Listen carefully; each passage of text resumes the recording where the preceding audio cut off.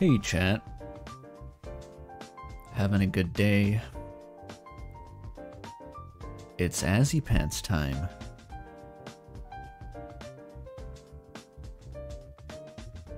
Chat says, Happy Election Day, Finnish people. Very true. Shoutouts to Finland. Suomi. A nation known for liking Azzy Pants. I don't know, fucking know. Um, okay, cool. Uh, okay, I gotta... Rosa Raid's immediately on this. Uh, I gotta tell everyone that the Umris book is back on sale. Yep, okay. Um, if anyone remembers what Umris is, it's the... It's, it's where uh, Umi the Umris girl is from. You know, she's from Umris. The... the Umris ending compilation is once again back on sale in physical form. Uh, it was reposted after being taken down a while back. I guess I guess now you know. It, I'm I'm not personally selling it to be clear. It's a it's just a a non-profit thing that someone on the server did. Hmm. Yeah, so I'm assuming you all know the drill by now. Maybe you don't, I don't know. Maybe you're just coming in from the string of like fan game streams, and you're like, wow, I sure love this Undertale Deltarune fan game streamer Andrew Cunningham, who streams my favorite fan games all the time. And that's all he does. Uh, well, sorry, that's not all I do. I actually occasionally, um, a critical mass of Azzy Pants uh, fan fiction builds up on my Discord server, and I gotta read that. So that's how it works. Um, I'll do a, a, sort of a brief intro for any neophytes as to what an Azzy Pant is, just in case I'm missing anyone. Um, basically, it was back during the Delta Traveler streams, I believe, the original ones I did. Um, we were just kind of bantering a bit, talking about uh, Deltarune, and I said that it'd be nice. It would be nice to see how um, Asriel and Pizza Pants interact in Deltarune once Asriel's back in town, because they're friends and they have a. I think it could be a really funny dynamic. And then Dork swoops in and says something along the lines of Asriel X Pizza Pants, just in chat. Just Dork says that. That was it. It was a slippery slope. I said it was the ship would be called Azzy Pants, and then people started writing lots and lots of fan fiction about it. Uh, and this is now the fourth stream of reading it, and it'll be the last one for a while. I think the Azzy Pants streams tend to come in pairs. Then there's a, I leave a, a long kind of gap. But yeah, so yeah, nowadays we're it's festered past the point of just Asriel and Pizza Pants like kissing or whatever. It's now people have like personified the concept of Azzy Pants fandom into like a Gijinka Fujoshi girl named Lizzie, um, who's on the thumbnail. And and also there's there's a similar one of those named Umi, the Umris girl, who who personifies Umris, and they and they also kiss now, and vomit on each other. Apparently, that's a big running theme. I don't know why. I didn't tell anyone to make them vomit on each other. They all just did. So that's the kind of shit we're dealing with. It's like weirdo Gijinka Yuri where they puke on each other. Um, and also Azzy Pants. That's that's what the stream is about. Uh, yeah. Hmm. Oh, Toby points out that the Pacific Drive is in a couple weeks. Yeah, I might stream that actually. That was a cool game at PAX. We talked to the devs slightly about that. You're learning about Azzy Pants. Yeah. Yeah, oh no, I got the bingo cards, Rosa Raid. We're good. Um, I'll, I'll reveal the what we've got today. So this is a curated list that's made by uh, Pidge, I believe, or the the Azzy Pants thread on my server kind of handles itself at this point. Um, it's very convenient. It has like check boxes and everything. I don't even know you could do that on a Google document, but shows that I know. Um, yeah, so we got these to go through. I don't know if I'm going to be able to finish them all today. Because there's a lot of them, and they're kind of long. Um, but I'll do my best, you know. It, uh, I can only go until my voice gives out. Uh, a Pidge will not be attending today? That is an F indeed. That's too bad. Pidge is in large part the instigator of this whole Azzy Pants craze. Um, oh, Outson, yeah, I was I was wondering about yours. Um, that was like an Umris thing, wasn't it? Mostly, and you didn't finish it, which is too bad. Hmm. Well, maybe one day, Outson. I, I'm not sure I'm going to do another one of these, but hopefully not. Well, not. hopefully not for a little while. That's not what I mean. Probably not for a little while, though. Um, yeah, so we got like a... We're to be reading this shit. We got this bingo card here crucial. Um, the bingo card wasn't really going so well last time, but there's always hope for this time, right? Is uh,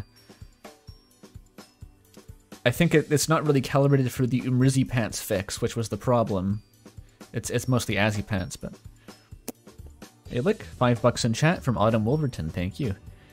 I had a fic I wanted to write for this, but another fic I was writing kind of spiraled out of control, so I didn't have time. Instead, have five monies. Uh, I like that just as well. Uh, thank you, Autumn Wolverton as it is, we're probably gonna, not going to have time to get through all the fics here anyway, so... Um,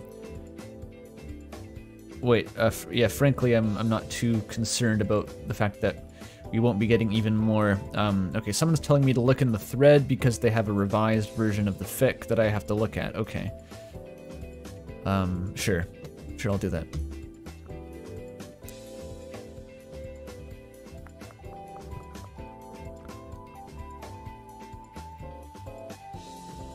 Um, that's just a picture of Gex the Gecko. That's not a fanfic. Um, oh, it's a bing new bingo card. Uh, let's try this one. Yeah, good idea. This one looks fancy. And it's also Valentine's themed. Check it out. Uh, perfect. What do we got? OC character, homophobic Toriel, Gaster cameo, sloppy kissing, lewd handholding, night mention, chubby pants, they eat pizza, pizza pants envy, chubby pizza pants. Wait, are these different? They're like the same thing. Where's my brush gun? Like, what's the difference between chubby pizza pants and chubby pants? Are like the same thing.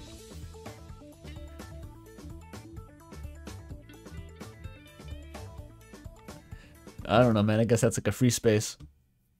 Whatever. Too late for revisions now. Wait, there's also a new Rizzy Pants bingo? The fuck? Okay, god damn it. Um, yeah, you know what? I'll, I'll bust that one out when you get to the Umrizzy pants. How about that? I'll, I'll, I'll save that until we get there. Um, I'd like to start reading a fanfic at some point here before my voice wears out just doing the intro. Okay, pouring more tea. I'm gonna do a tea refill this stream. I'm gonna commit to that because I ran out of tea last time and I was kind of suffering for it.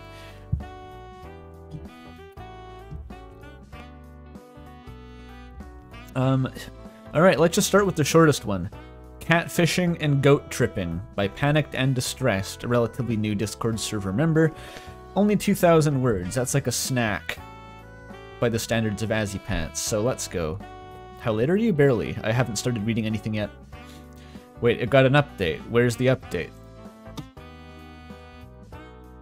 Uh, this is a problem with linking your fixes PDFs, is that they don't automatically update. Okay, I'll look for it. Okay, that's Vow is made in cheese. That's another bingo card. That's my profile picture. How far up did you link this? Oh, there it is. Uh, let's do this. Here we are. That's better, right?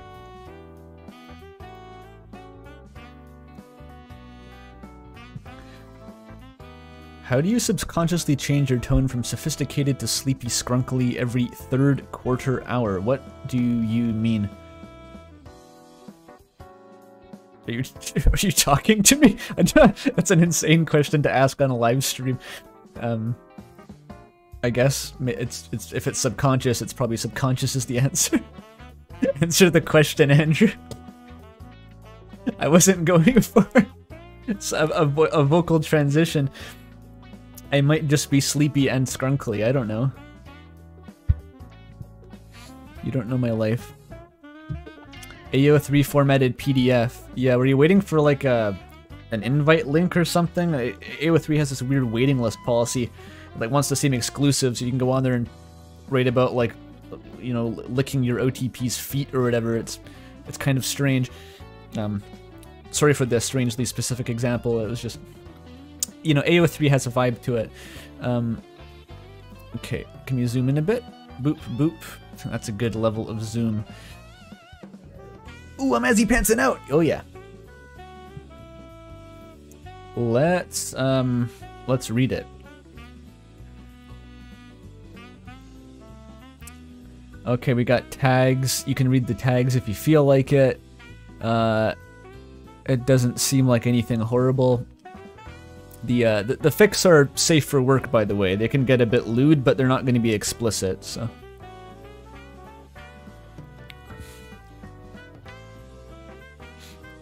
Okay, um... Do we need a synopsis? No, I'm gonna read it anyway. Uh, notes. Hi, Andrew and chat. Uh, Dand here. Hi, Dand. Uh, the whole thing is just me trying to make Azzy Pants, except Asriel is the disaster this time. I also never wrote anything before, so it might suck, and it's all over the place. Uh, excellent. That's the vibe we want for uh, Azzy Pants. Excellent. Okay, chapter 1, Not So Innocent Mistake. Asriel was staring straight ahead. More like gay ahead, am I right, chat? yeah, yeah. Yeah, I make jokes on stream sometimes, I'm sorry. Okay, Asriel was staring straight ahead, his heart skipping a beat and his mind pulling a complete blank. The calm before the storm, as he could already feel guilt, regret, and anxiety brewing in his guts, ready to burst and drown any sensible thought left in his brain. What had just happened? Triple asterisks. Good joke, streamer. I didn't laugh. Jerma voice. Redacting my dono. Did you even donate, Roy? I can check this, you know. Yeah, you didn't donate. Stop redacting your donations if you haven't donated yet, Roy. Hmm. it was Friday and neither him nor Des had anything to do. They had already spent days non-stop studying, writing essays and consuming more coffee than any doctor would advise.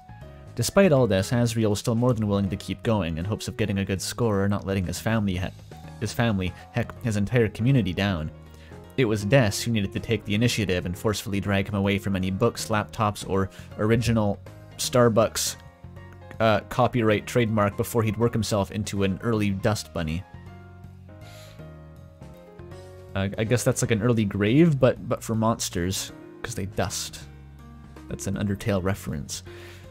Ow! Asriel cried out as the reindeer pulled his ears to drag him along with her. That, that's kind of cute, actually. T tugging it's like a goat thing along by his ears. That That's kind of a cute image. Good one. Uh, I need a Des voice? What the fuck? I didn't think Des was going to be here. Um, have I ever voiced Des before? I think I have, right? But I don't remember what the fuck I did.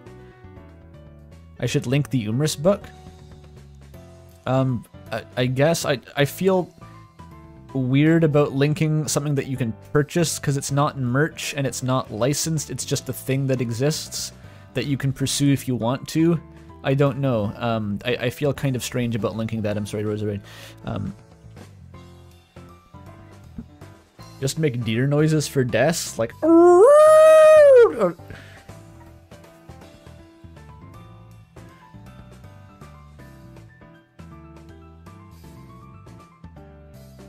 Del Des was in Delta Traveler, yeah, but I, forget what I did though. Um,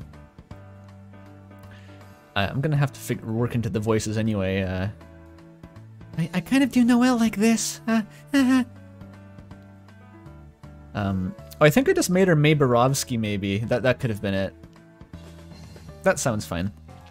Stop squirming, Des advised. That'll only make the pain worse. That'll only make the pain worse later.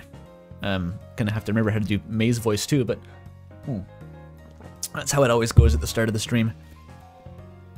Uh, Reluctantly, Asriel followed her, attempting to claw at her grip in the process. You need a break, Azzy, she groaned. How much longer are you willing to keep this up? Keep what up? Asriel inquired sheepishly, despite being fully aware of the answer and also being a goat.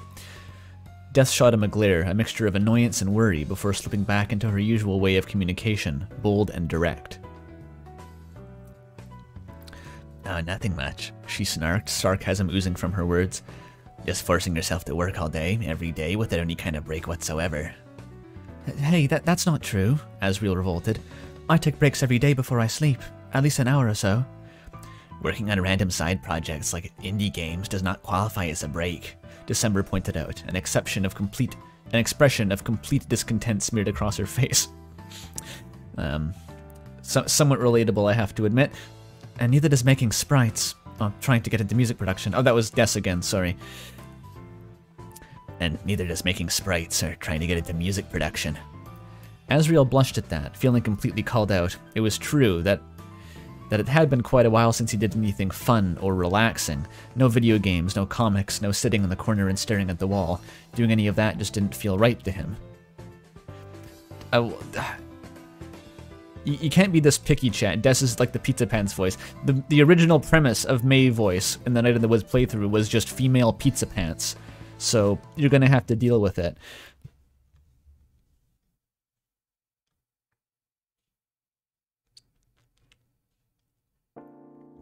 Uh, but, but. Not everything you do has to be productive or achieve some bigger purpose and whatnot, Des explained, cutting off Asriel's train of thought entirely. You're treating life like a checklist of what you need to do, completely disregarding what you want to do. Maybe she was right. Maybe staying up way too late just to have some done something on his agenda wasn't the way to go. Maybe he really should focus on what actually he feels like doing instead. Perhaps you're right, he mumbled shyly. Let's do something like, uh, Grabbing something to eat? Des offered quizzically. Thinking about it, Asriel had lived entirely off of coffee, adrenaline, and instant noodles for the past week. Cereal and milk if it was a good day. Taking Des up on the offer might be a good idea. That does sound quite nice, Asriel nodded. Do you have a specific place in mind? I'm dragging you there right now, Des scoffed. You're awfully predictable sometimes. Uh, oh, he stammered, an awkward silence falling between the both of them. The fanfiction streams get a lot of viewers. Uh, yeah, it's doing alright in terms of viewership, I'd say. It's better than a non-Deltarune stream game, but not as much as a, a, a fan game. It's, that's kind of my metric.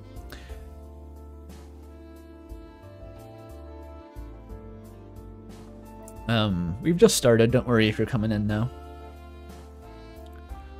This is the beginning of the first fics still. The night was chilly, a refreshing breeze blowing over the land covered in twilight. Leaves fell from a nearby tree, filling the air with an aura of serenity. It didn't take long for them to arrive at their destination, a barbecue relatively close to campus. While Des kept walking, Asriel, who had at this point managed to free himself from December's grip, stopped. He stared through the window, his fur tainted golden by the glow on the other side. You coming? Des wondered, having turned around to face him. You know, I find this a bit ironic, pondered Asriel, his expression shifting into a sly smile. You told me to only do what I wanted, and that I shouldn't I should let outside factors control my life, then proceeded to take me to a bar, the place for peer pressure and alcoholism. Oh. Des glanced at the building, looked at Azzy and narrowed her eyes. You can probably just not drink anything, right? That won't be much of a challenge. Yeah, that'll work out, hopefully, Asriel agreed meekly as they entered the door you are allowed to not drink at a bar. You know, it's you can order a. Uh, I, I order a cran soda. That's my go-to. Just like cranberry juice and soda water if I'm if I don't want to drink. It works great. It's not like it's classier than like a Coke, but it's uh, it's soft still. You know.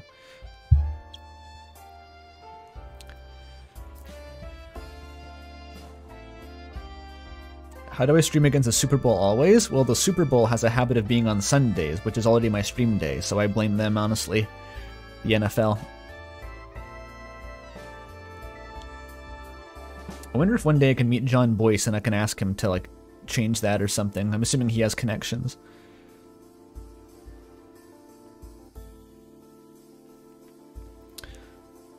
Inside was exactly what one might expect from this kind of establishment. Round tables suited for standing at with a few friends or acquaintances, some cheap yet comfortable furniture such as armchairs and a couch, stained with various condiments like ketchup and mustard, random junk scattered across the walls decoration, most of it some way referencing the USA, and finally dim light emitted from many sources, ranging from a television mounted on the wall to fairy lights scattered around wildly. Got that Joe's Crab Shack vibe. Anyone been to a Joe's Crab Shack? It's, whenever um, my family went to like Disneyland or something in California, we always seem to end up at a Joe's Crab Shack. it has that exact ambiance. I'm assuming this is some analog to Grillby's, or maybe just a, a generic bar. I don't know. Oh, I got a, a cursor on screen. Oops. Just put that over here. Uh, where's the bingo? Oh yeah, I should. Okay. Um, do we have anything on the card yet, though? Sans cameo. I don't think there's anything here yet. Nothing's happened. Nope, nothing. Um, I can't keep the bingo card on screen, though, because it'll get sucked underneath the window.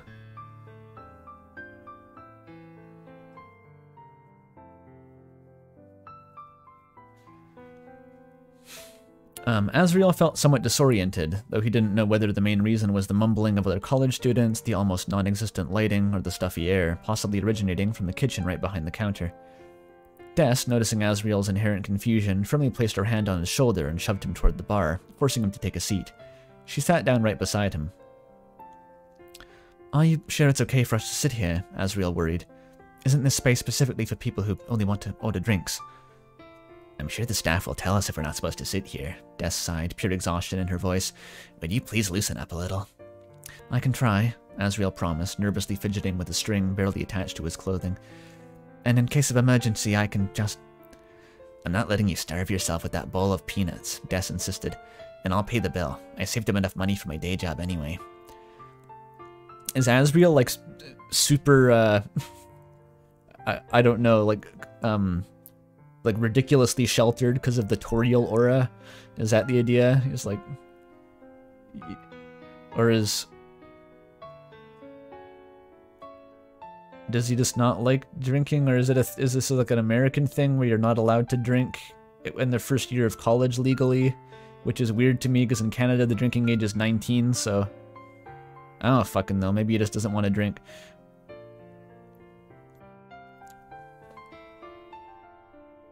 Gay? asks Outson. Yes, but not yet.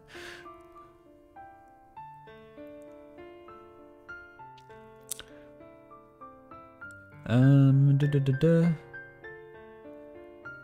Asriel wanted to protest, but quickly dropped the urge. There was nothing to gain from arguing with Des anyway. When she had a goal in mind, she would do pretty much anything to achieve it. That's how persistent, or rather stubborn, she was. Uh, who's talking? Um, the waiters are Big the Cat. What can I get you? Asriel nearly jumped at that, having been completely oblivious to the bartender standing in front of him, who in turn rose an eyebrow and gave both Des and Asriel a perplexed look. Oh, um, I, I wanted to ask if we could order food, even though we're sitting at the bar. Asriel forced out of his throat. That's fine! You might want to get a drink as well! First one's on the house tonight! Oh my god. First drinks on the house? That, that That's kind of a crazy deal, honestly.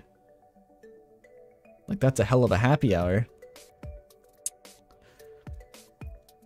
I've never, I've never been to a bar where they give you, like, first ones free, like a, like a gateway drug.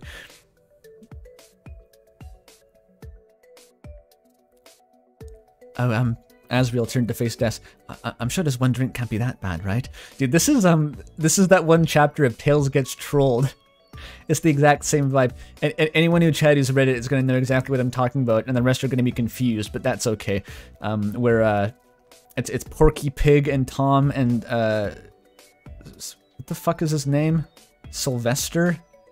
They all go to the bar together, and Porky's like, uh, I, I, I don't drink, guys. And they're like, Nah, man, you can be our designated driver. You, you can, you don't have to drink. And they're like, and, and then he comes grudgingly, and then and then he gets swindled into drinking one beer, and then immediately, instantly after drinking one beer, gets gets like seduced, cheats on his wife, his wallet's stolen, and he can't drive back. it's gonna be that. Porky didn't deserve what happened to him. no, man, he had a beer. He was a designated driver and had a beer. That's what you get. He deserved everything.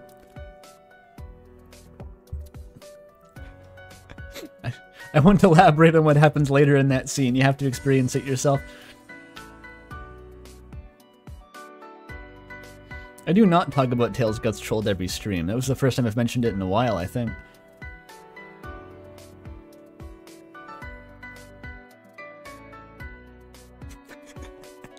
I'm cracking up thinking about that fucking chapter now. I gotta stop. Okay, focus.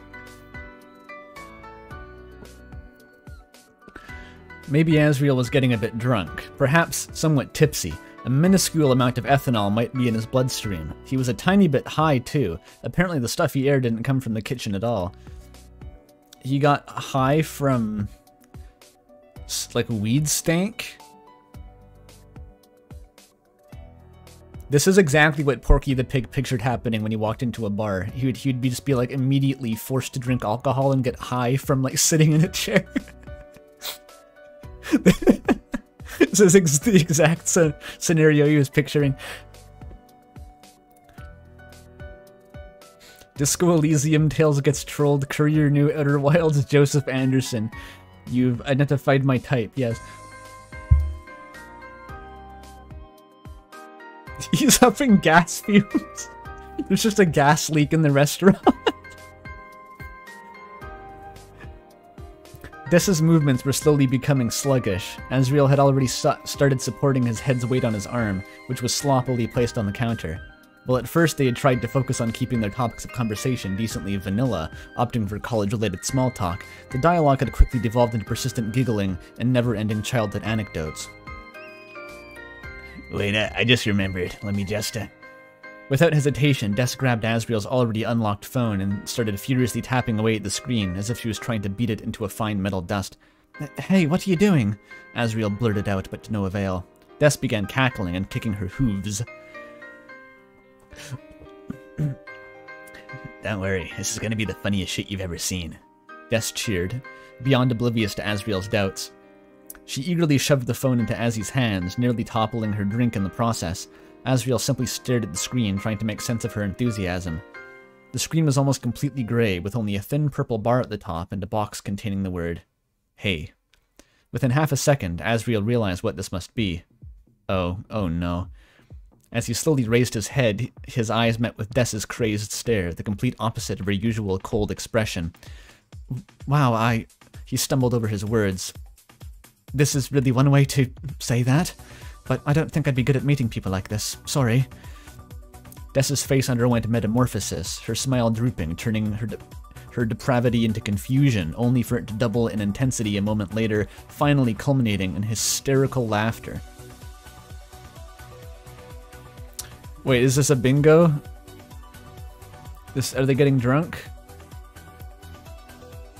They get drunk. There we go. It's not even Asriel and Pizza Pants. It's Azzy and Des, but good enough. And there was weed referenced, I think. University trauma? I'm gonna count this on too, because they've been, you know, as he's uh, working himself to the bone here.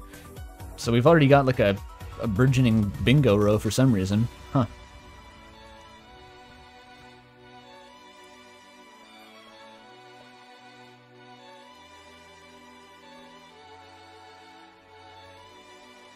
This is not. This isn't as EX Des. It's it's gonna turn into some catfishing thing. Just watch.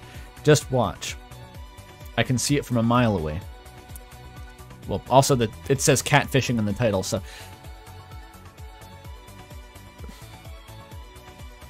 It's Super Bowl today. Well, not according to the 142 people currently watching this live stream. Um,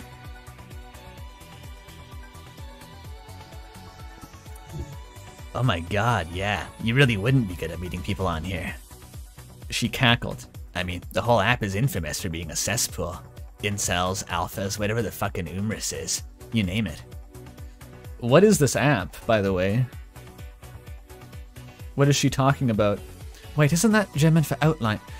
The stories about it were so bad, she continued. I just had to download it to see what it was like, and uh... Oh, oh my god. Uh, oh, no, and... Oh, oh my god, Asriel, it's true. It really is that bad, she said, a mixture of terror and thrill creeping its way onto her face. But it's so, so funny. It's Umris Grindr. Okay. Um, -ba -ba -ba. Umris.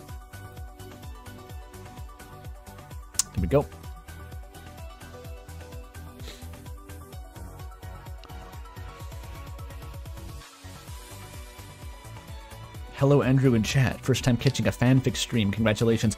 Hi, Molly. Hi. You're here for the Azzy pants. You can't resist the siren call. We're just getting into it still. After half an hour. Ugh.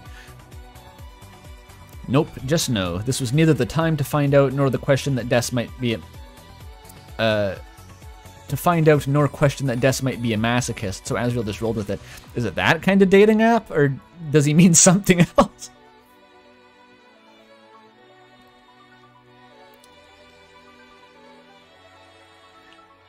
Um, I've already started chatting with this guy. You keep going. Des anticipated.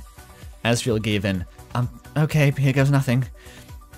He was about to type up a generic pickup line until a, a thought crossed his mind. A somewhat impulsive thought, but one that was utterly hilarious as well. Hi. Is that literally? Did you were you referencing that Molly, or does that just happen to be what you say anyway when you enter chat?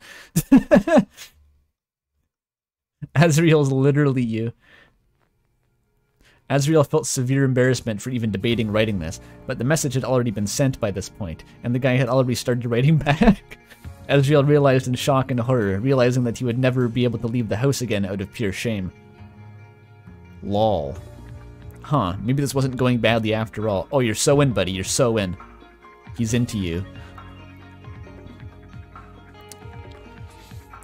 The rest of the night continued in the same vein as this exchange. Asriel wanted to write something he deemed inappropriate.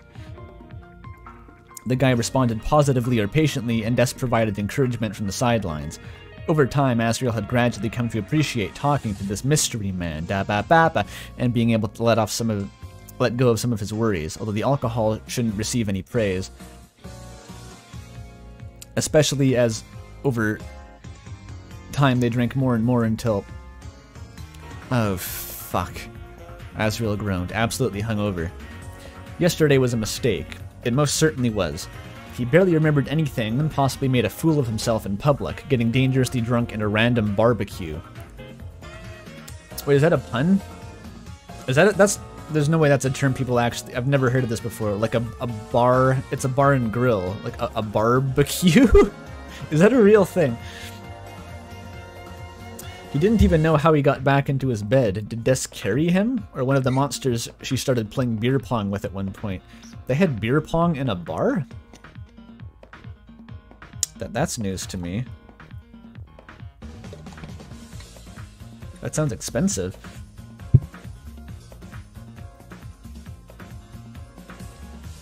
Where do they even get stuff to set that up in the first place?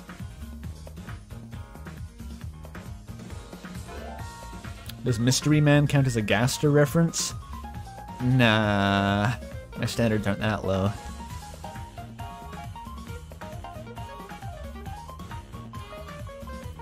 Oh, beer pong? You don't you don't have beer pong and wherever you live out in? It's a Oh no, expensive. I mean like at a bar, is you have to keep buying the beer to, to play it. It's not like a house party.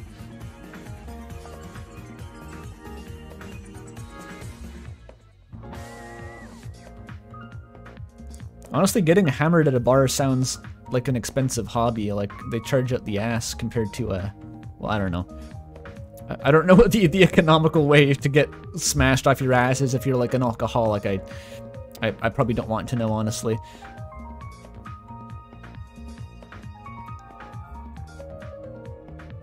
Yeah, just like just like doing vodka shots at home on on your couch or something is, is what I'd picture. Um, distill your own alcohol from like toilet paper, like NileRed.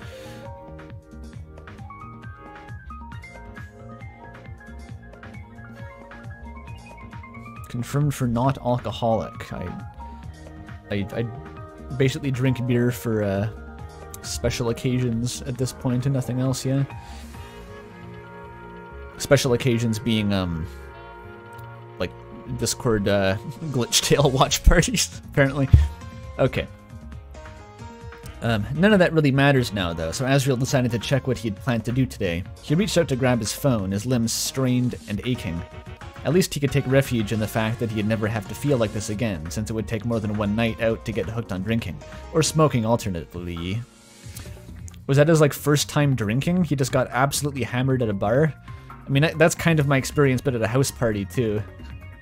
It's just really funny the picture going out to a bar for the first time that is getting completely blackout drunk. um, he had finally managed to get a hold of his phone and unlocked it, only to be greeted by yesterday's chat. Oh god, he totally repressed that. But he still needed to check what he'd said regardless, just to make sure he didn't dox himself or something. He began from the top, but the further down he scrolled, the more obviously drunk he became. It started out with light-hearted banter, only for everything to decay into obnoxious flirting, with autocorrect trying his damnedest, uh, trying its damned hardest to keep anything logical. The catalyst had presumably been beer pong, and the result was an image simply titled, You thinking I look good? Wink, with an image of a fresh pizza attached. Where did he even get that image from? Did that place have pizza? Or was his stupid hand just aimlessly pressing around his phone gallery trying to blick? What the fuck? What's a blick?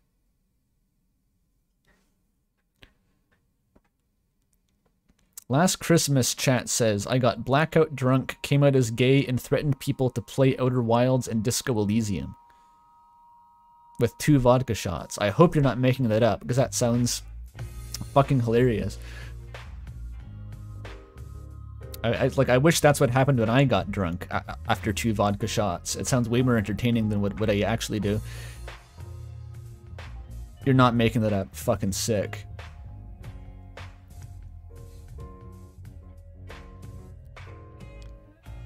Blick is German for looking.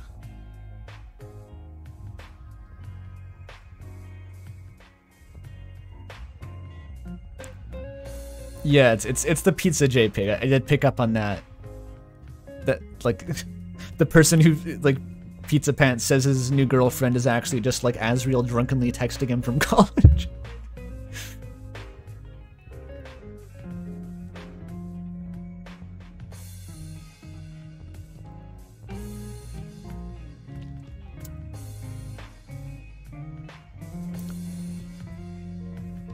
You think I look good? Anxious awakening. There he was, lying on bed, completely motionless, yet still panicked enough for his eyes to lose focus, darting between his phone and some arbitrary point of nothing. On the screen, an image was glowing, burning itself into Asriel's retinas. Apparently, the guy he had chatted with had become as bold as Asriel hoped to be, going from vaguely flirtatious remarks to sending full on pictures of himself. At the beach, shirtless. Damn, risque. Pizza Pants has got his, his nipples out. That should have been the most shocking part of this whole ordeal. It really should have. Nice, good, collected Asriel getting drunk at a barbecue and hitting on some random guy on a risque dating app. Problem was, this wasn't just some guy. It was Ray. That's a that's a bingo. Hang on. Always have to have. Where is it? Pizza Pants name reveal. Dude, they're gunning for this shit. They're gunning for this middle row here. Crazy. It seems like Asriel is like just yeah. Th there's not like a oops I'm gay angle. It's he's already like vaguely bisexual, I assume. So.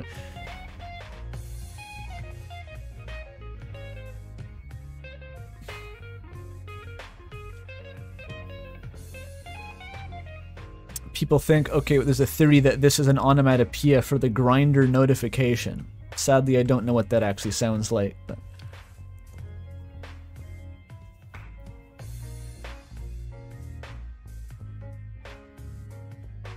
Yeah, we might get that last square if Pizza Pants is indeed being catfish and think as thinks that Asriel's a woman. Yeah, yeah, we could we could go there. Two bucks from Roy. I'm gonna destroy that guy. Oh, Ray. Ray is opposed to Roy. I got you. I got you, Roy. Thanks for the dono. Um, it was the last week of high school. Asriel was eager to leave for college, mostly because the school year had quite a mess. This is a flashback. How Umrician. Well, it still was one, he discovered, when during one class uh, when during class, one of his teachers announced one last group project, which had to be completed before the school dance. Great. Asriel was more than ready to throw back his head and let out an annoyed groan, but was, oh, that's what he would have sounded like. Uh, but was stopped from doing so when something, or rather someone, bumped into his side. After a moment, his shock turned into discomfort as he realized that both Catty and Bratty were looking at him expectantly. Oh, his sides. That, that wasn't a typo. It's two people. He should have expected this. Both of the girls had taken an interest in him, with Bratty even managing to worm her way into kissing him during a game of Truth or Dare one time. And definitely didn't just bite him behind a, a dumpster in an alley and make him have to go to the hospital. But this year, they had been especially clingy, with them sticking uh, with them either sticking to Asriel like gum or to one of the school tables uh, or engaging in cat versus gator fights. From the look of it, the latter was about to commence. Damn, sister against sister. They want that goat. Yeah, chat gets me. More Doris in chat gets my pufferfish eating the carrot noise. It's not supposed to be lewd moaning, it's just a pufferfish. Ugh. Ugh.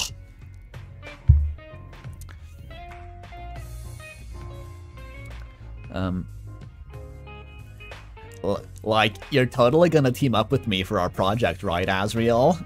Catty asked confidently. Like hell, Azzy would go for a copycat like you. Bratty snapped back.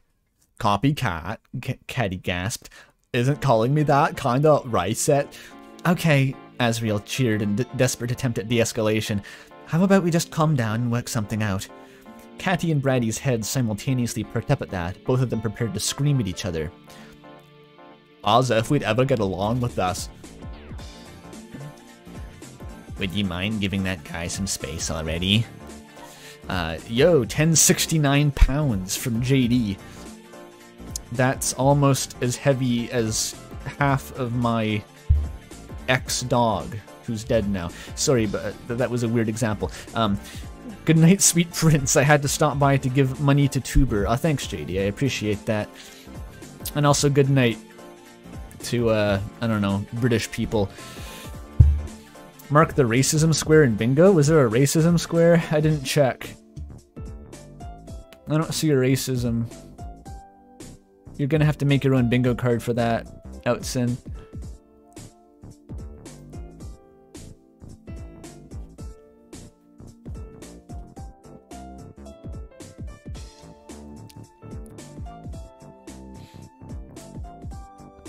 All three of them turned their heads. Uh, oh wait, no, this is a, a new party. I, I, without the dialogue indicators, I can't, I can't, I can't know. Um, all three of them turned their heads, searching for where the voice had come from, only to be met with none other than Ray, also more commonly known as Pizza Pants. Him speaking up like this was strange, since he was never someone Asriel actively took notice of. Sure, he knew he was there, but Ray mostly seemed to keep quiet and focus on simply making it through the school day. Pessimistic side remark here and there. Afterwards, he'd go to work at ICE-E's Pizza, and rather a rather depressing little establishment he got his nickname from. Despite all this, he seemed content enough, never causing too much commotion in class. What do you know? Catty snarked. Asriel is like totally fine with us being here. Yeah, Bratty joined in. So, like, mind your own business and leave Azzy alone. Well, so much for that. Pizza Pants could try as he might, but the girls insisted on staying by Asriel's side, both metaphorically and physically, and he doubted that would stop anytime soon.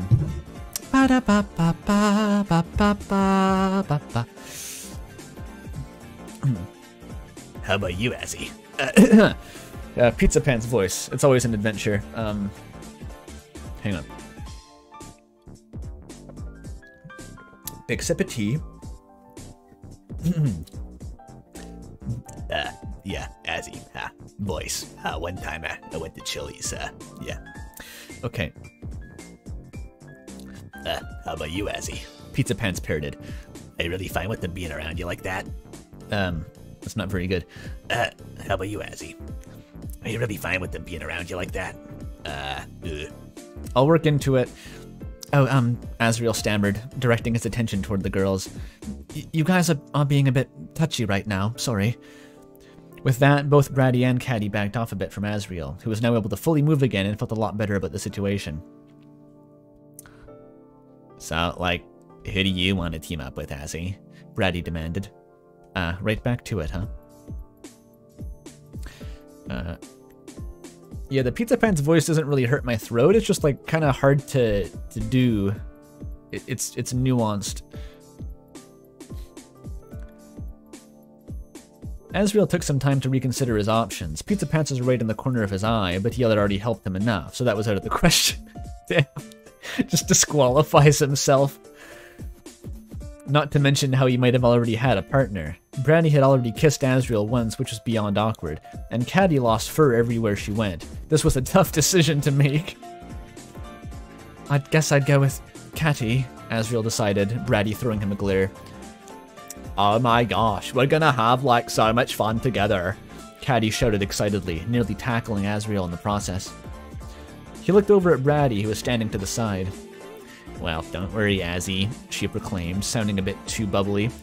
We can always hang out some other time. Asriel simply nodded at that, already debating how he could thank Pizza Pants for getting him out of this later. Uh, I can think of uh, a couple ways, Azzy. I need to actually smoke 30 packs to get the Pizza Pants voice to be authentic, you're right, but I don't have any packs.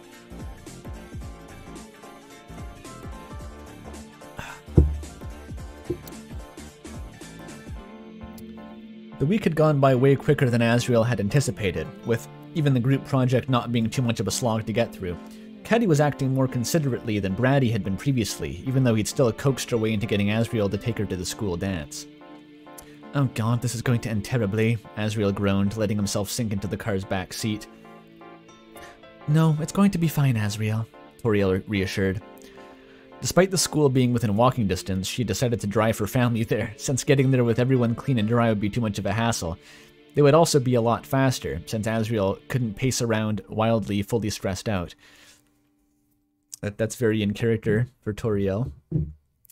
Now, you don't get it. Catty is... I am aware she is a very unique girl. But I believe you can put your differences aside for now, Toriel interjected. Oh god, I hope Bratty doesn't... Asriel, I haven't had to alternate between Toriel voice and Asriel voice before. It's kind of hard, actually. At this point, Toriel had a stern look on her face, likely tired of her son's unusual antics. Everything will just be fine. Will be just fine. But, just fine, she repeated for emphasis. Yet Toriel just hates the environment. She never misses a chance to, like, fart hydrocarbons into the atmosphere. it's like the the Wonder Bread deforestation deviantart guy. Um, if, if you don't know what that means, I'm not explaining it. It's just a string of words.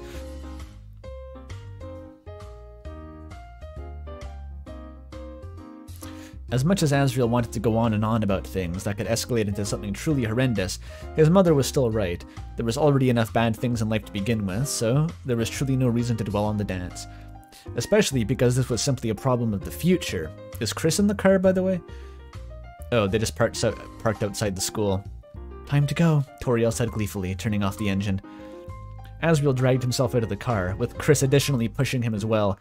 He flung forward, losing his balance for a moment, barely not face planting onto the grass and staining his suit immediately. Toriel's the number one producer of methane in Hometown. Don't ask.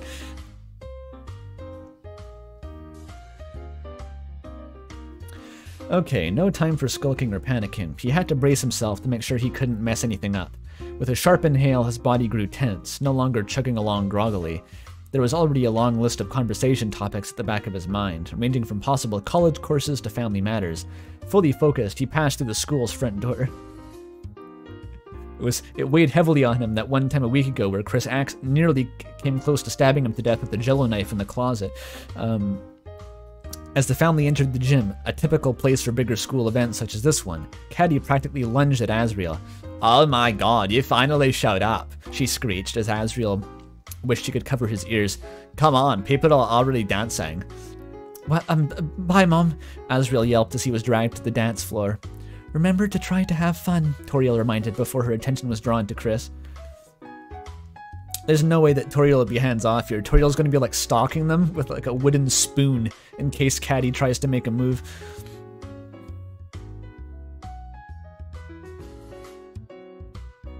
What did you miss? Uh, we're in a, I said Asriel uh, got drunk and uh, Des accidentally caused him to like start flirting with Pizza Pants on an anon anonymous dating app. Uh, and now we're in a flashback to high school. Oh, Kris is on stalking duty. That's fine.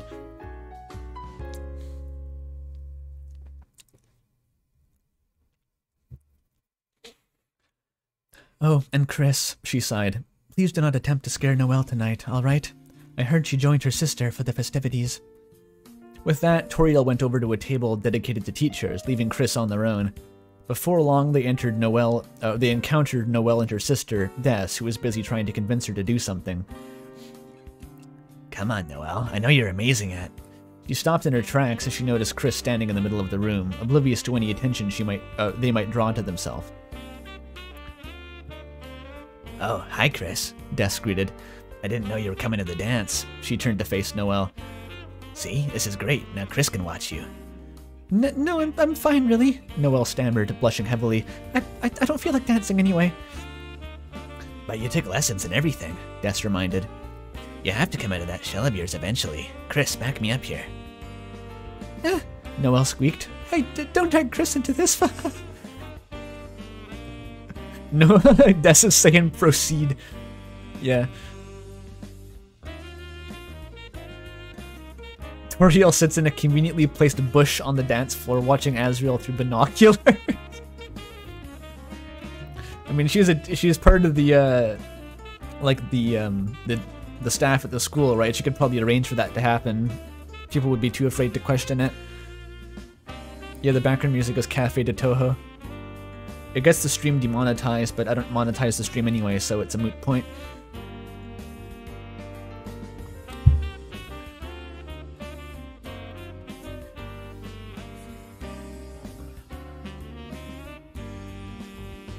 Um, where was I?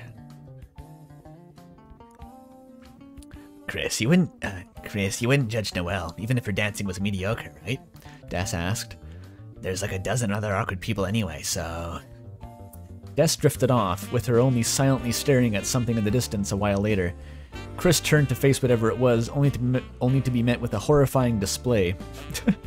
Catty was swinging around her body erratically, possibly obliterating anything that stood in her path, as most of the students and other guests seemed to distance themselves from her.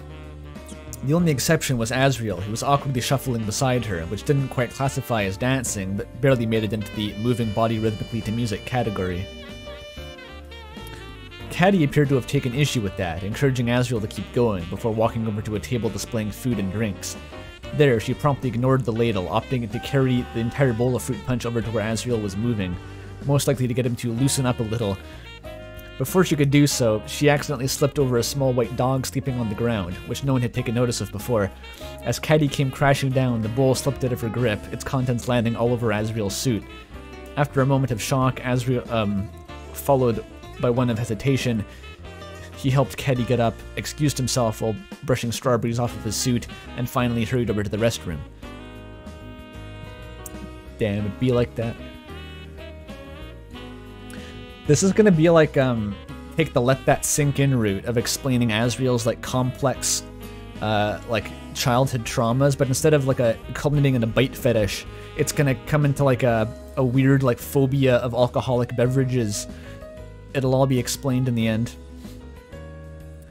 Yet, you're right, Roy. Toby had to to cut off the straight romance. There, there's the vibes in the room were getting too hetero, so we intervened. Um, just as expected, Asriel stood in front of the restroom mirror, his eyes fixated on the soggy stain on his suit. He desperately clawed at it, trying to wash it away, but to no avail. The cold water and cheap pink soap simply wasn't enough to clean it properly. After a while, he stopped rubbing the stain, instead looking for a way to get his clothes to dry at the very least. He hastily looked around the room, only to be met with absolutely no good options. Uh, paper towels were sparse. I'm, I'm trying to picture some bullshit in like a in like a weird anime where he he devised some MacGyver scheme to like strip his clothes off and like put them over a heating vent and then like hide on the a ceiling vent or some shit and then he'd be like discovered there and it would get really awkward and it would escalate past the point of all reason. Um, probably not going to happen, but I can picture it.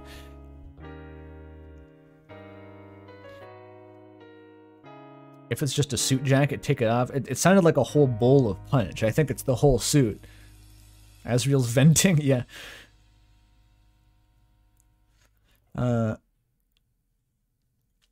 paper towels were sparse. Why provide the students with resources anyways? He didn't want or need to know where the toilet paper had been, and just like towels, it would barely absorb any fluid. I think the toilet paper, the idea is that it, it's been in a roll in the dispenser until you use it, but okay. Um, he quickly shuddered at the thought of scenarios where it would have to do so. Um, wasn't that a gag on like a fucking ancient Diary of a Wimpy Kid book? I, I just remembered that from like my memory vaults. It's like Greg Heffley hides in a, a locker room and wraps himself in toilet paper to stave off hypothermia. I'm picturing some shit like that. Using heat to remove any liquid would be a lot more bothersome. Come on, pull out fire magic, Azzy. Just randomly canonize fire magic and Deltarune.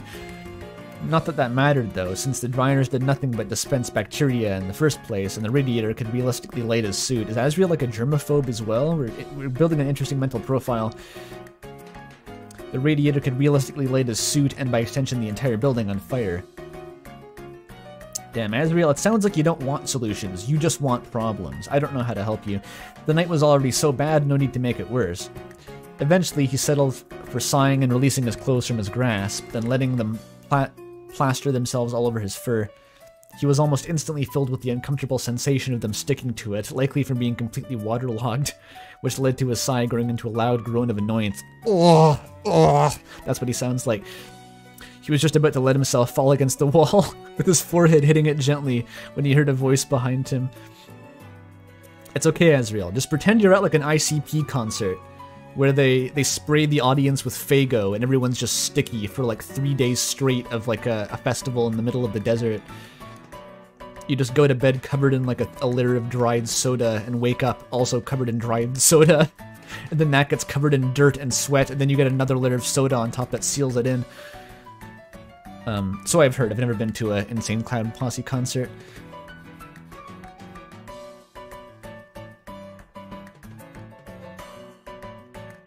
Yeah, that's uh, behind the one locked door in the hometown school. We have the gym, the cafeteria, bathroom, the auditorium. There's a lot.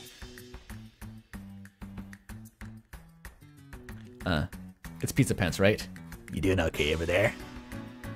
You uh Maybe lean into the the Brooklyn vibe. Ah, so Azzy, that. So the, the well, one time Azzy, I was at Chili's and uh, I ordered every drink on the menu. you uh, doing okay over there? Asriel spun around in shock, only to see Ray standing right behind him, seemingly having observed him struggle for a while. Oh, um, hi. Asriel drifted off, his face turning red with shame. She had no idea whether to call him Ray, Pizza Pants, or an unknown third thing.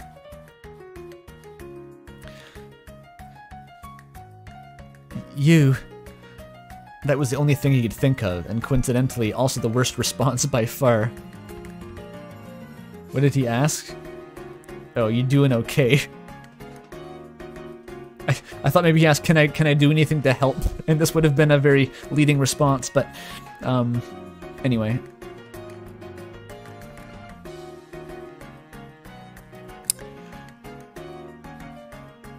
You? Ray pondered, raising an eyebrow in confusion. I, I... Asriel felt caught, looking away from Ray's face and blushing slightly. I don't really know what name to call you, he admitted. I mean, your actual name is Ray, I know that much, but people just call you, uh... Pizza Pants. He cut him off, his face tense. Y yeah, Asriel confirmed. But I don't know if you're fine with it. I mean, I, I don't want to assume, but when other people use it, it sounds a bit demeaning. Sure, but you weren't trying to be an ass or anything about it. I'm fine with it. Pizza Pants reassured. It's not your fault some people are jerks, Azzy. Asriel felt a wave of relief washing over him before he noticed what he had just been called. Damn, yeah, that was quick. He turned to face Pizza Pants, who was wearing an extremely smug expression. Asriel felt himself heat up a bit, but didn't mind his, this nickname too much. You weren't kidding about Azzy being the uh, the disaster in this version. Pizza Pants seems downright suave in comparison.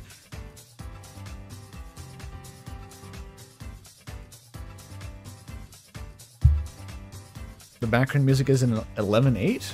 Currently it's it's just 4.4 I think. Maybe the previous song, I didn't notice.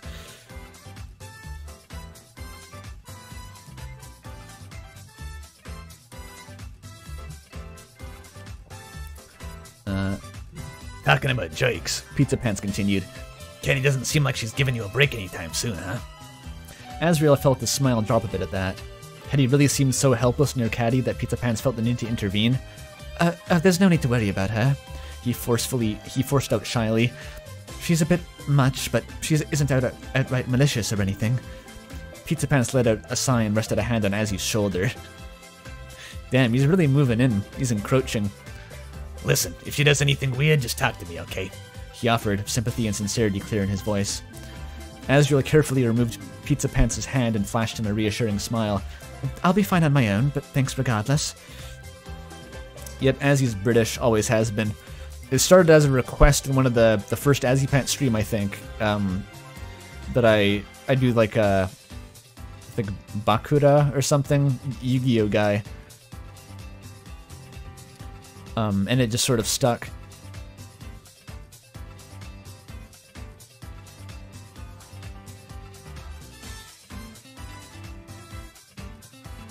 Uh, yeah. Anyway. With that, he left the restroom, intending to return to Catty on the dance floor. She had apparently been waiting for him as well, nearly tackling him to the ground upon seeing him return. There you are. Now let's get back. I'm excited. At last, they were back on the dance floor. Everything was going exactly as it did before. Catty shook her body hard enough to lose fur everywhere, and Asriel was awkwardly standing beside her, barely even moving at all. That was until a specific song came on. Asriel's eyes widened as he heard the first few notes of it. Ba da ba ba ba ba ba. No. Oh, oh no. Filled with nothing but sheer terror, he nudged his head over in Catty's direction. He'd stopped completely, her eyes unblinking, as if in some state of disbelief. Ba ba ba ba da ba da ba ba. Sorry. I have a brain rot. He saw himself slowly reach over to, to her, unsure whether he was really moving. Before he could evade, Catty sunk her claws deep into his arm. He tried not to wince in pain, clenching his teeth together. Oh my god, Catty murmured, barely containing her excitement. I love this song! She exploded, spinning around, nearly jerking Asriel to the ground. Sorry, she blurted out, blurted out a half-hearted apology before stepping further away from him. What is the song, dude? What is it? Does this mean Kris is also British accent, or are they immune? Um, let's say canonically that they were um, adopted by the Dreamers after the uh, they'd already developed their own accent, so they, they don't have to be British.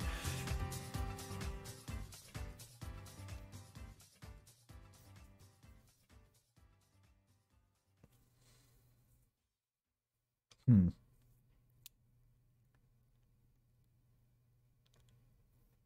It's a song that has a Gaster uh, quote.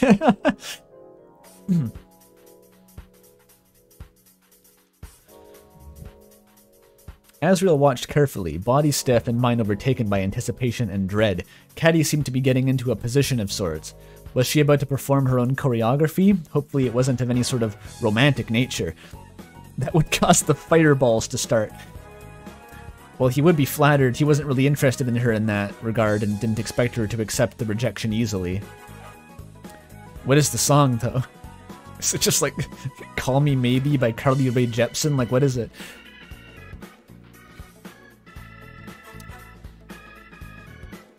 Let's go with uh, Wet Ass Pussy, just, just as a placeholder. His look of curiosity, however, was quickly turned into one of sheer horror when she began dancing. Her dance style involved a lot of hip movement. That was the best way to put it, without getting overly graphic that is. She twerking. I've played Lethal Company. She twerking on him.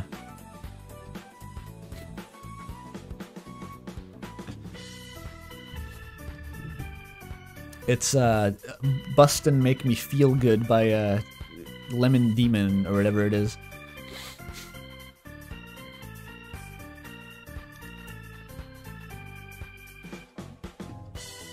Which your dance most definitely, certainly was, no doubt about it. Toriel's Naruto running toward toward them right now. Toriel is like en route. Eventually, Asriel managed to pull his eyes away from the heroin display, focusing behind it instead. In the distance, his mother stood, expression fully unreadable, stuck somewhere between shame, sympathy, confusion, shock, and finally apathy. She's just T-posing on him. Asriel is like completely horrified by the sight.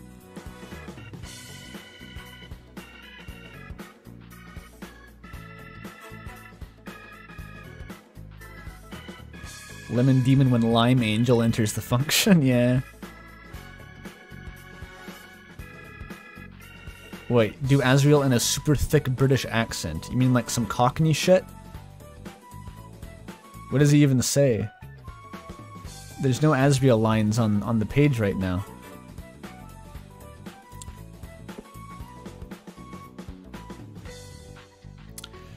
He sheepishly raised his hand and waved to her, giving her a look which communicated something between I told you so and everything's perfectly fine and under control. He proceeded to do so absent-mindedly, ignoring the stares uh, of judgment and general discontent. Hey, the eyes of judgment. Remember that? Des about to snap and commit a murder, and Noelle keeping Kris from taking several unneeded pictures of the whole ordeal unsuccessfully. Who's Des gonna murder? Just someone unrelated to this, I hope? Just kind of wants to kill someone passively? I can respect that. In this state, Asriel almost didn't notice Pizza Pants approaching Catty and him. Nice moves you got there. Pizza Pants grinned at Catty, holding back any possible sarcasm. Yeah, I know, right? Catty mused. I've spent so long thinking of them. Asriel felt a bit guilty hearing that. Had Catty really been that excited for tonight, going out of her way to invent a bunch of dance practices, only to make an embarrassment of herself publicly? Joke's on you, Asriel. Everyone in the room except you thinks it's really hot. Well, Toriel accepted, but, you know. Pizza Pants, however, didn't dwell on that possibility for long, swiftly moving on. Too bad Bratty seems to be taking your spotlight, huh? He uttered, a somewhat sadistic smile creeping its way on his face. Bratty's included, though, yeah.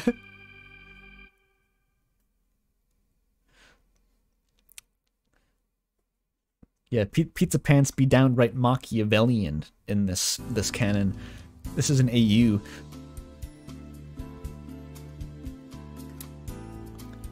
Catty came to a halt almost immediately, still in an odd pose that had been part of her dance.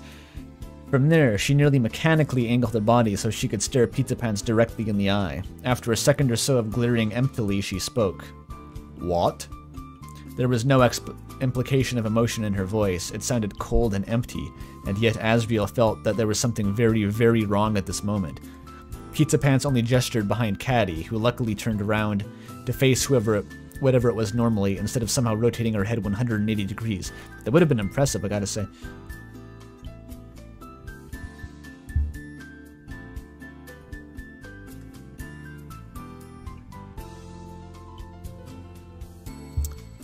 Um, there she was, Bratty, moving in a manner eerily similar to Catty's dance. Well, similar allegedly, since both girls' dancing consisted mostly of panicked, chaotic twirls and hip movements. The ambiguity of the situation wasn't enough to stop Catty, though.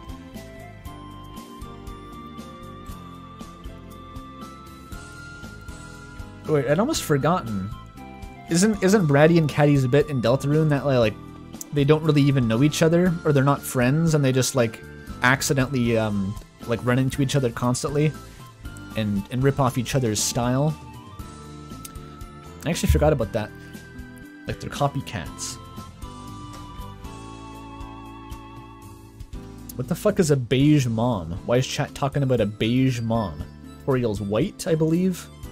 Chromatically? Like, what does that term mean?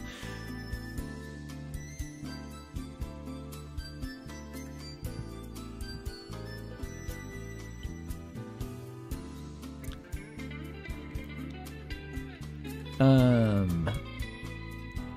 Hmm. Before long, she had run over to Bratty, complaining to her aggressively. Bratty responded with pure resentment, causing Catty to lash out even further. Oddly enough, being stuck in their own bubble of toxicity made them less of a distraction, with most attendees swiftly returning to their own business. Huh, Asriel exclaimed.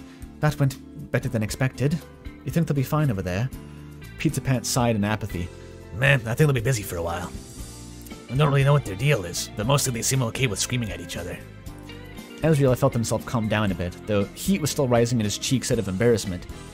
He was fully ready to obsess over this for the rest of the night, but something that Pizza Pants apparently took issue with. You still feel like dancing a bit? Eh, Asriel left, let out in exhaustion. None of these songs really catch my appeal, really. I've had already had enough stress tonight, so no need for any more hectic music on top of that. As if on cue, new music came on. It was slower, more jazzy, and overall felt the atmosphere of the room way better. To Asriel's irritation, it was a song he knew too well. Did did Kris manage to bribe the school into playing More Dangerous Guys from Mother 3? Wait, what? I gotta look this shit up. I've played Mother 3, but I, I don't know the soundtrack, uh, the, the songs by name.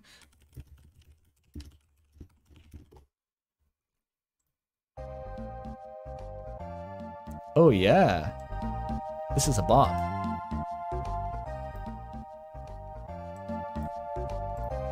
Let's have this for a while.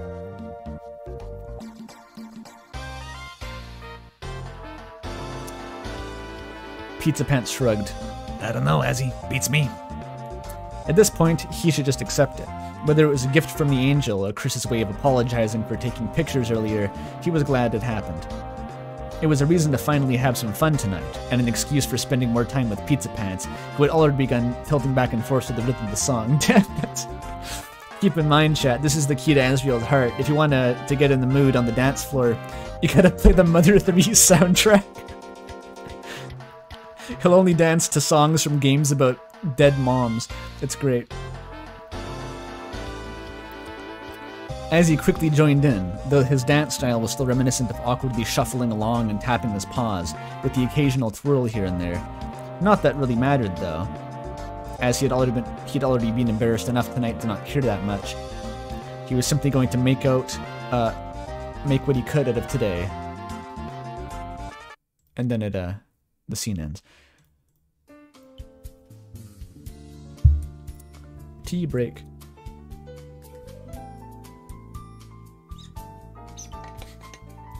Wait, what's that, um... You know that one song from the meme? Uh... How the fuck do I describe this?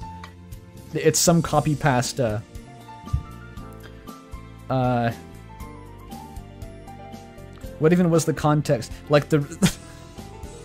the fucked up sex music from like Reddit or whatever that the guy would always put on to set the mood, but it was just like weird like noises and shit. CBAT? Oh, is that the one? I'll play it briefly in case the copyright's an issue. Let me look that up.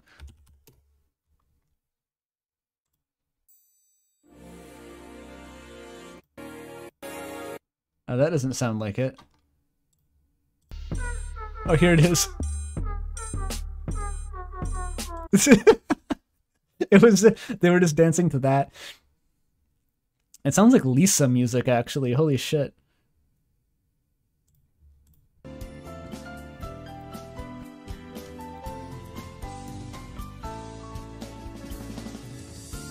Yeah, I've never heard the drop. I, I don't want to play too much of that though, in case it like they uh, run ads on the stream or something.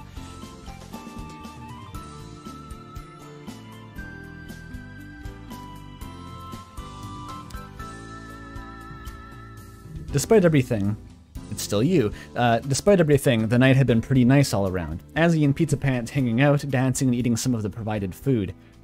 But over time, the gym had become more stuffy, not to mention incredibly crowded, so Azzy uh, was more than fine with joining Pizza Pants as he went outside to smoke a cigarette. Damn. Picked up the habit in high school. Devastating. It was a bit chilly out, although it was nice after being stuck inside for most of the event. A soft breeze caught some of the weaker branches to sway a bit, rustling any leaves attached to them. As he immediately noticed the pickup truck, which belonged to his dad, apparently he had come to join the occasion as well, with Azzy simply being too caught up in everything to realize. While he felt a bit awkward thinking about how his dad had to deal with his mom on his own, he quickly turned his attention back to Pizza Pants. What is Asgore doing at the school dance? Is it just, just come to like try to hang out with Toriel or, or see Kris or something, I guess. He's probably having his own awkward as fuck time in there right now.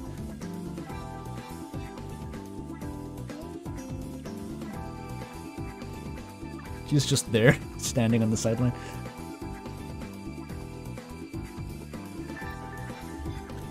He was busy rummaging through his pockets, cigarettes already in hand, uh, most likely trying to find a lighter or matches.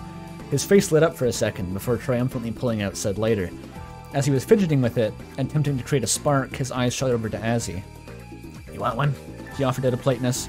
Uh, uh, no thanks, I don't really smoke, Azzy declined, but nice of you, nice of you to offer. Uh-huh. Pizza Pants guided the now lit cigarette to his mouth before stopping and staring at his hand for a moment, reconsidering what to do next. You wanna sit somewhere? He asked awkwardly. Standing's gotta be a bit annoying, right? Uh, sure. Asriel responded briefly. My dad's truck is over there. I'm sure its bed is clean enough. This is the, the way back on like the first Azzy Pants stream. I think we had a, a fic where Azzy and, and Pants like were token it up in Asgore's truck. that was the thing.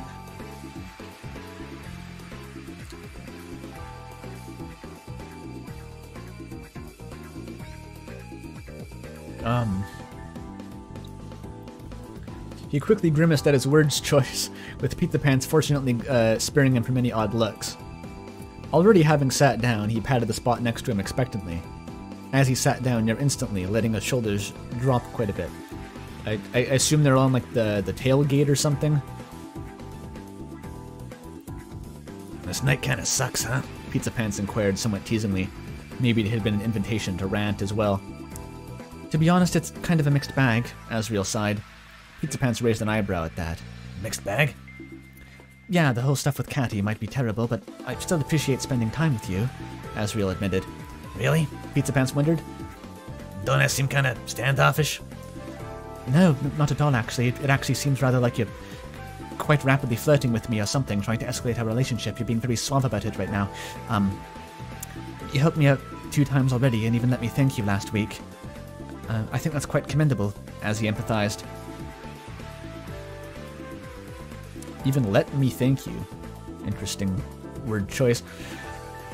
Pizza Pants just shrugged. I mean, was I supposed to just let you get squished to death between Catty and Bratty? Besides, I was fed up with them constantly being at each other's throats as well. Also, as he continued, I don't think you need to say anything for me to enjoy your company. You being there is enough.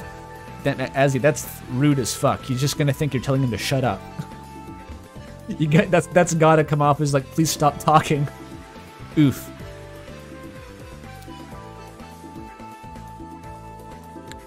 Apparently, my Asriel is an older femboy Stevie. I don't know who Stevie is, but it's it's definitely uh, British femboy is like a a fair categorization. Oh, Stewie. Oh, Stewie from Family Guy. How does Stewie talk? It's like this, right? Stewie kind of talks like this. Um, I, have never never actually watched Family Guy, but I, I vaguely know how Stewie talks.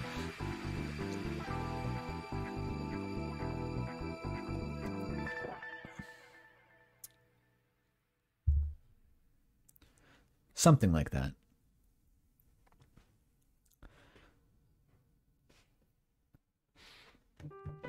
Um, that last line seemed a bit too sappy, since Pizza Pants did nothing except stare at the night sky in a simple of realization exiting his lips. Asriel elected to join in stargazing, letting his back drop onto the cold metal covered in dirt. His suit was already ruined anyway, why care about something so trivial right now? They've already got, like, hella chemistry, I gotta say. Like, I, I think Pants is, like, premeditated this extensively, and also as he seems immediately into it. Uh,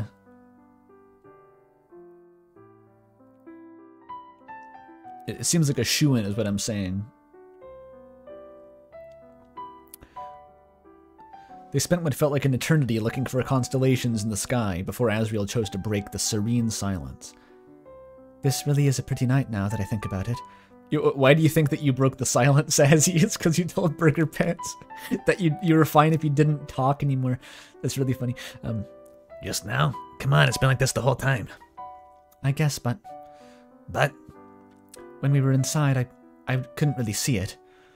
that uh, never crossed my mind, sorry. It's fine. ellipsis, ellipsis. Uh, wait, which one is, it's, uh, uh Pizza, Pizza Pants Asriel. You think we should go back now? Uh, I guess so. Oh my god. Asriel snapped out of the calm daze and catapulted his body upward, facing an extraordinarily upset Catty. Oh, that was Catty speaking. She looked somewhere between tearing up herself and tearing his face apart. Oh, tearing up. Oh, that's not fair. Making me pronounce like tearing and tearing in the same sentence. That that's a trap someone fill me in on the Azzy Pants fic. Well, it was originally it's this is chapter two went in a completely different direction. Chapter one was like Des makes Asriel accidentally catfish Pizza Pants on an anonymous dating app, but now chapter two's been a whole flashback about the their uh, apparently budding romance in high school that was I assume cut short by something, him leaving for college or something like something like that.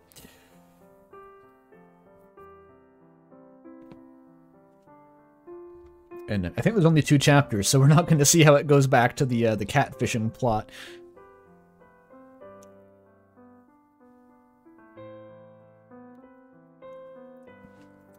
Okay, Catty, Asriel shrieked out. It, it, it isn't what it looks like.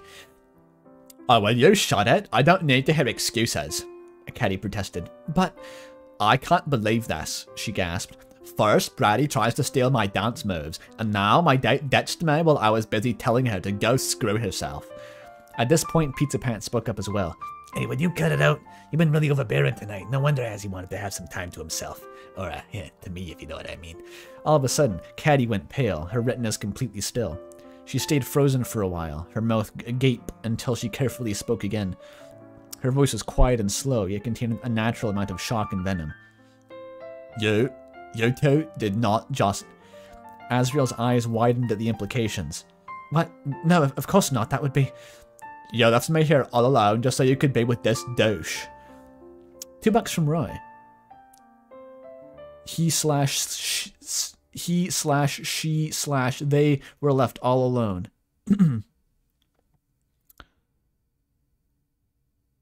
Is that a reference? I forget, Roy. I forget what the reference is to.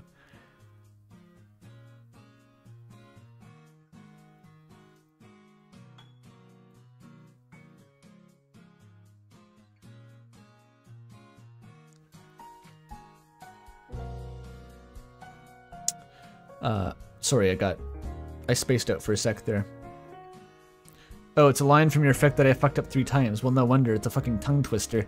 I couldn't even pronounce it in the donation. He slash she slash she sells seashells on the seashore. He he slash she slash they sell seashores on the seashell shore. You know. Where was I?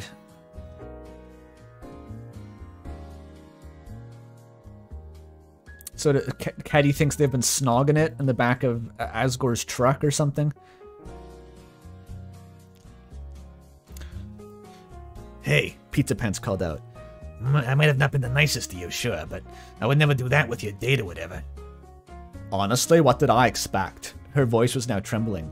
Of course you'd pull this kind of shit after your weird emo phase, aggressively making out on your dad's truck of all places, you cheap disgusting slut. Wait, young lady, is this Toriel? Young lady. Apparently, Catty's disappearance hadn't gone unnoticed among the guests, particularly Toriel, who was Naruto running across the parking lot, I mean, who stood behind her, eyes twitching out of sheer frustration. Asgore was also there, although she was more focused on trying to keep Kris calm while Toriel's... I wish the sentence just ended here. This is me speaking as the author of Election Truckung, but I would have put the period here and started a new paragraph you know?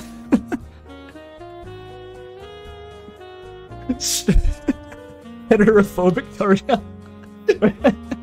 we have to put like a, a negative tick on the bingo card here. Wait a minute. Uh, where is it? there we go.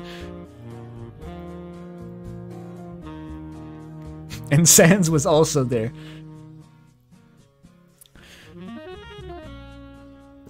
Catty spun around. What do you want? Not my fault your son is a man hot. oh god. Catty, Jesus Christ. Can you tone it down? That is more than enough. Uh, Toriel stopped being British for some reason. She was supposed to be kind of. That is more than enough, Toriel interjected. I am certain my son did none of those things you accused him of. Now please leave him and my family alone. As if, Catty scoffed. I'll be more than happy to stay here all night if I have to. You're gonna get like barbecued, Catty. Like Toriel's actually just going to kill you in the parking lot at this rate. She wore a somewhat smug expression which managed to bleed its way through any pent up rage and anguish. Well, what are you gonna do about it?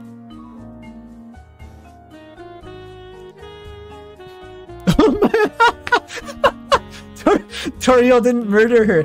She Karened her ass. She called the cops. That's somehow even more in character. Got Catty arrested for calling her son names. So fucking funny. Oh yeah, Pizza Pants has already been like implicitly accepted into the family.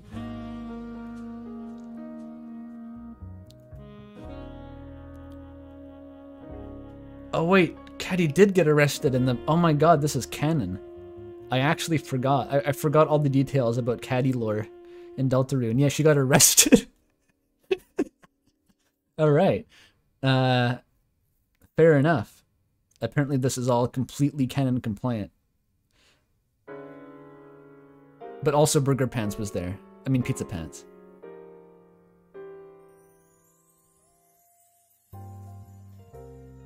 Yeah, the only solution to this is if Bratty and Catty just actually hook up. It, it, you're not you're not wrong. That would solve the problem, but yeah, I remember the Punch Bowl and the inappropriate dancing. Um, I, I forgot about the parking lot uh, arrest though.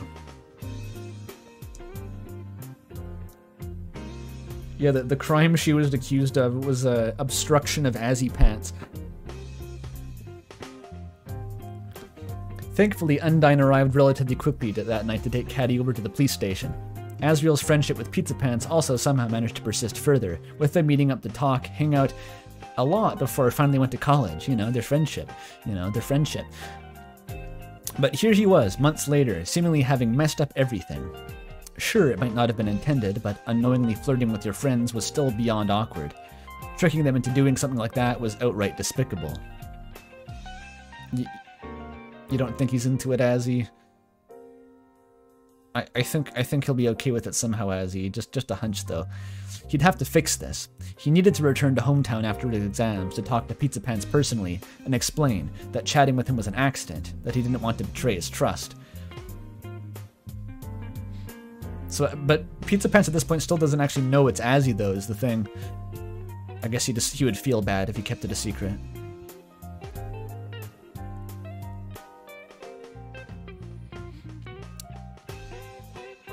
The viewer count is currently 143, which is not quite 413, but it's close enough. It's still the same fit. Yeah, this one, I thought it was short, but it had a second chapter patched in before the word count was updated, or after it was updated, so it was actually like three times longer than I thought. Oh well. It's fine. Oh, 413 is I love you? Oh, no way! Wait. Why though? I... L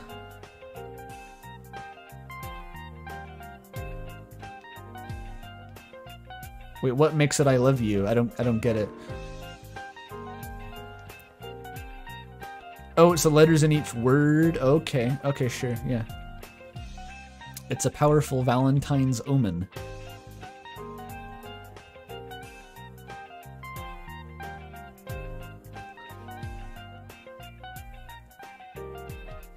Um, having said that, the stream has lost a viewer, so it's broken now, but uh, oh well, we'll be fine. Um, Just because he didn't want to didn't mean he didn't feel horrible regardless. Guilty and ashamed, not to mention near paranoid. It didn't help that seeing Pizza Pants again after so long made a feeling well up in his chest, one that he likely didn't reciprocate. Nah, there's no way, Azzy. There's no way that he could reciprocate. Nah, no, no chance. No chance. Don't, don't be silly, Azzy. There's no way that he's into you. Uh, yeah. Before his mind could spiral and turn uh, feeling this way into some absurd Freudian meaning, a Freudian slip. Well, I'm kind of feeling like I, uh, that pizza pants is really hot, uh, but I that I don't don't I don't mean that in a lewd way. I I just mean that I'm kind of into him on like in, on a sexual level, but not in like a Freudian way. He heard a knock on the door. Even though he jumped slightly, he quickly recovered upon hearing Des's voice through the wood. Are you okay? She asked, sounding slightly worried. You were really out of it yesterday.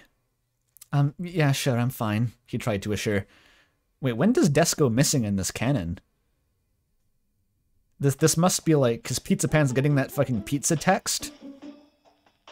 Uh, unless unless Pizza Pants has been gooning over that, that text for like a year, then that implies that Des went missing like a week before Deltarune started.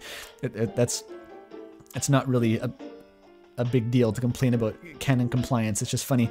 Um, oh, she just doesn't in this canon. Sure. Okay. It's general. no, it's explained perfectly.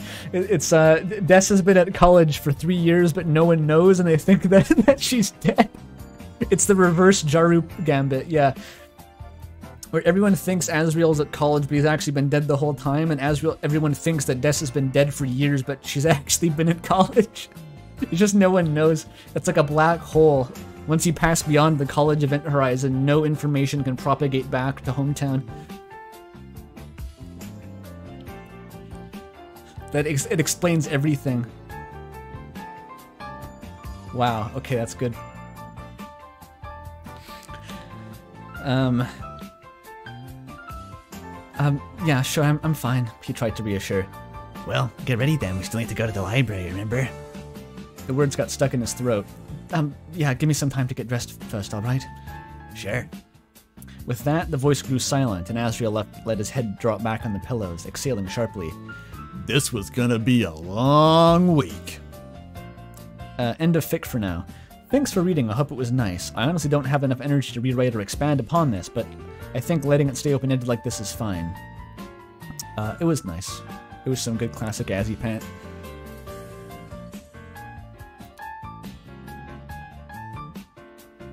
Uh, DES is an acronym for uh, da, It's for Des Ember, uh, secretly student. That's the conspiracy. Is that she's been at, at college the whole time. The D and E stand for Des Ember like in uh, Let That Sink in canon. You're liking the current lack of Umrizzy pants? Well, this is still the first uh, three, uh, first fic. We've barely started. Oh, also, you're, you're player Carter. I recognize you. I shouted out your thing in the uh, in that post yesterday. You made one of those videos. Um, I'd recommend if people watch Player Carter's new Deltarune video. It's cool.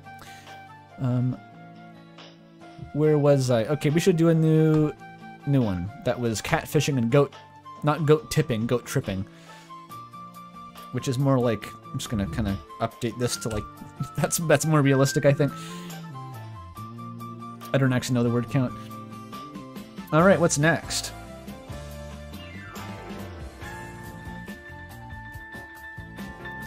Death stands for F Stranding Sucks. Godim.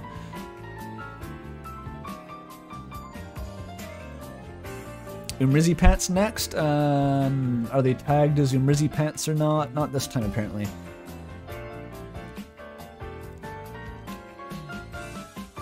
Study of Umris? This might be an Umrizzy pants.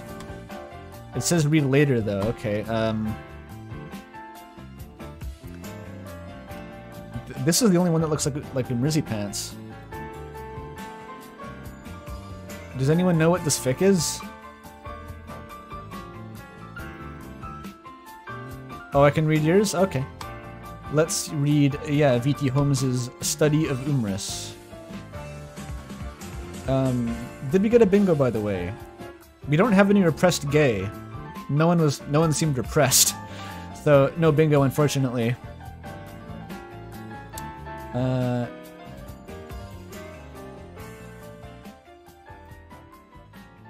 Asgore divorce, not really, not really, not really.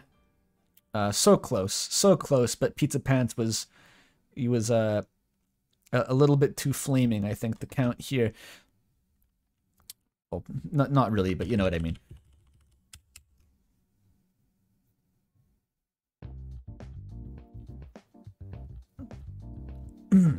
uh, okay. Let us begin. This is a proper AO3 upload.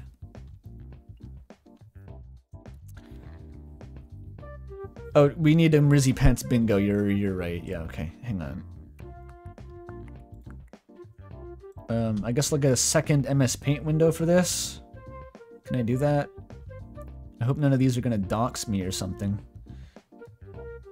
Uh, Rich Evans kills himself. What the fuck is that picture? Huh. Best not to think about it. Can I, how do I make a new window of this Windows Explorer? Just let me make a new MS Paint window. There we go.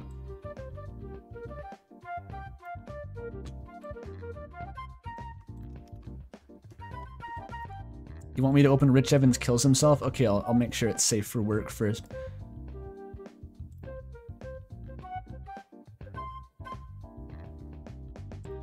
Wait, it's like...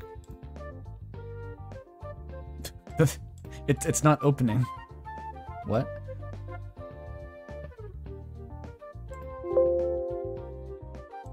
PNG not found. I guess it doesn't exist. Oh well.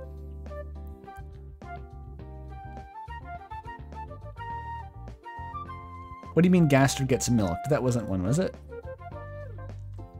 It's Gaster gets milk, not milked.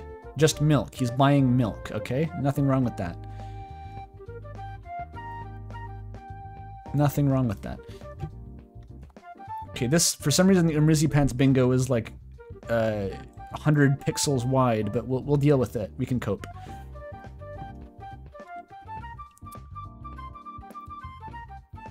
Uh, yeah, so this looks auspicious, doesn't it? It, it looks great.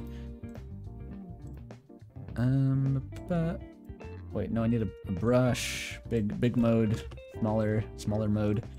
That's good. All right. Puke is the free space, as it should be. Okay, pouring tea, and then we can get into this. Hmm.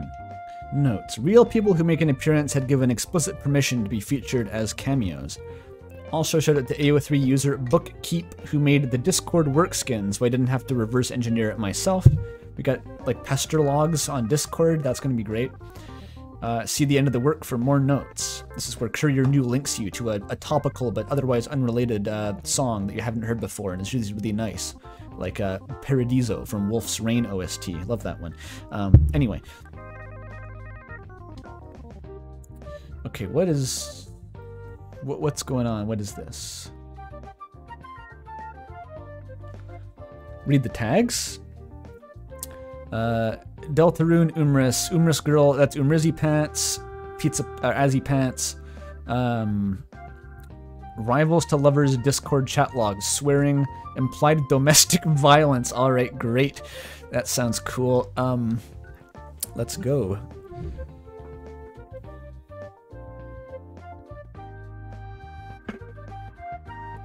Oh, I think I, I remember what Rich Evan kills himself that PNG was. I was trying to find this that part from one of their Christmas, like the Red Letter Media Christmas specials, where it just cuts to Rich Evan trying to like choke himself to death with a candy cane. Um, I, I really wanted that that image as like a reaction for some reason, but I guess it I I never found it. Maybe.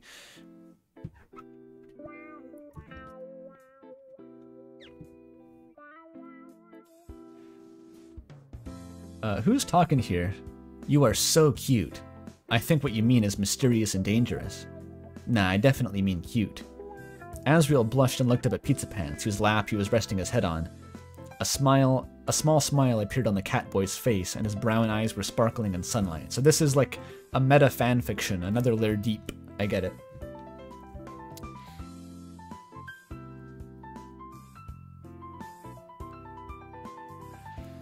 Lizzie could feel someone staring, intently judging the words on her screen.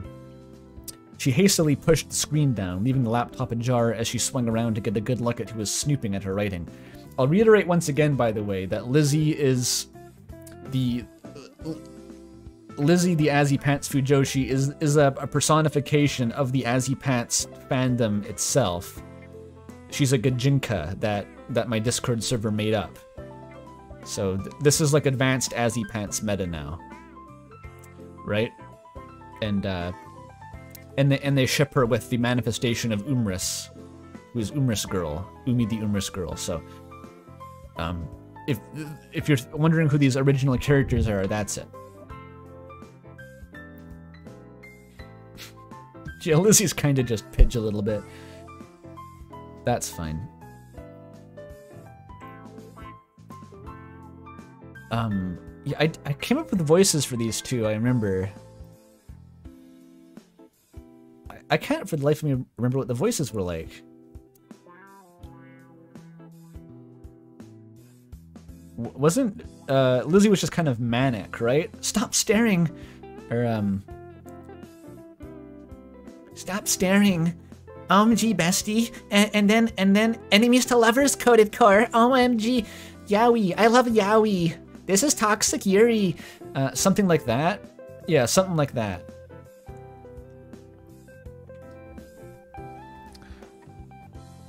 Right, and Umi was like a, a, a slightly higher pitched Birdly, but not as high pitched as as uh, Martlet from Undertale Yellow. Uh, okay, that's about right. Stop staring, she demanded. The girl's stare, blocked only by her glasses that were surely responsible for making her eyes or, making sure her eyes wouldn't melt what she was looking at, redirected itself from Lizzie's laptop toward Lizzie herself. Her expression was blank and partially obstructed by her chin-length hair. And Lizzie couldn't help but think that she looked kind of snobby. Is it the waste of your disk space? She responded, her voice direct, plain and harsh. Short one-sentence paragraphs, sickly sweet fluff won't entertain anyone. Lizzie rolled her eyes, now on full offensive. And when do you know? Have you considered that Azzy and Pants deserve a cute little moment in the park under the trees? Frankly, this sucks. Besides, I only just started.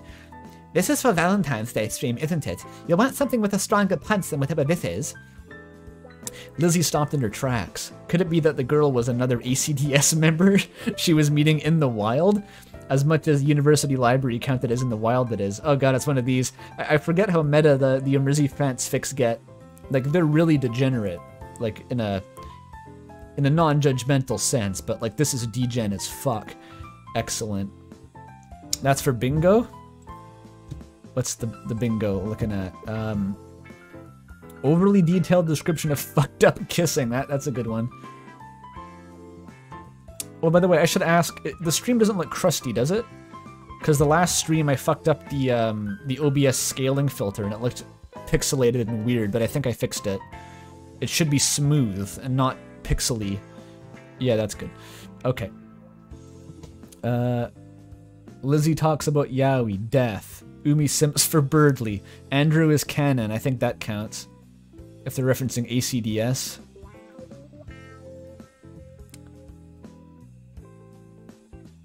Uh, why is Mel on the bingo card? like in chat, Mel. If Mel does something in chat, then this gets ticked off.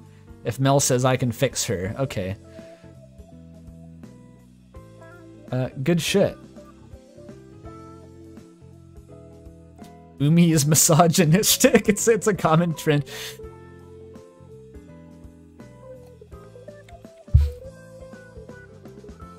Um. Okay, so they're they're ACDS members meeting in a university library. I assume I'm working the desk. Thought so. Unprompted, the girl took a seat at the desk Lizzie was writing at, and this gave the fellow Azzy Pantser a moment to take a better look at her. She was wearing fairly plain clothes, with a maxi skirt, a jacket, and Crocs. The only thing that was at least somewhat uh, that at least somewhat stood out was her T-shirt, which proudly displayed the Umris Books cover. Imagine getting a T-shirt with like a, a, a handmade uh, novelization of a fan fiction that sold like six copies ever. That's dedication. Ah, she was one of those. There is potential in this scene, the girl continued, not giving Lizzie the chance to speak. But you need to reach into the psyche of those characters. What are they thinking? Which founding father is their favorite? Would they throw up on the outside of a hospital if they learned one of them was infertile? What brand of whiskey would they drink? Such simple matters. Do you understand? Of course you don't. Azzy pantsers have only fluff the brain, no sense of tension or understanding of quiet moments mean. Lizzie's eye twitched. If she was not in full Lolita cord, one that she's sewn and assembled mostly by herself. Disclaimer for chat: this is just a type of Japanese fashion. It doesn't have to mean that other thing. Um, and if they weren't in a library, she would have beaten the hell out of this asshole. The girl leaned her left hand on the desk, then rested uh, the side of her head on her hand. For a while, she quietly observed Lizzie, who le- was left completely speechless and furious by how this Umris head inserted herself in her little world without invitation. This is awkward as fuck. What level of cringe or excellence has been achieved so far? High right now, Toby. This is really high.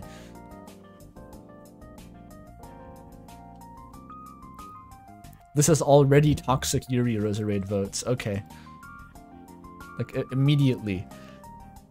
Just, like, walks up to a rando in a library and starts, like, shitting on her fan fiction because it's it's not a ship that she likes. That, that in itself counts as toxic Yuri. Uh,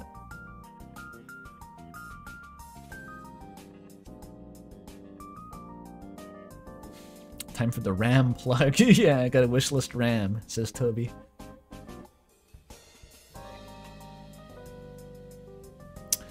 Um. Then, suddenly and bizarrely, as if the girl had no idea what personal boundaries were, she reached over to Lizzie's face and rested her hand on her cheek. Okay, now it's definitely Toxic Yuri. It's a good thing I'm here. Lizzie, Lizzie finally got enough control over herself to swat away the weirdo's hand and stood up. Fuck off, she said, knowing that if she didn't, she would simply have punched her. Library be damned. She fully closed her laptop, grabbed her bag, and rushed out. Wait, what is this shit? Why are there pester logs?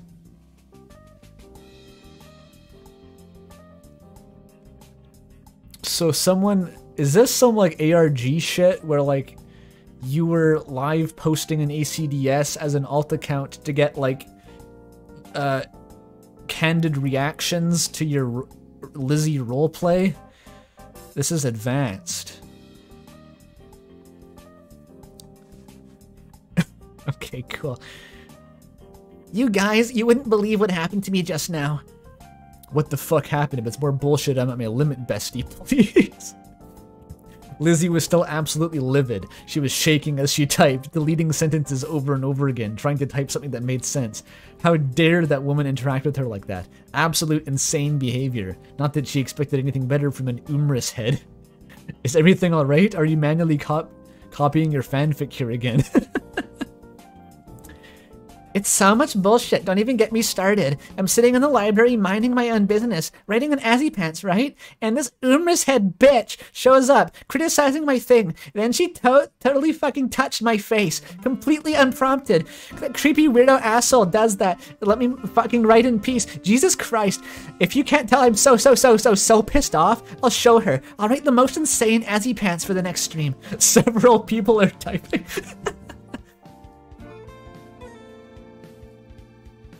This is fascinating. This is so advanced. Lizzie would have gotten banned in ACDS. I think both of these people would be banned in ACDS. Unhinged.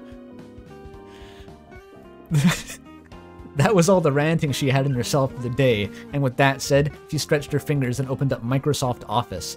After a moment of consideration, she highlighted the text she had already written and deleted it completely. It was time to write a motherfucking fanfic. Fluff without plot could wait. The wind rustled the leaves, throwing deep shadows over his lover's face. He inhaled the smoke of his cigarette and looked up at the sky.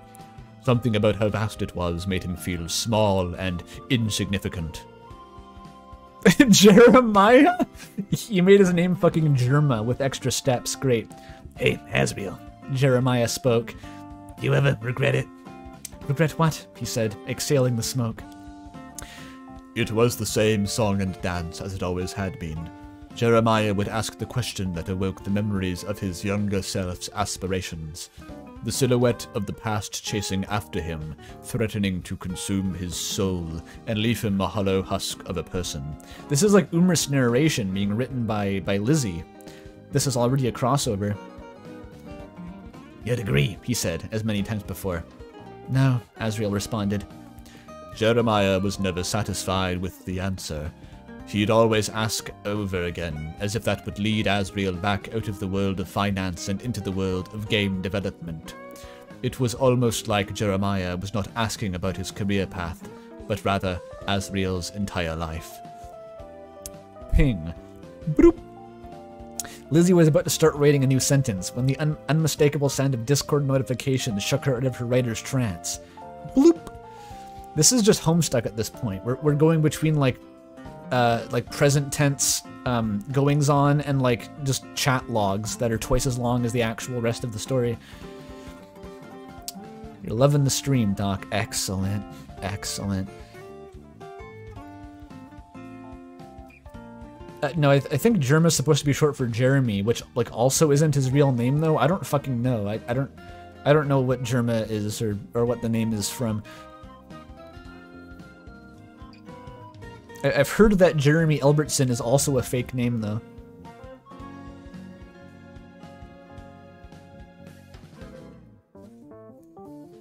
Oh, it's it's Umi again.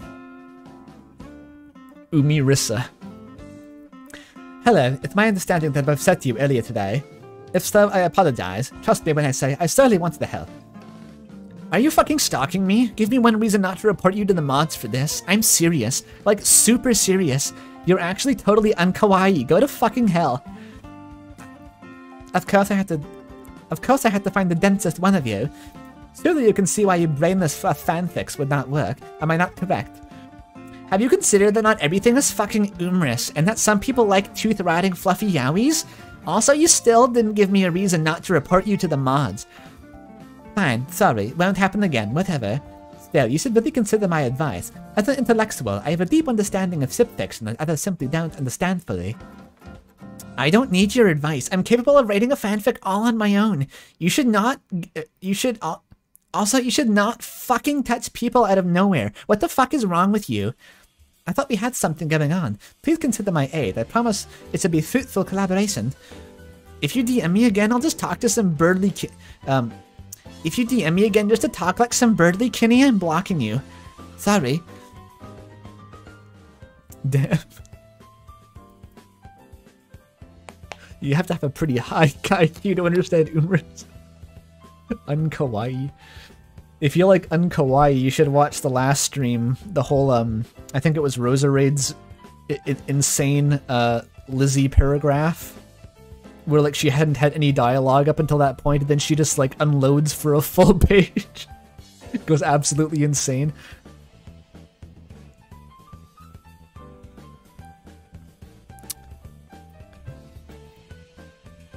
Yeah, she'd better be, Lizzie thought to herself. The conversation reminded her of how angry she'd been just earlier. In all truthfulness, the most unrealistic part of this this fanfic is that you'd meet someone in real life who's also on ACDS. Not conceivable. Uh, in all truthfulness, she'd prefer to write a cute little fluff without plot, but somehow she felt like she had to show this asshole uh, that she could write an Umrisian fanfic without anyone else's input. Azzy and Pizza Pants were definitely uniquely adaptive to that sort of storytelling. uniquely, no one else would work, only them. If Roy met someone from ACDS IRL, they'd immediately start fighting, like throwing punches. Don't even don't even like reply with words, just immediately swing.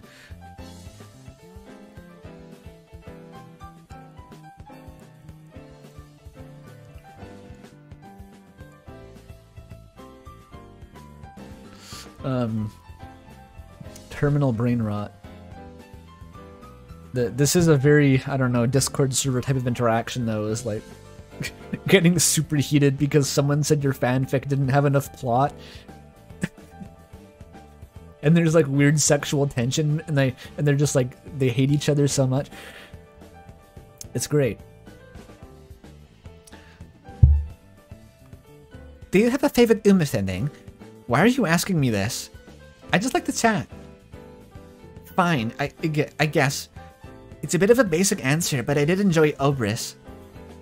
That's an alright answer. Personally, I preferred Obris. It hit the fidelity of Umith perfectly. Isn't that ending by that hack, VT Holmes? Didn't even show up for the latest stream. I skipped it for Bob's Psycho 99, or whatever the title of that stupid anime is. That, uh, what true Azzy Panther does that? Ah. This is um some very specific occurrences being referenced. It's all about FBS stuck with them right now. Are they really a true anything anymore? Finally something we can agree on. What emoji? That's like a... I can't pronounce that. Toxic Discord Yuri. It's like normal Toxic Yuri, but worse, somehow. Character assassination, says Doc. Lizzie's favorite would be a Rosa Raid strip club edit. Birdly! That was pretty good. Radioactive Yuri.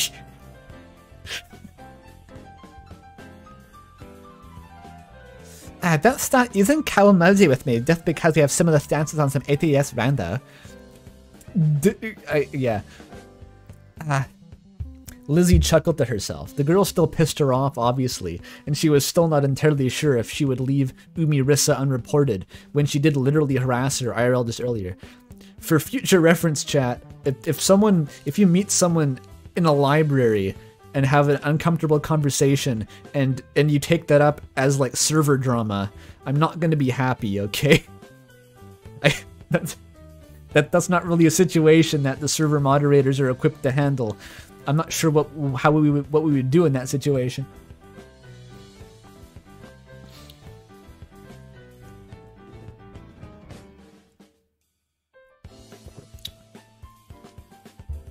Like if we if we ban Umirissa from the server, you're still gonna have to be in the library together. Is what I'm saying. We, we can't we can't ban Umirissa from real life. That's not how it works.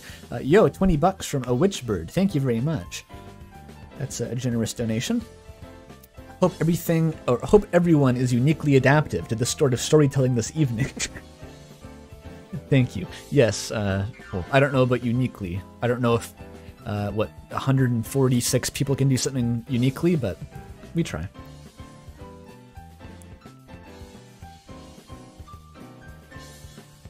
Kill Marissa. I'll send Roy to do a hit in real life. My shooter a crackhead. Look like a Discord admin. Yeah. New user is talking crazy. Shot him in the mouth. That that kind of thing. Can you ban this guy who bullies me at school? from real life. I'm counting on you here, yeah. And then become irate when I can't do anything about it. It's uh Yeah, let's let's not dwell on it. You're to bait me into venting or some shit. Um Lizzie chuckled to herself. The girl still pissed her off, obviously, and she was not entirely sure if she should leave Umirissa unreported when she literally harassed her IRL just earlier, but at least she had annoyed her back now, which meant that the girl uh, could be annoyed could be annoyed, and which additionally meant that if she wrote a decent enough fanfic, she could erase the smugness off her face completely. So because they can mutually torment each other, it is now officially a ship, is what she's saying. She flopped back onto her dorm's bed, so Azikar, and sighed as she repositioned the laptop on her thighs and alt-tabbed back into her fanfiction. This is uh, the ideal college dorm room lifestyle. The truth was, as much as Asriel wanted to keep denying it, he did in fact regret his entire life. Damn, that's heavy. The shadows of his past haunted him incessantly, daily, never stopping and never completely catching up. He was left jaded and emotionless, and if the shadows caught up to him, he would have become a vessel for a far more cruel and worthless. Uh, a for a being far more, more cruel and worthless than what Jeremiah had deserved to witness from him. Yes, Jeremiah. His delicate form was but a silhouette in the fading light of the setting sun. Asriel couldn't help but only think of how the two of them fit together like two puzzle pieces, Jeremiah perfectly shaped to be held by him when they embraced, and when they went further from an embrace. Then Jeremiah spoke again. Asriel, you regret us? I think that's, uh... Is implied Gex on here? That was implied Gex. There it is. Um, what else do we have? A big twist. 4chan, no, no weird rant, no hand holding. Talks about Yaoi. I guess I guess she's mentioned Yaoi. Umi is simping for Birdly. Uh, not not explicitly yet. No crime. No Yaoi paddle. No more Gijinkas. Okay. Oh, Pidge is canon? Well, I guess implicitly if ACDS is canon, you mean, I guess that's true.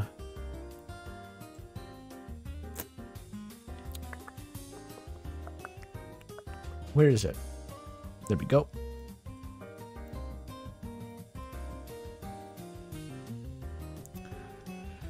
It was a couple of days since Umirissa approached Lizzie in the library.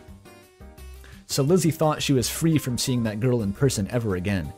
Unfortunately, she was not that lucky.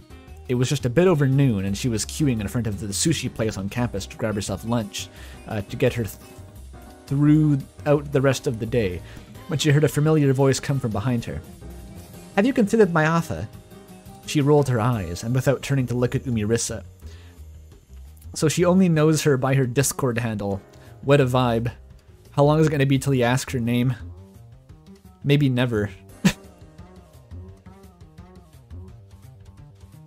Responded with a, um, no. Without turning to look at Umirissa, responded with, I don't need your help. Lizzie could feel her breath right next to her ear as she responded in a stage whisper. I'm insane. It smelled like cigarette smoke. Lizzie's really, honestly creepy. She's like immediately just encroaching on personal space every time. Touchy and weird. Lizzie, her face warped in disgust, turned around, grabbed Umirissa's shoulders, and pushed her a full arm's length away from herself. Dude, boundaries, she exclaimed. You can't just do that creepy bullshit with people you barely know. Some people in the queue and walking past gave her curious looks. I mean, I don't even know your name, she added. It's Umi, the girl responded. Here, now you know my name is Lizzie. Uh, now you know my name, Lizzie. There we go. Ah, you're acting like a creepy stalker. Stop fucking doing that. Oh, miss? The person at the counter of the sushi place interrupted their conversation. You're holding up the queue. Aussie says, I've met up with Discord pals on, um, online, and we just refer to each other by our handles, even IRL, so it's it's correct. Um, I, I could picture that. It is it is awkward sometimes. I've encountered that when you learn someone's real name after knowing them by a handle for a long time, and it's like it's it feels strange no matter what you do because it's like, well, if I know your name, why am I calling you by your Discord handle? But also, you're not used to using the disc uh, the you're used to using the handle, so it's weird to call them by the real name too. It can become a bit of a paradox.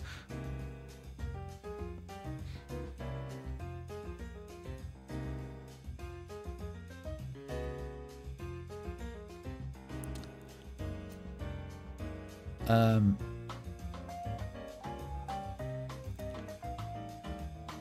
wait a minute, holding up the cue. There it was.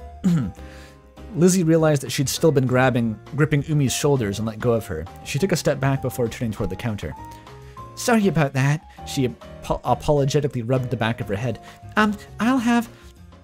With her order in hand and $10 less for, uh, for burando purchases in her pocket. I don't know what a burando is.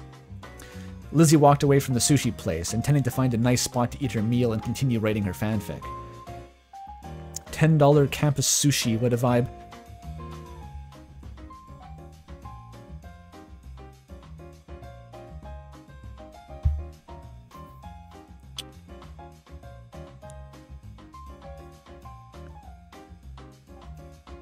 Life hack, make your online handle your new name when you transition, or I guess that works. Another life hack is just to make your online handle your name. it's, it's really not a very good idea, but apparently I, I committed to that, uh, and I can't back out now, so...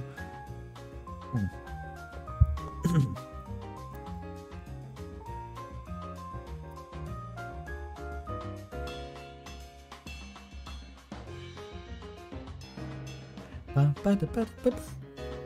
Hmm. I'm starting to get a bit of a frog in my throat. Um, I might try to chug some tea real quick before continuing.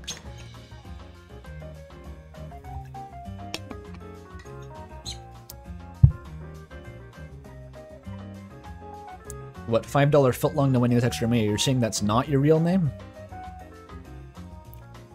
You should consider it. Pro tip, make your handle your social security number with brilliant advice. And your credit card number. Put them both back to back. Dio Burando. Goodbye, Jojo. That's uh yeah, D Dio Barando's online storefront's what she's referring to. Oh, it just means brand? What does that mean? $10 left for brand purchases. Is this this is some Fujoshi shit, isn't it? This must be some like Fujoshi. Oh, big Japanese Lolita brands. Okay, it's lingo. I got it.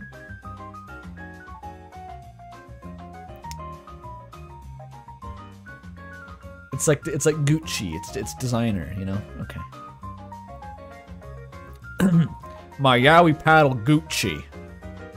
Keep it at the Vatican. Um.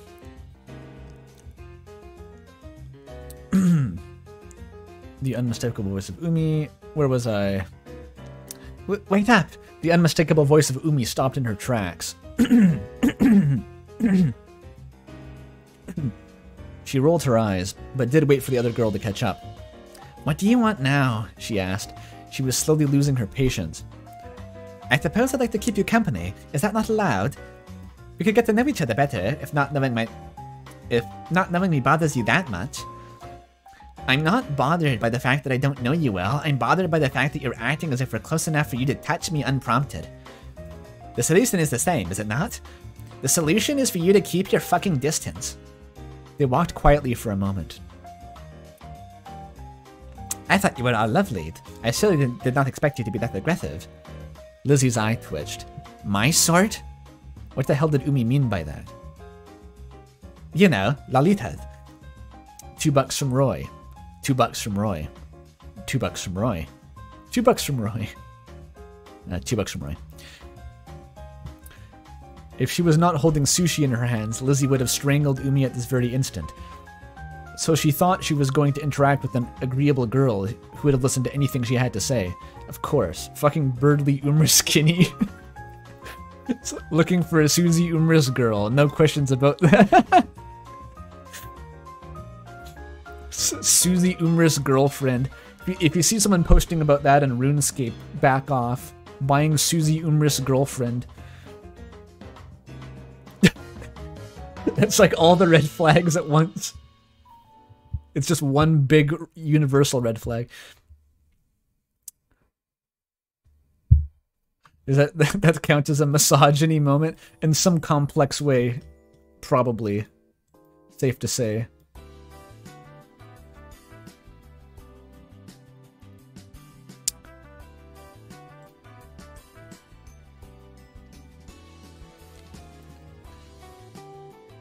Mm.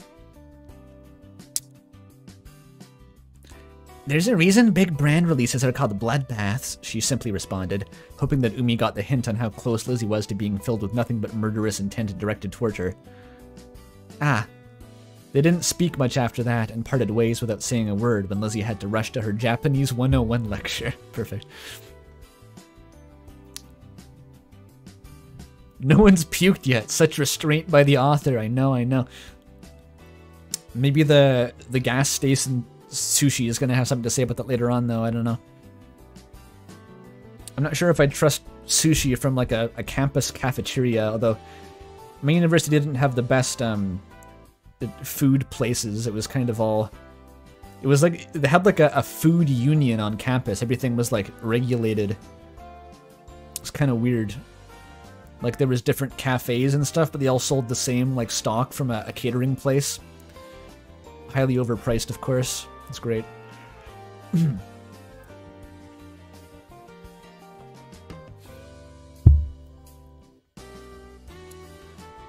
um, yeah, university food kind of sucks. That's not the cafeteria food, by the way. I wasn't on the meal plan. I was just, uh, I went to the cafeteria once to get a coffee when everything else was closed and I was truly desperate.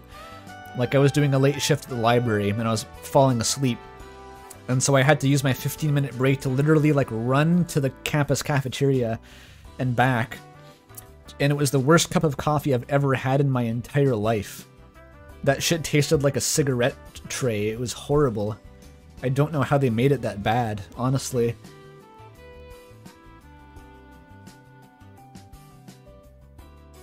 It was um it wasn't as weak as like hotel coffee, but it tasted worse.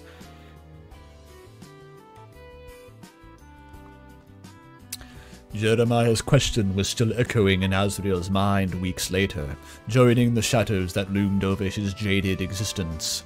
It was one of those days where he downed a bottle of whiskey before work just to get through the day, then two more throughout the evening once he returned home. She's on three bottles a day grind set. Holy shit, Pizza Pants. That, that's what his entire salary goes toward. He just works and then buys three bottles of whiskey, and it's like a net zero gain, and he doesn't pay rent. That's all he does. Oh wait, this is Azzy? Oh, I, I referenced Jeremiah, but yeah, Asriel was the actual person in question. God damn, Asriel's even worse than Pizza Pants ever has been. Three bottles of whiskey. Excellent.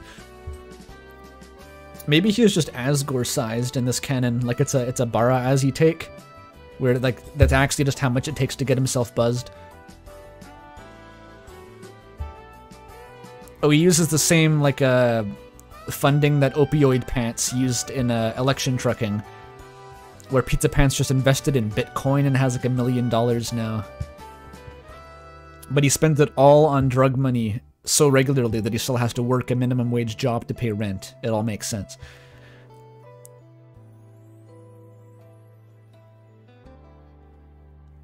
Uh, so I'm assuming this is like Azzy Pants Umris. This is like they're both aged up and they're like married or some shit. That, that was just dawning on me now. Instead of a cigarette, he reached for the weed Jeremiah had stashed in their sock drawer and tried to seek solace in his husband's body. They had lamb steak for dinner that night. I think Pizza Pants had goat steak, if you know what I mean. Asriel didn't know which of these facts kept him up that night. Perhaps it was a combination of everything. Oh, I dropped the voice, sorry. He stumbled onto the porch of their house at the edge of hometown, where he collapsed onto one of the garden chairs.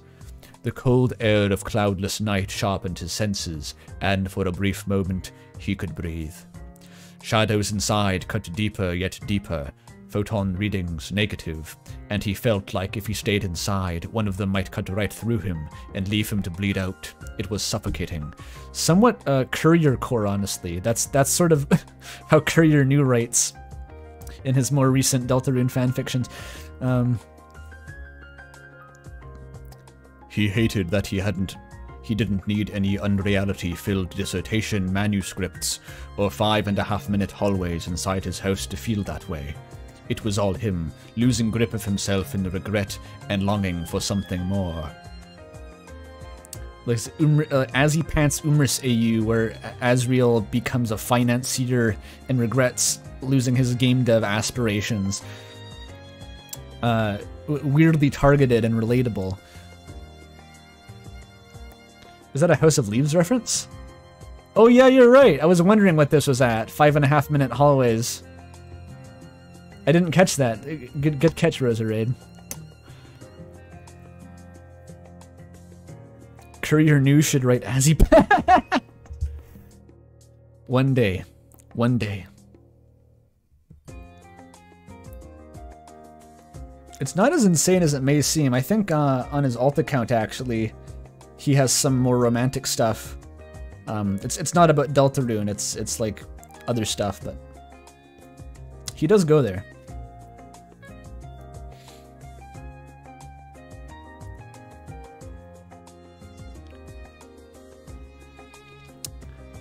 Um, Lizzie had to pause her typing and nibble a matcha flavored Pocky as she considered the last couple paragraphs. Maybe this reference was too heavy handed, but she couldn't help that House of Leaves had somehow uh, had some of the tastiest shadow related imagery she ever read in a book, and a birdly kinny like Umi was sure to appreciate it too. She reached for another Pocky from the packet and, mid motion, realized that she had no idea if Umi even read House of Leaves. It's an interesting bit of a background. It's part of the the Azzy Pants canon literature. You have to read House of Leaves. Interesting.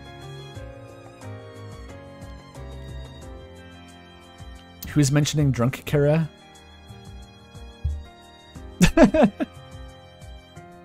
get get an interview with Courier, then just keep pressuring him to write he Pants. Nah. Any update on the Courier interview? It's kind of been um it it I feel like well I, I can't actually start production on the video yet is the problem. It, I, I'm not totally sure myself to be honest, um, but I, I I'm sort of committed to doing RAM work up until like the end of March at this rate, and after that I was gonna swap into like video production mode, and and it's it's weird to like start lining up interviews now, but I wanted to get like confirmation, so um, I'm not sure. Basically, no interview yet, but uh, he, he did express tentative um, agreement to do one.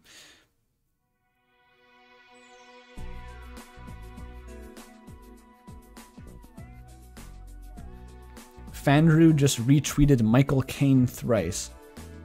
Fandrew, which one's Fandrew? Do you mean like the the, Twitter dude or uh, fake Andrew? Yeah, that one. Cunningham UTDR, my favorite guy.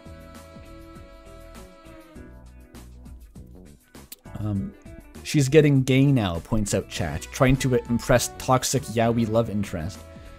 Or toxic Yuri, you mean.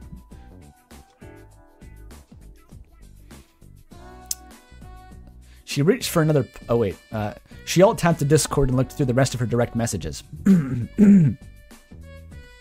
Sorry for messaging you so late. I was just wondering if you've read House of Leaves.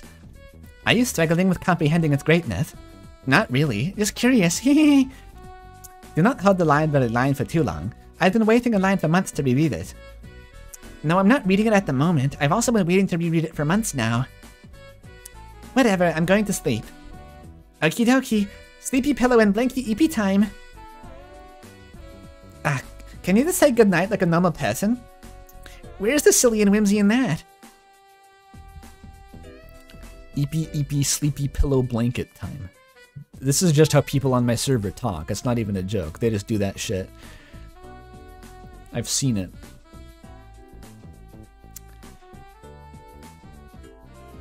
Was Drunk Kara mentioned in the fic, or was that just in chat?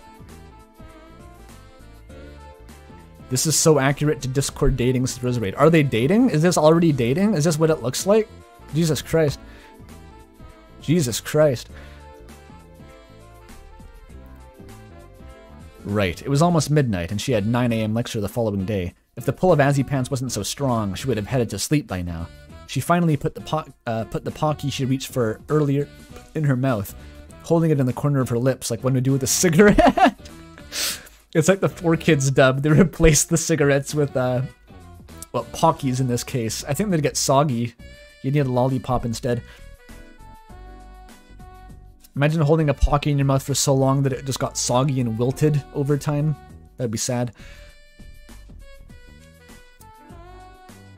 Hi, Andrew, says chat member. Hi, chat member, says Andrew.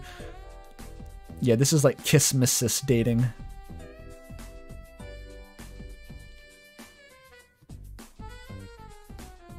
Discord dating where one of them talks with whimsy and the other talks like a depressed English major.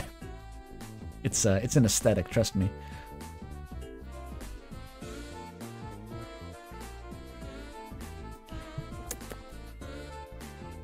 Yeah, she was gonna write somewhere Azzy Pants before it was Sleepy Pillow and Blanky Eepy time for her.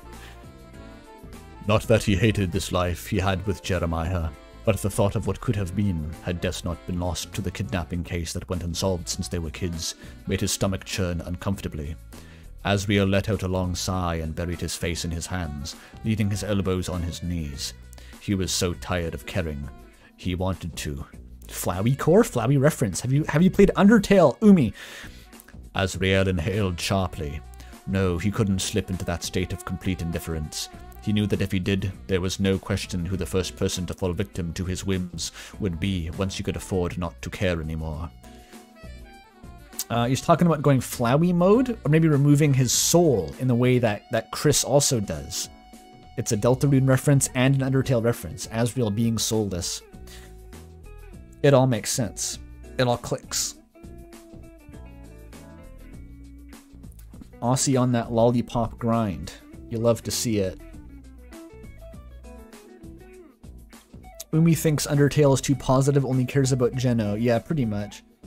She's one of those people who, who goes on long tirades about how, like, it's the whole uh, genocide was just self-defense and that it's unrealistic to think that Frisk could spare the monsters in a fight or flight situation. None of these characters have ever heard of Undertale. Also possible. Lizzie had not slept very well that night, thanks to the fact that she had spent most of it writing, her absolute monster of a fanfic, and the rest of it thinking about writing it. She almost missed the beginning of her 9am lecture. On her way there, she had to stop by the store and buy herself a Monster Energy Zero Sugar Ultra Peachy Keen. Um, there, there's no bingo square for Mel reference. There is one for uh, Mel goes gaga. That doesn't count. That is a Mel reference, though. Um, if she hadn't done so, she would have fallen asleep at the lecture and gotten nothing out of it. Even then, she could barely pay attention to whatever the lecture on Mythology 109 East Asian Myths and Culture. You're gonna need this to study, um, let that sink in. It's all worth it, okay? Was talking about. She was gonna have to review the lecture slides when she wasn't so fucking tired. Once the lecture was over, she trailed out of the lecture hall, holding the new, now halfway emptied can of Monster. It was a good thing she had a decently large gap between this and her next lecture, so she could go back to her dorm room and get some rest. Then, from the lecture hall to the next one she just left, a known figure emerged. Great. Day immediately ruined.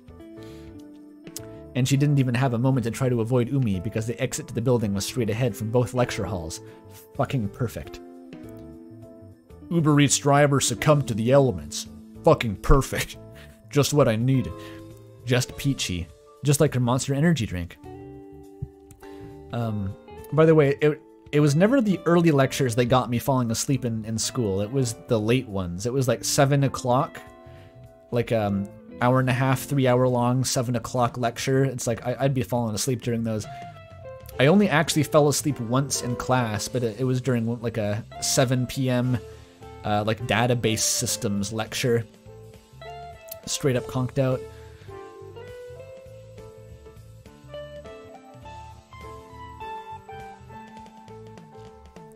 Uh, Umi caught up to Lizzie, who tried really hard to pretend she couldn't recognize the Umris head. He was wearing the exact same outfit as the other couple days they had met, and Lizzie couldn't help wonder if the other, if the uh, girl had a single outfit, or if it was a cartoon type of thing where she opened a wardrobe with a bunch of the exact same Birdly t-shirts, or she just doesn't wash it. Either way, she couldn't help but notice that she smelled strongly like cigarettes when she approached with a "How do you do, Lizzie?" as she hugged her across her shoulders. She was actually quite forceful about that in a weird anime-ass way that um, pushed Lizzie's torso to bend forward. It's weird that um, you'd think that Lizzie, the, the stereotype Fujoshi girl, would be the one who's like uh, creepily glomping people and being overly touchy, but it, the roles have been inverted in this case. Which caused her glasses to slide down her nose and she almost spilled her drink. Obviously, she swatted Umi's hand away, still weirded out by how chummy Umi acted despite the fact they'd only interacted in person two times beforehand. Watch it. I'll glomp you to death if you do that ever again. She pushed her glasses back up to her nose, so she does know how to glomp. She was trained in the school of uh, Glomp Chun or whatever. Glomp Glompchanibio. It's like a Star Wars character. Glupshito. uh. Gee, so sensitive. Umi rolled her eyes. I suppose you're still insisting on writing Azzy Pants all by yourself. Yeah, now leave me alone. You're even more pissy than usual. I don't want to be a... I don't want to see a creepy stalker's face at 10 a.m. right after a lecture. Lizzie responded and took a sip of her monster. That's an unfair assessment of my character. It seems pretty fair and deserved to me. You're all touchy with me as if we've met before, and you're pushy, and we've talked over Discord. Lizzie could feel a headache developing as she tried to form a response. We've talked in the stream chat. Umi would be a tier 3 stub. A migraine, even.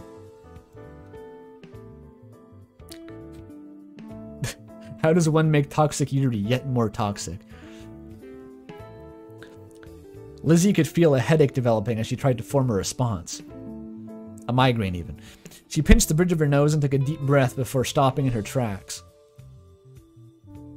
It, can you pinch the bridge of your nose wearing glasses? I just had that thought. It, it just mentioned glasses. Like, does the did the glasses like armor the bridge? Did they, did they render it unpinchable, or is there enough room to pinch it still?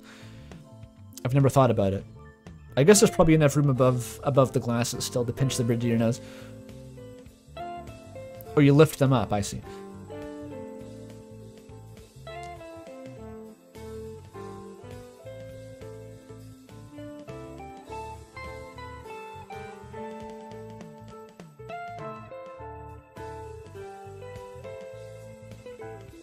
Umi, she spoke. Despite the annoyance and anger bubbling inside her, her voice was calm and measured, if not slightly cold. She could notice the girl's expression shift from her usual smugness to confusion.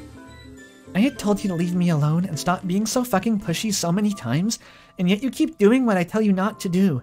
Quit your Birdly Kinney bullshit or I'll call the cops on you and tell the ACDS mods that you're harassing me, and I'm not fucking kidding. Are we clear? A moment of silence passed between them. Umi swatted Lizzie's hands off her shoulder, but kept her distance and let, out a pensive sigh. You didn't have to call me a Birdly Kinney to my face. Am I wrong? Lizzie asked, lifting her eyebrow. I mean, no, but still, you didn't have to do it. what makes you act less like that? Lizzie shrugged. Oh, whatever makes you act less like that. Anyway, if you'll excuse me, I want to go to the dorms and get a proper nap now. She started walking away when a hand weakly grabbed her elbow of her jacket. Hmm? She turned around to see Umi standing there, deflated. It, is it alright if I come with you? I promise I'll be quiet. It, it's only that my other lecturer today is at 5 p.m. and... She sighed and let her hand fall down and hang next to her body. Lizzie stared starred at the other girl in disbelief for what felt like an infinity, even though it realistically took her only a moment or two to recognize her thoughts or reorganize her thoughts rather. Fine, she spoke, but you'll have to but you'll have to pretend you don't exist while we're there. I don't mind doing that. Umi responded. I think this Umi is actually like more of a of a Birdly kinny than than she realizes. She she's actually acting kind of uh well it's it's not quite like Umris Birdly. It's she's like pursuing the romance via uh, being pathetic. I guess. It's a different take on an Umi for sure. At least she's not a Spamton PFP. Too true, chat. Uh, I gotta take a quick uh, piss break here before we continue. Um, we're about two-thirds of the way down the fic, it looks like. Going very slowly today. I'll be the first to admit. I'm taking it, I think, a bit more um, at a leisurely pace. I'm responding more to chat, but whatever. Um, as long as the streams are enjoyable. Okay, I'll be back in a few minutes.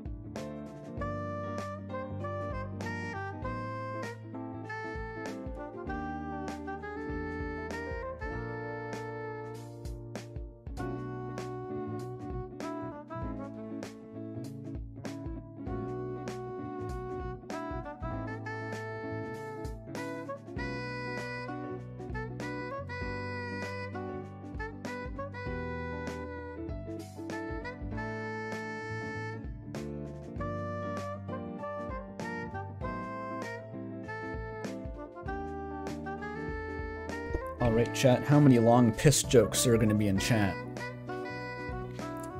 I also got a croissant for the record. I got some food.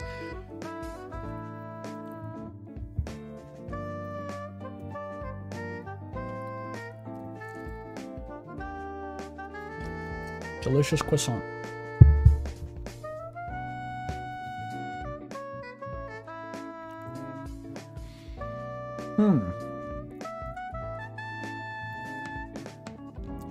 People really are talking about piss in chat. Cool. You love to see it. You made a cherry pie chat member. Good for you. Happy for you. I've never made a pie myself. Um, I've made. I tend to make a cheesecake if I need to make a baked good because they're easy and, and very good, honestly. They're kind of my favorite type of cake overall, I'd say.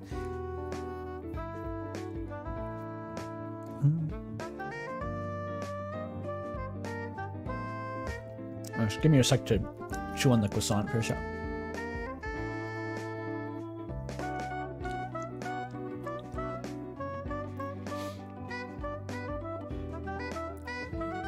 Oh, and the tea, of course.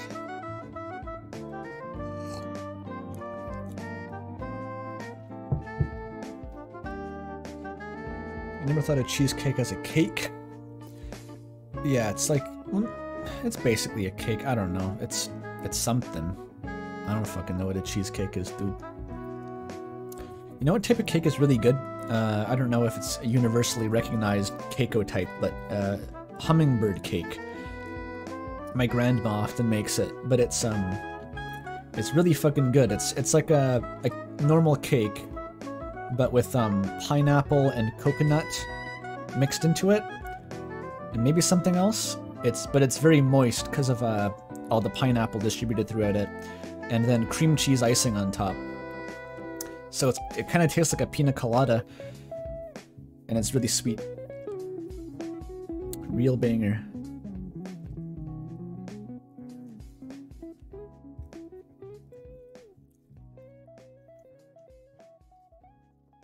Yes, pineapple in a cake.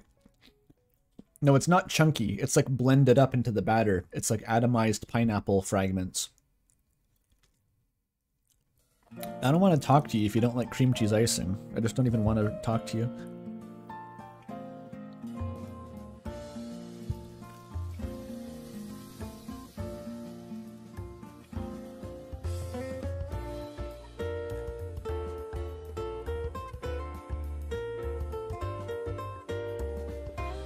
yeah, quantum pineapple slices.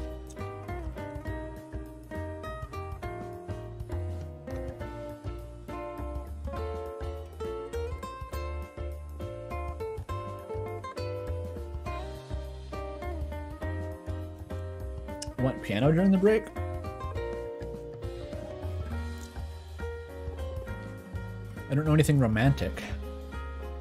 Nothing Valentine's core. I could do Birdly's theme, I guess. That's vaguely related. I, I can't actually play Hopes and Dreams, really. Well, not like a, a an impressive arrangement of it, particularly. Gwyn's theme. Maybe I'll take a brief stab at Birdly's theme just for shits and giggles. Mm, Birdly seems very romantic, true.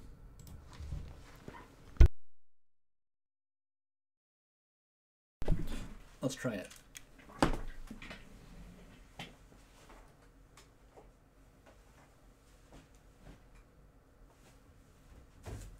it.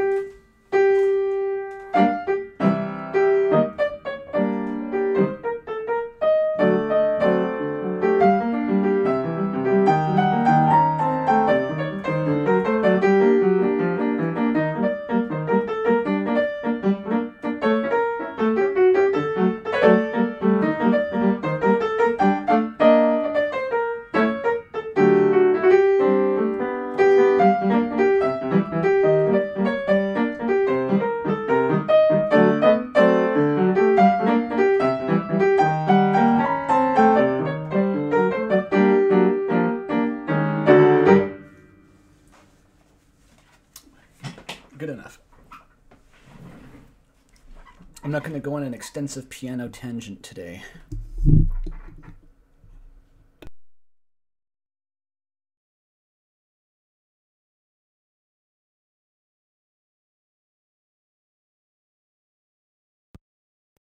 Just casual piano.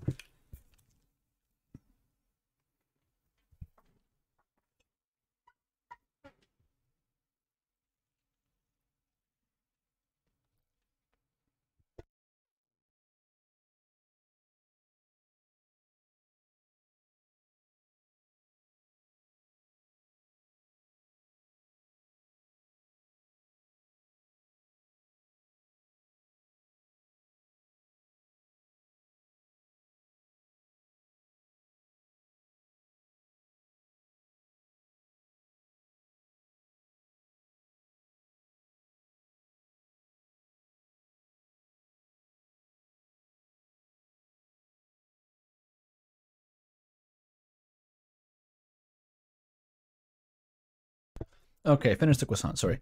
I just had to get that down real quick. and now we can resume. Um, and I, I don't know any more of Mother's Love Spell, by the way. Um, I haven't really, uh, I've been distracted this week, worrying about other stuff. Okay. Resume Umrizzypant. Birdly's theme sounds like a normal non-VGM song on piano. I, it was like a vaguely Latin jazz kind of take on it. Not that I really know how to do Latin jazz piano. It's just um, mildly flavored like that.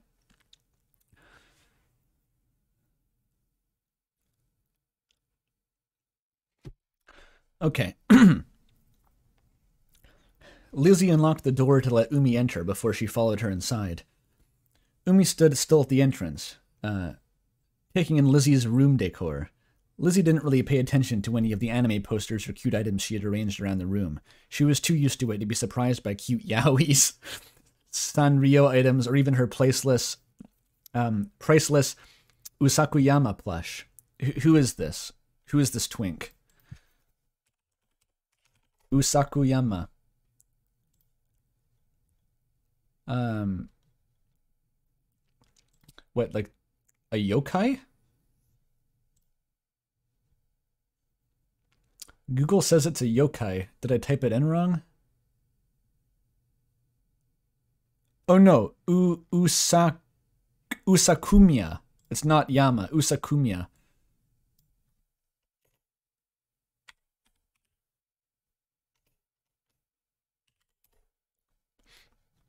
Oh, it's like a little well, that's nothing too exciting. Um,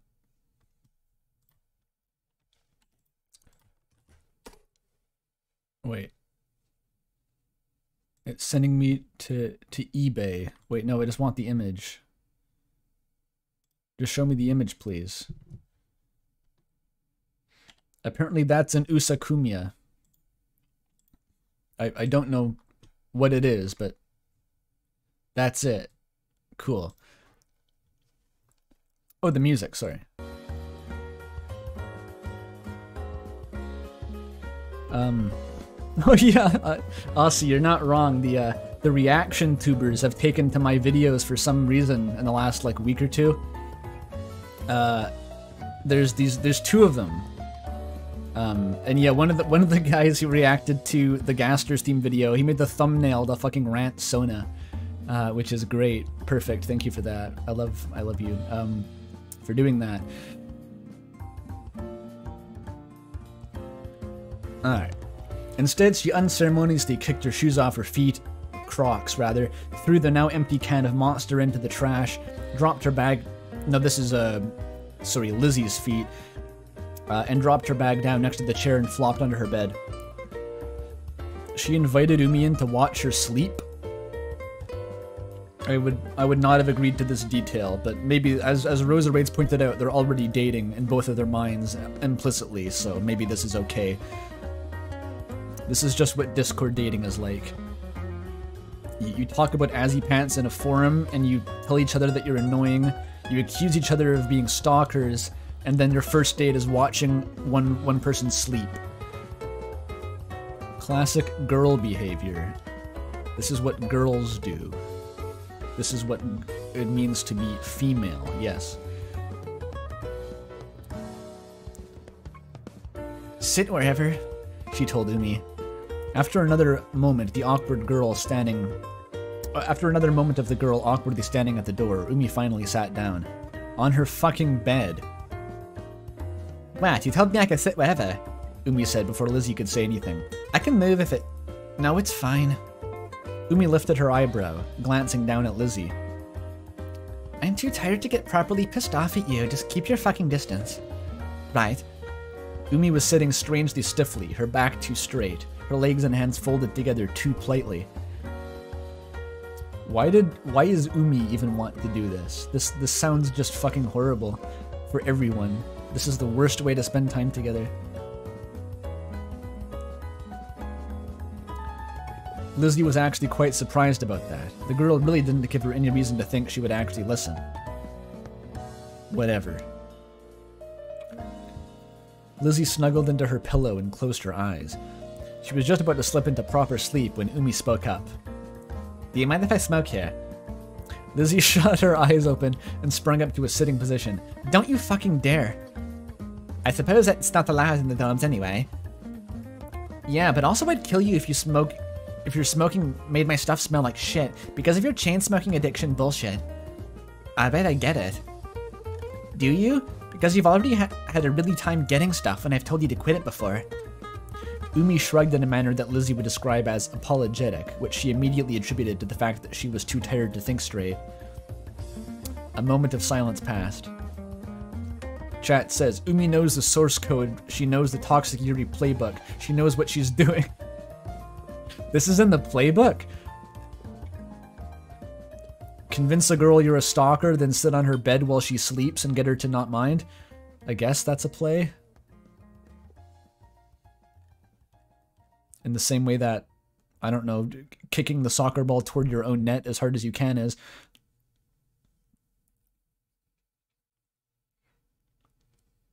She can't think straight because she's thinking gay. Very true. Um, a moment of silence passed. Do you want a Pocky? She finally spoke, grabbing the package she was nibbling on the, that she was nibbling on the day before, and offering it to Umi. Thank you, Umi responded and took one of the matcha flavored breadsticks. It's very green. Azzy colored, Lizzie nodded. Of course you would buy stuff that would be Azzy Pants themed. Umi sighed and rolled her eyes. Do you really think of nothing but Deltarune Yaoi? Um, I sometimes think about Undertale Yaoi. Right. It's not like they're much different. Lizzie vaguely gestured at Umi. You're all Umers themed. Where do you even get that t-shirt? Custom made. I really like the book cover. I hope Outson's getting royalties and he didn't just get that off fucking Redbubble. Lizzie hummed. That made sense.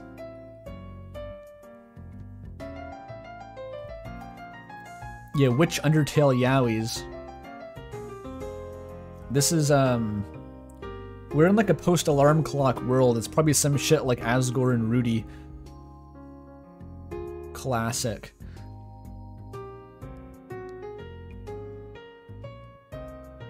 You thinking King Dings? Okay. A bit older school.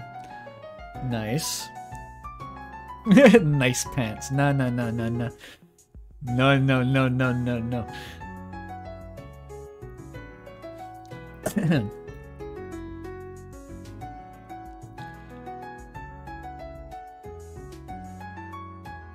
It, might just be like Sans self-cessed or something, you never know. Uh, anyway, anyway, anyway. Another moment of silence followed as Umi quietly nibbled on the Pocky. Then she spoke again. I've heard that this Yaoi trip where the two guys eat the Pocky eat, uh, from each side, then they kiss. You mean the Pocky game? Lizzie flatly responded, not entirely sure where all this was going. Right. Is that why you keep Pocky around? Lizzie glanced at her trash bin. Besides the monster can, it contained a bunch of matcha Pocky boxes. What the hell are you implying? She exclaimed, feeling blood rush to her cheeks. Nothing, nothing, just curious. Lizzie could have sworn that Umi's cheeks turned a brighter shade of pink. It's a party game. Yes, it involves kissing. Yes, kissing happens in Yaoi. Hmm. Umi looked pensive as she continued to nibble on her Pocky. She looked kind of cute like that. Damn. That's basically third base for Toxic Yaoi, admitting that someone is cute, maybe. Lizzie grimaced. Did she really just think about how Umi was cute? Nuh-uh. Not now. Not ever. You are blushing, Lizzie, Umi pointed out blankly. Fuck. Who's blushing? I'm not blushing, you're blushing, he stammered out. Um, anyway, I mean, if you wanted to try and figure out how to share a Pocky that way, I I could show you. I could show you. Mm, I could I could demonstrate. I could demonstrate how maybe this would happen hypothetically if we were in a toxic yaoi relationship. Which we're not! I could show you. That's the play? Okay. I thought we were into subtlety. I thought this was gonna be this was gonna be like a slow burn. Nuh-uh. I'm gonna show you how if I was gay I would kiss you with a pocky. Holy shit.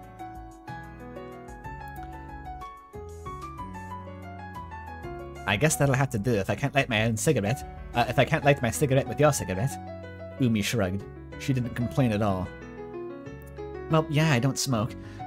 That made Umi giggle, and the Pocky she was nibbling on fell out of her mouth onto Lizzie's back. Before Lizzie could rethink this whole ordeal, she shifted from sitting to kneeling on her knees, picked up the Pocky, and placed it in Umi's end back between her ajar lips. That's a really interesting sentence, just overall. She then leaned closer and took the other end between her own. Um, this is where, and wait for it, chat, they puke on each other, maybe. I don't know. I feel like this is where they would puke on each other, following the standard Umrizzy pants kind of flowchart. The girl was uh, was surprised but didn't move away, letting Lizzie nibble her way closer to her lips, possibly stunned by the sudden development. She only moved when Lizzie snapped the snack in half with her teeth, a single hair of space between them, to close the distance and kiss her.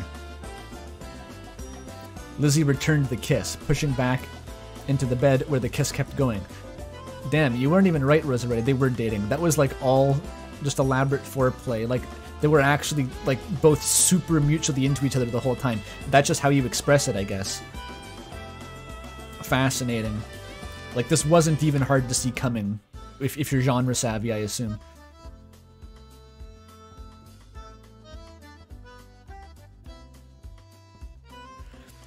Uh, figuring out that their glasses were in the way, uh, Lizzie took both hers and Umi's off and placed them vaguely aside. Before long, Lizzie found herself straddling Umi, bowing down to keep savoring the kiss. Holy shit. Zero to a million. This is hilarious. Umi's hands were wrapped around her neck, pulling her closer. Spades emotes in chat. Jesus Christ, get the bucket. Get like a uh, Umi chewing tobacco spittoon spit bucket out here. And they can really take the shit to the next level. When does Sans get involved? Hopefully not.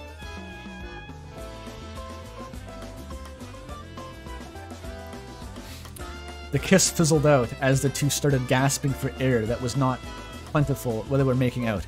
Lizzie laid her torso down onto Umi's, her hand weakly grasping the duvet on both sides of Umi's head. Umi's hands moved toward her waist, now gently resting on her hips. Wow, she heard gasp. Cut to fan fiction. Jesus Christ, the escalation is cracking me up here. Like there was not even a transition. It's just like they hit each other to then they're kissing.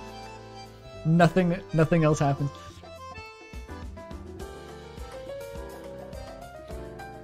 Bingo? What's happening?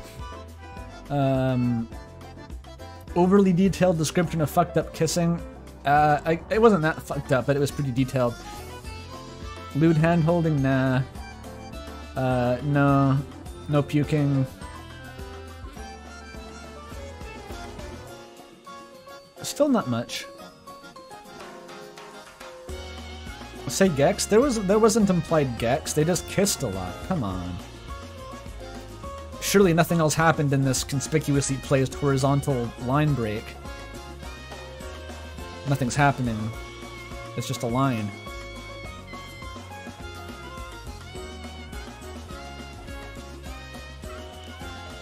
Asriel. Oh, sorry. This is uh, narration. Asriel was slumping on the garden chair when Jeremiah found him inside. His husband's concern was deep rooted in his face, shaping an emotion he could not quite comprehend. He let Jeremiah drag him around the house, first feeding him a hearty breakfast that Asriel would have not touched at all otherwise, then to their garden where he settled them under the tree, Jeremiah leaning on the trunk, Asriel laying down, resting his head on his lap. Asriel felt like he was floating the entire time, not entirely grounded in where he was going, or what was going on. I was worried this would happen, Jeremiah said to nobody in particular. You've been denying yourself the negative feelings. I can see it in your eyes, Asriel. It was it was almost like a switch had turned off inside Asriel's soul. No, he realized, I cannot feel anything.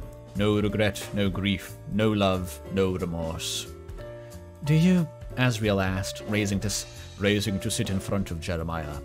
A part of him deep inside was screaming for himself to stop, but he was realizing he did not care about it one bit. A cruel smile grew on his face. What do you see, Jeremiah? Jeremiah's face contorted into a shape of fear, no doubt seeing the emptiness within Asriel, just as clearly as he could feel it. What do you see? I I see you, screaming for help. He breathed out. His face told a different story. Asriel rose to his feet, now standing above his husband. His muscular frame, it is Bara Asriel. His muscular frame threatening compared to the delicate form of the man he had married years ago. There is nothing of me left anymore, Jeremiah.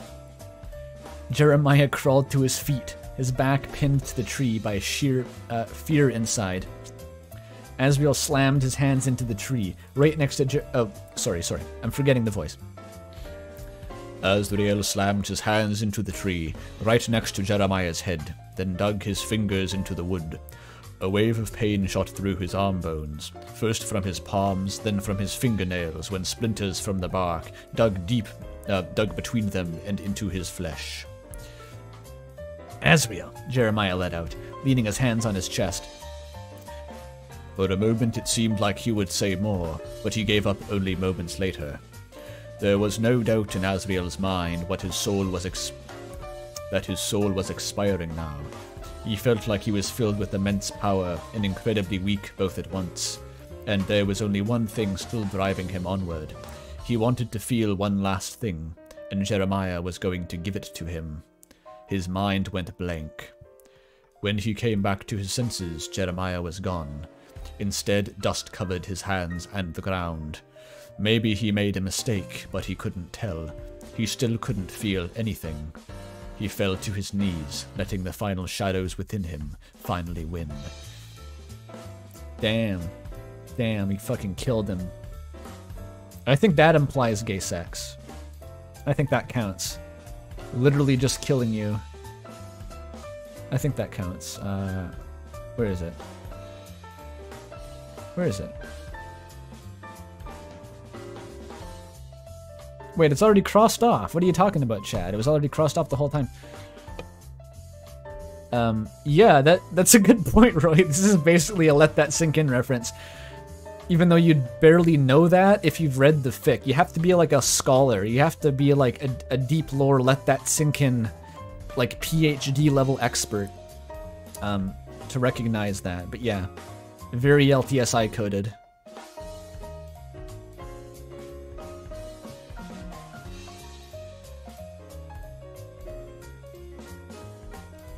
Uh, and that's the end. Lizzie Pants. It's done. It's a bit different than my other stuff, but enjoy. A study of Umris. Oh, that's the fucking name of the fanfic. God damn. Several people are typing. I think that's an actual post on my server by the looks of it. Like that's that's all candid. Fascinating.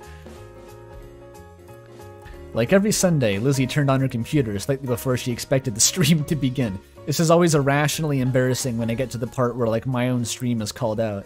It's very strange.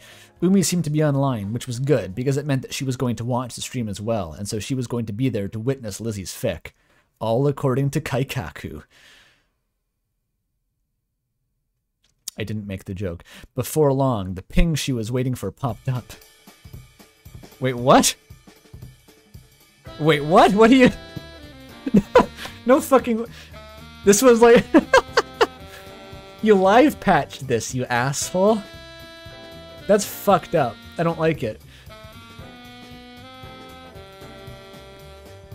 The snake is eating itself. I don't like it. That's weird. She could not wait to see what Umi thought. It was three hours ago, but still, you think of like a fanfic as like a finished work when you get it, right? It's not going to change as you're reading it.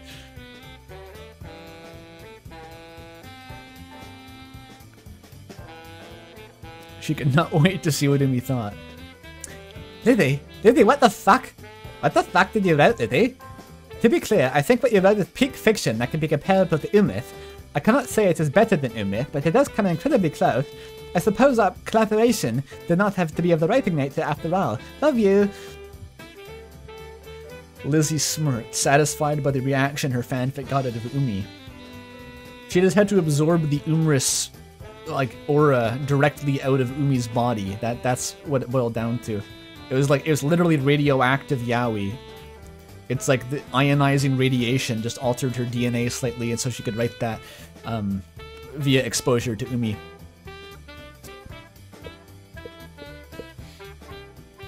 The Umris sludge, yeah, highly infectious.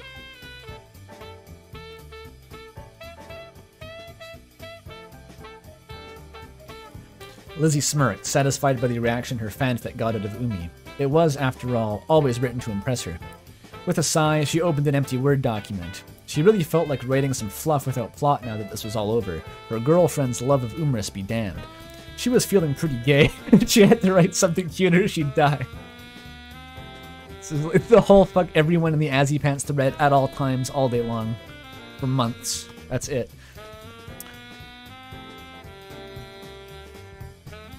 Uh, who's talking? Uh, you are so cute. I think what you mean is uh, mysterious and dangerous. Nah, I definitely mean cute. Asriel blushed and looked up at Pizza Pants, whose lap he was resting his head on. A smile, a small smile appeared on the catboy's face, and his brown eyes were sparkling in the sunlight. It all wraps back around. It wraps back around, it wraps back around. Have I seen the new Toby Fox tweet? Nope, I don't have Twitter. People repost that shit to my Discord server, and then I see it. Should I live react to it on stream? Is it that important?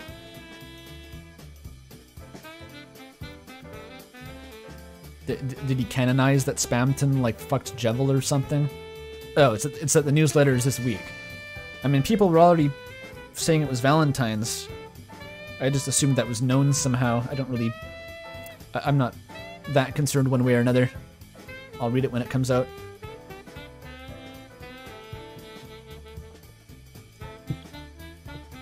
Oh, there's a funny Sans gif though. That is pretty important. Um, let me see if anyone's posted about it on the server. Oh, okay. Oh yeah. Oh yeah. Um, can I? Will this open in a new tab? Will Twitter let me view it? Oh, apparently.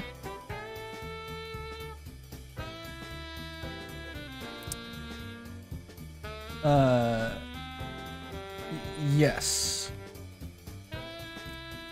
This is the GIF. Oh, this is all the Valentine's Day chocolate that Sans buys back from uh, from Kris, I guess. He's got to do something with it. He pushes it into a landfill in the Mojave Desert, along with like the alien corpses and all the copies of ET uh, for the Atari. What a cool guy.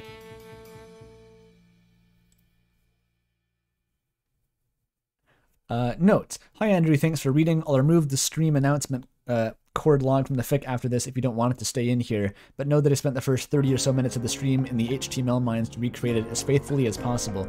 I don't care. You can keep it. It's fucking surreal. Like the stream URL is like actually accept. I can click this. This this will open? Apparently not. It's weird. It looks like a link, but I can't actually click on it. Whatever. Uh, wonderful work, VT Homes.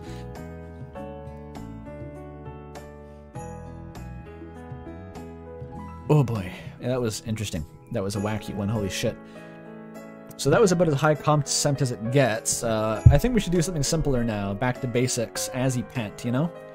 Um, okay, I was excited for this one. This is the the part two, the sequel, the the, the ending, hopefully, um, to one I read last stream, Going Home Again, which I believe was the uh, was already a continuation. This is the the crossover AU where they have like Alex Eggleston and Mae Borowski and Hero Omori guy are, are all like Asriel's roommates at college, and they come back to town. Uh, and now they're they got sucked into like an ICE-E's Pizza Dark World, and that's where it was like a cliffhanger. Oh wait, that's not this. I thought that was going home again. Wait a minute. Oh yeah, you're right. Homebound. It had the word home in it. You're right. You're right. Um, in which case, I want to read this. This is what I want to read. Homebound. Let's do it.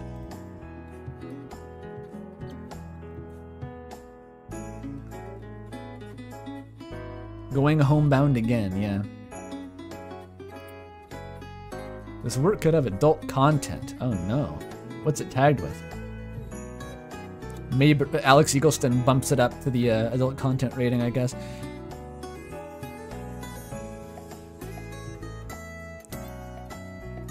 Not rated. Is it because there's no archive warnings? Maybe that it gives you a disclaimer. Yeah, whatever.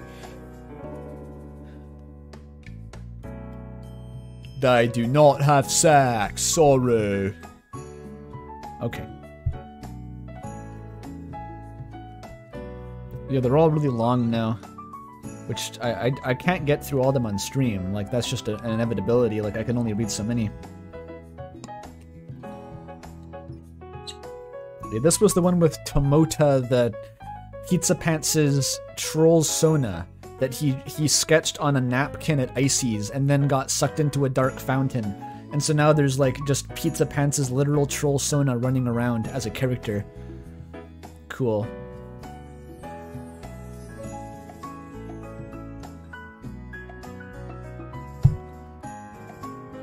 Summary For first time readers, a crossover fanfiction disguised as Azzypants, starring all your favorite college age indie game heroes such as Asriel Deltarune, Hero Omori, Mae Night in the Woods, and Alex YIIK. When Asriel and his new college friends return to hometown during school vacation, Asriel must confront his conflicting feelings about his best friend Pizza Pants and the town that he's lived in his whole life. But soon, the stakes are raised as Asriel and his friends are faced with a threat that threatens to destroy the whole world. Story includes awkward adolescent kissing, underage drinking, heart pounding action, heartfelt drama, homestuck, and more. Uh, excellent. And then there's a recap. This is last time on Dragon Ball. I kind of summarized it. They, they all went to ICE-E's Pizza, but someone made a dark world, and now they're in an ICE-E's Pizza hellscape with Tomota the Troll Sona. Oh yeah, the the best part about the Troll Sona. Um, I should show this off actually. I think that the drawing is here. Yeah, this is the troll sona. The sexuality is listed as gay and straight. that was like the, the funniest thing to me in the previous stream. So good. Ideal.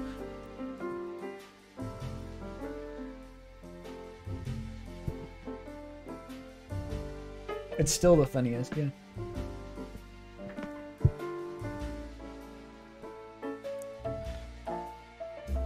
Gate. Only attracted to boy girls. Uh.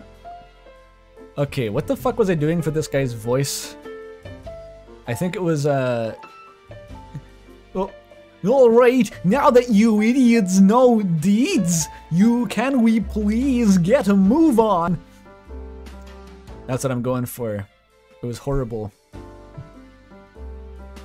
It's like ultra fucked up uh, Kris from the Subspace Emissary World's Conquest. Asriel sat on the floor of ICE-E's, wrapping his head around everything that had happened. After they had discovered what had happened to the world outside, Mae asked Timota to explain what exactly was going on here, and that meant she had, had pinned him to the ground and threatened to beat him to a pulp unless Timota brought them back to hometown. Timota said there was no time for that, but Hiro, always the quick thinker, had promised that they would give him a cigarette if he explained himself, after which he was quick to agree to their terms. His explanation was a little hard to follow, as it eventually broke down to an incoherent rant about things called fetch modi and classpects that only Alex seemed to be able to understand. That's good. But from what Asriel could gather, they were currently in a magical dark world created from ICE-E's, brought to life by someone called the Night, and they couldn't get out unless the dark fountain that was the source of the dark world was sealed. Checks out.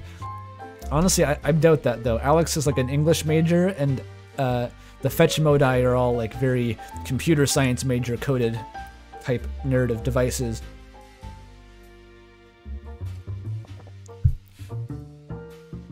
Oh boy. Timota's great, says Roy, because he's five seconds from getting beaten to death at all times. Just like a real troll Sona.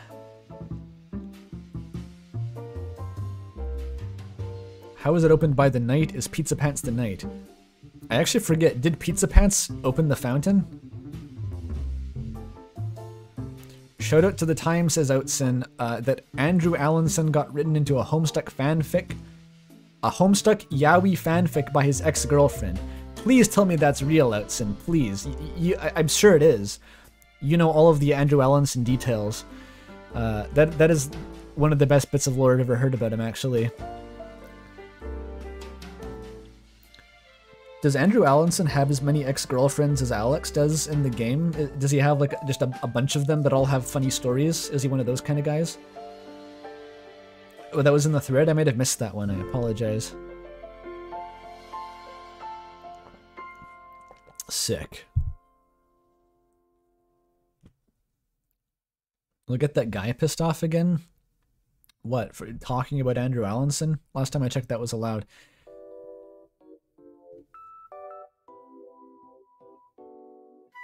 Okay, Outson assures me that uh, Andrew Allenson does not actually have like seven ex-girlfriends. That would be funny though.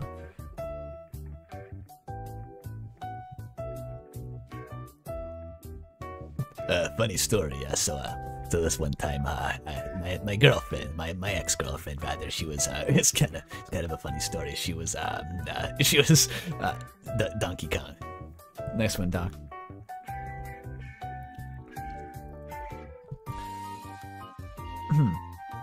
um, right.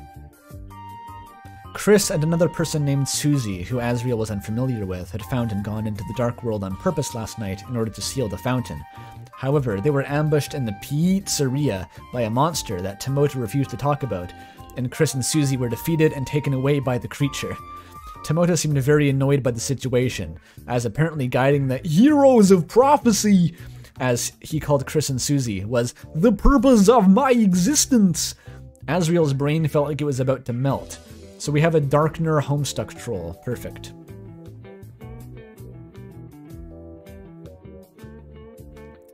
Uh, and it didn't help that Timota's voice sounded like he was constantly hacking up phlegm. What What do you mean? I can't... How, how am I supposed to sound like that? The purpose of no, I, am not doing that.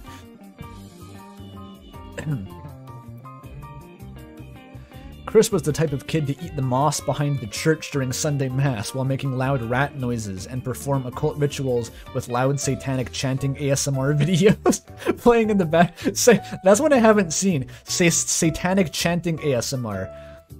I've seen in uh in you get you get recommended all sorts of fun ASMR stuff if you've if you've touched any of those videos in your life. There's like Thanos roleplay ASMR.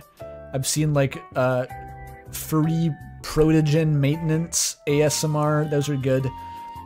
I've seen like uh, barefoot ear licking, obviously just porn ASMR.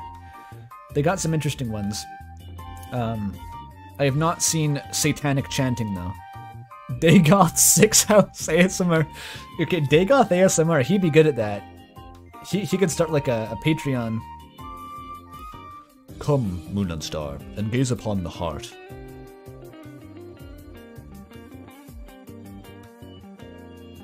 Yeah. Well, the the best ASMR was um, what was it? Uh, like tender and emotionally intelligent Funky Kong consoles you about your divorce while driving you home from the airport. It was something like that. It was amazing. Uh, I, I'd recommend that to everyone, actually.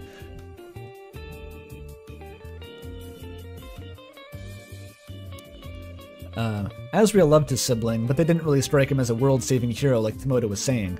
And who is the Susie girl? Had Kris finally made a new friend? Pizza Pants, on the other hand, had been a completely frozen and nostalgia-based delirium ever since he realized Tomoda was his own creation. He'd spent so long trying to forget his his past fandom experiences that to be literally looking one of them in the face was quite jarring. He thought he remembered vomiting halfway through Tomoda's monologue, but that might have just been his brain vomiting due to the overload of information he just received. Um, is there vomit?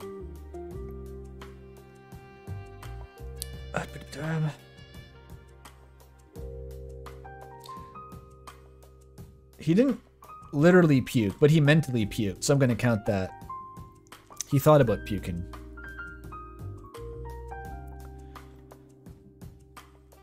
Alright, I'm about to flip the flip out if I don't get a joint within the next 10 seconds. I love this guy. I need my fentanyl-laced cereal milk. All of the Lighteners looked at Mae, who was looking off into the distance and whistling like a cartoon character trying to be inconspicuous. Mae? Alex said sternly. Uh, yeah. Mae answered innocently. Hand over the joint to the weird ogre thing. Instead of a troll, Alex put his hand out. You'll never take me alive. Mae hissed as she gracefully hopped up on top of an eight foot tall stack of pizza boxes in one leap. She does have that vert, I don't doubt it.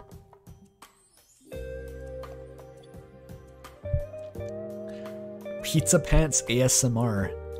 Damn, that would be good. Roy's DM'd Suilus the Funky Kong ASMR video four times. I think that might count as harassment. I might have to talk about that. Um, Eventually, Mae was brought down to the ground and had to be restrained, kicking and screaming as Alex took the last blunt she had on her and gave it to Tomoda, who started frothing at the mouth as soon as he saw the weed. This is like an adventure game, you have to give weed to the NPC to progress. He snatched it out of Alex's hands. Detective Halligan would jerry rig a blunt out of like gunpowder and uh, drain cleaner or something and kill Tomoda instantly to take his money, but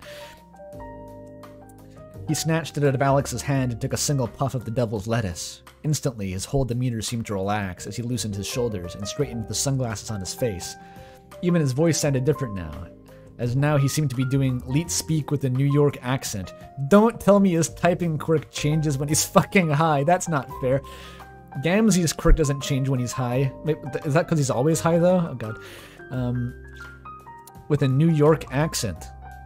Th- thanks, homie. If uh, if I don't get a hit of that zoning, I might have to get down to business and open a can of uh, pizza. What? What is? What's happening? Uh, New New York. It takes sunlight to get the plant to work. Richard Feynman's the only way I know to do a New York's accent. Hey, thanks, homie. If I didn't get a get a hit on zone, I hit zone, I might have had to get back down to business and open a can of whoop ass on you. Foles. Foles. You feel me? Anyway, let's roll out of this joint and cook, coke these pizza freaks. This is... I, I don't care. The warranty is void. Anything that comes out of my mouth when I'm reading this, you'll have to deal with. I'm not apologizing. Gamzee's quirk literally does change when he's high, you forgot. Hey man, I can't be worrying about all the typing quirks. It's all motherfucking miracles. You get it, man? You get it.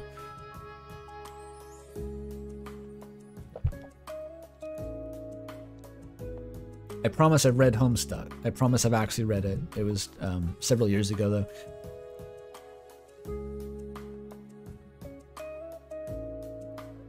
where the fuck was I? With that, Pizza Pants suddenly vomited for real. Yay! For the next 10 minutes, he was hunched over the bathroom toilet, puking, while Asriel held his hair back out of his face. Yeah, man, get it all out, man. Pizza Pants felt so sick that he didn't even register that Asriel was touching him, which also might have made him vomit. Is this a common reaction to gay? You just vomit? Interesting. Why had he repressed his memories of Tomoda for so long? Now that he thought about it, he couldn't really think about any of his high school interests for too long, or he would get splitting headaches. So the trauma he endured in these fandoms, especially Homestuck, must have been too scarring to overcome. It kind of reminded him of his postmodern, this postmodern RPG he played once. Oh my god. Ba ba ba ba ba. Pizza Pants has like a literal repression demon in his head, who, who was like blocking out his Homestuck fandom.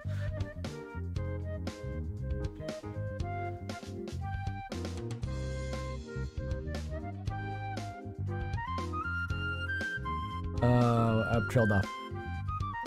Pizza Pants decided he could absolutely not tell anyone where Tomoda came from. It would be a bad idea to have to explain to the troll that he was his dad.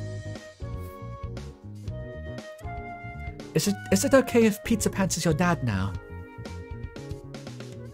Hey, Pizza Pants, Asriel asked once Pizza Pants was feeling a little better. What was that one webcomic you used to be a big fan of? Um, control alt delete. Pizza Pants scrambled, trying to dodge the question as he looked down to ICE-E's face printed onto the toilet bowl, with his mouth being placed right over the hole. No, not that one. It's just, I think I recognize Tomota from somewhere. It's like one of those 10 million page long comics you were a fan of in high school. Asriel tried to think about what Tomota reminded him of, yet nothing was coming to mind. Say Higurashi. Uh, Uh, control delete's pretty long. Pizza Pants had begun to sweat, but unfortunately for him, it wasn't noticeable through the layer of pizza grease that had accumulated on him over time. Wait, how would you see sweat underneath the fur anyway? I guess you, you, you do in a sprite work, so whatever. Uh, Tomoda, I'm your ectobiological father.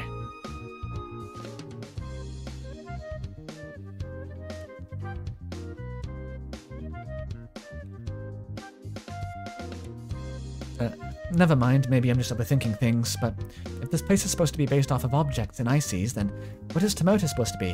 Asriel sighed. He couldn't handle thinking about anything too hard right now when his whole world had just been turned upside down. Flip turned upside down.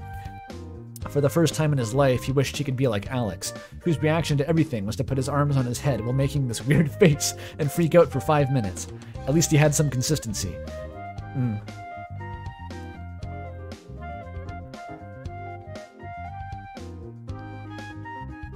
While Pizza Pants was hur- hurling his guts out, the rest of the group was investigating outside the pizzeria in the cheese dunes while passing around the blunt. Uh, Hero's voice was just completely my normal voice, I think. So, like, yeah, my girlfriend died, uh, and and that's why I want to be a doctor. You know, I want to help people so I can like save the people I care about and stuff. Hero lamented as he stared off into the endless sands of mozzarella. Hiro only smoked during emergencies, and it was understandable why, as he'd become ridiculously high after a single hit. How do you throw up on weed, man? Hey, dude, cool it with that. All we care about right. Oh wait. Sorry. I got baited. I got baited. Hey, dude, don't cool it with that. We all care about you right now. Alex put a hand on Hiro's shoulder in solidarity. He typically suddenly gained empathy for others after a few puffs of weed. That's good. He typically did this. Evil Alex smoking his empathy weed. Careful, he's gonna bite Spyro's dog in a second. Damn it, why'd they never warned about stairs until it's too late? Tomoda made a fist and shook it at the sky, waving around his uh, around his knife in his other hand. Oh my god. Oh my god. Um, she didn't die by falling downstairs, Hiro glared at Tomoda. No, no! Trust me, guy, it's always the stairs!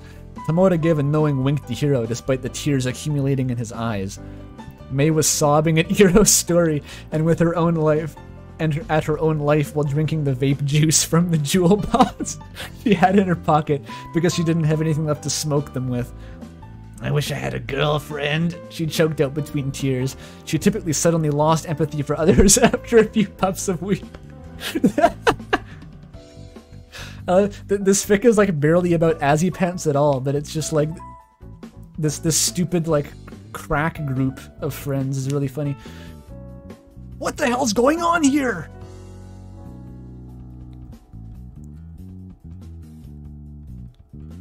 I don't think there's any direct reference to uh to, to drugs in Night in the Woods that I can recall. Like Mae gets drunk and goes crazy, but never actually smokes apparently.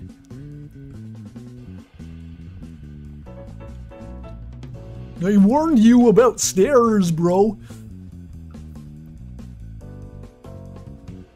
Well, yeah, there was the meth lab, but none of the characters were taking drugs, I mean.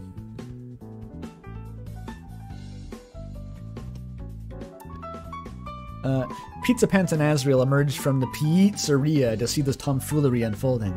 As Asriel looked at his bumbling group of comrades, he realized that his group probably needed a leader, and if they wanted to save Kris, he didn't exactly believe in the leadership of the grey monster that was currently on the ground poking a bunch of icy ants with a knife. Alright, guys, Asriel clapped his hands together and was about to give a really motivational speech. But before he could say anything else, Tomoda began loudly talking over him. Alright, y'all, we're about to ascend into the ninth layer of corporate hell. We're talking some real bored posed scratch megalovania double mobius sweet bro ella jeff Conair Baba Is You off the uh, off the hoik off the hook type shit that would make of the coolest motherfuckers in Paradox Space turn heel and uh, run crying home to the Lulus like an idiot baby, still zuckling on troll zigs. yeah. It's the whole paragraph is his quote. No fucking no. You men gotta be strapped to the teeth if you wanna make it out of here alive. Packing some wicked sweet heat like I got here. He pulled out his he pulled out a second kitchen knife and somehow twirled it around his fingers like a butterfly knife. My knives are known as the wood-fired blades of Yakuzaka. I, no, I, uh, ayahuasca? The wood-fired blades of ayahuasca. I personally crafted and decorated them myself for maximum ass beating. You don't, so you don't have to worry about getting your ass handed to you, as long as you can at least uh, in during the battle or riz up the enemy. He proudly showed off the knives, which were just store-bought kitchen knives with the words "Woad-fired blades of ayahuasca." Why ayahuasca? Why is that scrawled onto each of them with Sharpie? One of them still had a Walmart price tag attached to it. Try and keep up with me, and we might actually live through this shit and save the universes then we're gonna celebrate by going troll Disney World to shake up Obama's hand and kick Mickey Mouse right up the ass since we just saved the fat corporate rad's ass from total multiversal destruction. Let's bull up on all those goons. Go, go, goons. What? This implies Riz was a term when Pizza Pants was a child. Stop, stop, Roy, stop poking holes in it. Uh, that was fucking delirious. Okay. Thanks for specifying a New York accent leet speak. That was great. It's like a... The voice I'm doing is like how I'd picture Richard Feynman talking if he was like on a, a near lethal dose of morphine but was still trying to give a physics lecture.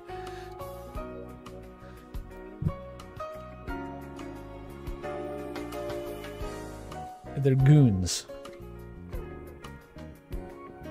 Uh, it's okay, typing quirks don't have to make sense or be pronounceable. Just replace the vowels with 8. I don't know. Fuck it. The speech was a lot more inspiring and a lot more nonsensical than the one Asriel had planned to say. And Mae gave a standing ovation for him once he finished. Tomoda, uh, dapped up Mae. Dapped?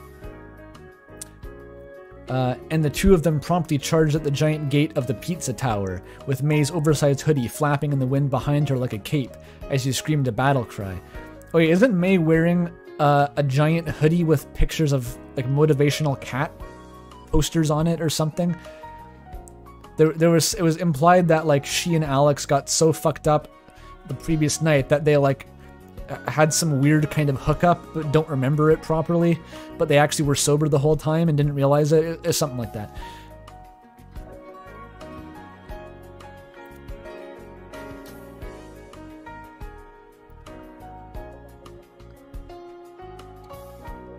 uh and Alex hurriedly followed her to not be left out. Asriel and Pizza Pants moved to follow them, but Pizza Pants stumbled as soon as he tried to take another step. He was seeing spots in his vision that were suspiciously shaped like sweet bro as pages of Homestuck danced in and out of his mind. The sudden flooding of Homestuck back into Pizza Pants' consciousness seemed to be overloading his mind as 8,129 pages of webcomic returned to his memories. His face turned the shade of Tomoda's skin as the sweat on his face began to show through the pizza grease. Pizza Pants, what did you do? Whatever memories he has of Homestuck are so traumatic, he literally repressed them. Like, what happened, Pizza Pants? Holy shit. Did you donate your college fund to the Hiveswap Kickstarter or something? Like, what's what's your deal? He prayed he wouldn't once again contribute to the overarching theme of vomit in this story. He was the Sharpie bath guy. he was one of the in the spit bucket video. He was the guy holding the camera.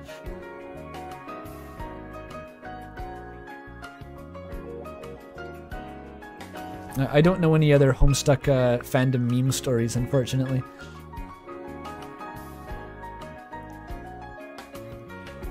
Pizza Pants! Asriel bleated as he moved to catch the ragdolling Pizza Pants. He fell straight into Asriel's arms, and as he looked up, he could see Asriel's beautiful face through the gif, through the gifs of various children falling downstairs, clouding his mind. He's got poisoned. You're just hallucinating spaz. It's really bad. As Pizza Pants realized that Asriel was holding him, he suddenly came to his senses and intended to make a sound that sounded like an apology. Yet it sounded more like a cross between a purr and a moan. Oh, oh, oh. At this noise, Asriel started blushing furiously and forgot that he was holding onto Pizza Pants, dropping him onto the cheesy sands. Ah, ah, I'm sorry, Pizza Pants. Are you alright? Asriel cried as Pizza Pants slowly picked himself off the ground and brushed the strands of mozzarella off of his Zelda shirt. Uh, yeah, yeah, it's alright, Azzy. I'm just feeling a little woozy right now. Pizza Pants tried to give a smooth, nonchalant shrug, yet instead his arms looked like they were doing the wave. I hope you know I cry whenever you make that sound. Oh. Oh. Oh.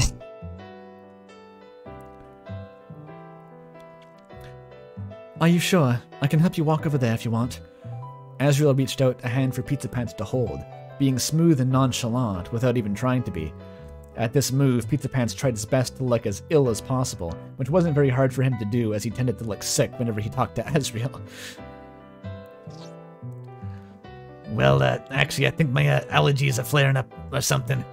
Pizza Pants took Asriel's hand in his own, which was hard due to how greasy his hand was, and the two of them were hand holding in a slightly lewd way. Oh, come on, you're fishing. You're fishing. Uh, where is it? What even is this lewd hand holding meme? I've seen it before on like online spaces, but I don't know the origin of it.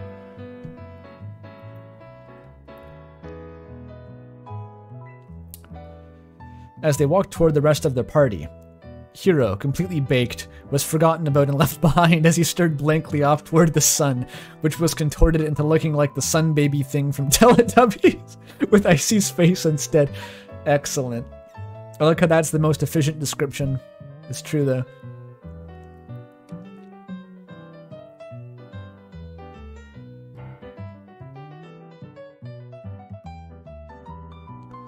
Went to prison once after my after my wind hand touched an atom of another person on the street.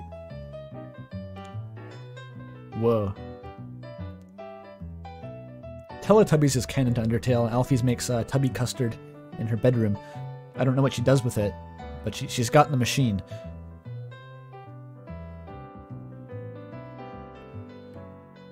Oh, it's like the ankle picks. It's the same vibe as lewd handholding, maybe. I, I assumed it'd be, be more specific than that. She gives it to Undyne. What does Undyne do with it? It's food, I assume, right? Or is that just the ice cream that she talks about? It's probably the ice cream.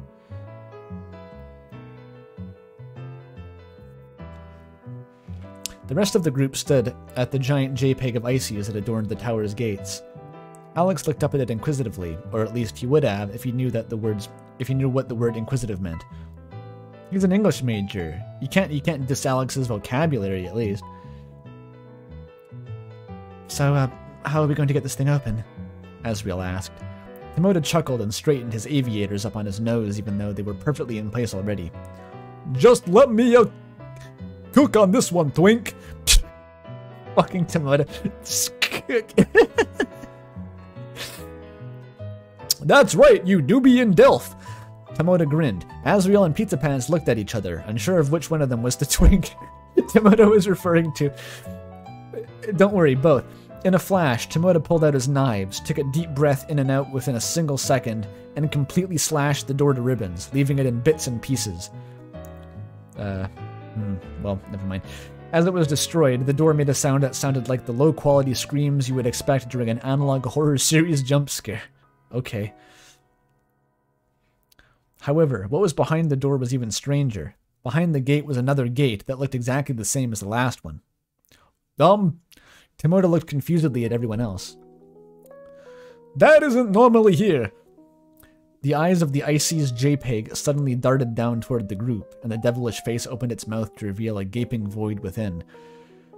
As the party stared into the abyss of ICE-E's, a vortex suddenly began to pull the group into the mouth of the monster. Tomoda was the first to be pulled in. As he leapt into the mouth of the beast without hesitation, knives drawn, screaming for something along the lines of, Remember me! Gojo Zenzai!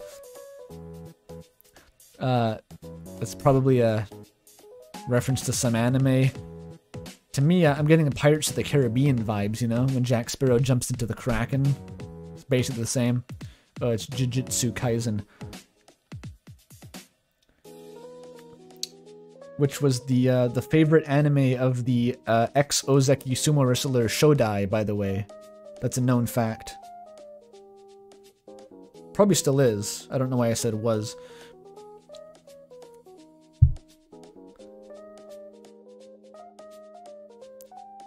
Uh, I'm reading a fanfic in honor of the upcoming 5th anniversary of Silksong's announcement.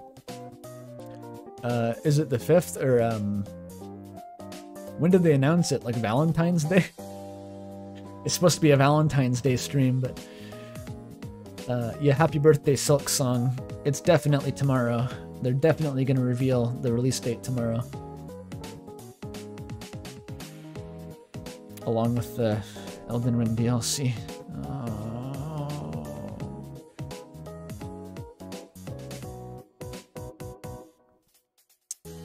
Okay, where the fuck are we at here?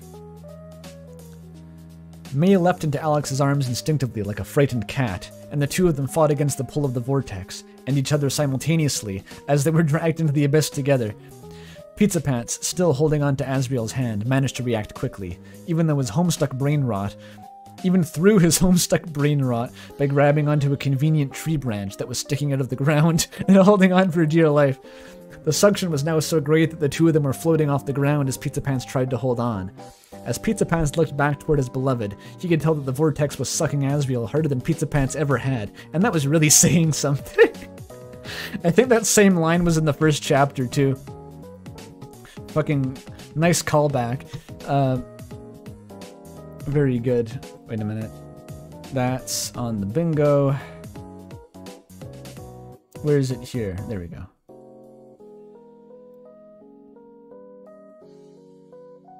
Um, I guess retroactively we have all this shit too to fill in. Weed. Um, did they eat pizza previously? There was a night. There's an OC. Burger Pants is OC. Divorce, Sans, Umris. That's that's fine. Seems fine. They did eat pizza? Okay. There we go. Should this be ongoing from previously? Because they, they did get drunk earlier. Oh, but no, they didn't. Sans was just giving them water the whole time, and they got placeboed. So never mind. It was the adult soda from uh, Undertale Yellow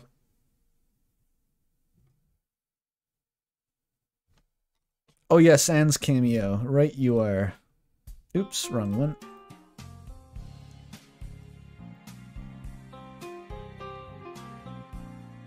Do we know Pizza Pants' name yet? How's that come up?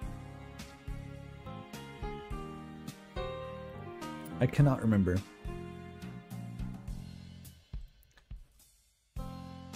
Okay. When Pizza Pants awoke, the first thing he noticed was that Tomoda was standing over him. The second thing he noticed was that there was a blunt in his mouth. He spit the blunt out and sat up to survey his surroundings.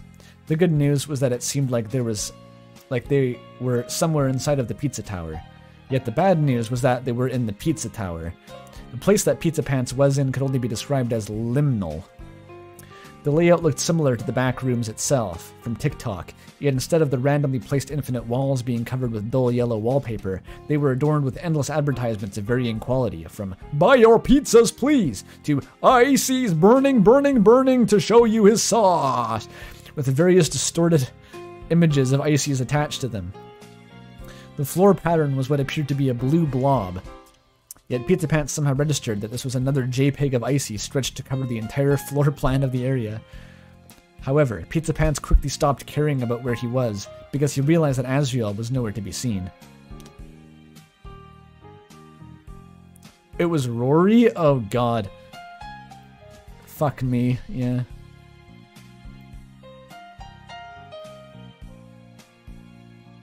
Uh, quite carefully avoiding all the bingos, I gotta say.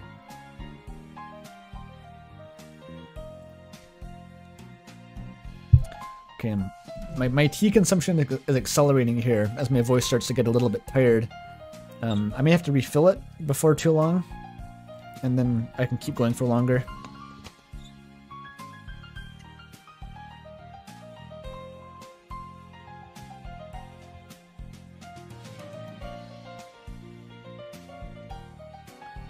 Wait, what? asks Outson. Uh, what about what?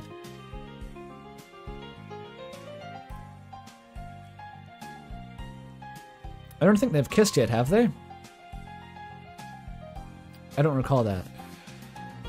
As Pizza Pants frantically looked around, the only other people he could see nearby were Hero, who currently seemed to be in a marijuana-induced catatonic state, his unmoving eyes looking up at the ceiling, and Tomoda, who was currently smoking the blunt that Pizza Pants had spit out. Pizza Pants briefly wondered why Tomoda hadn't just smoked that blunt in the first place instead of taking mates.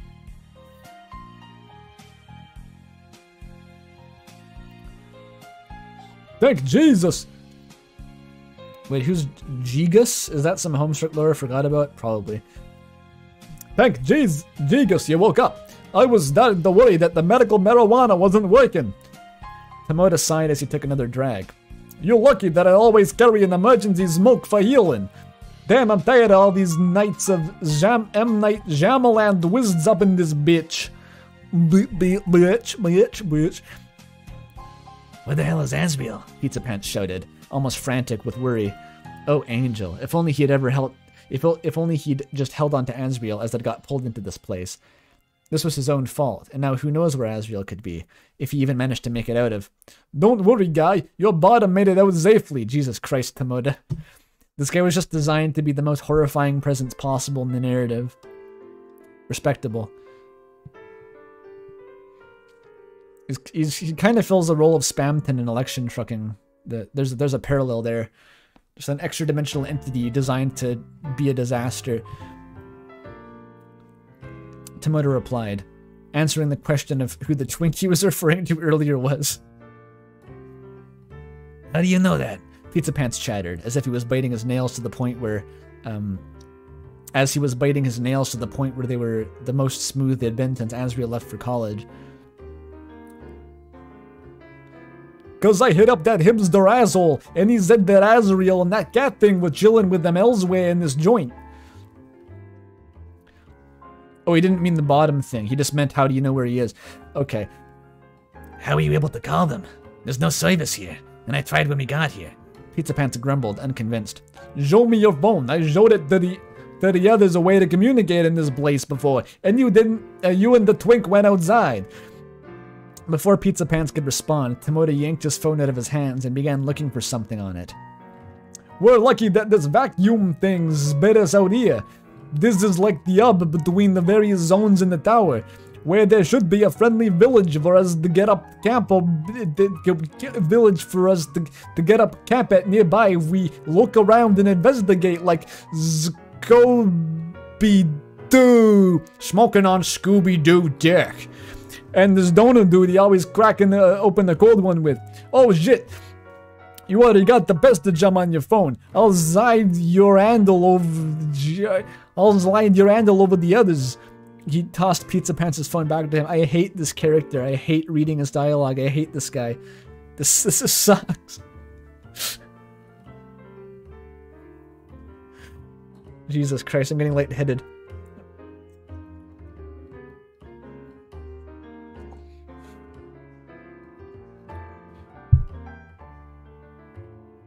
Scooby Doo is not an easy word in the typing quirk, no. Pester Chum. Pizza Pants could remember it somehow. It seemed as if the Homestuck inspired messaging app was slightly disconnected from his memories of Homestuck enough for it to not be suppressed with the rest of his fandom memories, because Pizza Pants knew that a lot of his old online friends came from there.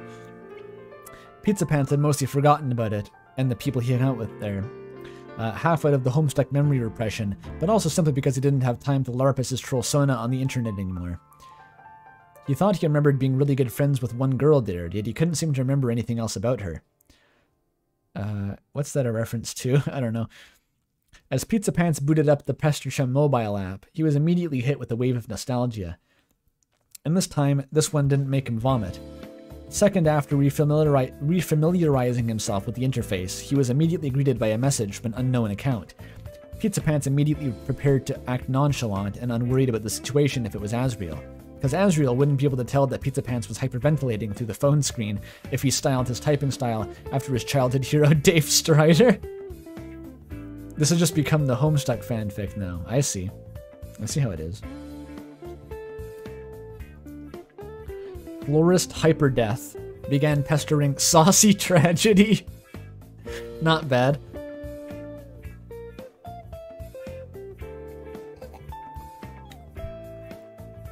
I feel like Saucy Tragedian would be even better though.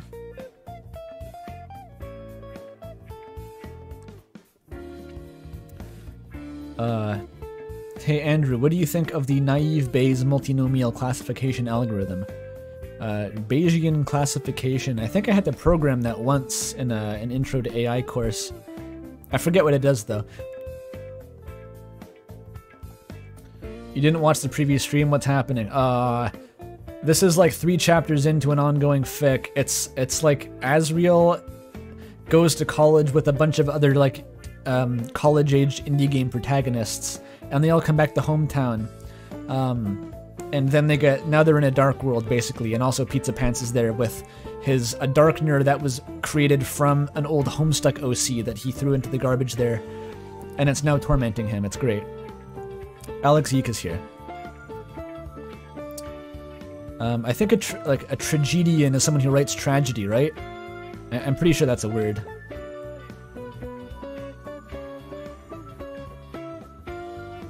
Like how uh who, who's the guy who wrote the tragedies? Like Oedipus and shit. Um, it's not Sophocles. That's a different guy, I think. Uh, am I thinking of Socrates and Sophocles was the playwright? Oh, a tragedian is someone who plays in tragedies. It is Sophocles. Nice. What's my opinion on the falling cat problem? I don't know it.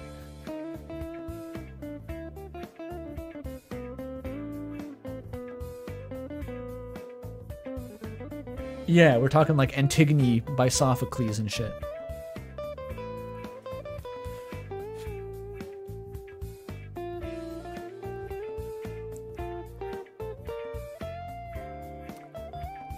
Uh, Pizza Pants, is this you?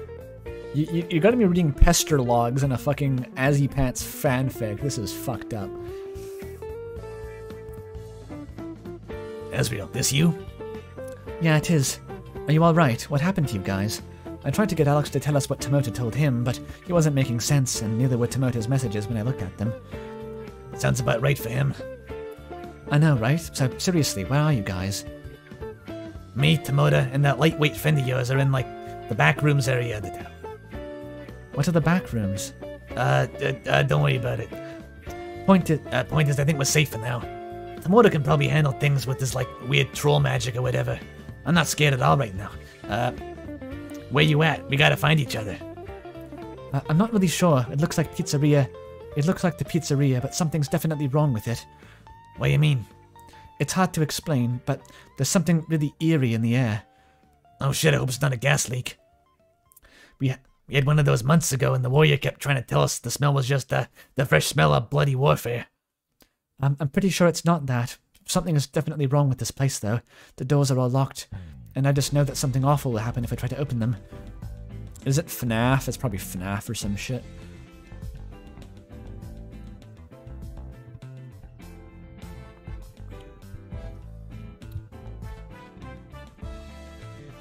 Uh, hey dude, stay safe out there. Hmm, I'll listen to that, but only if you promise me that you'll quit your job once we get out of here. What the fuck? Where did that come from? Rory, I can tell this place is a nightmare to work at, even when there isn't this demonic dimension inside of it. Remember when we were talking about just a few hours ago? You need to put yourself out there more, set higher goals for yourself. You gotta have a job, but this place is just hell on earth, and I know Isis is sucking your soul away. I care about you a lot, and I don't want you to be stuck working here forever. Come on, this is unfair. And I haven't even heard you say my real name in ages, so don't try to play with my feelings. I'm going to not stay safe if you don't agree to my terms, honey. Honey, yo! He's going hard on it. Uh, Daniel Dankovsky is a prime material for an Azzypants fic. Is that a real name? It sounds like a, a parody, like Dankovsky. I'm the dankest guy in the world. Uh, who knows?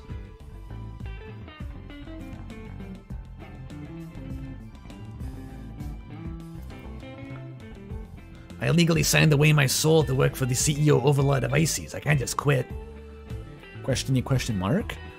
Whatever, this isn't important now. If you see each other again, I'll think about it, but you'll owe me. Let me know when you get out. Uh, Sorry.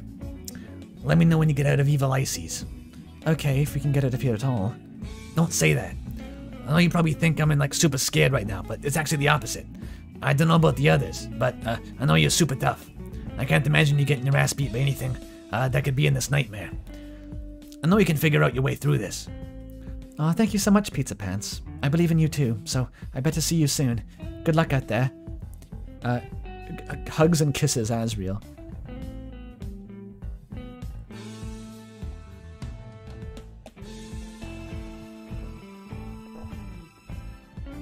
Yeah, it's getting real. I, I've honestly forgotten at this point in the fic what the status of their relationship is. I thought it was still a little bit more on the down low, but Asriel's being like real flirty.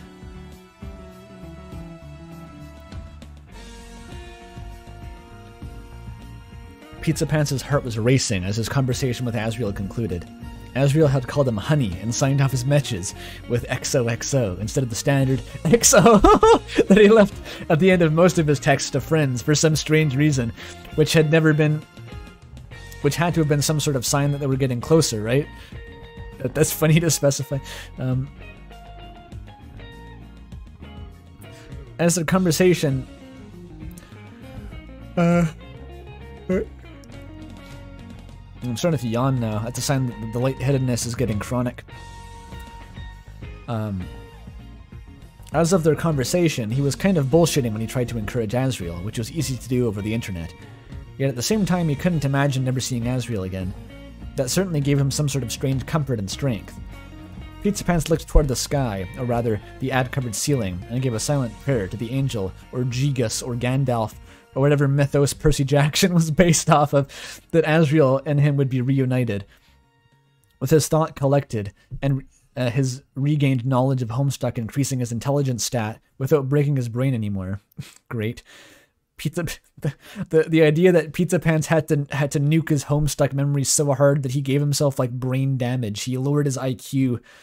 He had to shut off like 20% of his cerebral cortex to block out the Homestuck memories. Um, with his thoughts collected and his regained knowledge of Homestuck, etc., uh, Pizza Pants rose from the floor, feeling braver than he had in a long time. However, before he logged off Pesterchum, he noticed that he had received one more message. This one received approximately five seconds after he had opened the app for the first time. Yowie aficionado began a pestering saucy tragedy. Is this fucking. Who is this? Lizzie or some shit? This is probably Lizzie, oh god. You made her a Homestuck fan.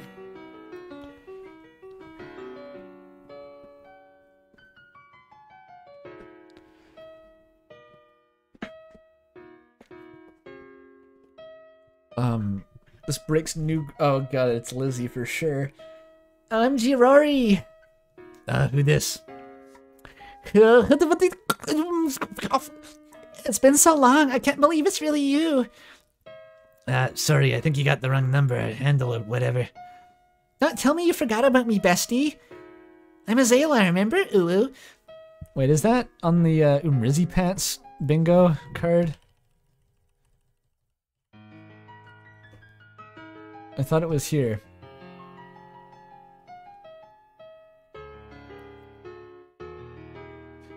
It's Lizzie says UVU. I think this counts. It's close enough.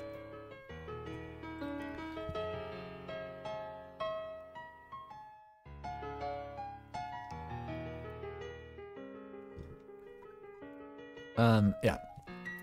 Wait, are you that one girl I used to talk to a lot on here?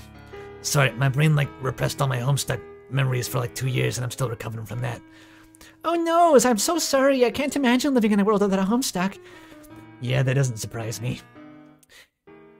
You were the person who I first showed me Homestuck. I owe you so much for that, bestie.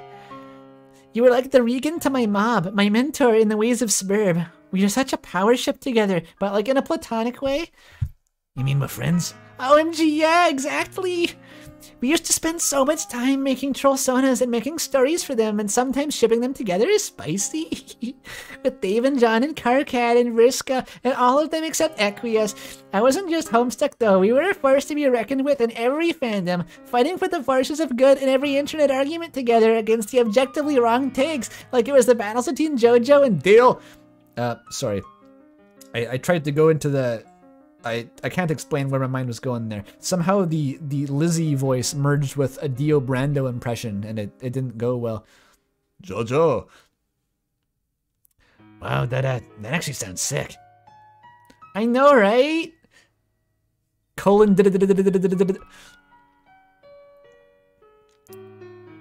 Equius is a good character. Azalea needs to be shot.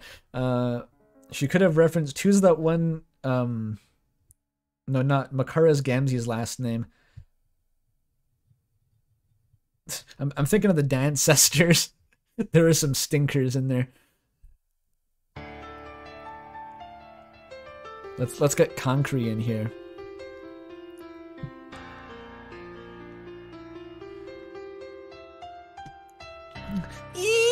Believe this is really you. We have so much to catch up on. What fandoms are you into now? Do you have any new OCs? What anime are you watching? Are you caught up on One Piece yet? Did you finish the 280,000 page Homestuck fanfic you were working on? Did you make more art with Tomoda in it? What college did you go to? Do you have a new Tumblr now? Did you finally accept your sexuality? Are you dating that mysterious crush you kept telling me about?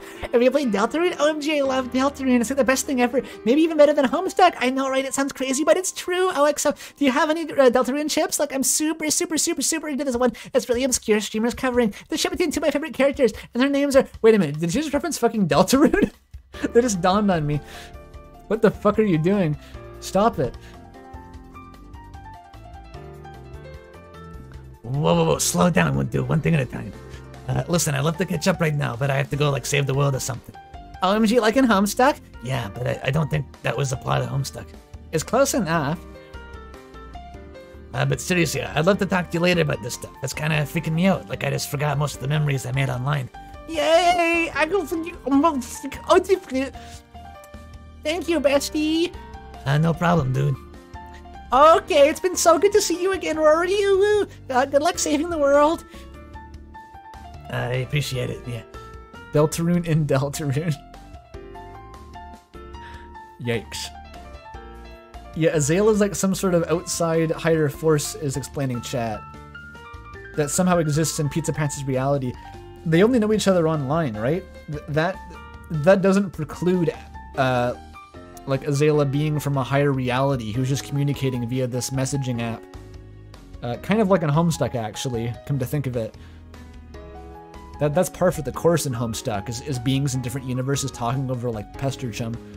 That's the whole fucking comic, that's all they do. And, and perceiving the, the other real, in, perceiving the other reality through the interface of a video game. Wait a minute, it's all it's literally Homestuck again. It's all just Homestuck. It always has been. Oh god. Uh.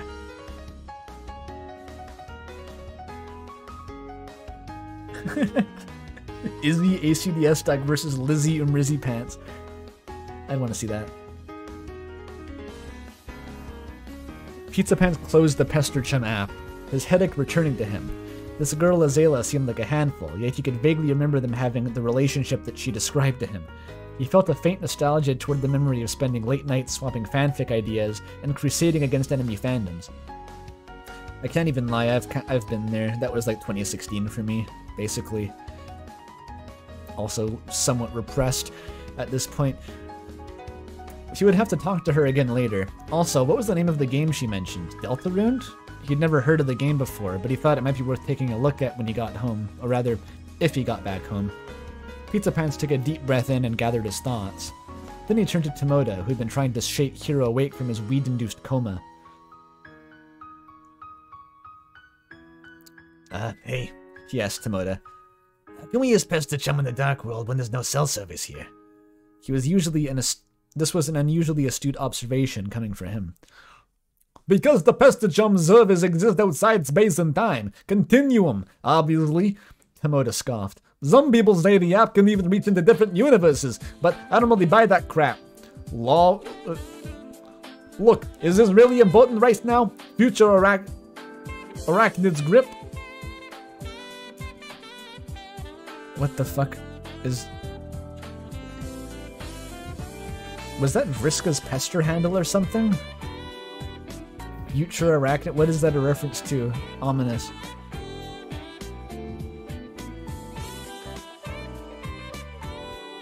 Uh, Pizza Pants could tell that Tomoda was starting to get agitated again.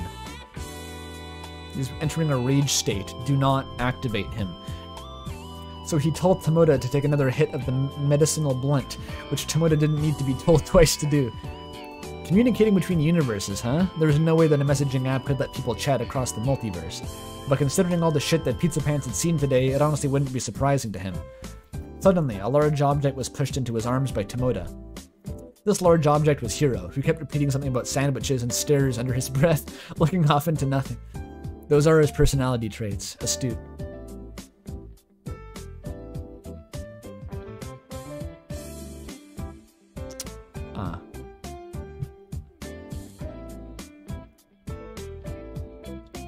Sorry about this, mate. But I couldn't wake this lightweight up with my medicinal blunt's only gonna make things worse. So, you're gonna have to carry him around this place instead of me. No offense, but I think I'm a little more capable in a fight than you. Wait, what? Pizza Pants managed to choke out, already buckling under Hero's weight. Who are we gonna have to fight? Solemn, solemnly pointed toward a painting that was placed in the middle of an advertisement of the advertisement wallpaper. That bastard! This was a painting of someone Pizza Pants was all too familiar with. The break rooms and ICE-E's were completely devoid of any furniture whatsoever, as to make sure employees didn't stay there too long. The only two things Pizza Pants had ever seen in that room were a sign that took up half the wall that proclaimed, ICE-E says get back to work! and an exact replica of the painting Tomoda was pointing to. The man in the picture was very large, even bigger than Purple Guy, wearing a three piece suit with a novelty clip on tie with a design that resembled a pepperoni pizza. Around his neck was a gold chain, and on his head was ICE-E mascot head that no one had ever seen him take off. This was none other than the award winning rapper and CEO overlord of ICE-E's corporation, Ultima Nasty Master Ice. geek ass name. What can I say? Ultima Nasty Master Ice. I, I don't even want to dissect which ones are like first name, middle name, last name. It's just just whatever. Yeah, that's his name. That's all first name actually, I think.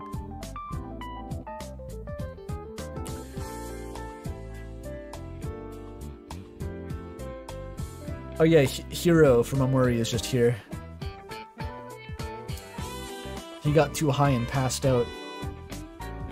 Yeah, this is the Lord English of Homebound. True.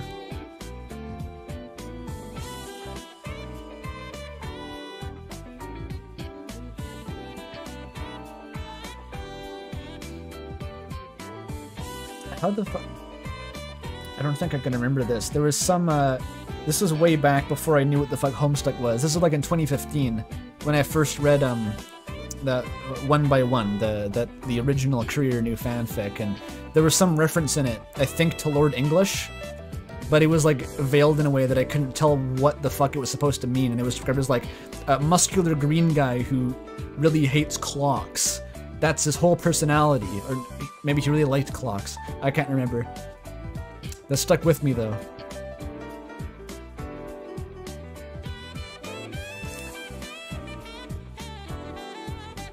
Uh,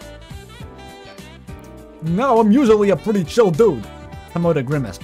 But if there's one thing that really gets my ass tingling, it's when the man that people wanna stick it to is picking on the little guys and whacking up their shit. And Ultima Nasty Master Ice is the maniest man I ever seen, man. He's been burning this once peaceful tower all out of whack with this Gopo mumbo jumbo and evil monsters everywhere ever since he came to power because of some Zordon Knight that pulled up recently. What if in what I need is you lighteners to do is to help me reach the top floor of the tower with Zid ass Zid his ass down. Oh my god. I've been brewing up a rebellion in the streets to make Master Ice down. Uh, and with your lighteners in the mix, I think we're making this happen, capiche? We can take back my home, and also maybe uh, save the other lighteners too, if Master Ice actually kidnapped them at all, I don't know. Are you with me, pal? horrible voice. Andrew, tell them about Courier New Undertale Yellow fics. Okay, yeah, so there's actually two Courier New fics, the two most recent ones are, are about Undertale Yellow, which is unusual in that, um, well, I guess it's the first time that Courier's done anything of like a, that's like a, a fanfic of a fanfic from Undertale. Although he did have an earlier one that was based on a Lisa fan game, so I guess it's not completely unprecedented, but yeah, they're very good. They're very, very good. Um, a whole ass uh, character study on uh, Chujin uh, was the was the most recent one, and I was I'm very impressed by that. What's the other one? Oh, it's uh, it was just like a post ending thing about like Martlet being sad. It's fairly straightforward, but but quality stuff.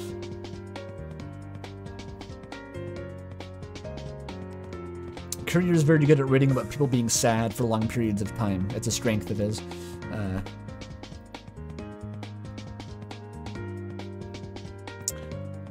anyway.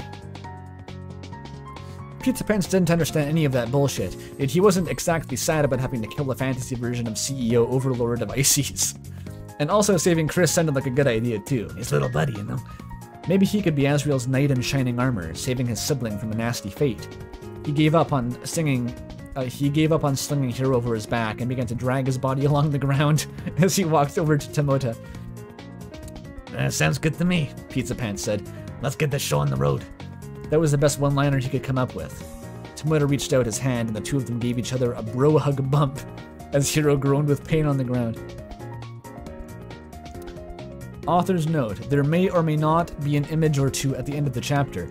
If you don't want to be preemptively spoiled on that, maybe scroll the paragraph one at a time. Okay, I, I gotcha. Let's see where it starts. Okay, that's fine.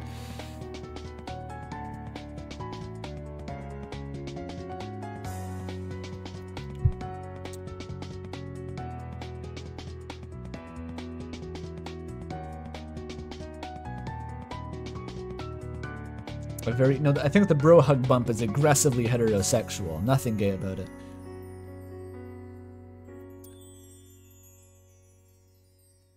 All right.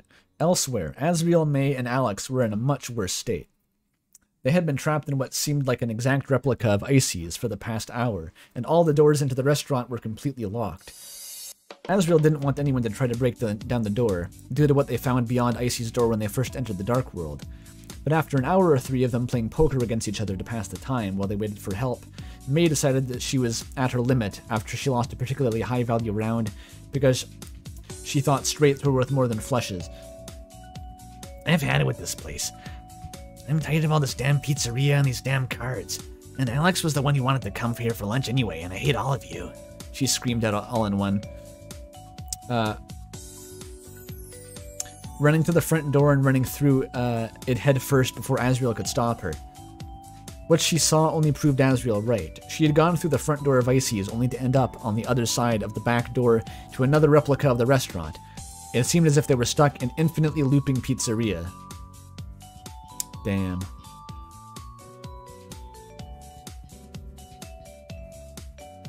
The bro hug bump is aggressively gay and straight.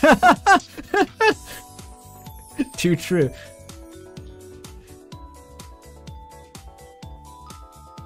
Yeah. I'm what you call a hetero homosexual.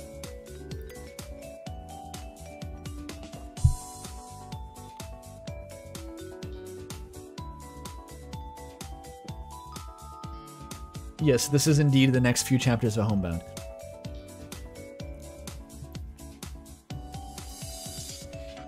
Um. It keeps happening! Alex yelled, doing the arms on head and weird face thing again. Asriel simply put his palm to his forehead and wished his migraine would go away. Elsewhere, elsewhere, Pizza Pants and Tomoda, and a comatose hero set off on their journey through the liminal hub of the Pizza Tower. However, Pizza Pants had one more concern. Uh, so, He asked, about Ultima Nasty Master Ice. Uh, if he's the boss of this whole tower, he's gotta be pretty strong, right? Tomoda thought about it for a moment. Yeah, I guess you could say he is. So if we end up fighting him, are you sure we can take him out? Tomoda grinned. I don't know about the rest of you, but personally speaking, you might give me a little trouble if we fought at full strength. Pizza Pants gave him a worried look. Would you lose? Tomoda chuckled. nah, I'd win. Alright, well, someone was watching some JJK while they were writing this. Jesus Christ. There's another chapter? Jesus, this is long. I guess it did say, oh, that's like 8,000 words, yeah.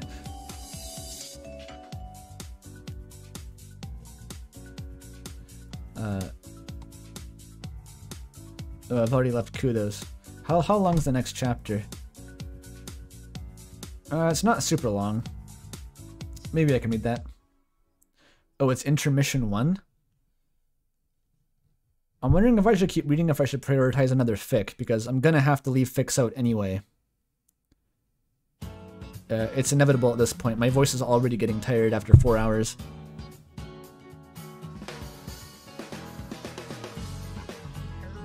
It looks like it's an Umrizzypants intermission. That's funny though. Uh, let's take stock here, okay? This one's new, I think. Awesome Nova. There's also a Pidge fic here, 10,000 words. But Pidge is not in chat. I don't know if I can read that without Pidge actually being in chat. That would be inconsiderate. Yeah, I think I, am gonna prioritize some of these newer ones, the, the fresh stuff. Oh, yours wasn't read last time? Uh, oh, this one here. Okay, if that was the case, then I should prioritize this one.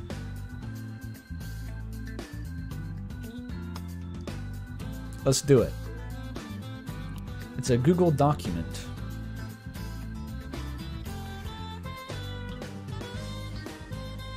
Uh, yeah, this'll work. Wait, the fic is done? Uh, yeah, well, there was another chapter, but I decided it was like a, a Homestuck intermission, so I, am just going to go to a, new one instead. Because I'm I have to budget my time here. I can't read all of these. There's too much.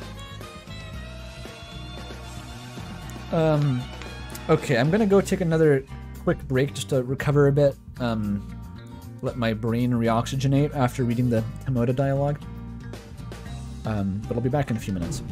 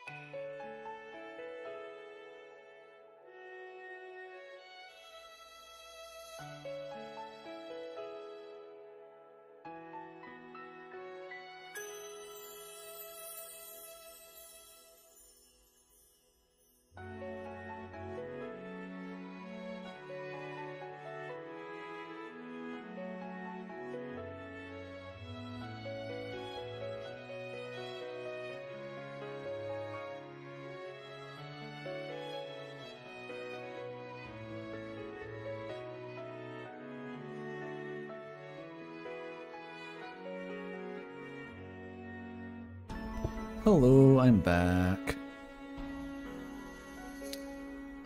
Oh boy, yeah. So I, I refilled my tea. That's nice. I mainly needed a break there just to kind of uh, breathe normally for a bit because I was I, I really do get lightheaded when reading some of these after long enough, and it seems like it takes a while to go away. It kind of like becomes a persistent issue over time.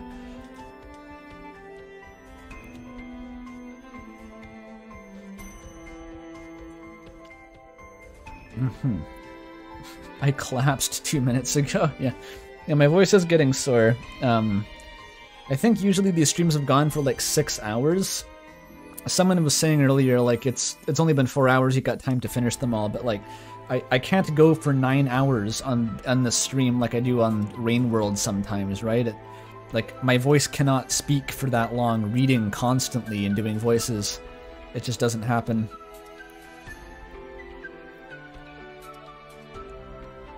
Yeah, we need to elect someone else to be a full-time fanfic streamer to take the load off me, right? I can I can just sub in like Gerald or something.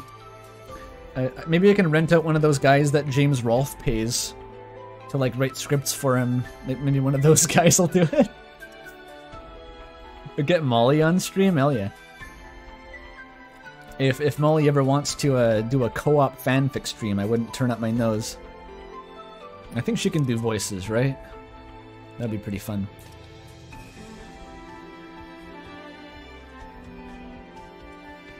Yeah, each person voices a character. That would be complex to uh to coordinate, but it could be funny, I guess. Maybe for a gimmick. Like we that we could swing that with the Fatal Gang or something. That would be quite funny. The voice runs out eventually, yeah. Your voice, their voice.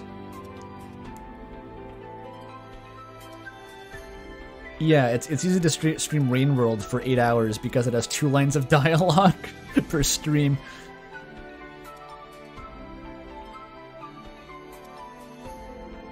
I wonder what fic we'd read though.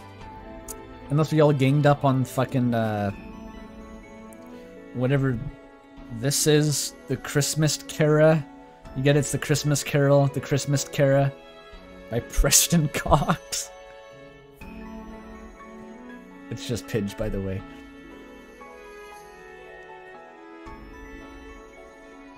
I don't know. It would be funny. I'm, I'm just not sure how specifically how that would look in practice. Okay. Uh,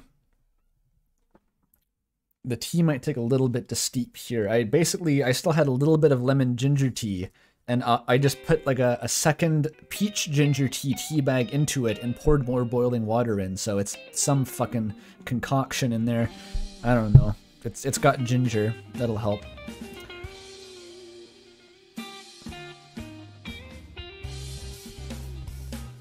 Uh, maybe I'll start reading, why not? I hope the music's not too loud in the VOD, by the way. I didn't really check. I think I have it turned up more than normal, but... That's not the end of the world the music volume's a bit higher on a fanfic stream.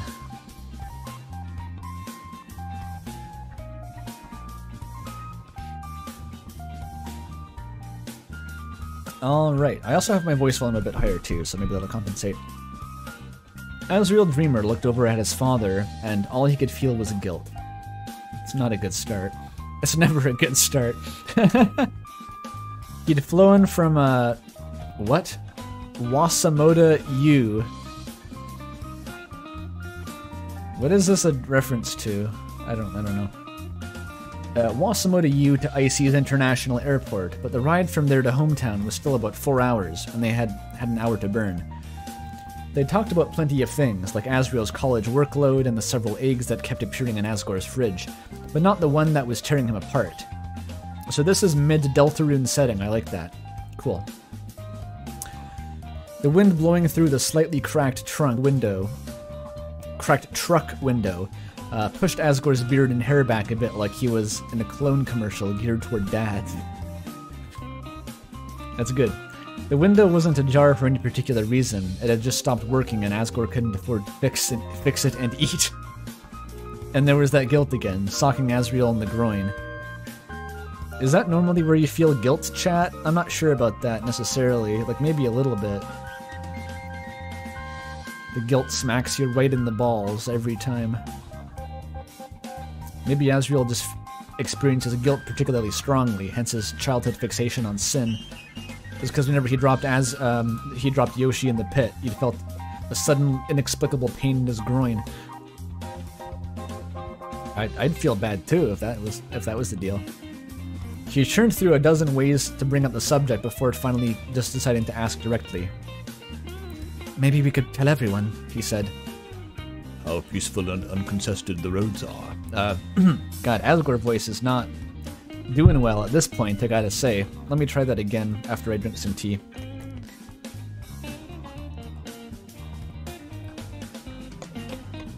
Ouchie ouch. The Asgore voice prefers uh, a fresh Andrew.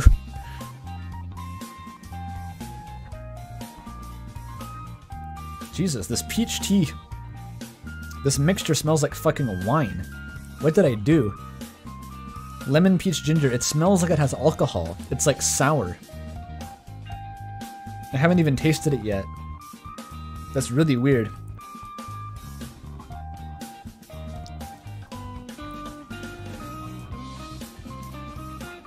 Uh, it's too hot to drink. Fuck. I'm gonna go blind on fermentation alchemy.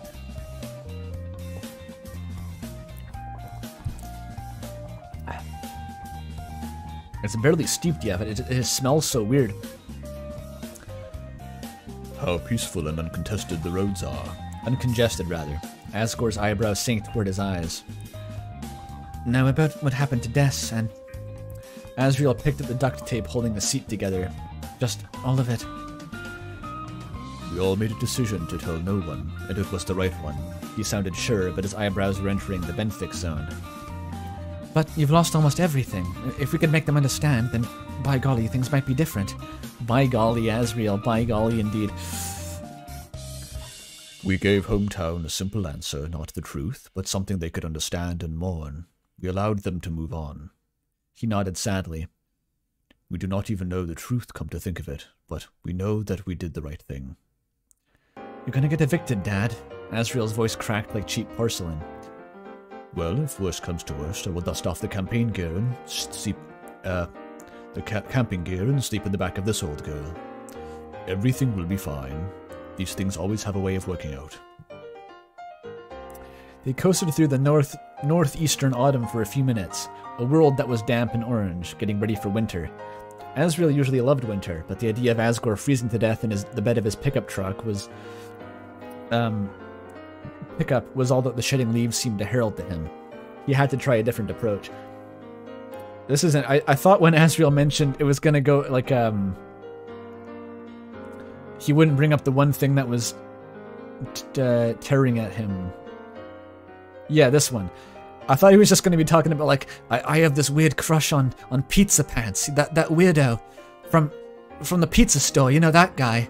I, I really think I like him actually and this would have been devastating news to everyone. But no, it's it's it's, it's a bit more serious than that.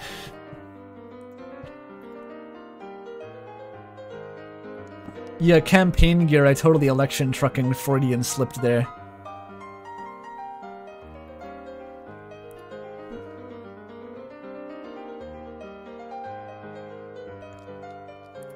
What if we didn't stop the roaring? Wouldn't they have a right to know? Asriel finally said, ah, okay, we're going for like deep lore explanation. We're going deep. Okay. Asgore twitched the wheel and stopped the car on the side of the road. Making the half-bare canopy cast a long crawling shadow over the truck. He placed his cinder block of a hand on Asriel's shoulder. You've seen... You've not seen hide nor heard of the night since its dark fountain, or its dark fountain since death's debate. Hey, I'll try that again. You've seen not hide nor hair of the night, nor its dark fountains, since death defeated it, correct? A grave frown grew on the gentle giant's face. I haven't, but what if she didn't defeat it? We didn't see how it ended. She told us to run, so we did. Asriel couldn't meet his father's gaze. You were all under 15. If I could have had. If I could have, it would have been me in that bunker. Asriel slouched back into his seat, or Asgore did. He seemed at once relieved and remorseful, his body language saying the former, but his expression seemed to be far away, like those nights when he was working the Everyman case. Damn. this would be a hell of a twist.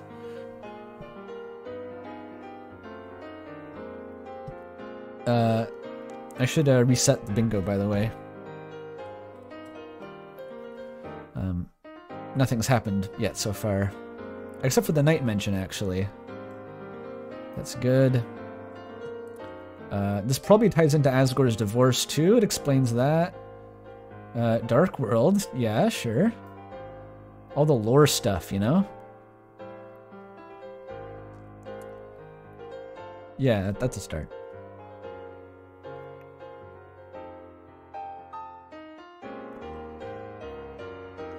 I thought you said we did the right thing.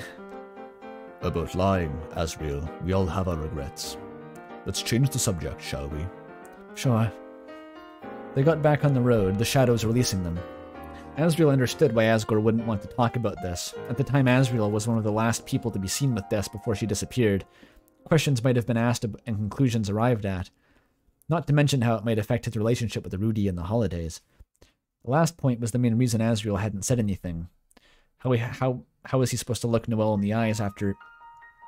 And tell her he... And tell her he had left Des and lied about it for years, Asriel shook his head. There really was no good solution he could see, just increasingly bad ones. Is there anything new we haven't talked about? he said, wanting to fill the air with anything other than his own thoughts. Um, I bumped into Pizza Pants at the Bone Man store, Asgore said, his smile springing back. The Bone Man? the Bone Man store? Yes, he very much wanted to hang out with you and stroll like the old days. Something about hitting up the spots. They're not drug spots, are they? Asgore asked. The goofy question pushed a little levity into the car. No, Dad, they're not, they aren't drug spots, Asriel said with a chuckle. When I was your age. The final leg of the ride was filled with Asgore's college stories. Stories about his protesting days, about the flower picking and stolen bongs, and the wild things Rudy got up to. Okay. Maybe he was a bit of a hippie. That, that would check out. When Asgore finally stopped talking, Asriel was brought back to the sacrifices his father had made, divorced and disgraced. Every year he seemed to suffer a new indignity, all to make sure others weren't hurt. He couldn't help but feel that nothing was worth what his dad was going through. But he wasn't sure what the alternative was.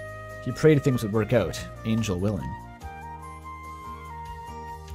When I was your age, Asriel, I got so much dick you wouldn't believe it. That was a chat message, by the way. I just, yeah. Good one, good one, chat. How much acid has Asgore done in his life? More than Asriel can even imagine.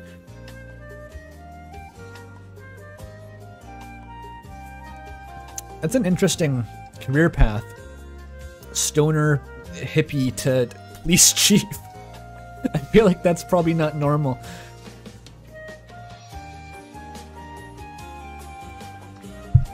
Uh, you made it, Remnant. Nice one. Nice one.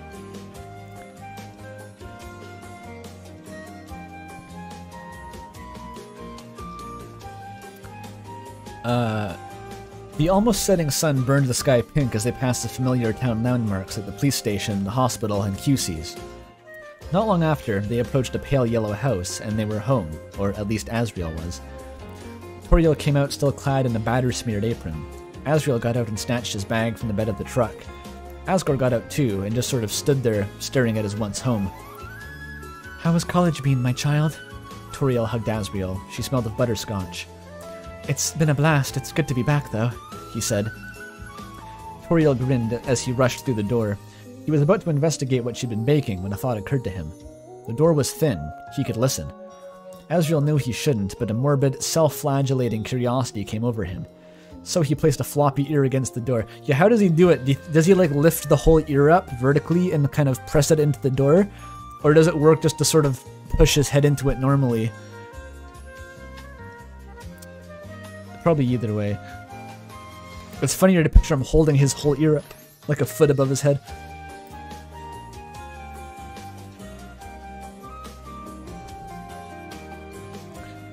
Neither said anything for an uncomfortable moment. Asriel was going to pull away when Asgore coughed awkwardly.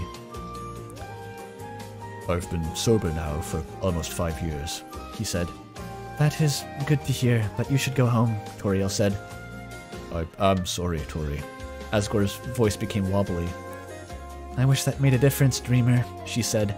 Asriel had had trouble making out the emotion in her voice, but it was certainly present in large amounts. I see. Asgore's truck creaked as he entered. I'll take him back. I know it'll be a school day, and you have youth to educate. That would be appreciated.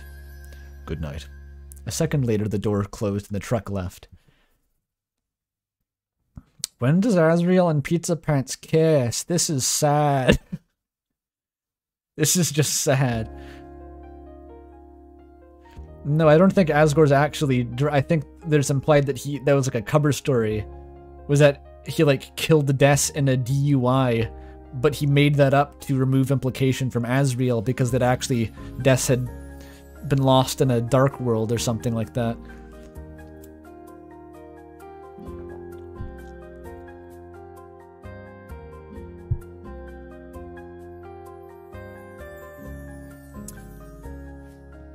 Um, Asriel left the door and approached the half pie on the counter.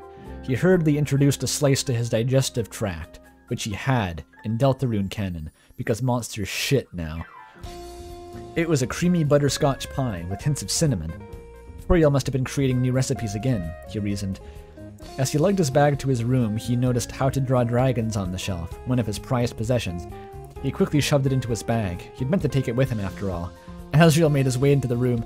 No shame, just like he's still into that big time.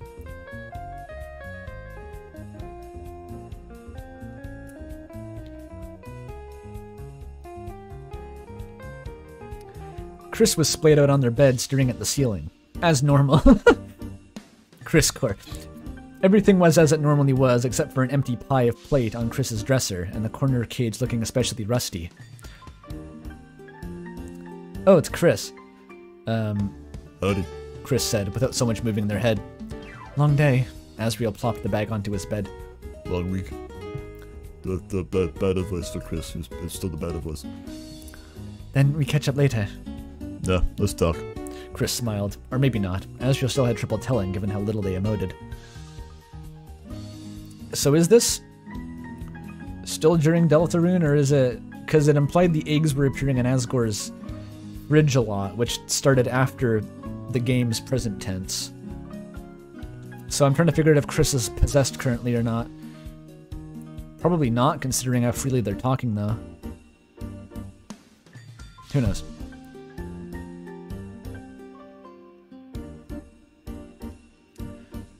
Oh, well, what's on your mind? I made a knife out of spaghetti. They said, swinging themselves upright and dangling their legs over the bed.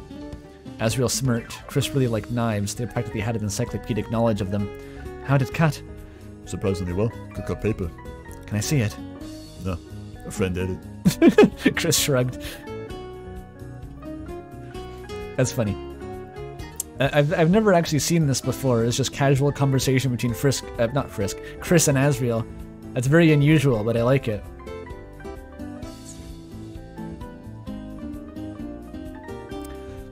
Asriel placed a hand on their forehead. What are you doing? Kris stared blankly at Asriel with their baggy eyes. I'm making sure everything is all right. A friend, you say? No need to be cringe about it. Kris, Kris pushed his hand away. Can I meet them? That may not be the best idea. How come? His brow became so knitted it was about to make a sweater. So this is post Deltarune. This is Susie. How far post Deltarune, though? Has the plot concluded? Who knows? he has Kris Cringe cameo. No need to be cringe about it. it's such a good summary. I, I like that response, honestly. It, it really gets the job done. His brow became so knitted it was about to make a sweater. Bro, she's seen your search history from the library. They said. Why would that matter? He was genuinely perplexed why this would be an issue. Uh, pretty sure she knows about uh, hometown stuff. Uh, well, uh, um, well, uh, I'm not ashamed of my fandom for it. Asriel was immediately reminded of the time he painted his horns on his Trollsona Halloween costume. They stayed orange all winter. Oh, he painted his horns for his Trollsona.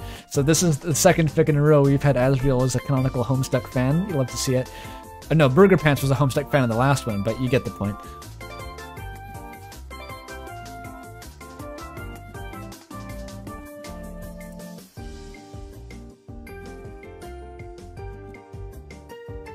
Didn't you hate the way it turned out? Golly, no, I, I think I missed the forest for the trees at certain points. But if I just pretend that the parts I don't like don't exist, it's rather excellent. What a good description of Homestuck. That's perfect. That's perfect. It's great as long as you ignore all the parts that make you want to jump off of a cliff. That was exactly my experience reading, well, the whole comic, honestly. And I did. I just ignored the parts that were bad and I liked it. It was perfect. And like, Homestuck is a universal constant because it's like too deeply rooted in a like Undertale wouldn't exist without Homestuck, and so all the characters have to know about it tangentially.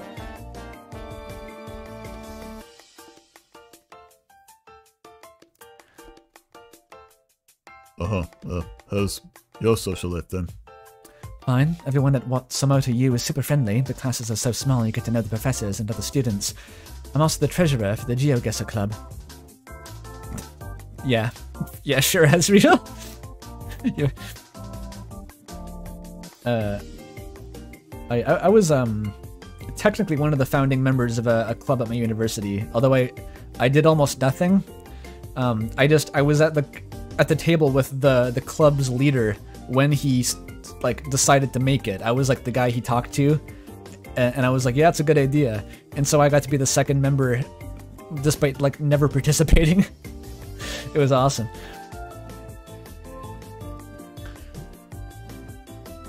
They let you handle the money? That's part of the job, yes, Asriel nodded. They're doomed. Hey, he chuckled.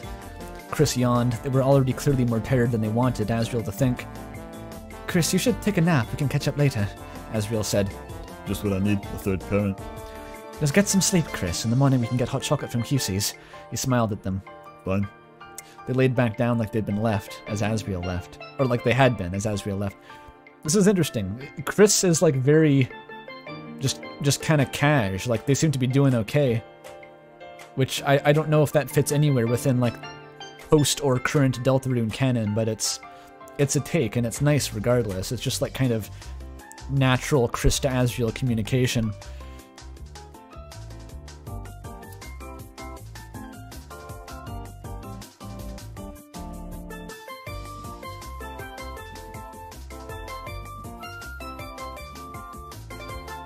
Uh, uh, yeah, okay. Asriel walked down the hall, thinking how strangely talkative Kris had been. He knew they hadn't taken him leaving well. Months before they left became less and less talkative. Not that they, they had ever been a conversationalist, and what little social life they had stopped altogether. But Asriel only realized that in retrospect. He was focused on going to college at the time. Hardly an excuse, he thought. Conflicting with his guilt, they were now almost acting like they had before Dessa disappeared. He began going over what he could have possibly missed when Toriel interrupted his thoughts. So I think it's implied that Kris is currently possessed still, and that's why they're so talkative, which is strange. It's uh, it's awkward to set a fic during Deltarune because you have to like ignore. You either have to make like a, a, a very strong stance about like where the game is in future chapters, or you just have to gloss over all the details and just talk about pizza pants or something. It's interesting. How was the pie, Asriel? she asked.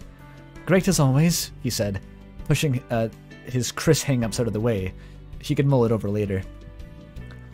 I have been experimenting, though. I'm not yet satisfied. You could say even the recipe is half-baked. That's a pretty sweet pun, Mom. He gave her a shit-eating grin. Speaking of experimenting, have you chosen your major? I'm leaning toward creative writing. I, I, know enough about coding to teach myself more, but I want to make quirky indie RPGs. I'm probably going to want to be better at writing, he said. Ah, my little game maker. I'm so glad you're pursuing your passion. I think I've actually forgotten how I used to do my Toriel voice. It, it's just become like looks to the moon, because her voice was so similar to Toriel's, but also a little bit different. And so now all I know how to do is Moon's voice. How's the classroom been? asked Asriel.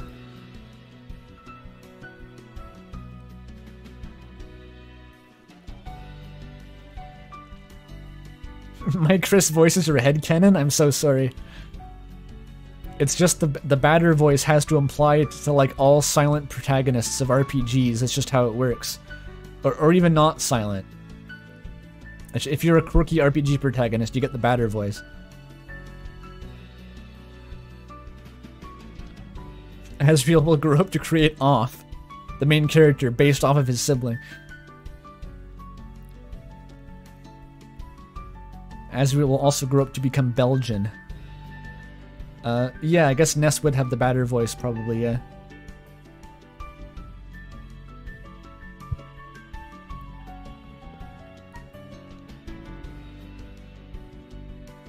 Uh...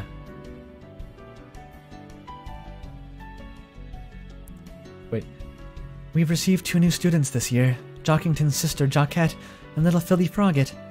Jockette reminds me much of Kris. She apparently has autism. Oh, damn. Stra straight up. Gone was Toriel's resting smile, instead replaced with a distant blank expression. Am I a bad parent for not having Kris checked? I, I don't I don't think so, Mom. Where's this coming from? Uh, I, I'm sorry, Asriel. It has been a tough few days is all. Her smile returned, but seemed sadder than before. Someone slashed the Kungadero's tires not long ago. I struggled to sleep since. So this is like right after chapter 3. And Toriel's thinking like... The, Toriel's confusing the symptoms of extra-dimensional ludonarrative possession with potential autism spectrum disorder. Um, I, I, could I could see how they'd overlap Toriel. It's okay. It's it, it's not always easy to recognize the signs. Who, who wrote this one? asks Outsin. That's a good question. I also like it. Uh, this is uh, Eusbee. E-U-S-B-E-E, Eusbee. It's like an, an Ingsoc abbreviation for You Social B or something. I don't know.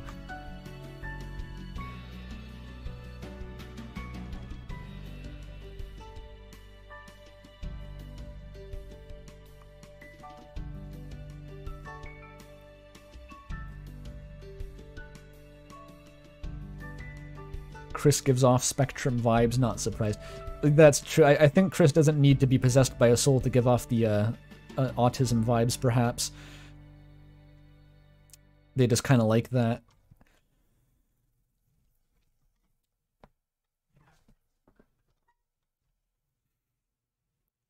Uh, what am I? Where am I? Where am I? The Kungadero's tires, yes. Are you okay? His stomach shrank and his veins freezed. Fear and outrage competed to be his primary emotion. Has anything else happened? Miss Undyne took care of it, or so I believe the matter is settled. No need to worry yourself. I'm going to bed tonight. Uh, I'm going to bed early tonight. She headed toward her room. Night. Asriel went off and collapsed on the couch. Without internet, he needed to use the cable that Toriel was inexplicably still paying for. He idly began flipping through channels, the only thing even half worth watching on the reruns uh, watching on was reruns of New Adventures of Mew Kissy Cutie, the most poorly reviewed of Mew adaptations. so that was what he was watching. He turned the volume down low and watched poorly paced bright colors bounce across the screen. When he was just beginning to have enough to have enough, his phone buzzed. It was a text from Pizza Pants. Finally, we're like eight pages in, we finally have a Pizza Pants name drop. No, I guess Asgore mentioned him previously, but What did Asgore refer to him as, by the way? What was the name?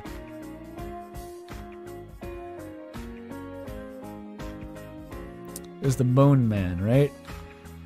No, Pizza Pants. Asgore also calls him Pizza Pants. That's just his name. Officially. Chad interpretation. Kris becomes neurotypical when possessed. Or more neurotypical. Perhaps? Perhaps. Some good chat messages.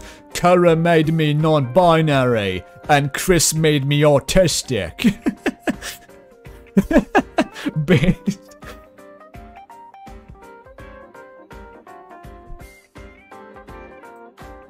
And Mayor holiday made me glad that Margaret Thatcher is dead. Uh, it's Pizza Pants. Dude, are you back? He asked. Yes, Asriel typed back. Wanna hang? Uh, I don't know, man. I'm watching reruns of Mew Mew. New Mew Mew. new, new Mew Mew. It's like New Trek. Or, or uh, Disney Wars. It's trash. Yeah, where we going? Ah, the church good? Sure, I could use the steps. Asriel left a note on Chiriel's arm, telling his mother he was out with pizza pants, put on a flannel fall jacket over his striped shirt, and made out out for the door. A flat is there such thing as a flannel jacket? I know about flannel shirts, which are kind of jacket-esque in their application. But do they make a dedicated jacket out of pure flannel? I can't quite picture what that would look like.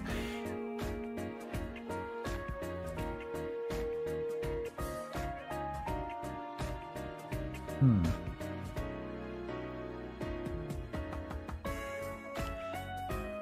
Anyway, sorry, I got really confused by flannel. Um, and made for the door. His walk all the way across town was full of unevents. Unevents. That's good. The streets were nice and quiet, the rustling loose leaves being the only thing about uh, the only thing out and about with him. As he got to the town hall, he spotted his best friend. Pizza Pants sat on the curb outside the church, one hand on the dusty hoodie he'd been using since sophomore year, the other idly flicking through his phone. Pizza Pants turned as he heard the footsteps and waved. Asriel came up and sat down beside him. Here we are. Pizza Pants stuffed his phone in his pocket. Been a while. I wanted to call, but service in Wasamota is even worse than hometown. Damn. Uh, R- R- Ralsei dust theorists are seething. Well, A- Asriel's also just alive, so I guess that also torpedoes that, but you know. It's a common thing in the Midwest just to wear a flannel shirt unbuttoned as a jacket in the fall. Uh, if that's what it means, then yeah, that, that's exactly what I, I. I just wouldn't call it a jacket. It's just a wearing a flannel shirt. I recently obtained uh, my, my first shirt of that nature. It's actually quite nice. It it works as like a slightly warm second layer if it's not very cold. It, it, it, I can see the appeal. According to Mel, it also uh, instantly makes you look like a lesbian, regardless of your gender. So that's good to know, I guess.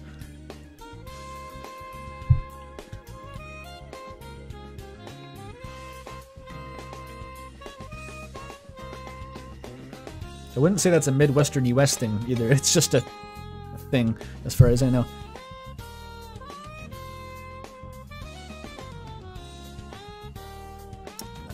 Uh, yeah, no problem. And I've dropped by, but I'm all out of vacation days. How are things on your end? I snagged a smoking hot babe, Azzy. Pizza Pants said with a self-satisfied grin. You've got yourself a girlfriend? I sure did. His manic expression faded as he remembered an important detail. Uh, but uh, she uh, she dumped me uh, a few days ago. Golly, I'm, sorry, man. What happened? I love le- really leaning into the golly as Asriel's go-to. It's the commitment is good. Uh, you know how it is, passing attractions and all that. And something about not attending to her needs. His face contorted into a grimace as his hands flew upward. What was she talking about? We never met. She barely spoke to me. Most of it was in emojis. Who does that? Well, she sounds like a real bitch then. Asriel gave a weak pat on the back. Damn, Asriel, savage. Pizza Pants never had much luck with the ladies. The, the contrast with like around Toriel Asriel and around Pizza Pants Asriel has been established.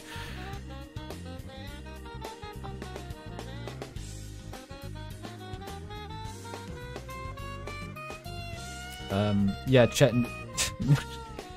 Neurotypical is a different word than neutered. Those are different words. They don't mean the same thing. Yeah. Glad to clear that up.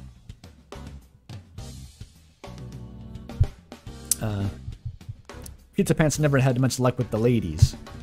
Just, uh, I'm, my finger's hovering over the trigger here about the re- repressed gay pants. We, we don't know yet, though. Maybe he's just, like, aggressively bisexual and really wants a girlfriend right now.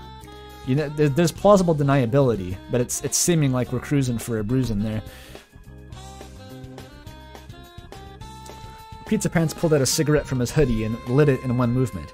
He smiled weakly. He had certainly spent a lot of time getting it right. I thought she was it, man. The babe to end all babes. He said, smoke trailing from his mouth. If it makes you feel any better, my luck hasn't been great either, Asriel said. Asriel Dreemurr, having my luck with dating. Now that's a load of shit. Okay, I'm a, I'm a bit luckier. I've been on dates, lots of first dates. None of them stuck, eh? I have a good reputation here. That doesn't really ca- carry over like I thought it would. Asriel looked back up Main Street. He felt something, some sentimentality pile up in him. Everyone loves me in hometown. It was jarring to be somewhere where everyone, uh, where that wasn't the case, but I guess I got used to it. Uh, Pizza Pants pulled off the stunt with another cigarette and handed it to Asriel. The broken expectations? He said as the two clacked cigarettes against one another. Damn, he smokes in this one. That's crazy, dude. Asriel smoking with his buddy Pizza Pants. What a bad influence. What's he gonna do next? Turn him gay or something? Fucking hell. Asriel inhaled. Smoke tasted of midday fast food parking lot. Perfect. It barreled down his throat, filling his lungs. He spent the following ten seconds coughing them out. What's in this? Asriel said. It's ICE-E's flaming hot all ages tobaccoless cigarettes. In other words, I have no idea. Pizza Pants shrugged before taking another puff. ICE-E's? You still work there, right? I owe my soul to the company store, he said. Uh, load 16 times, what do you get? Another day older and deeper in debt. St. Peter, don't you call me, cause I can't go. I owe my soul to the company store. Damn, Pizza Pants be quoting the old classics. They sat there on the sidewalk outside a house of the angel, smoking cheap tobaccoless cigarettes. That's horrifying. Like, what's in them? Is it parsley or some shit?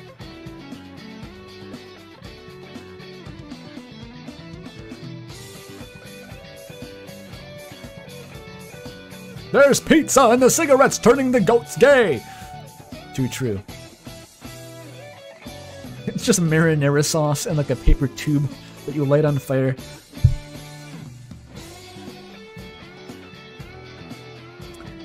Um, this was the closest Asriel had come to having a clear mind in months. His time was split half a dozen ways at Wasamota U, barely any of it was free time.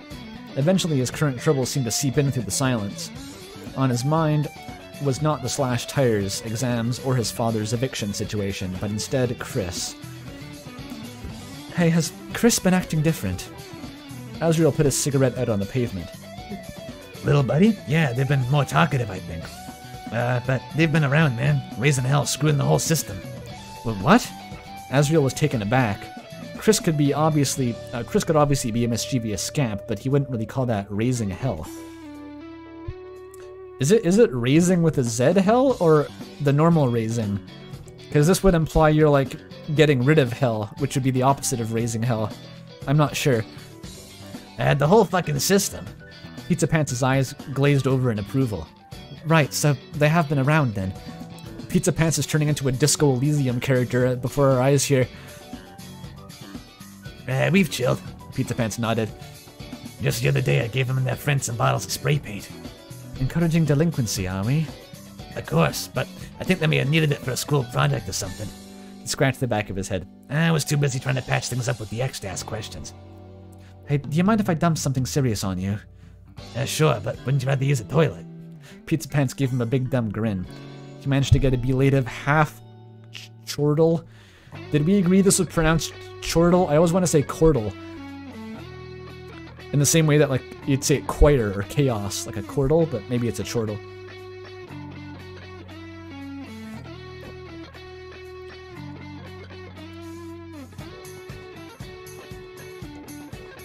Uh, did I mispronounce? I guess mischievous and mischievous. I've always sort of thought, thought that they were like, it was just two ways of saying the same word. I've never really thought about whether there was a correct way.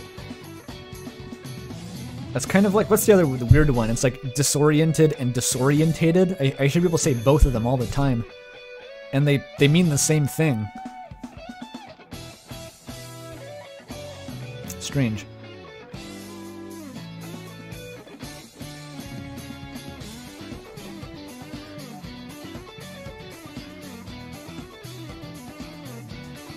Mm-hmm. I'll say I should say Thortle, yeah. Thorkle. I don't know what's going on with Kris, but I do remember them something before. But I do remember something being off before I left, but I was too focused on moving on. I barely stopped to consider them. Now they seem as well as they've ever been, but I just, I don't know. You know? Hey, just give them some space or something. If they've got a thing to say, they'll probably tell you when they're ready. You're not very good at this, are you? Asriel said with a smirk. Look, that's either that, or you can just to let a rift form between the two of you as you try to solve the other person. Worked for my pops and me. Pizza Pants said, a bitter tone making it in the end. Oh, damn.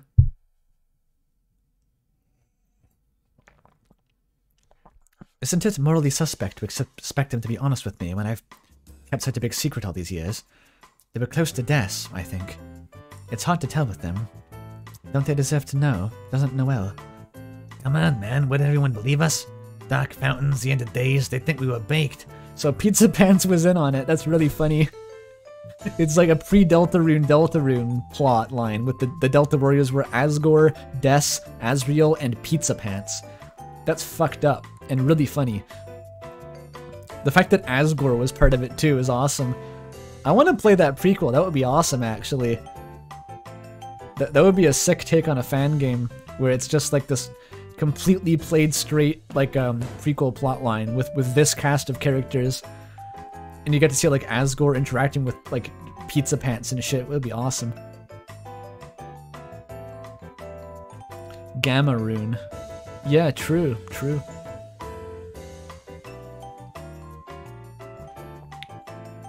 Asgore would be such a fucking good tank dude. Imagine like Asgore in his prime as your party member He'd be a force to be reckoned with.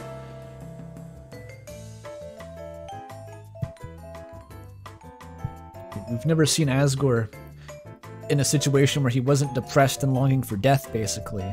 We don't know how powerful he truly is. Um, I miss it. Well, some of it. We made all those great friends. It was fun when it wasn't frightening, Asriel trailed off. He was assaulted by memories of entering the school closet with Des when they'd seen, been sent to get some supplies. They arrived in a lush dark world under siege by forces loyal to the Knight. Pizza Pants only showed up later when he was sent to find them. Hey, Pizza Pants nudged Asriel. I remember Mini you. Uh, Ralsei looked. Oh no! Wait, what is this? This is this is crazy lore we're bringing up here. This is nutty. Ralsei looked nothing like me, Asriel said. He looked just like you if you'd been a few years younger, cosplaying as a bag of colored marshmallows. He was so sad, always talking about how he couldn't beat the Knight, like he knew it. You know what this is reminding me of? It's reminding me of like, um, it's Homestuck again. It's like uh, pre-scratch and post-scratch, or, or actually, no, more accurately, it's like uh, the the alpha and the beta session. Or no, was that the scratch? I forget the terminology. You know, it's like the the trolls failed, and then the the the are they called the beta kids? The the original four kids they have to sort of pick up or they they leave off. It's kind of that. This is just Homestuck again. But Homestuck is good sometimes. Homestuck is sometimes very good. Cause like they spawned into a dead session or some shit. Like Asriel still felt there was something off with that, though he couldn't put his finger on it. Nice kid, but yeah, he was a bit of a downer. He was wrong too. Des stopped it. I wonder what happened to him. All of them. Maybe that was pizza. Uh, nothing good, dude. We don't know that. No, I, I had the dialogue inverted, but it doesn't matter. Yeah, I guess you're right. Pizza Pants shrugged. Asriel looked over in the direction of the bunker where the final battle had happened. Before it was a dark world, Des, Noelle, Kris, and he used to explore the bunker. Mostly they'd go there and mess around in the rusted Cold War relic, but one day Kris just refused to go back in. Asriel thought it was silly then, but now he was in full agreement. Just looking at his general general direction brought him back to the darkness in there that had made that had been darker than dark. Um, close enough. Where is it?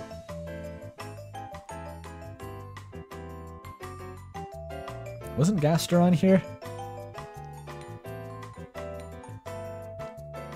Oh, there it is. Close enough.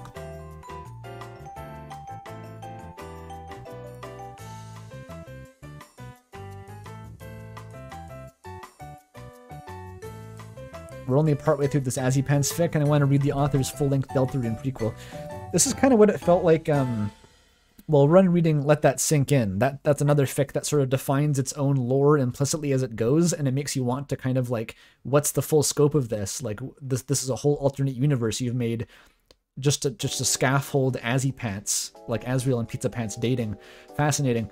But also like early um the early Courier knew Deltarune Chapter 1 fanfics before uh, like chapter 1 fanfiction was weird because people had no idea what the fuck the game was or where it was going and they had to just wildly speculate and set up their own lore and, and fixate on whatever plot points they thought were going to be important. Like uh, um, a lot of the early Courier stuff was about like um, the growing darkness and like shadows consuming hometown and like it was all very ghastly and strange and eldritch and uh, it, it seems kind of weird to look back. It's like, well, the game hasn't really gone much in that direction so far, but uh, it was like back then you sort of had to make a take and roll with it, because otherwise you had nothing to work with.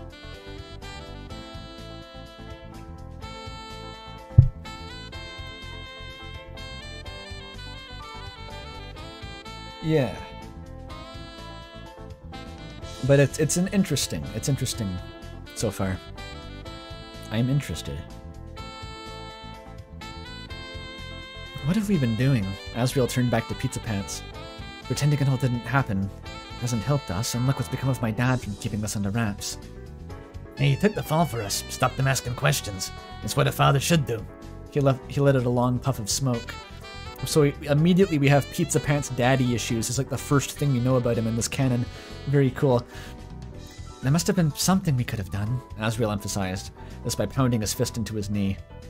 Nah, there wasn't, has he? Could have stayed with her. He almost winced as the words left his mouth. No, that's dumb. Yeah, it would have been fucking dumb. Pizza Pants nodded. I still have nightmares about it, dark fountains exploding all around us. It was a miracle that she made it to the night. And where there went fountains, it was all darkness and chill. Asriel's fur, fur stood up straight just talking about it. And hands. Hands? What, like our hands? Asriel's pace quickened. There was a twinge in Pizza Pants' voice. Was he suggesting there was something more between them? Asriel had grabbed his hand and ran, but at the time he hadn't thought of Pizza Pants like that. He'd been dating Des after all, but now Pizza Pants was his best friend. And Asriel thought it was kind of adorable when he did all those, when he did all those little expressions that must have crushed his skull. there were worse alternatives. I, I think he was talking about Gaster, Asriel, not not like that shit. That not that shit. He's just having an, uh, an LTSI moment. That that's what he's doing. Yeah, Umrizzypants was was good. Yeah, it just said like, "Fuck the dark world. It, it's irrelevant. None of it ever happened. I don't care."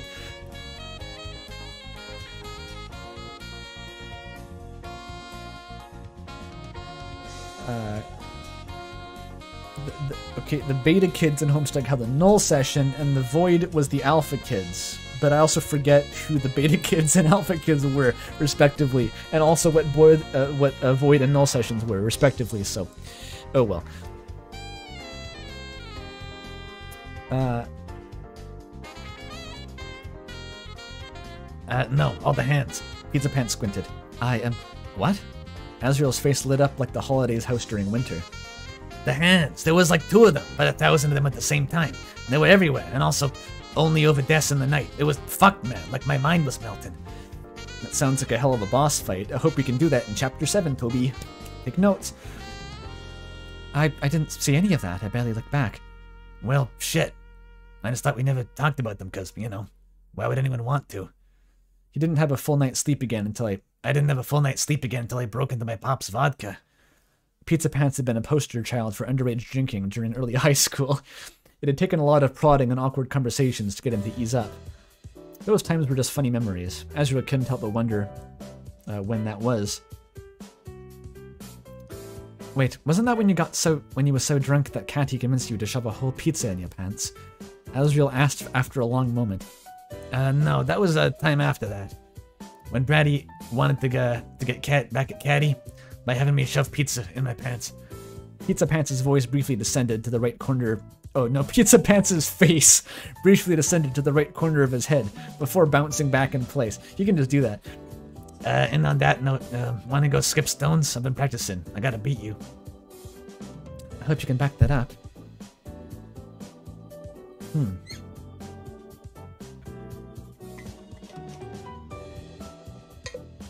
Sometimes I remember that Andrew named three main characters John, Jane, and Jake. Well, don't forget Jade and June from the epilogues. Um, yeah, classic, classic stuff.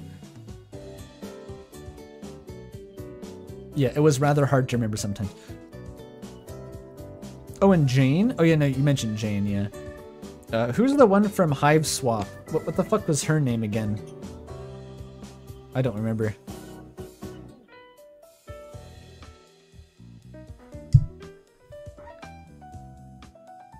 Oh, Jude and Joey from Hiveswap, yeah.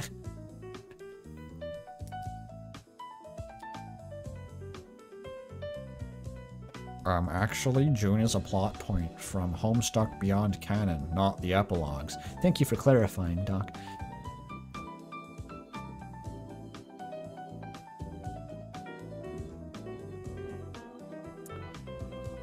Uh, where was I? Homestuck, begone, begone spirits.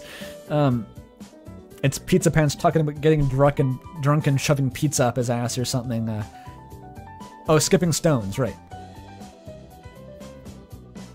A normal platonic friendship thing to do, skipping stones. Um, as they walked past the nondescript parts of town, Asriel couldn't help think about that uh, stray gray hand thought. No, the stray gay hand thought. No, he did just say gay. Okay. that stray gay hand thought. It hadn't come from absolutely nowhere, since he really did care for Pizza Pants, certainly more than anyone he'd been on a date with recently. But that was surely platonic, he thought.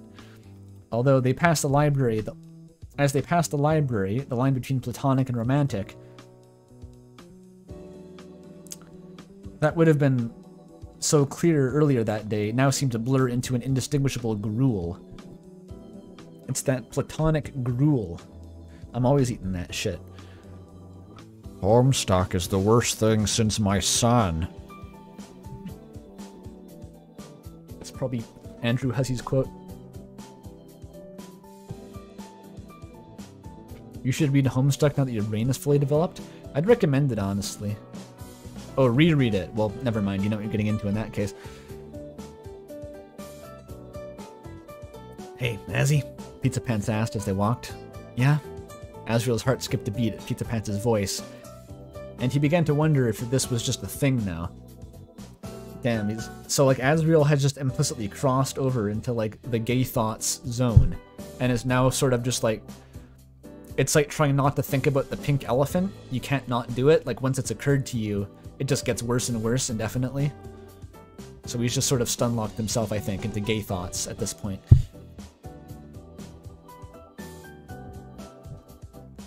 And that blue kid who works the desk at the library, uh, Birdly, he won't stop talking to anyone who's close to you about how, how, you, how you haven't returned the book.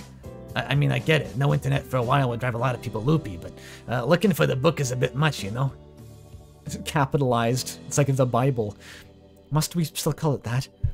Hey, the one, uh, the one with the dragon fetish. Oh no, hey, you're the one with the dragon fetish. Pizza Pants flapped his hands like they were little wings. I like the art style. Asriel didn't deny it. Man, how long have you had it? Golly, wouldn't you know, it's been at least six, no, seven years. He almost felt self-conscious about it. That That's a good Floweyism. Don't ya? Ah, shit, I thought I was one with the juvenile record.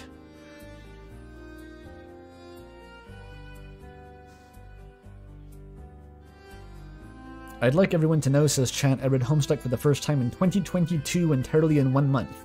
I did the same thing in 2019. I read it in two weeks. It was during the summer uh, vacation. I, I, did nothing that summer for two weeks, um, except read Homestuck. And hey, it worked.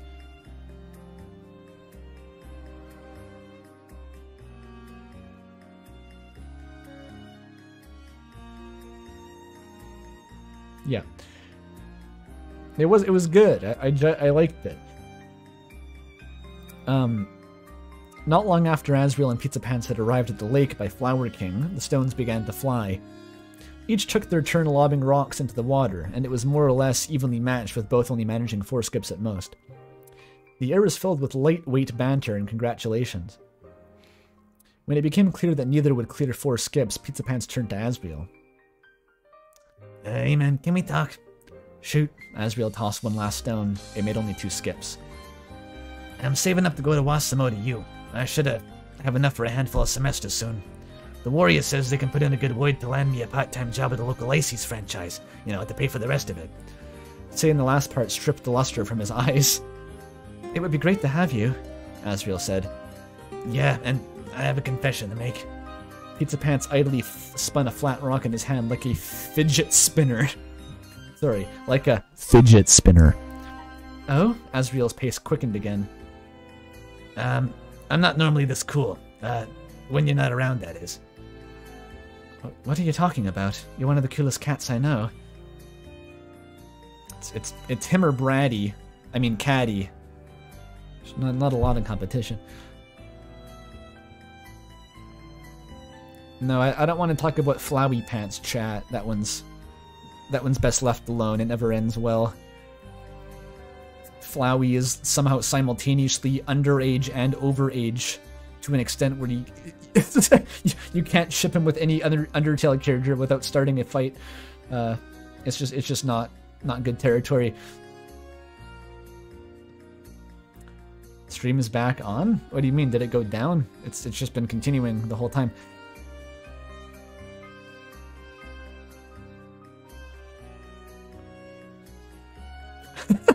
what the fuck is Sans? Sans is in my chat. Hey, just remember, don't be gay. Gay is misogynistic because it gives men power. So, like women instead. Liking women gives women power. Thank, thank you, Sans. That that's very wise. the fuck, man. Lol, Lamau even. That's the shit he starts telling uh, Frisk after like a 900 genocide loops. He just starts like making up bullshit.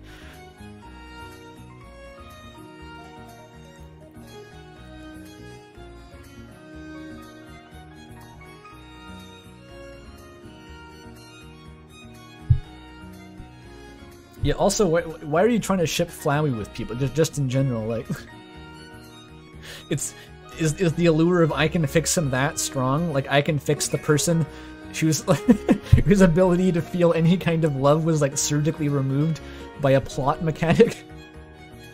I can fix him. You can't fix him. He's Flowey. You can't fix him. Okay, I say that. I say that.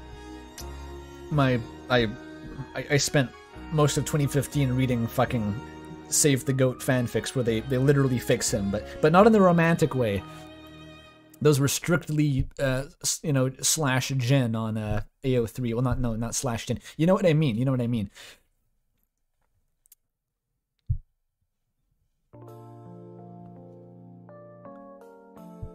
Ship Flowey X therapy. That'll that that's okay. That's okay. Asriel is fixable, Sischa.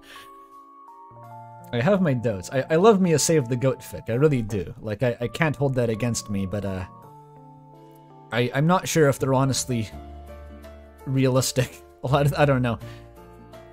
Like, Asriel would be so fucked post-Undertale. Like, so fucked. I don't know if there's enough therapy in the world for that kid.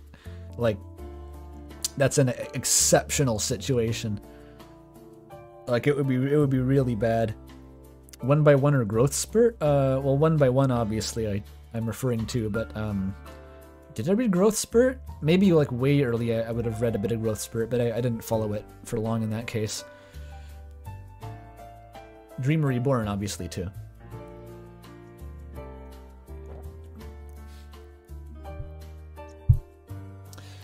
Uh, okay.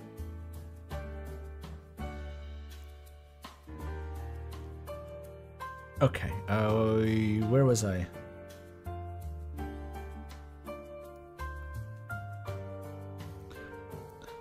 Uh, you're one of the coolest cats I know.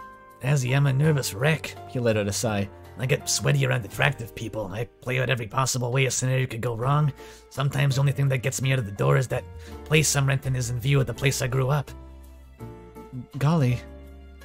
But when you're around, I'm not. It's like I'm a you're a fucking magnet and I'm a nail. And once I'm around you, I keep that magnetism for a bit.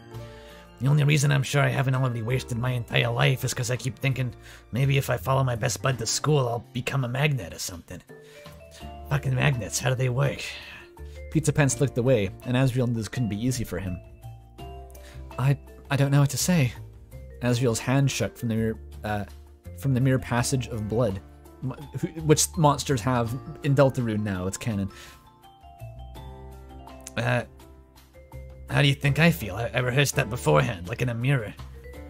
Somewhere in his queue of thoughts, Asriel might have considered that he was misinterpreting something, but that was well behind his current thought, sandwiched between the time he'd almost embarrassed himself in front of Des at the Sadie Hawkman's dance and his upcoming midterms. His current thought was, to put it simply, Kiss him. It wasn't particularly long kiss, barely longer than a peck, but the autumn breeze seemed to pick up as their lips touched. Damn. Wait, is that on the bingo? I don't want to ruin the moment. Bingo can wait for a sec. This is this is important. That was uh, Pizza Pants began. Mm-hmm. Asriel was already going in for another kiss, but Pizza Pants planted a hand on his shoulder. Uh, dude, cool with that. Uh, I was mostly straight not 15 minutes ago.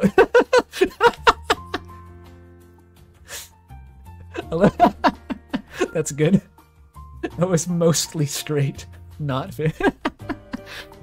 it's funny how quick that was. That was an interesting way of handling it. Is like both of them were like they weren't like thinking of each other romantically all through college, but it was just like under the surface. And like as soon as they thought about it even a little bit, they both just went like, "Oh yeah, this is kind of gay," and they just started kissing just like mutually. It's really funny actually. Like all it took was Enrique meeting after college, then all of like the uh, the subconscious ruminations like came to the surface at once, and they're like, "Oh yeah, right, this is gay as fuck." It's a new take on Azzy Pants. I'm in favor.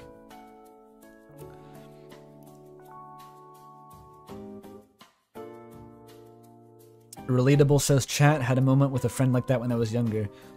It, it strikes me as weirdly plausible, honestly. Has the whole stream been an extremely long Azzy Pat? Uh, this is the fourth fic, I think. Or just the third. I don't even remember. It they've been pretty long, and I've not been going very fast so far.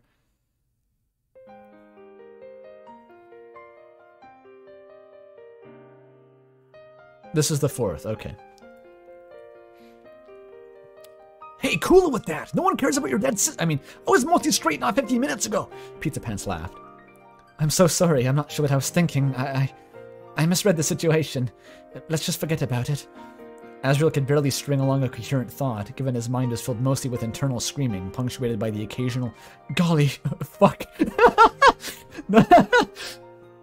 Not to mention that his face was redder than a pale human on the beach. Damn, roasted. I guess that confirms that monsters don't sunburn. That That's good for them, I guess. Nah, it's all good, dude, really. Let's just take it a bit slower, huh? Right, fast snails get seen, a slow snail gets lean, uh, but a slow snail's very keen. Asriel, what the fuck are you talking about? Asriel's face still burned as he came down from the verge of panic. So, so what what happens now? fuck if I know, man. I guess we date or something. Are you are you are you asking? Yeah, I guess I am. Pizza Pants seemed to surprise that this is Asriel. It would be weird for me to say no now, so yeah, let's do it. QC's tomorrow after I, no, I reversed the dialogue again. It would be weird for me to say no now, so yeah, yeah, let's do it. QC's tomorrow after I get off my shift. That works. Asriel grinned, despite his worries and his guilt. He just couldn't help but feel a little giddy or hopeful, even. Damn, this got wacky. This this was like so serious and melodramatic. It still is serious. It's not a, it's not taking itself like a joke, but it's uh it's just like the tone shifted so rapidly from like they're like these traumatized ex Delta warriors to like, oh shit, yeah, we, let's let's date, I guess. this is this is cool. This is the silver lining, I guess, Azzy. Yeah. This fanfic got me thinking. I should start kissing men to see if I'm homosexual. It's not bad advice. I don't know. It's a chat member. Uh,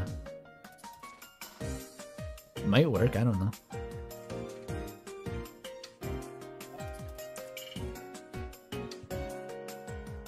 Pizza Pants threw a pebble. It made a half-hearted first bounce, then sank with a plunk. He turned to Asriel, almost saying something several times, but never getting past opening his mouth. Yeah? Asriel raised his eyebrow. Man, how'd you get your snout so soft? You used to eat, right? You used to eat, right? Wait, what? Pizza Pants' face twitched about uncomfortably, a light blush forming as the words left his mouth. I wash it? Duh, but with what? Soap. I gotta remember that. Pizza, Pizza Pants mumbled. Asriel couldn't tell if he was joking or not.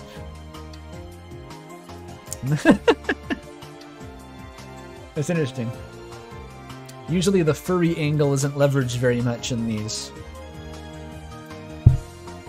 I'll take it. They threw stones, uh, a few more stones to wind down the evening. Asriel was about to suggest leaving when someone approached from up the road. Yo, it's Noelle. Uh, has he? Noelle called from behind them. Um, the pair turned to see Noelle Holiday approaching with a purple monster, whose mop of hair was 20% cowlick by volume, walking beside her. They shipping it? They shipping it? They shipping it? They shipping it? Uh, Noelle, long time no see. Um, not to be a stinker, but it's just a bit late for you to be out. Asriel said as he and Pizza Pants made met them in the middle. Nah, fuck the rules. Okay, Susie's voice is, is subtly different than Pizza Pants's, but um, maybe on a good day it's subtly different. Right now they might sound kind of the same. Nah, fuck the rules. The purple monster gave a smirk, revealing her mountain range of teeth. Azzy, this is Susie. Noelle blushed. Sup, dweeb? You're Kris's bro, right? Susie said. Yes, you're her new friend, I assume or their new friend, talking about Noelle. Asriel shook her hand. Her grip was shackle-like. Yep. He looked at him like uh, she was a shark and he was a blubbery seal. Damn, some some ADS cult, uh, ACDS culture permeating. We got lots of seals on ACDS all day long.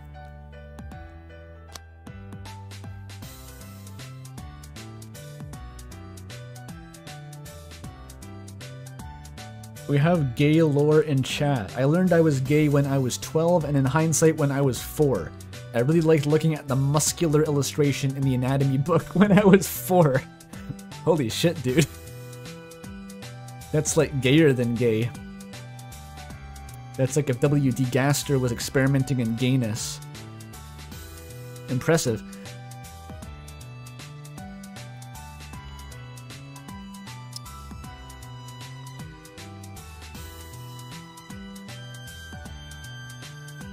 Other chat member. I don't know, man. I just wanted to be a, a guy cat. No, a guy with a cat wife. That's interesting too. Very cool. Plah. Anyway. Susie is here. a jolt came down his spine. Kris was right. She knew about hometown. No, home I read that as like Homotown suck for a second. It's like hometown homo suck. Um, hometown stuck. The forum roleplays, his troll sona, the Mew Mew crossover, self-insert, crackfic, all of it. The wind chill seemed colder to him, more savage even. Uh, the, you could say the wind was staggering him. Uh, no, to answer your question. Uh, no, that's Noelle. Um, no, to answer your question. Noelle stepped forward. I don't really have anyone to stop me now, with my dad still in the hospital and my mom getting arrested. Uh, what? Okay. Fascinating lore. Mayor Holiday was arrested. The revelation quickly made Asriel forget about Susie knowing some mildly embarrassing things about him. Um, yeah, just this week. There was like a, a huge corruption scandal, bribery, coercion, ballot tampering, the wakes. Pizza Pants filled his hands about as he explained. Wait, this is election trucking lore. Oh, I. I see what this is. Ballot tampering. Oh dear. Wait, wouldn't it, in election trucking, it would be uh, Sans getting arrested for ballot tampering?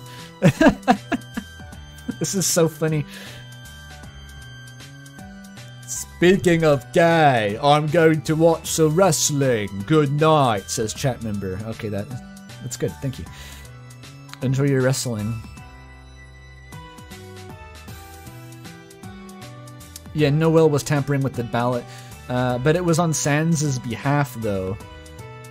But also, uh, Mayor Holiday attempted assassination and did a whole bunch of other clandestine shit. So, um, she also every everyone in election trucking should be arrested. Just everyone, the whole cast.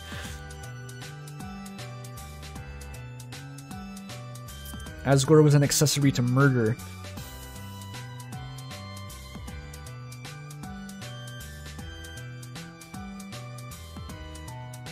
Uh, yeah. Wowzers, I'd say I'm shocked, but that explains a lot, actually. and that wasn't even the start, and that's not even the start of it. I heard she was into some real serious stuff, like, uh... Pizza Pants winced and turned to Noelle. Oh, uh, sorry, I, I should, you know, not in front of you. Don't be, I, I turned her in, she said flatly. Asriel had trouble gauging how she felt. Noelle, he frowned. So, what are you two doing out here? Pizza Pants asked before Asriel could start a heart-to-heart with Noelle. I could ask the same of you, Paint Man. Uh, I could ask the same of you, Paint Man. I think the difference between as uh, Susie and Pizza Pants' voice is going to be a half-hearted Brooklyn accent. Oh, this is the last song. We, have expended all the Touhou jazz. Susie leaned against a tree and crossed her arm. Wait, who is Paint Man? Why, why is he Paint Man? And we're just shooting shit, skipping stones, you know, uh, stuff. I'm stuff, says Asriel sweat piled down as Pete, uh, Pizza Pants' face like a herd of frightened lemmings fleeing a documentary crew. I want a cig. Pizza Pants, you can't give them cigarettes, they're in high school. Asriel's goody two-shoes senses activated, overriding all that he'd been thinking of before. That's fine, they're all ages. they're, they're tobaccoless. Pizza Pants' expression was pleading. He clearly didn't want to discuss the sudden change in their relationship with a couple of teens. I'm not sure that's how it works, Asriel said. You heard the man, they're all... You heard the man, they're all ages. Susie smirked. Pizza Pants presented his box of ICE-E's Flamin' Hot All Ages tobacco-less cigarettes to the teens. They each took a dart without much hesitation. Susie tossed hers into a her bear trap of a mouth and swallowed the cigarette. Noelle took her, her own novelty snowman lighter. No way Noelle has a lighter. No fucking way. What do you mean? Noelle, what did did Susie get you into this shit? What happened? There's a story here. Maybe uh, Noelle's hard-boiled detective arc that led to her uh, arresting her own mom. She had to take up smoking to play the part. I don't fucking know. Kris is gonna be pissed they aren't invited to the smoking hangout. Yeah, true. No, Kris is like in the, the bathroom at the Dreemurr's house, toking up on a bong right now or something. Kris is like freebasing.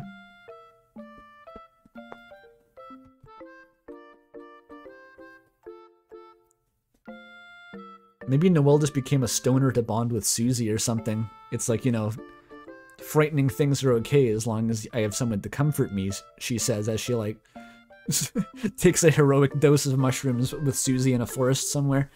Like, I, can picture it. Oh, it's the sheltered Catholic girl who secretly smokes trope. Ah, okay, okay. Kris is smoking the soul locked in a bong like the Dracula flow or some shit. We're smoking diegesis. Lighting up human souls in a glass pipe, blowing the angels' bubbles. I'm smoking fentanyl-laced ICE-E's pizza. I see the angel. I read the script. I have read the Hussy Grams. I have seen the Undertale Steam page. This shit ain't nothing to me, man. That's what Kris is talking about in the bathroom. Just completely, like, blasted out of their mind on ayahuasca.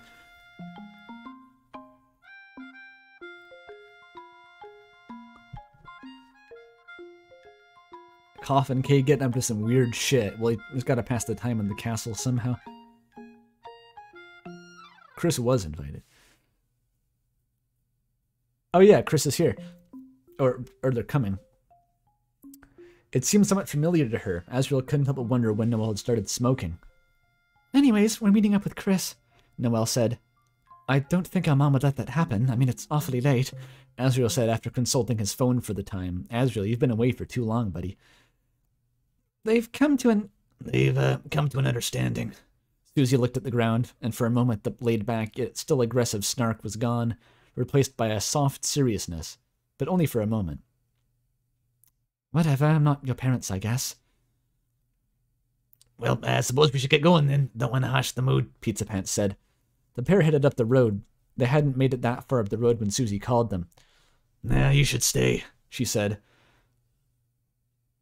Uh, oh, that's not a bad idea. Noelle's eyes widened in realization. Of course it isn't. We're trying to convince Kris to do something, Susie said. And Azzy here might be able to help our case. Noelle nodded in agreement. I guess I'm done to chill if you are, says Pizza Pants. Uh, all right, but what are you trying to get them to do? We've, uh... Noelle shook her head. I mean, Kris has been going through some things recently, and they thought they should really tell someone, preferably an adult, and you're an adult. Technically, Susie added. If it will help Kris, then that's a wonderful idea, Asriel said. Uh, sorry, I, I don't know why I said it like that. It was almost like a, a memory from past life infiltrated my mind and completely overwhelmed me for a second there. It was very strange. Asriel detached from the rest of the three and sat by the water, watching the moon play out on the, the water. For a moment he thought he saw a massive yellow shape out a bit deeper, but he blinked and it was gone. It wasn't long after that that Noelle sat beside him. She watched the ripples too for a moment. I wonder what Pizza Pants and Susie are talking about in the background, by the way. Fascinating conversation.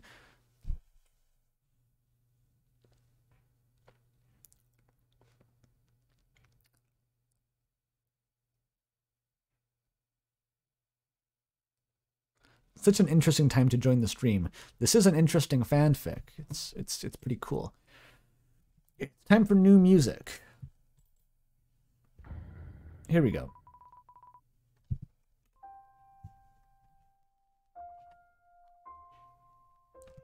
An old standby.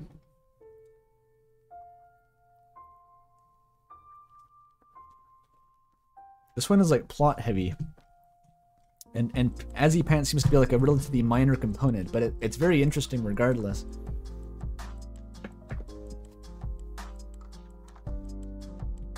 There's like occasional peaks of Azzy Pants relevance between like this sort of like uh, speculative pseudo AU take on like Deltarune's future chapters.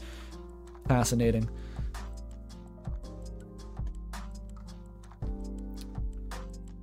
Remember when Kris filled a water balloon with red food coloring and tied it to their chest? She asked.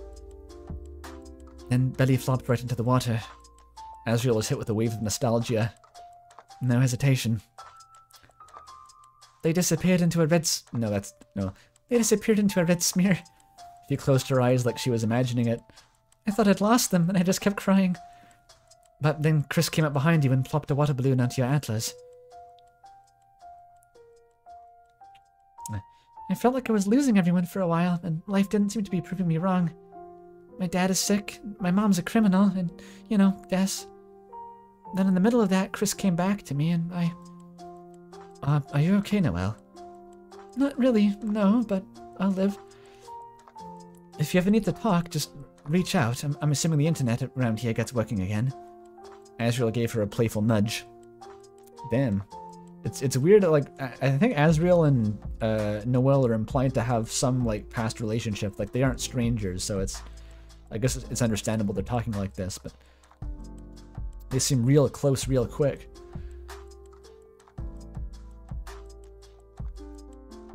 Thanks, Azzy. She sounded on the verge of tears. Asriel watched the water for a few minutes, Asriel letting Noelle compose herself. Susie and Pizza Pants seemed enamored with something behind them, but Asriel didn't pay them much mind. Eventually, Noelle seemed uh, ready to pick up where she'd left off. Kris is a good person. I, I know I know that now, but for the longest time I thought they stopped caring. She looked off toward the woods. Now I just think they were struggling and nobody knew. Yeah, you're right. I was so busy trying to get out ready for college that I ignored them. I should have been there, he said. And I was too busy being afraid to help them. But I'm not going to let that happen again. No more pick, being picked last. They deserve to have some someone there for them. And Susie and I will make sure of that. She blushed. That's super corny, huh? Noelle Holiday, when did you get so brave? Asriel said, hint of awe in his voice. The Noelle who had been afraid of ICE-E's pizza boxes was not the same one sitting next to him, who turned in her mother. That's such a weird plot point just to have, like, not explained. It's just part of the lore. It's just like she arrested her mother or turned her in. Like, what what happened? How did that play out? It's like an elephant in the room, kind of, at this point. She seemed so determined. I, uh, I don't really know. A lot that's happened with me in a, such a short amount of time. A lot has happened. You know, I, I expected to come back and everything to be like it was before. I was silly. Things change. I just didn't expect Hometown to. I get that, she said. Maybe he was still feeling the buzz after kissing Pizza Pants. Reminder, this did happen like a minute ago. Or maybe it was just, uh, it was just braver by being near her. But he felt, uh, sure that he had to tell Noelle about Des. How could he even go about telling her in a way that she'd believe? He'd have to mention as little as possible about Dark Worlds and the like. Maybe he had to, maybe he could tell her the truth. And if she believed him, uh, could she even stand to be near him? He began speaking before he knew what he wanted to say. About Des, I, I know more about her disappearance than most people do. Asriel managed, despite the words feeling like gravel coming out. I think I know what happened to her too, Azzy. Noelle looked up at him, and there was something heavy in her eyes that came with knowing gonzo shit. What? What does this even mean? But came with knowing gonzo shit. What, what I don't I don't, I'm actually just at a loss for what this this expression means. My burger's finished cooking, so I'm gonna go eat that for a bit. Be back in 10. Says Sans in chat. Thank you, Sans, for the update. Um, Sans' grub has come. Too true. I've heard of gonzo journalism, but I don't really know what that means, so uh, I'm not totally sure. Tea refill.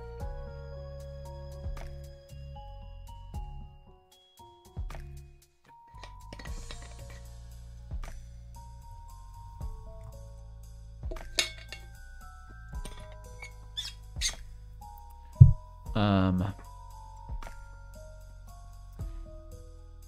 he believed her. He'd seen it enough times in a mirror, and by the look of it, she might have she might know even more than him. Oh. Oh, Jingies, where do I even begin? I learned about it a couple days ago now. No, that's a terrible place to start. Uh, uh-oh. Um, oh, it all started with some spam emails. Hey, you guys gotta check out this beetle, Susie yelled. It's roided up. Pizza Pants said. we can talk about this later. Susie looked off towards Susie. Uh, no, sorry. Noelle looked off towards Susie. If that's not much trouble, I, uh, I went to see the beetle. They're kind of freaky. And you like freaky, no worries. Um, Asriel felt the weight of having to discuss this shit in the future. No, this shift. It, it said shit previously in narration, so it was par for the course. Gonzo like crazy. Gonzo shit. Mm -hmm. The, the shit the newspapers won't print, if you know what I mean. The shit the establishment doesn't want you seeing.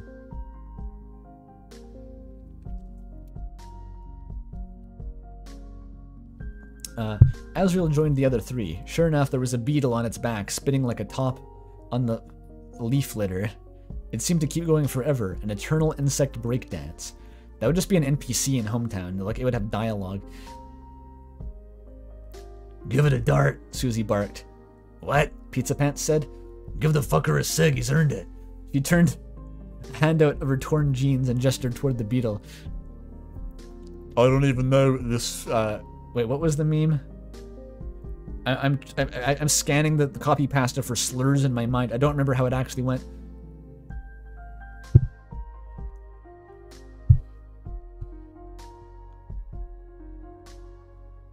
Uh, Pizza Pants lit a cigarette and tossed it onto the it onto the beetle, who caught it with its legs. It proceeded to rip fat clouds as it spun.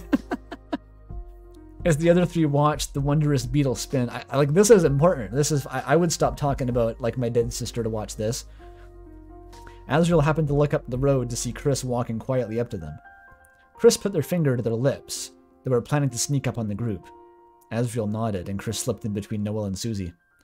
Cool beetle. They said. Noelle and Pizza Pants were both a bit startled. Kris, took you long enough. Susie punched them in the arm. Sorry, had to finish my bi-weekly after dark game of handball with Darkington. They dusted off their sleeve. After Dark Jockington Handball. Okay. I hope that becomes a plot point in the future. Oh, there it is. No fucking idea what this cunt even is, but he's chuffing the back a fat doll, and that's all that matters. Too true. that beetle's probably it's not it's probably just another monster. Like that beetle has a social insurance number.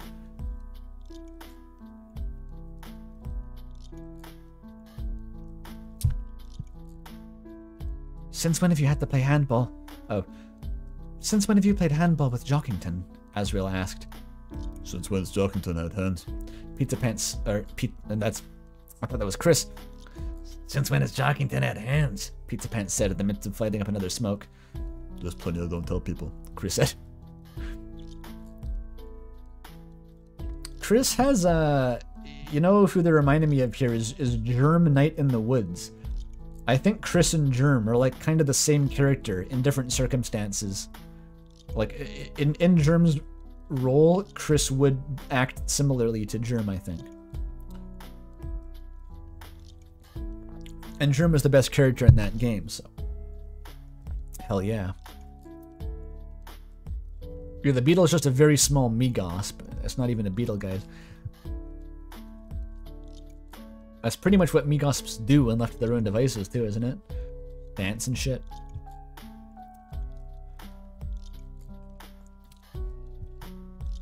Yeah, like you've been hanging out with Noelle again. It's good to see. Asriel smiled as a little warm feeling grew in his chest. We have triple truces. Kris said.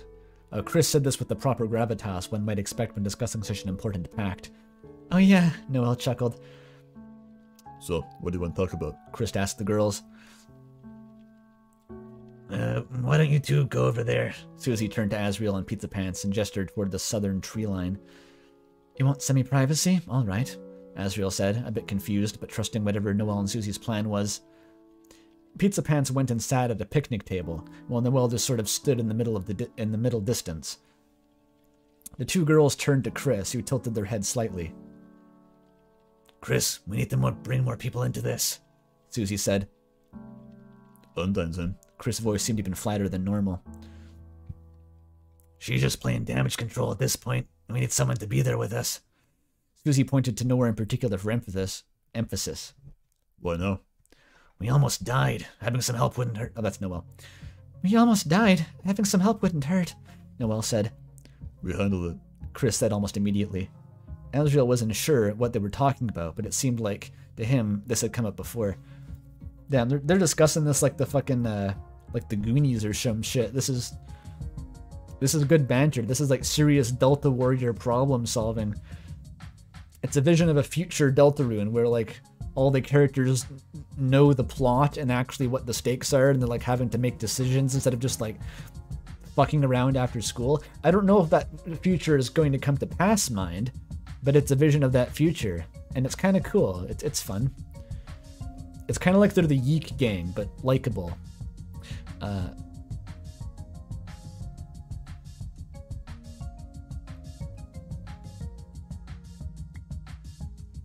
uh, Listen, we've all been through we've all been through it the past few days, Susie began. Asriel's phone buzzed. He fished it from his pocket. It was a text from Pizza Pants. He looked over at Pizza Pants sitting on one of the picnic tables, huddled over his phone. What are they talking about? Read the text. Read the text. Why are you texting me? Asriel texted. I don't want to interrupt. Pizza Pants replied. Don't be an idiot. I'm right here. Come and whisper to me. Kate. Less than three. He's in. Remember, they're dating now, right? They started dating five minutes ago. They are they are dating. This is the ship fit. Pizza Pants shimmied over to Asriel as Susie continued her speech to Kris. He leaned in toward Asriel. Shit, was the hot too much? No, it's cute. Asriel looked down. Uh, Asriel looked down. Sorry. Cool, cool. Uh, uh, so, do you know what they're talking about? I don't know, man. I'm in the dark on this too. I've got a really bad feeling though. as we looked back over at the teens. Uh, who's saying, We've gotten this far because we haven't been alone. Other people have helped us and we've helped each other. So we should tell them. We could use all the help we can get. Susie planted a hand on Kris's shoulder as emphasis.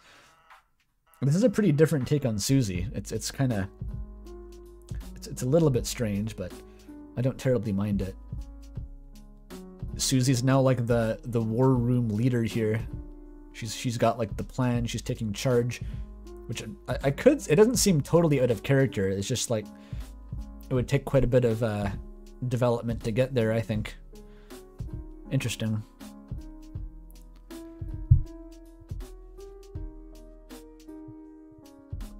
Yeah, really the best option. Kris said after a long pause. Susie looked over at Pizza Pants and Asriel. Uh, no, at the Pizza Pants and Asriel, assessing them with a single yellow eye poking through her mess of hair.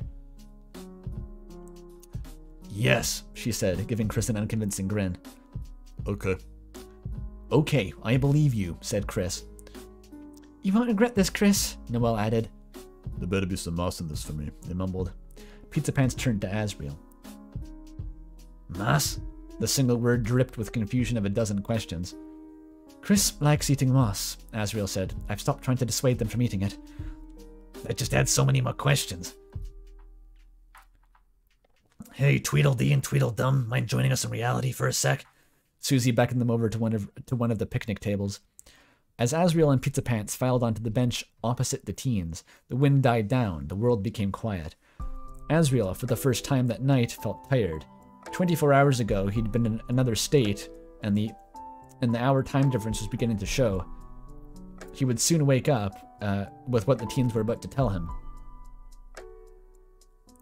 Where do we even begin? Determination? Darkness? Kris asked the girls. Pizza Pants and Asriel gave each other a shocked look. How about the beginning? So, uh, there was this closet in school. Damn, oh, that's a hell of a cliffhanger. That's the end. Holy shit. So I don't know if that's the beginning of an ongoing fic or if that's that's it. It's just a little taster. But uh, it feels like that could keep going on for about 100,000 words at this point. Like, this is like the start of a whole AU. What a fascinating take. Uh, and as as light as the the Azzy Pants elements were, they were very they were nice. They were appealing. They were fresh, and I liked them. Chat says I would read 100,000 words of that. I wouldn't mind it. Yeah, that one is really nice. Uh, I most I was interested like in the plot, which is unusual, like out, outside of the Azzy Pants shenanigans. Very cool. It has pacing. It's got prose.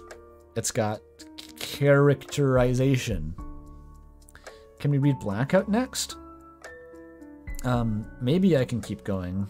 I I was kind of thinking in terms of like getting to six hours and calling it because I'm getting kind of tired. But uh, maybe. Let me see. It it was like it was always going to end with something not getting read, right? So it's just a question of how much. Okay, Blackout is 7,000 words. That's a pretty long one.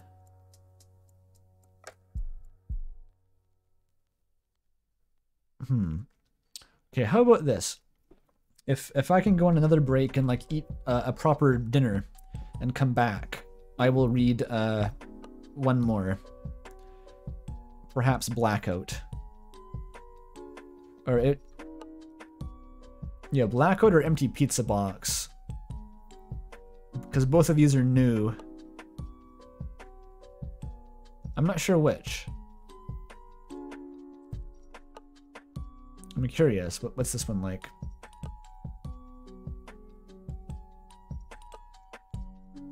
Wait, this is just the whole bingo card. Wait, were you drafting the bingo card on this Google Doc before the stream? What is what's what's this shit? This is supposed to be very good.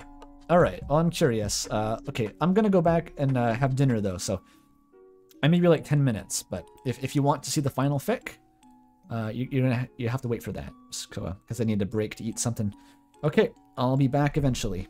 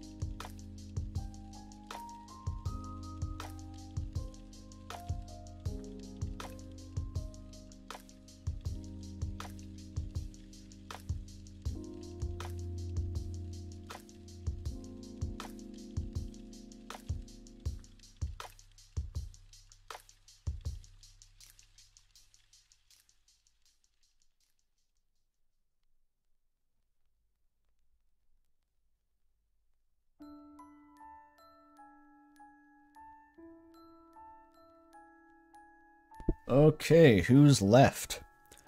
Who yet remains in chat? By the looks of it, mostly Blivy. nice. Um, oh yeah, egg burgers are nice. I, have had a couple burgers with eggs on them, and they're usually very good. Um, I find adding eggs to like most things makes them better. I, I like eggs by themselves are kind of gross, honestly, but just like putting some, uh, like egg yolk on an object just makes it taste better usually. It's like a condiment. Uh, yeah. So I, I had a whole ass roast beef dinner since I le left, so I'm feeling very um, revitalized now. And uh, I can probably get through this blackout fic, which, as you can see, has a rather high concept. I'll punch it in once more. And there we go. Uh, is that too big? That's a more comfortable size for me to read, I think. Okay. Will I do another stream for ones that aren't red? I mean, at some point, inevitably, it's just I, I was sort of thinking of these streams as coming in a pair, uh, as like the last one, then this one for Valentine's Day. Um, so I don't know, like probably eventually, but I just don't have plans for it. It probably won't be for a few months at least, is what I'll say. Uh, because realistically, like if I kept doing Azzypants streams just whenever there was content, I would be doing them forever at this rate, because like the the rate of, of fic production has only increased since like half of the fics I've read today were made since the last Azzypants stream, so it would just become a feedback loop, and it, I couldn't sustain it. Like there has to be an ending eventually, right? Um, because boy, I, yeah, I just don't want to have this drag on for so long that I get sick of it. That's my worry. So yeah, this fic was written with the goal of sniping every space on the bingo. All of them. A blackout. Apparently it's an old bingo card, but this is whatever. It'll it'll probably still get a bingo, right? One can assume. So let's see what happens. Why is it highlighted? That's kind of hard on my eyes, actually. Why is it like that? Wait, what? Guess I just have to deal with it, I basically. Um, okay. Asriel was on the bus. Asriel had never liked buses in the first place. They were just cheap, bad cars. What? What are you... What, what is... Why is he coming out the gate with like the most insane statement I've ever seen in my whole life? Like, what, what does it mean they're cheap, bad cars? They're not cars, they're buses. They're, they're large, expensive cars. What is what does he mean by that? What does he mean? Bus hate isn't on the bingo card. That's just there for no reason. What is that? I don't even. That's that's. Is that even anti-public transit? That's just like legitimately deranged. Like, what is? They're cheap. That's just patently insane. That's that's not a, an ideological statement at all. It's just wrong. I don't know what he's on about. It's like, I hate sand. Well, that made sense. There's reasons to hate sand. But cheap bet you can't afford a bus, Azzy. What the fuck are you talking about? You know how much a bus costs? I don't. It's too much for you. You broke ass college bum. I don't see your ass driving a bus. Anyway. But if there was anything that could have so completely ruined buses for him uh, as it did, it was college. Asriel never wanted to see a bus again. Uh, honestly, um, I usually took a bus to university, but I, I did obtain a car uh, about a year into my degree, and it was the worst fucking event um, like well, um, not not of my life, but you know what I mean. It was it was like on almost all levels was a bad change because I could now drive to school, which theoretically took a shorter amount of time. And so I would get up later, I would put off leaving, I would be I would be later in the schedule. But all the time I saved from driving instead of busing every day would be lost trying to find fucking parking and then having to go to a further away parking spot outside the campus and then having to walk to class and then to get a fucking parking ticket on the way back because I wasn't sure where I was allowed to park on the road. And it was like that every fucking day but i was i was stuck because i couldn't go back to going to an earlier schedule to get the bus anymore. I was addicted to to the personal transport. Um, like the bus was literally faster but i was just addicted to using a car and so i didn't go back. It, it was it was terrible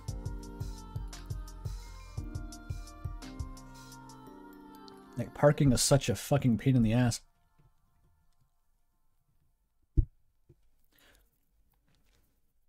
Am I fixed now? Um, I don't know.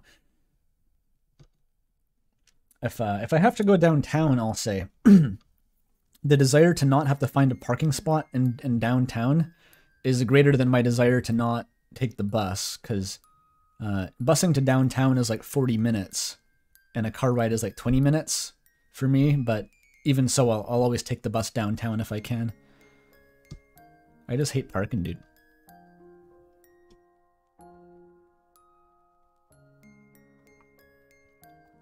And the public transit in my city isn't even good. It's like bad. We have a really shitty public transit system here. Some Mickey Mouse shit, but it's, I. I still prefer it half the time, even though I own a car.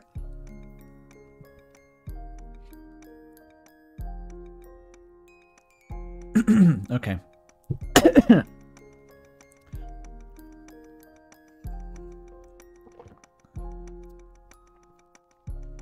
Uh, nonetheless, not knowing how to ride a bike, not knowing how to drive or owning a car, and not being able to think of other means of transport, such as flying or catapult, Asriel was riding the bus on his trip back to hometown. Wait, planes exist. Hometown definitely didn't have an airport, and it's too late anyway. Is Asriel like a crazy person in this fic? I'm just like, why is this a train of thought? Like, if you don't own a car, obviously you're taking a bus on an interstate trip. America doesn't have fucking passenger rail. You're taking a bus. You're not flying to your hometown with like a thousand people in it on a on a helicopter.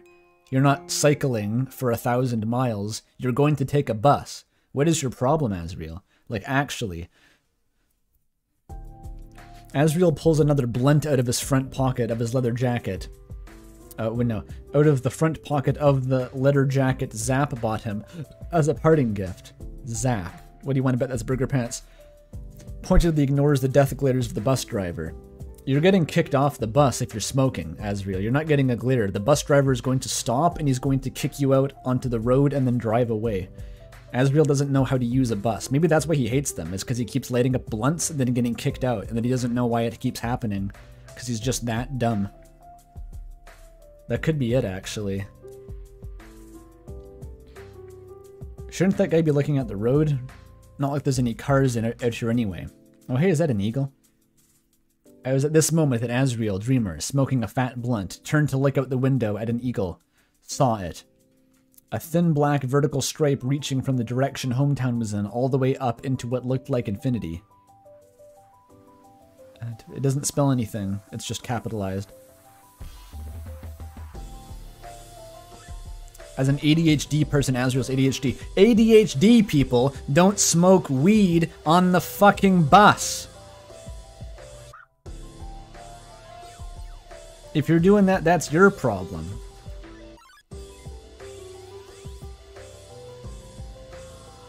Uh, where is my...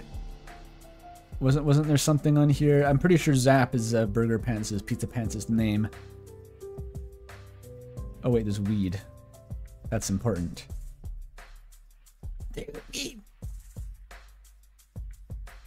Gaster cameo, sloppy kissing. Where the fuck is it? There it is. If it's not actually Zap, then I'll, uh... Uni trauma? Nah, not like in buses isn't trauma. You're a crybaby.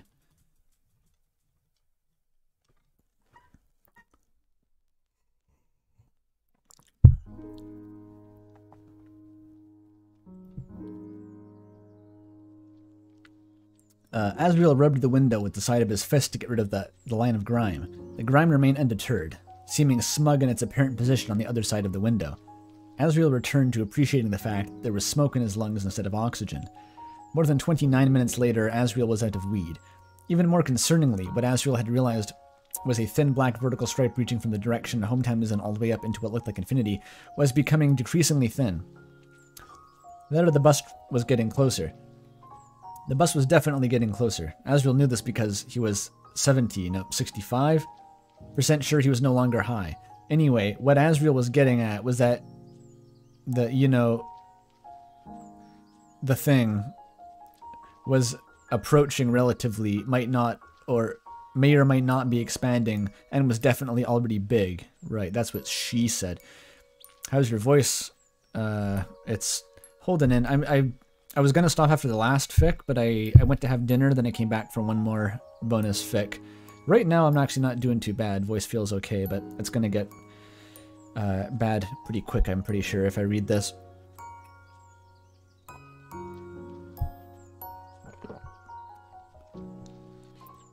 More than 14 minutes after the bus driver realized they were heading straight, I'm not going to say it, getting um, toward a rapidly encroaching black wall, turned around, failed to get away in time, therefore getting shrouded in darkness. This is what the international date is this what the international dateline is like? And ashamedly went back to heading hometownward. Asriel stepped out onto the bus station. Wait, what?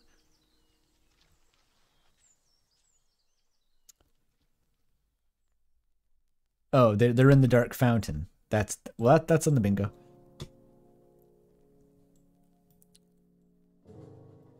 Lovely.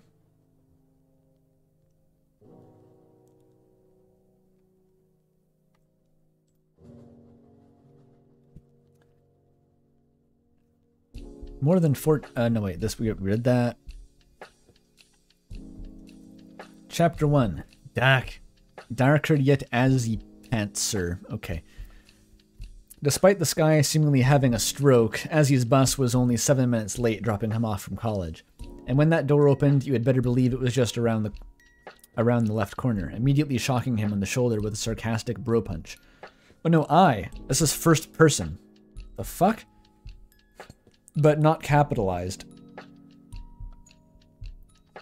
Shocking him in the shoulder with a sarcastic bro punch the second he stepped out of the bus, followed by a Hey, uh, bro, have you been? How's college? But he suplexed me straight into the damn asphalt, and I was out cold before I. What is this fic, dude? Why is it so weird?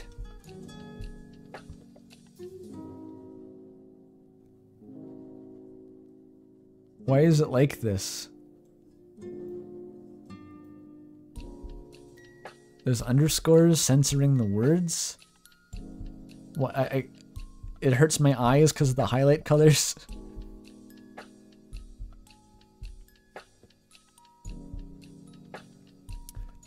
Uh. Oh, frick. That was Zap. Is he still breathing? I think he's just unconscious. Why is the first thing I did after getting the hometown knocking my friend unconscious? What is wrong with me?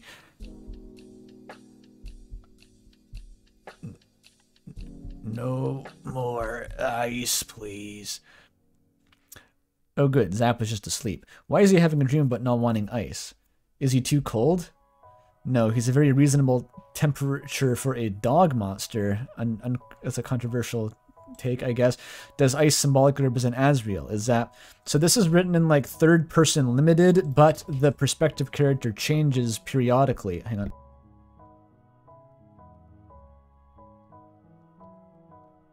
Uh, the, the perspective character changes between, but sometimes it's first person when Pizzapants is talking, but third person when Asriel is the perspective character, even though he's not actually talking in first person. That makes sense.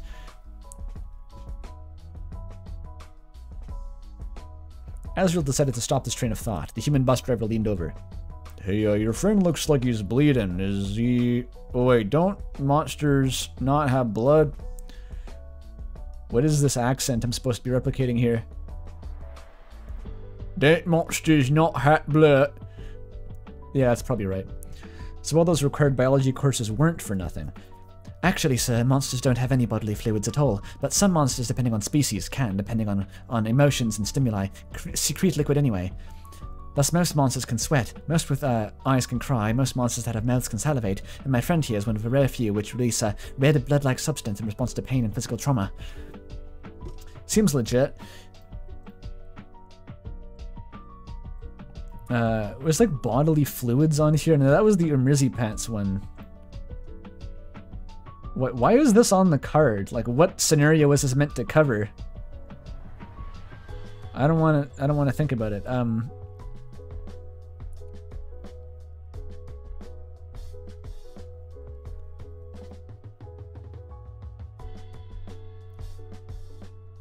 Hmm. Sweat. Piss. Yeah. Monsters out where would you mind stepping off the folding ramp so I can drive home and be with my family to whatever the hell is going on? He talks like a character from uh, from Ring, the adventure game. He talks like Mime. That that's the direction they gave the voice actor. Is like they just wrote the text like this and told him to do whatever voice made sense.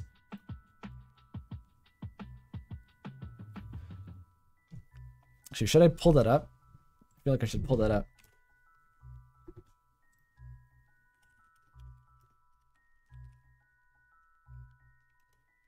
How do you spell his name? There's the. This is a random clip from the game. Enough, stupid dwarf. I have been the plaything of your lies for too long. This is a YouTube short. I know that there is a sword destined for me. Nothung. Where is it?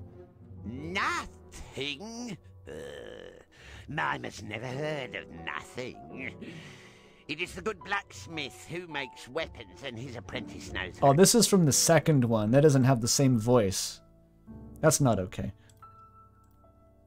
Never mind. It was a failed failed bit.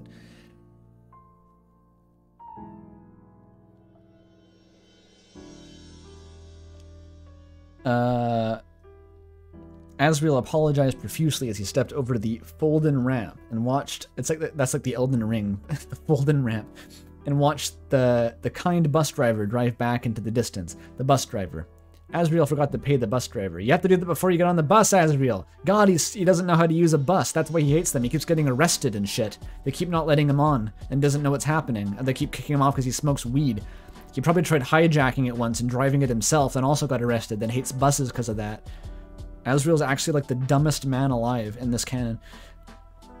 Asriel returned to looking at the uh, at the bus that would not be returning to him before returning to Zap. The pool of not blood under Zap was getting somewhat noticeably wide. Was losing too much blood a bad thing for monsters or just humans? That must have been one one of the days Asriel's didn't show up to class. Wait, no, he remembers showing up that day. Alright, that was the week he was spent in a drunken haze. That would do it. Anyway, he should probably get zapped to the hospital just to be safe. Asriel slung the dog monster, just keep saying it, over his shoulders and set in the direction of Hometown Hospital, hoping it was not closed on account of something being wrong with the sky. The sky. Whenever Asriel looked up into it, he could tell something was deeply wrong, as if he were gazing into the void. The void was gazing back into him, and the void already had its claws reaching toward him to rip his eyes out. Very specific. It was at this point that I regained consciousness. Uh, I regained the consciousness which Azzy had stolen from me. Uh, hey, Az, why am I being carried by you? Is this supposed to be you making a move on me or am I being kidnapped? No, no, no, not at all. I would never. You were bleeding out, so I was taking you to the hospital. Asriel does not know if Zap remembers getting a suplex, but hopes he doesn't. Wait, does wishing amnesia upon your friends make you a bad person? Mm, mm. Better go to r slash am I the asshole Asriel and see what they have to say. I thought monsters didn't have blood. Actually, never mind. Are you feeling okay? Am I? The trail of dust behind us looks like it stopped a while ago. Uh, but I still can't remember why Azzy suplexed me. Did he become a pro wrestler in college? Has he forgotten how to greet people any other way than by introducing them to the floor? Am I supposed to be honored to have been knocked out? Wait, is suplexing legal in wrestling? I regret knowing literally nothing about wrestling. I climbed off his back in an attempt to lift him off the ground and over my back. This was probably the stupidest thing I've ever done in my life, and that was saying something. What? Hey, Asriel, I'm buying us a pizza. Do you want some? Okay. Mission accomplished. After his peculiar outburst, Zap led Asriel to the local ICE-E's Pizza for some reason, instead of QC's, which was the only other place in town one could buy an edible pizza. The town seems quieter, quieter than I remember. And why did no one other than Pizzapants show up? Oh, and why did no one other than Pizzapants show up for this return? Did they have the wrong day? Asriel honestly appreciates losing the on- entourage, but at the very least, shouldn't Kris have shown up? Well, everyone else had assumed that you were dead because they couldn't contact you for like three months straight. So, because you didn't tell them when you were at college, and Kris was the only one who knew, and they couldn't actually convey that um, because the internet was down. So, you were kind of out of luck, buddy. They, they, there's a grave for you in the cemetery. It's, it got bad.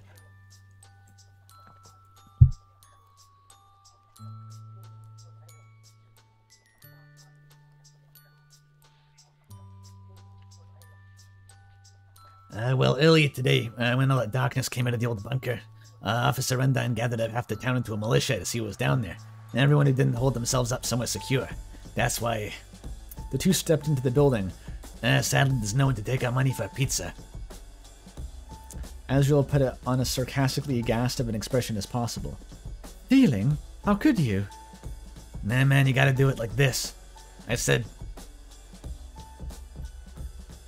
I said before uh, doing with my face what Asriel had obviously been trying to do with his own.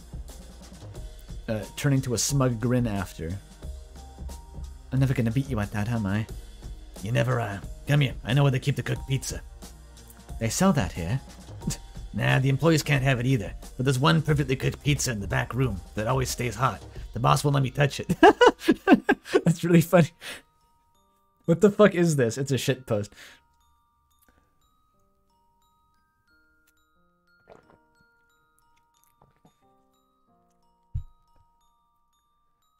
This is just like the Courier new Deltarune Sky descriptions.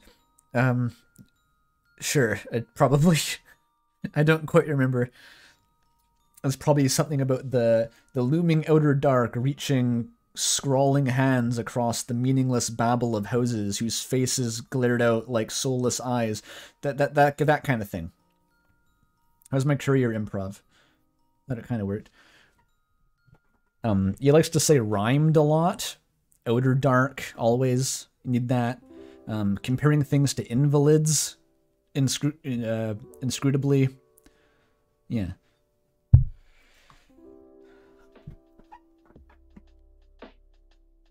Oh, and the best banger of all, the blackness dripped down the barrier like paint. That was like a a, a, a single line of YIIK dialogue crept into one by one. I'm not sure where that came from. Sounds like when Se- House of Leaves gets semi-coherent. That's probably what it's supposed to sound like. From what little I know of his taste in literature.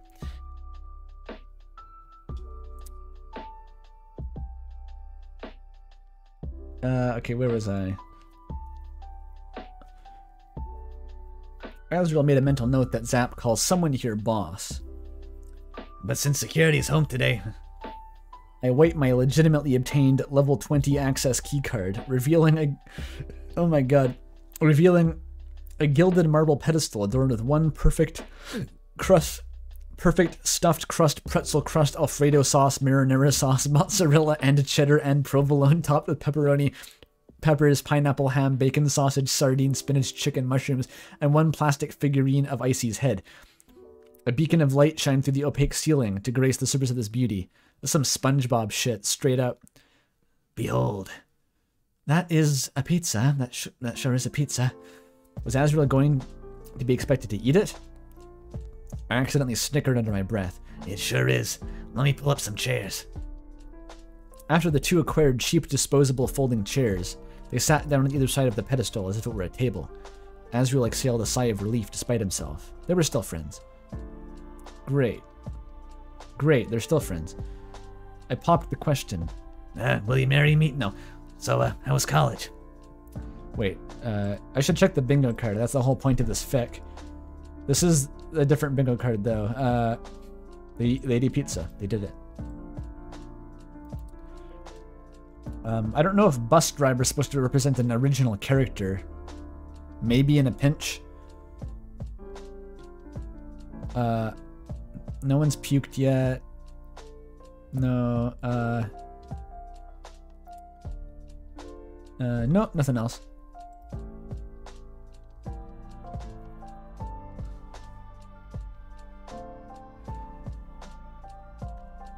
Uh, Asriel did not visibly flinch. Asriel realized that this was the last possible second he could turn back. That up to this point he had never actually lied to his friend. That if he kept going on the path he was on, he would have to have a bad time. I mean, someday choose between keeping his own integrity and keeping his friend's trust. And even then, it was possible for Pizza Pants to find out on his own. Uh, what happened at college? After enough of a hesitation that Asriel feared Zap could have grown suspicious, Asriel spoke up.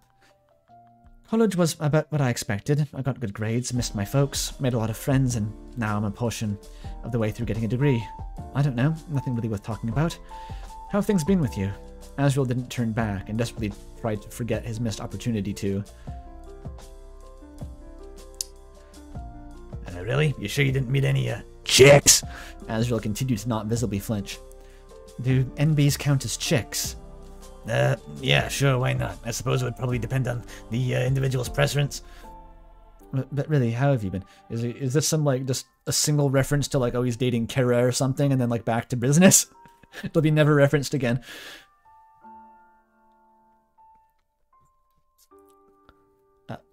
But really, how have you been? Anything happened this past year? Asriel was desperate to change the subject. Asriel, if you if you don't want to talk about college and you spent the last three to six months at college, I got bad news for you, buddy, because that's all anyone is going to ask you about for the next week.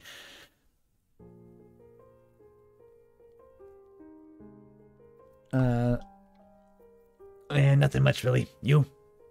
I successfully deflected the question, not really wanting to explain to Azzy how I threw my life away in my dreams to become a corporate sales slave.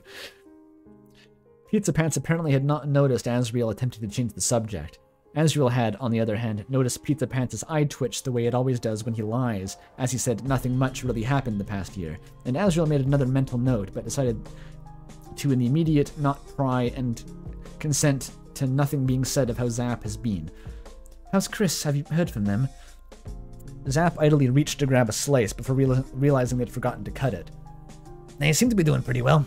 The past week especially, they got a new friend, and seem to have been more uh, confident, driven, almost. They also came to talk to me a total of eight times, given this past week a higher count than the entire last year combined. It's seeming to be occurring to Azzy that I'm probably not the best person to ask about his brother. Sibling? Sibling. Hang on a minute while I grab the pizza cutter. Uh, hang on a minute while I grab the pizza cutter. So Zap was working at. No, that's still not narration. What is this fucking teal ass text? So Zap was working at ICE-E's now. Why? Who would choose that life? Does he need the money now and a job in theater would take too long to get? Was he paying for a sick relative? Even then, wouldn't anywhere else give better pay and have better conditions? The thing that made Asriel really worry was the fact that Zap was avoiding the subject. That couldn't possibly mean anything good. Fear me, for I wield the cutter of pizza. I declared in what could be interpreted as a sarcastic tone. I then said, It's pizza cutting time. and cutting the pizza all over the. Good. If you go for a cunning ham pun, a cutting ham, I'm gonna. I'm closing this tab, and I'm reading the other fic. Just a fair warning. I, I'm not, not sure what's gonna happen, but. Um. Because there is ham on that pizza, I'm pretty sure.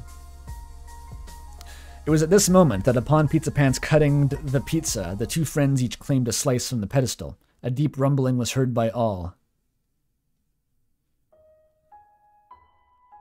Asriel Dreemurr. Did you hear that? Shockword Uckledly. That's actually. Oh my god. How did someone remember my real name? I thought no one remembered my real name. How did someone manage to learn about that? You arched both blasphemers. Oh no. You have eaten ICE-E's sacred pizza. What? Both of you will die, and thy punishment is death.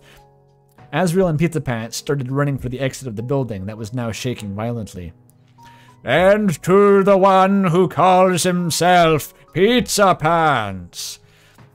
We made it out of the building seconds before the roof caved in to see a colossal, terrifying, familiar figure rise from the rubble where the building had been. You're fired! It's ICE-E Prime. Great. So that was chapter one. Cool. Judgment! Crash! Prepare thyself! That's going to be teleporting after them and doing combos for the rest of the fic. It's become a regular show fic. I, was saying it's some SpongeBob shit, like the fucking Master Krabby Patty in a golden box somewhere in the back. Like that's straight, straight out of SpongeBob, I'm sure. Um, Prepare thy nuts for a sound drubbing! and then he kicked uh, V1 in the nuts. That's that's the plot of the game. It was 12:17 in the afternoon. The sky had become had been usurped by a soul-sucking void, and me and my childish friend, I think you mean my childhood friend and I, Pizza Pants, were running from a Stay Puft grade ICE-E kaiju, currently in the middle of destroying everything between them and it. Wait. It transitioned from first to third person mid sentence. That's fascinating. It could be said that today was not the greatest of days. Oh yeah, I also got fired. Can't forget that part. Quick, in here. Having run halfway across town, Asriel pulled Zap into the conveniently placed convenience store. Hey, Do you, uh, do you mind if we take shelter here from the apocalypse for a bit? It would really help. Asriel put on a nervous smile, expected to be turned away. You'll have to ask the manager. Until then, I won't tell anyone you're here. Thanks. I followed up uh, my expression of gratitude with collapsing into a dignified pile on the floor. As he sat down on the floor in a significantly more dignified way. None of it felt real. Hang on, hang on. We got Sans. He's here. Hello, Sans. Uh, still nothing else, I think. Nothing yet.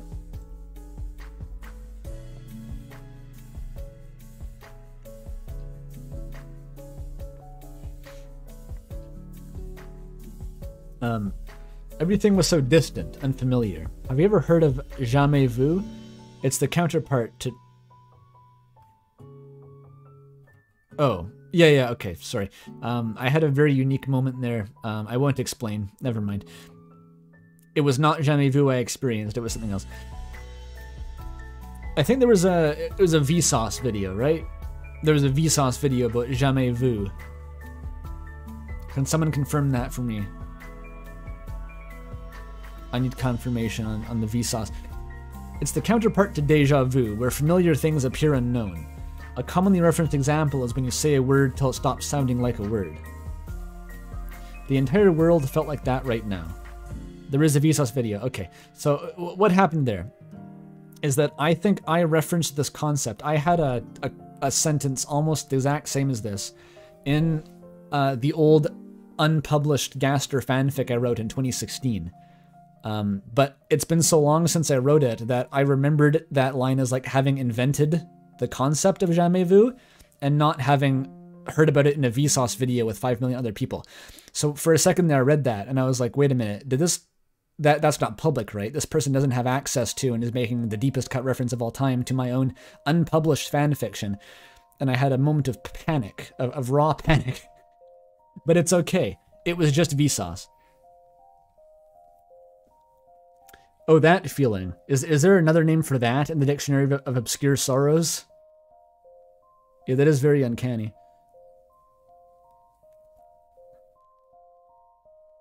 I had a Ratatouille childhood flashback.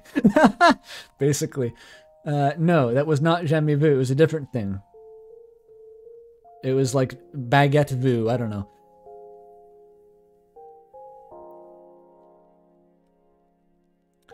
Uh, I, I thought this was also called, by the way, Gestaltzerfall. When you when you say a word so many times it starts sounding like a word, it's like a German Gestaltzerfall, or I think that's what it is. When your sense of uh, reality breaks down. The entire world felt like that right now. The fact that I lost my job, that Azzy is home from college, that the sky broke and a Titanic ICE-E chased me across town, that I had no idea if any of the townspeople who went into the bunker survived. Shouldn't it all make me feel something? This is YIIK monologuing. This is exactly the tone. This is what Alex would say if he was in the situation. Exactly. Grief, fear, Grief, fear, panic, regret, joy. I don't have a clue what the hell I should be feeling, but whatever it is, it's not there. I open my eyes. The distance between me and reality feels shorter than a minute ago. Asriel spending his money to buy food from the janitor. He walked back over and spoke to me. Perfect.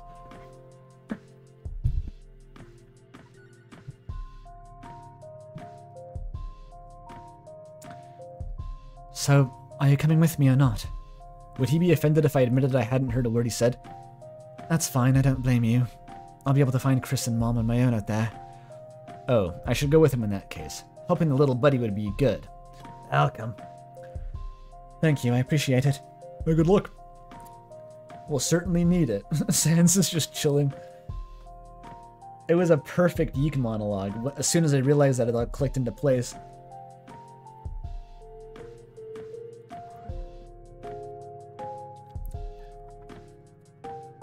The power of the roaring shines within you. You leave the bunker. Susie follows you out. She looks angry. So, all this was for nothing then? Ralsei looks pale and is leaning on Susie for support. You need to get Noelle. You can leave me behind. I would slow you down. That's how Ralsei speaks.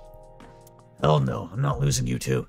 Why why are they censored? Why are why is hell censored? I don't get it. That's not on the bingo card. Is this a bit? Like what I'm not I'm not getting the, the reference here.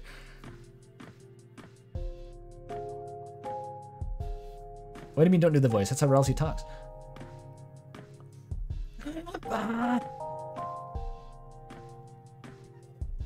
They're Christian? then just use a different swear word. Say fuck. I don't care.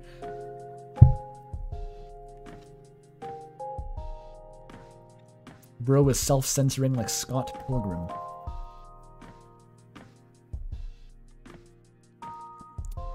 Hey, don't worry about the voice. He doesn't speak again. Um, Hell no, I'm not losing you too. Noelle is in the school closet. You need to find Toriel. So this is your place, eh? Why'd you never invite me over? I was I was feeling better now. Uh, my mom, it would also be weird. Anyway, Kris, are you home? I rub I rubbed my ear, at which point had been my ear, which had been pointing toward Azzy. Ozzy's screaming. Nothing, huh? Or your walls that thick, or uh, Asriel waited for a second. No, I don't think they're here. I suddenly remembered something that would have been helpful to recall earlier. I heard someone say uh, an organized shelter was getting put in place outside of the school. Isn't she a teacher or something? Yes, she would definitely help run something as important as a shelter. There, she's there. Let's go. Asriel's, de- Azzy's determination almost startled me. I followed him out of the door into the school building. Asriel and Pizza Pants stepped inside. The lights were on, casting beams through the thick dust in the air. Something smelled like printer ink and ruckus could be heard in the distance. As the two wordlessly headed in the direction of the scuffle, That doesn't sound good. as the two almost wordlessly headed toward the direction of the scuffle, okay, that's kind of funny. Asriel noticed how many people uh, could be heard in the rooms they passed. There were a thousand people in Hometown, and this few of them felt safe in their own homes. They found Toriel in the hallway that only led to the unused classroom.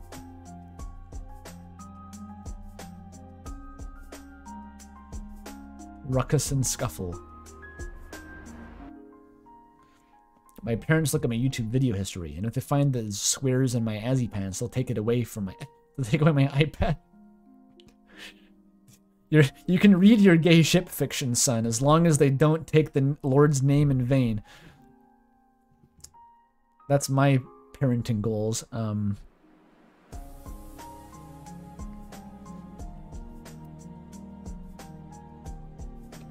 Is that Kris? But that skin. I saw little Buddy and Azzy's mom and the purple lizard girl, a miniature statue of Azzy. Weird. Has Ralsei been turned to stone? Is, or is that just a weird way of describing Ralsei? Weird. Anyway, they were all facing off against a hulking beast of a monster. They had a hole where their eyes could be, a gaping maw instead of a stomach, and a mighty chain emerging in place of that mouth's tongue. Oh, it's King. And to tie it all off, the chain ended in what seemed to be a blade that had yet another mouth on it. There's nothing wrong with being like that. It just makes fighting you a bad idea. Nonetheless, everyone in front of me and Azzy seemed to be doing so. You tell King that killing you won't accomplish anything. You want a King voice? Sure it will. I will get the satisfaction of revenge before I die. The stone creeps up his arm all the way to his elbow. One of his fingers breaks off. Susie reminds the enemy. Remember what happened to Lancer? Is this worth it? Is this what you wanted? Do you have the right to talk about Lancer? Besides, none of it matters anymore. All that matters is which of us is leaving this room alive. Uh, we're getting battle narration. Like, narr- okay, this is all shifted into narration bullet points for a page. That's not on the bingo cards. They just did that for fun. Still nothing new for the bingo card that I can see. No one's vomiting. And it's Megalovania now.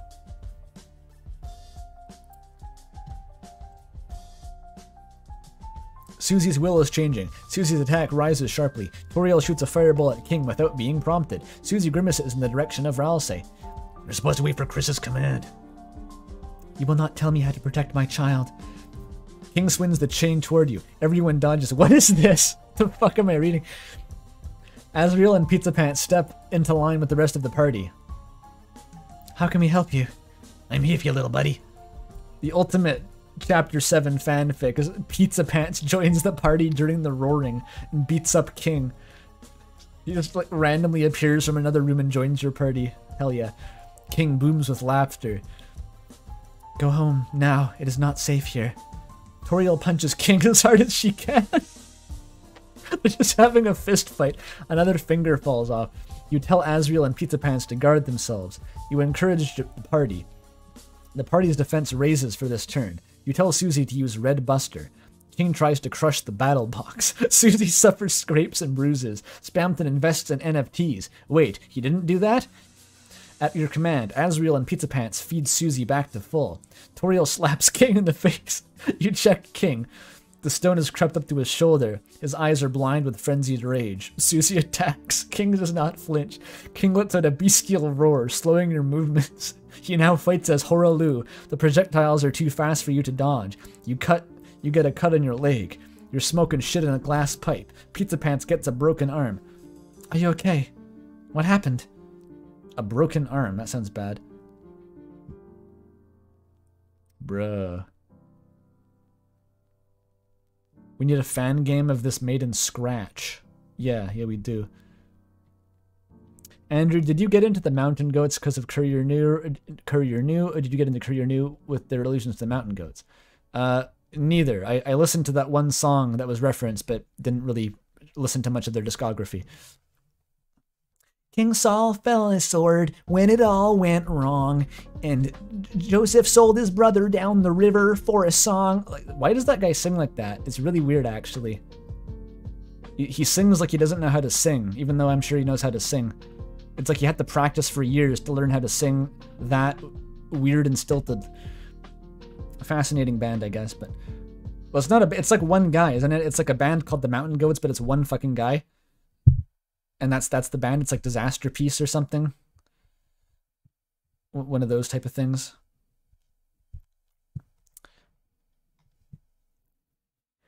Things you do for love are gonna come back to you one by one. Hey guys, that's the title of the fanfic. Anyway, Uh, I'm fine. I've been in a fight before, but this guy hits hard. Pathetic. I'm not giving up yet.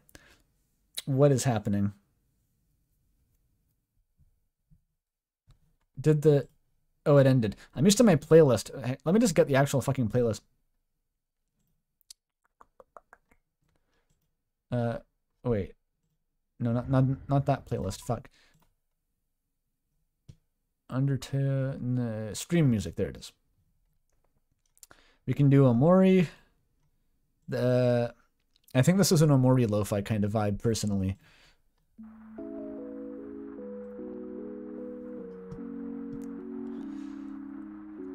When do they kiss? I don't know. I don't know if they're gonna kiss in this.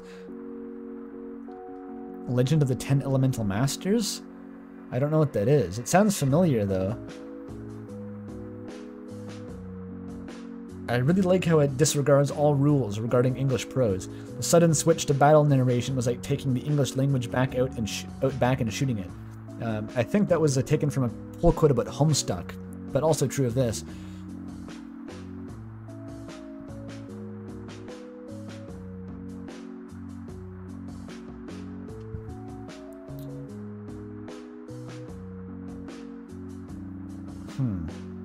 Okay.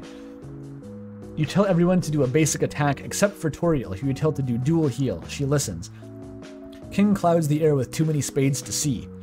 One million knives. King grabs the battle box and slams it back and forth between the walls of the room.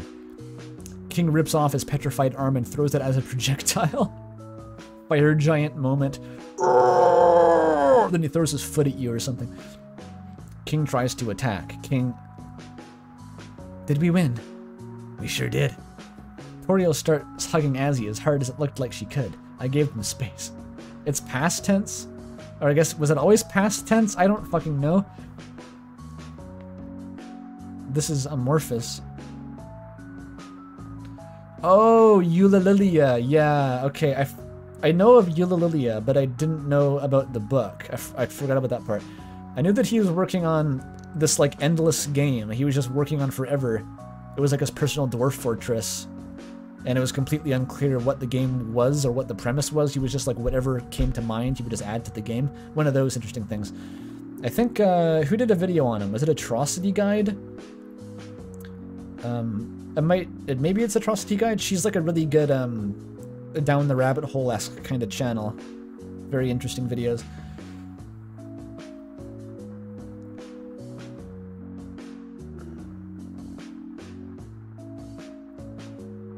Yeah, yeah, that is hers. Okay, good.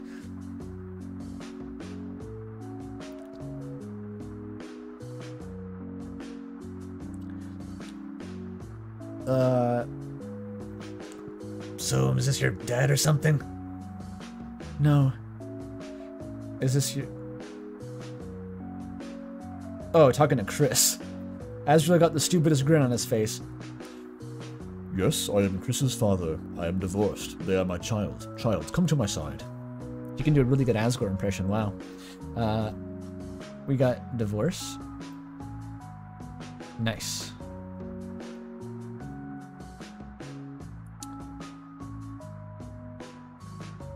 Uh, yeah, I don't know how to summarize this fic. It's it's a shit post. It's just chaos. Like we started off mid roaring, and there's no one wanted to acknowledge it for a while.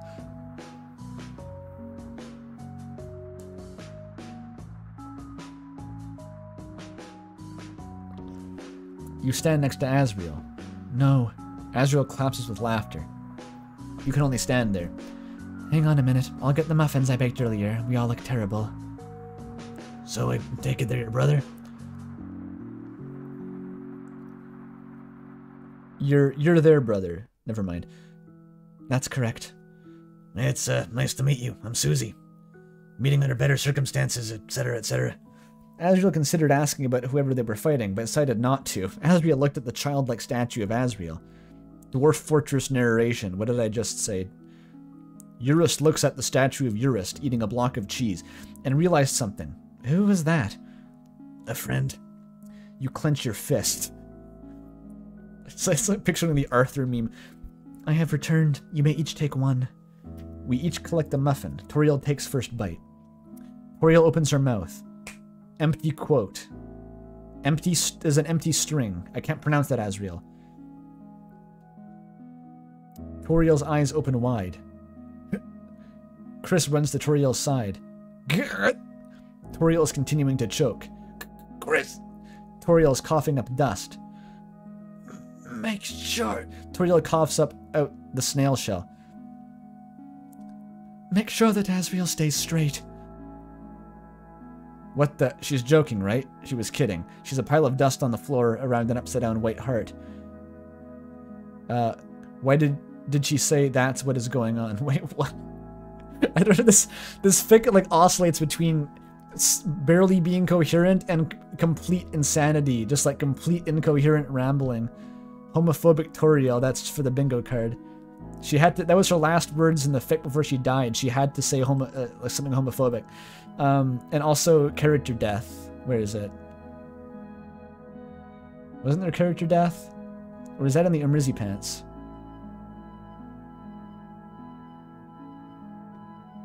That must have been Umrizzy pants, right? Oh, it's up here. Oh, there you go.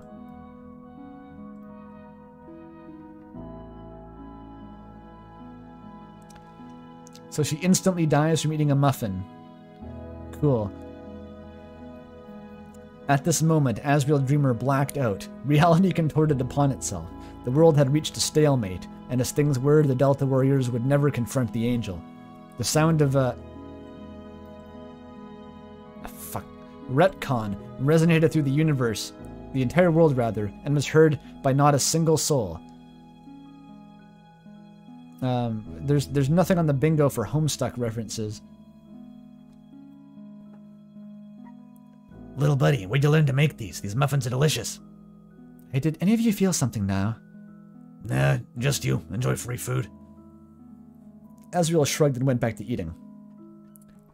The four of us stood up, and Kris led to some closet. There was something important. That's dialogue. There was uh, something important in here.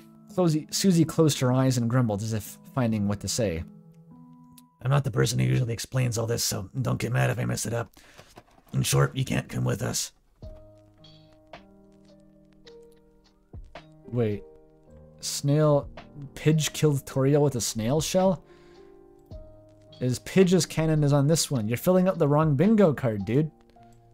It's the wrong card.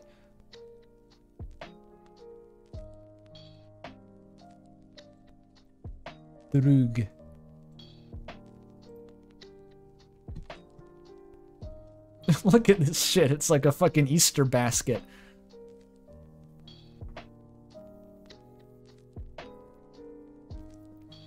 What? But, but I. Seriously, what's in there? That's for me and Kris. I think it wouldn't end well for either of you if you came with us. You saw us fighting there. We can handle ourselves. That unfortunately has nothing to do with it. What the heck is in that closet anyway? You know, the world is ending. Yeah? What's in there's the heart of that. And me and Kris need to go and face it, alone. It's like a prophecy or something. It has to happen that way. And you expect us to sit here and abandon you to save the world alone? No, I expect you to both leave town and find shelter somewhere safe. Nowhere will be truly safe, but anywhere safer than right now. Uh, right here, right now. And to be honest, I don't think we're gonna going in there to save the world. The world is too far gone. Then don't go. C- Kris, you agree with us, right? You shake your head. Second person, third person, and first person. At the same time. We need to go. I don't really understand it, but something bad would happen if we weren't to go, if we weren't going to head in. Anyway, there's someone in there we need to save, and we need to do it alone. I'm sorry. Asriel runs up and hugs Kris just as tight as he knows they're fine with. I'm so proud of you. You're acting all grown up. I looked away as he was crying. I, I hope I get to see you again. Thank you so much for being my sibling. Your arms remain limp at your sides. You don't want to scare them. You need to do this anyway. You pull yourself away from the embrace, reach toward your chest, and. Wait, why? Who's the blue? Who's blue text? We have like I want child.mp3 playing now too. Great.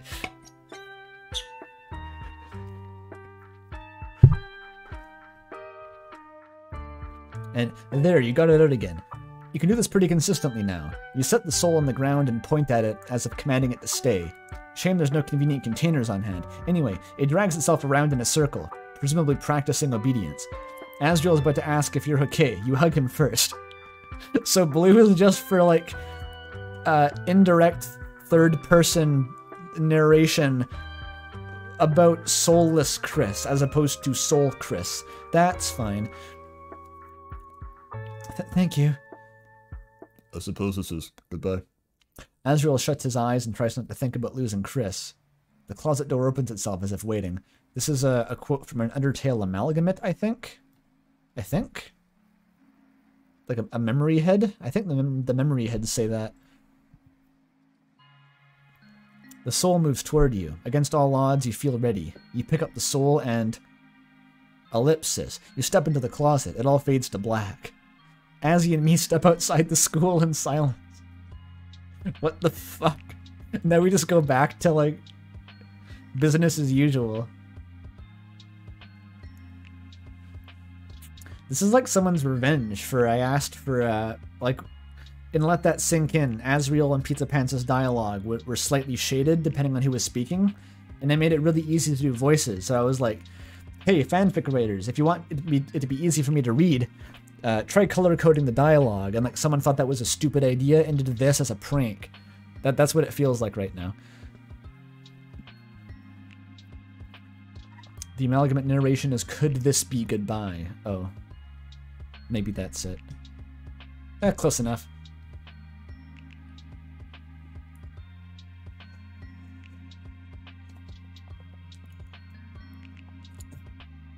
Tea. Oh boy.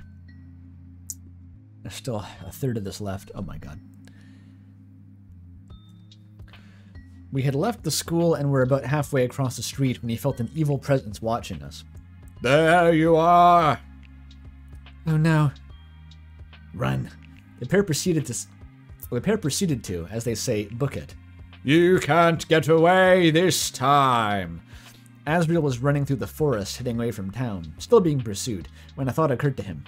Hey. Yeah? Why was he talking to me while we were running for our lives? So, Susie was casting magic back there, right? Even though magic isn't real. That's what it looked like.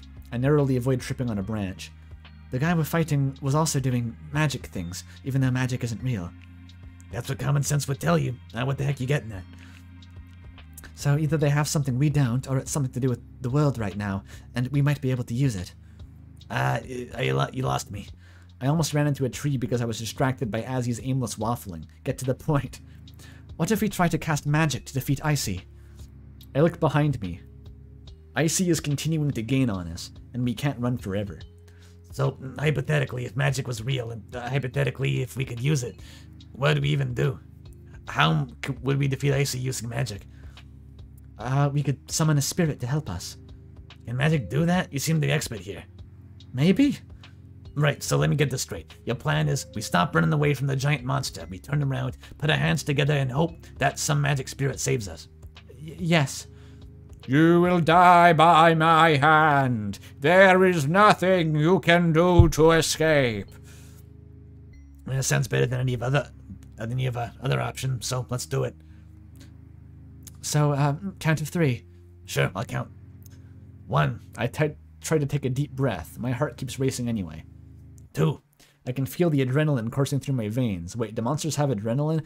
Well, actually, monsters can secrete any bodily substance they need to, depending on emotional desire. Three. Me and Azzy stop running, skidding to a halt in the dry leaves. Asriel takes each of Pizza Pants' hands into his own. If they can do this, if they can do this at all, they're doing it as a union. That's gay. I try to direct my focus, my concentration, my will into bringing anything, anything to help us. Asriel prays to the angel to send something to save Pizza Pants. there's the colors mean there's six diegetic narrators. Yes. Wait, what is the, I don't understand that message. This is Kaiba from Yu-Gi-Oh! level cognitive dissonance around magic. I, I, I do think I watched that anime at some point, but I, I don't remember Kaiba's opinions on magic. That's that. It's not a plot point that I recall from Yu-Gi-Oh! It's all read by the Disco Elysium voiceover guy. Sisyphus Prime. I'm not even attempting a Lenval Brown impression with my voice in this state. This is like if 17776 was specifically made to hurt your eyes.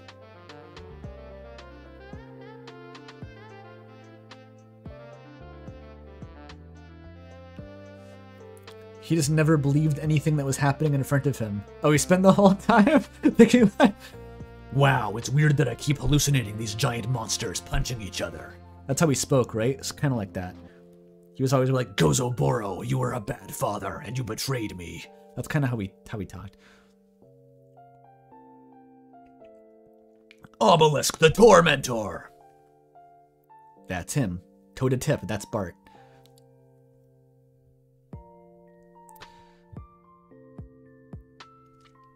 Uh, something happens. Asriel Dreemurr and Pizza Pants each feel a deep, warm sensation from within their very cores spread to fill their entire bodies, merge into a single force, and rise into the air above them.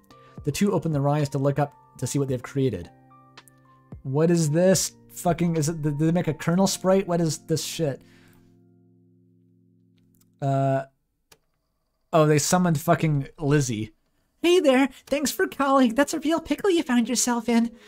Floating in the air above us is a human wearing an elaborate brown and white dress, absolutely covered with decals portraying me and Asriel's faces.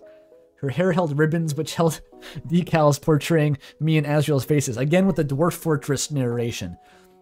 You found an elaborate emerald cabochon bearing pictures of cheese. It is uh, you know, brilliant cut. Each facet bears a picture of cheese. It is surrounded in uh, an ivory rim, uh, masterfully carved with images of cheese. Reaching critical mass. Uh, her backpack had more images of us on it, and her belt buckle was a heart with two images overlaid on top of it. And I weighed, uh, uh, wore thigh-high black fishnets and black combat boots, and uh, three layers of black eyeliner and white foundation, and uh, MCR T-shirt with uh, Jared's Way's face uh, on on it. Uh, you get the idea. It was the most frightening thing I'd ever seen, and that was saying something. Um, you're welcome. No problem. Just let me deal with that proverbial pickle for a sec. The strange creature pointed both of its palms at ICE-E's as if offering two simultaneous high fives. Azzypants Blast! A blinding, bright brown and white ray burst from the outstretched palms, annihilating ICE-E in a matter of seconds. Yes, go for. That was good. Uh, so they summoned Lizzie to do the Biden blast. Oops, looks like that that's all the time I'm allowed to be here. Stay safe, lovebirds, and remember, The creature inexplicably transformed into a pigeon that promptly flew away and was never seen again. Okay. And remember, is that like don't forget? Is this just like a more efficient way of saying don't forget? Like she cut herself off. What is that? Would you agree to never speak of this ever again? You know, I, I think I would. Now we're not running for our lives. Uh, did we turn back? Susie told us not to. Asriel sighs. No, I'm I'm ready to leave all of this behind. just just fuck it, yes, I'm out. Let's go to a hotel and like I don't know, fuck or something. Just let's just go have a just a sex scene that Andrew will have to cut out of the stream. Asli and I watched uh, walked silently through the rest of the forest till it broke out into the foothills that surround the hometown forest. My legs were killing me. We'd been running so much. Hey, is that a cave over there? You might be right. Let's go and see. Asriel and Pizza Pants approached the cave and found that it was actually a dilapidated structure built into the side of the hill. The door had fallen off and was only a single room deep. Room deep. Is this the bunker again, or is it something else?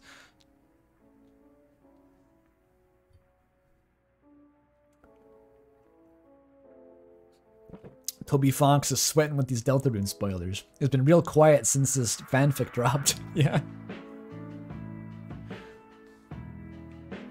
Yeah, you're, you're right. Blue is like Azzypants Girl is just the kernel sprite prototyped with Asriel and Pizza Pants. It's the, uh, yeah. If, if you're a Dragon Ball fan, you reference, uh, they have fusion in that, right? If you're a Steven Universe fan, you reference the fusion. If you're a Homestuck fan, you, you, you talk some shit about kernel sprites. This is all newsletter spoilers, yeah, shit. And I just said that leaks were banned on my Discord server the other day. Damn it.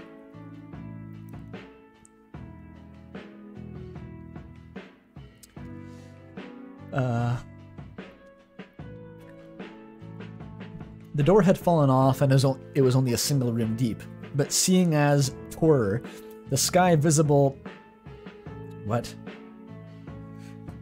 But seeing as twere the sky visible, the sun would be setting right now, and it could actually be seen looking by looking up that the rain clouds were rolling in. They needed the shelter. The two took off their shoes and stepped in. Why did you? Why are they taking their shoes off? Is this is this rural Japan? Like, there, it's it's a filthy bunker in a hill. You should keep your shoes on. There's going to be like heroin needles in there. As top. As top. As as Damn. Several weeks later, the pigeon realized that it had forgotten to introduce itself, but the opportunity had passed. Devastating.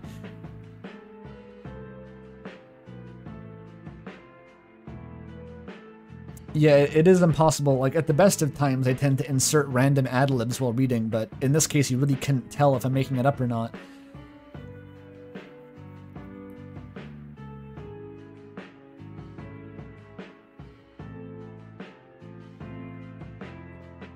I'm beginning to regret not snagging a blanket or something when he stopped by your place. I said as I gently placed myself upon the hard metal floor. Why did you take your shoes off? It's cold. Your feet are gonna get cold, you idiot. Asriel didn't want to think about um, the home he was he wasn't sure when he would next be heading back. what a sentence. So he distracted himself looking through the various things left on the countertop in the abandoned shack. Is this even the bunker or is this something else? Hey, do you think this is still edible? Asriel asked while holding up a can of beans and a bottle of alcohol. My stomach grumbled serendipitously. Okay. Absolutely. Cold canned beans turned out to be about as pleasant as one would think they would be. The alcohol, uh, the first bottle, the alcohol, the first. this is that's a stroke sentence. The alcohol, the first bottle I had ever drank, and honestly, do not see the appeal. The two of us sat down on the floor. I should be thinking about sleep soon, I suppose. This is like um, what is that reminding me of? This is like late Umrizzy, when like the grammar started to break down in real time, as the fic got further and further in, and like sentences stopped making sense. Why did you get a job working at ICE-E's? Oh no, he figured that out. Uh, the pay was good. You and I both know it's not. It has this weird cult that barely makes money by selling mostly edible, mostly inedible pizza. And given that wherever we woke up just now, that cult may have had something to do with the end of the world. If you needed the money, you could have just gotten a job literally anywhere else. Why didn't you just go there? Uh, why did you go there? As he doesn't know about the job market, dude. I don't know where else there is to work in town. I, don't think Asgore can afford to take on help.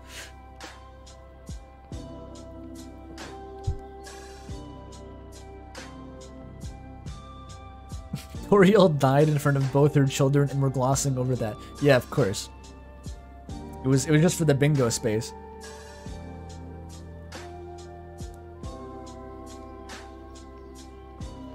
Um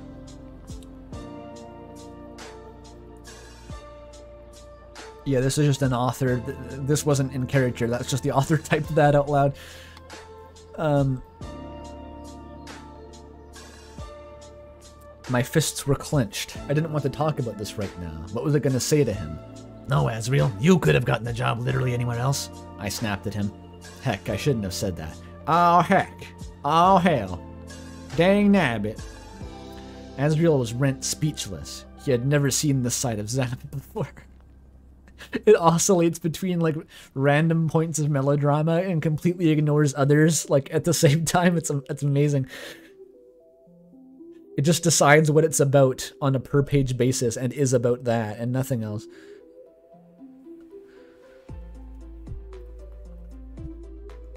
You know, I went to ICE-E's because they don't have a background check. Because they don't they don't give you an interview. Because they don't even need you to have a resume. That's why I went to ICE-E's, because no one else would take me. Heck, I really shouldn't have said that either. What am I doing? Asriel opened his mouth to respond, but there was no words.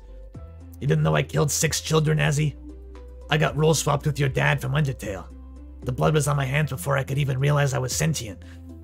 Asriel, no, that, that was an ad lib for clarity. If anyone's tabbed out, that was an ad lib. Um, You don't know what it's like for things to be hard on you, for things to not be handed to you on a silver platter. Perfect Asriel with his perfect family and a perfect career. Lived a perfect life. let that sink in kind of kind of vibes. We got Pizza Pants Envy. That's good. I don't does this count as child prodigy? I'm not sure. Oh, they, they did drink alcohol. That's true. Uh, hasn't puked yet. Hasn't kissed yet. Gaster has not showed up. I think the bus driver is supposed to be. No, that was um. No, that it, Lizzie isn't an OC. She's like a, a shared ACDS property at this point. Uh, in a pinch, the bus driver does count as an OC. Like they had speaking lines and like a, a typing quirk and shit, by which you mean an accent, but really it's a typing quirk.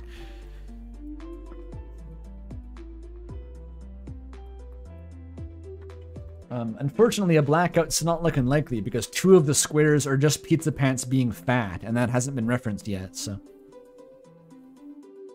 Have I seen the fanfic series Dream Come True? I have not. Generally, if it's not by Courier New, I haven't seen it. that's, that's a rule of thumb. Uh, wh- what about it, though? What's it like? Yeah, the, the fic that's fishing for a bingo specifically, I'll point out, has still not gotten a bingo. It's kind of slacking.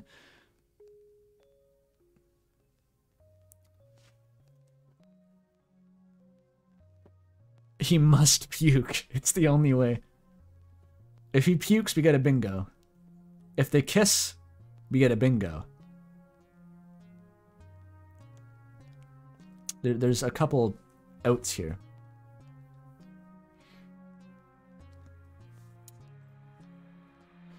The rain was thundering around the structure. If Pizza Pants were talking at normal volume, Asriel would be unable to hear him. Fortunately, Pizza Pants was not talking at normal volume. Did you enjoy college? It's funny for you to go to college and your dad saved up money for a year. For me to go to college, I'd have to go so far into crippling debt that I would be paying it off for the rest of my life, if I ever afforded it at all. I desperately need to stop talking. Why was I still saying things? How do I stop? It's like I'm being written by some author who's sleep deprived. I don't think you realize exactly how lucky down on my luck I was before I left. Before I left. Every time I couldn't afford something, every time I failed to obtain some luxury, you were there for me, lending me money, giving me support. Did you realize, Azzy? Did you realize I was homeless back then? He was homeless. Oh boy. I guess it's not confirmed that he's not homeless in Deltarune, strictly speaking.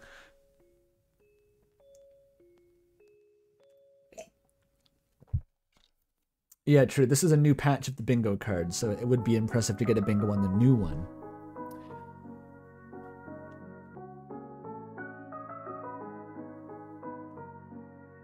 I guess to get a bingo without knowing the categories, you just have to make like the tropiest Azzypants fic possible, and I think we have enough Azzypants fics in existence at this point to to, to define tropes. Like, you could probably make a pretty good stab at it. Asriel froze, the proverbial blood drained from his face. But he said, Yeah, said that I was a son of a rich family, just like you. And then I just kept forgetting my wallet, and I would never tell you my real name because I was shy and I didn't want you to meet my parents. I lied, Azzy. People do that sometimes. Asriel was at his limit. That's it. I've really had it. I'm absolutely at my limit. Do you really think that I. Do you think that I wanted to be perfect? Asriel's voice was quiet yet dripping with ice. He finally managed to shut me up. It's like gone into like ridiculous melodrama now in the bunker. This has some kind of vibe. It's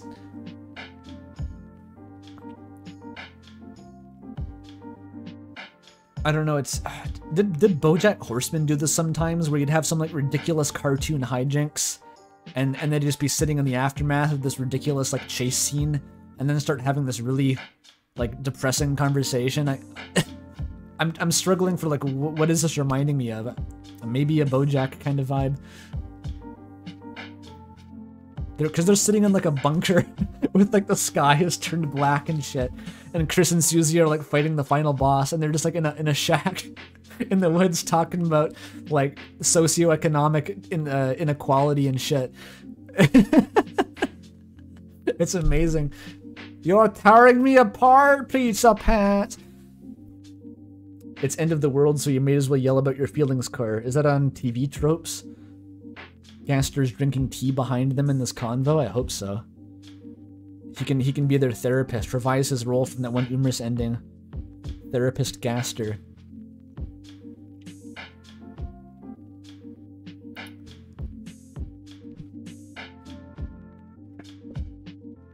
I hope they just end up like fighting each other in the woods. And it becomes this like brutal nihilistic uh, kind of uh, uh, I don't know enough about film, uh, the history of film that does to assign like a, a genre or movement to the aesthetic of two men beating each other to death in the woods, um, with lots of implicit sexual tension. That's probably a genre. I'm picturing like the end of Stalker, you know, where they're just like dripping wet and like strangling each other or something. I, I think that happens in Stalker, and it's just like pathetic. and desperate. That's what I want.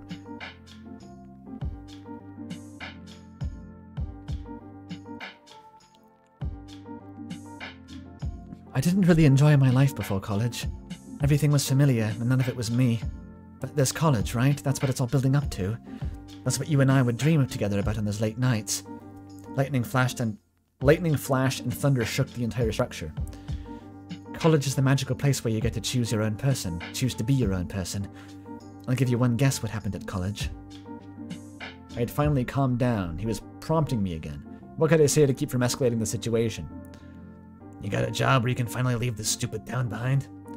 Asriel's cold glitter intensified. No. Without capitalizing it even, that's how cold it was. I got through about half a semester. It was unfamiliar, like nothing I'd ever seen before, but I got the ropes quickly enough. Asriel uttered an eerie chuckle. Funny thing is, if I'd never met them, I probably wouldn't have. I probably would have made it through college just fine. It would have been scary, but I would have done it. As he was shaking, I made a friend, the first real friend I've ever had, other than you. The name was Alec, and they were. I in invested stability in them. What? Yeah, what? Alec? Uh, that's an original character, but we already counted the bus driver. It's always. I was so expecting it to be Kira that I'm, I'm caught off guard. It was supposed to be like. It's it's like Alex, but not Alec Yeek. Maybe is that the the idea? Well, I invested stability in them. I had nothing to lock onto, nothing made sense, and I found something that could be constant. I convinced myself that as long as they were there, everything was okay. I could keep going. I could see where this was going and then one day they left me a note. I ran to the spot by the road where I knew they always hid when no one else was around, and I found a corpse on the pavement sitting under a bloody indented front of a bus. What the fuck? What is this turn? The the bus the the the bus trauma came back around. It came back. It was a it was the bus. It was the bus. It was the most important element of the fic.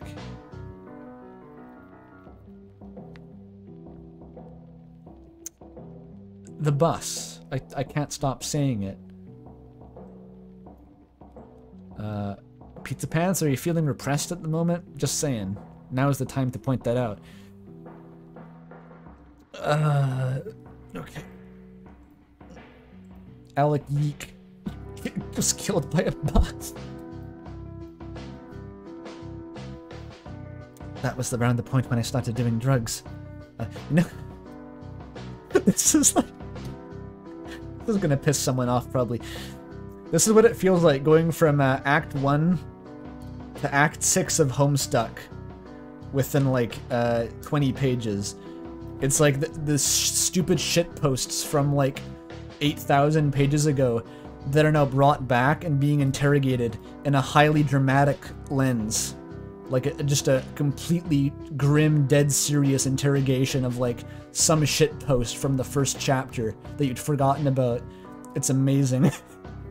this is what it feels like. It's so compressed though. It's like this happened like an hour ago. it's come back.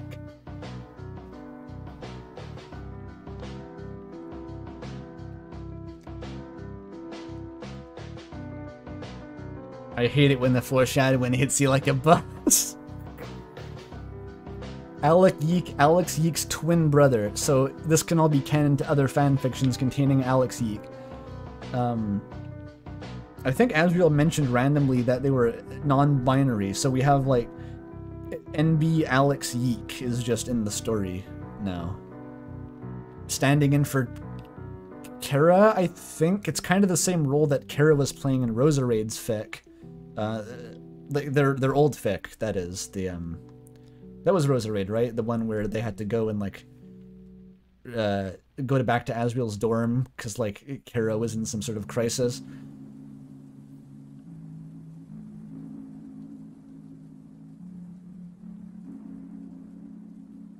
Wait, what? Okay, ch chat member. I saw your comment on Ludomancer's Undertale Deltarune video. Is that partially the reason you no longer make Undertale Deltarune videos? I, I don't no longer make them. I, the reason I haven't made one in a long time is because I've been working on an indie game. I've, I've had to take a hiatus from actually making videos mostly, but I do plan to have another one sometime in the spring though, so There's, I've never officially stopped making them. It's just that I haven't been able to for quite some time now, because I'm apparently a full-time game developer. Yeah, that was Roses. Um,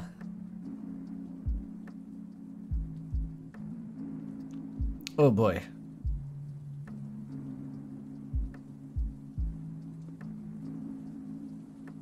The stream gave me some weird ass dreams. I'm having some weird ass dreams right now.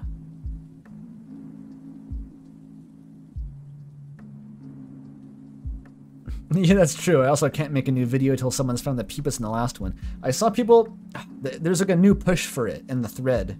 The, the Peepus Easter egg still has not been found in the Gaster video, but there, there's renewed interest, and I think they might finally maybe be getting somewhere. I can't, like, give it away, but, like, it's just, like, the amount of interest and, like, the... They're, they're being a little bit more systematic about it now. I don't know. I got a good feeling, but I'm, I'm not sure. I'm not confident still that they'll get it.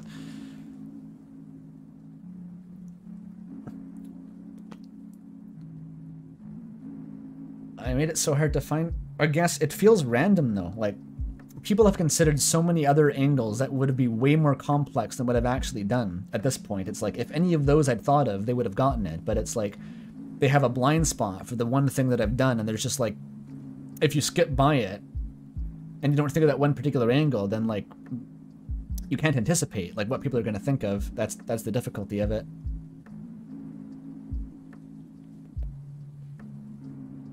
You think Sham could crack it? Well, proof's in the Peepus. What will happen if the Peepus is never found? Nothing. It'll just never be found. It's not a hard question.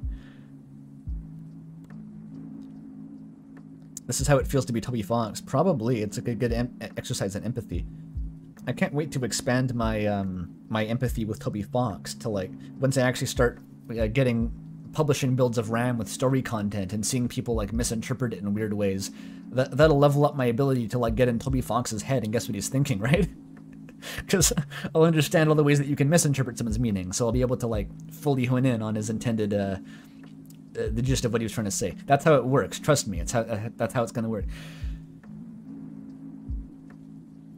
No, it's not 1% opacity for one frame. One of the hints I've given for the Peepus Easter egg is that it lasts for at minimum 10 seconds consecutively on screen.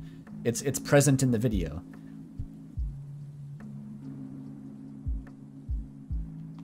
Just aggressively correct everyone. No more misunderstandings. That's the. Uh, hopefully, I don't get to that point. That would be sad.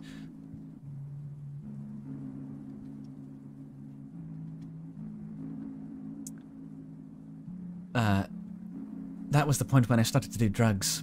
Alec had gotten me hooked on alcohol a while back, but I certainly started drinking a lot more when they, le when they left. I guess I thought it would give me a connection to them. It only made me forget them faster. What do I say? I don't know, pizza pants. I don't fucking know. I don't know what you say. You're you're in a cabin at the end of the world, and your your best friend is trauma dumping on you. Um, when everything fell apart, I could probably guess I started skipping. You can probably guess I started skipping classes. Anyway, here I am. My friend died, and I dropped out of college. I'm bordering on a weed addiction and bordering on alcohol addiction. You can get addicted to weed. I guess I guess you probably can a little bit. My sibling just went on a suicide mission into a closet. It's and not in a metaphorical way. Literally a, a closet. Uh, my dad is nowhere to be seen, so he was probably killed. Because oh yeah, the world is ending, and uh, I'm, I'm frankly too lazy to go check. He, he probably died. I, we can just assume that he's dead now. And uh, am I forgetting anything? No, I think that's it. So yes, pizza pants. I, I know what it's like for things to not to be hard for me. It became increasingly apparent to me that the beans were, in fact, not still edible. Suffice to say that I had lost my lunch. I think we made it.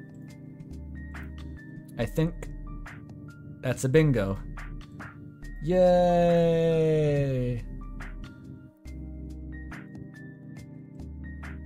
Oh, it's a psychological addiction. Yeah, yeah, yeah, yeah, okay.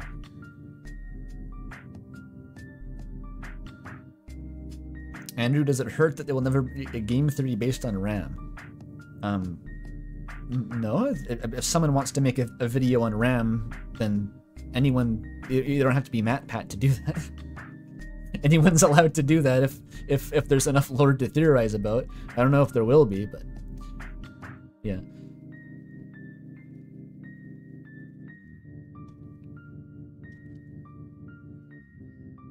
If this were any visual media, the entire top half of his face would be shrouded in shadow. Doing the Asgore thing, yeah, yeah. I've seen your dad do that, Azzy. After Pizza Pants experienced expired edibles, the scent hit Asriel, and he similarly experienced them. Uh, well, they're they're both puking. It's fine. Um, great. When I was done coughing and the burning on my nose started to subside, I spoke up. Hobo buddies? "Wha- What? Hobo buddies? Sure, I'll, I'll, I'll be a hobo buddy. This is like a Kim Kitsuragi and uh, Harrier Du Bois conversation. I gave him one of my signature grins. We both lay down and tried to sleep. The cold doesn't help. Strangely enough, when Azzy scoots closer to me, I don't protest. That's right, this is normal because I'm not gay. Come on, Zap. No one believes you if you say it like that. That makes you sound gay. Whatever, I drift off to sleep. Sorry, Tales, if this looks gay to the viewers. That's another bingo. Nice.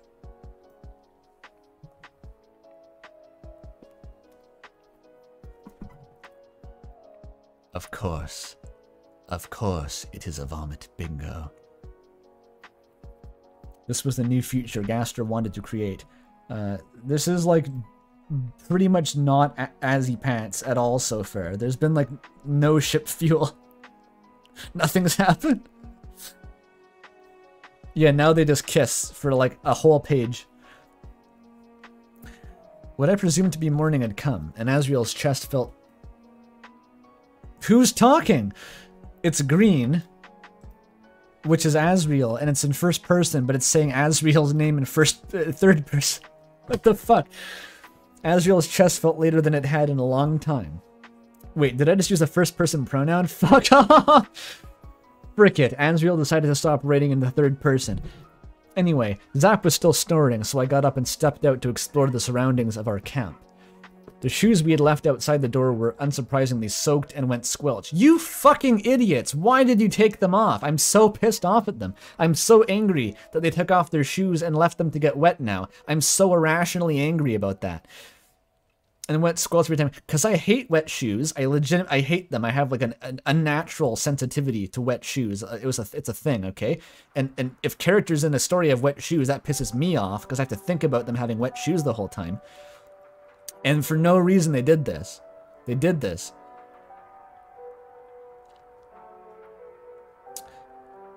But it was probably better than walking barefoot. Probably. But not better than being barefoot in a filthy bunker. For whatever reason, the sky darkened. Uh, the darkened sky still cast shadows, so I could see the mottled, wavering patchwork of space between the leaves cast upon the forest floor. Hey, I think this is something over there. The wind rustled elegantly through the leaves. Hey, over there. I heard someone calling out, so I came to investigate. It was some human I didn't recognize who was being accompanied by a convenience store guy. A human you don't recognize. Wait, who? It's someone from Asriel's college? Who the fuck is it? Huh, Uh, Alriel! I didn't know you came back from college. Anyway, wh- where were you? When, when, uh... With, were you with anyone when you got evacuated? I, uh, Pizza Pants came with me. Good. I can mark him up the list of missing persons then. If we keep up this pace, then we might make a dent in my list by nightfall. Uh, rather, well, you know what I mean. So, So, Mayor Halloween has us all running search parties to find as many survivors and evacuees as we can, and ask them to come to the shelter we've set up outside the dangerous areas. Additionally, running a rather short-handed supply, so uh, any help you could provide would be appreciated. who is this? You once broke a window in my college dorm so I could put my wet shoes on the roof to dry. I I find it hard to believe that was the optimal solution, but I, you gotta do what you gotta do. You gotta do it.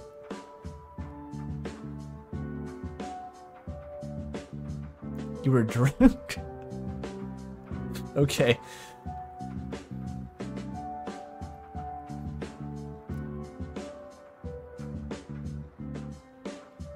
Wait, did they say Halloween and I didn't notice? I completely missed that. I was like, oh yeah, Halloween Holiday, that's her name. I, I didn't even notice. I was just like, yeah, that's Mayor Holiday, checks out. And my, I moved on. Fuck, that's good. I've internalized that completely as just being her name now.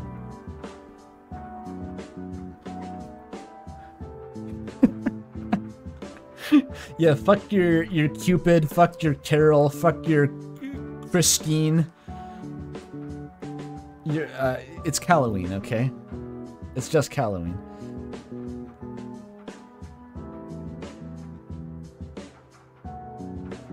Would you take the two of us?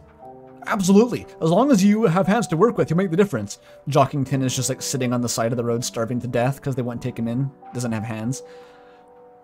I thought about it. Here's where you ran off to. I exclaimed. So you woke up. That came off harsher than I meant it to. Who's this? I pretend not to notice Azzy's tone. These people are offering us a job. We don't really have anything to give you in exchange, but we would really appreciate your help. I steeled myself. I'm going. I think I can make a difference and help people. This is my character arc now. Adlib. I looked at Zap, hoping he would agree too. What the heck, why not? Uh, I'll come with. Uh, if you don't mind, that is. I do not. Oh, thanks. We appreciate it. The two started walking away, but the skeleton stopped and turned to say something. By the way, Yeah? Yeah? uh, both of your flies have been down this whole time. That's a callback to Resurrate's fic again. I looked down. He was correct. I looked up again. The search party vanished. I gained a thoughtful expression and looked directly at Pizza Pants. You know, he's right. What? what is that ending? this truly was a flies down all along. That is not implied Gex. Get the fuck out of here. You, you don't accidentally have Gex in a shack and then be reminded because your fly is down. I don't think that's how it would work personally. I disagree. You must have amnesia. You forgot that we fucked. You forgot that there's Gex. Would that even give another bingo? No. Because Pizza Pants isn't fat enough. You need that dumpy.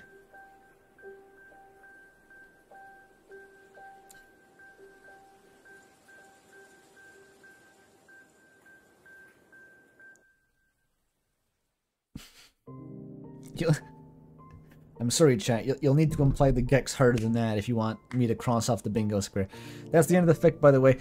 Um, the original ending was a lot longer than this, but it wasn't as good of a story and would amount to two entire chapters of incoherent, barely sequential noise exclusively for the sake of finishing off the bingo card. I decided this was better.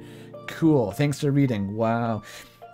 Or so I thought. It turns out when I posted my fic on the Discord server, Pidge took such a liking to it. Oh. Oh, did they now? That and was so bothered by leaving the card unfinished that wrote a 7,000 word extension to it. No fucking way. What do you mean? What do you mean there's a 7,000 word Pidge fic that just is in canon of this? What the fuck do you mean? No one's fully in character, and it only loosely compile, complies with the original writing style. What was the original writing style? The original writing style didn't comply with itself. I, I think of it like one of the humorous endings, an optional extra bit for those desperate for more. Here you go. What the fuck is this? No, no, no, no, no. No, no, no, no. I'm not reading this. No, no, no, no, no. The fuck? oh, they mean the writing style becomes too consistent. Pidge writes rather quickly, apparently. Um. Anyway, uh, okay, yeah, we need to do art because this is like the stupid. This is gonna be an eight-hour Azzy Pant stream. That's ridiculous.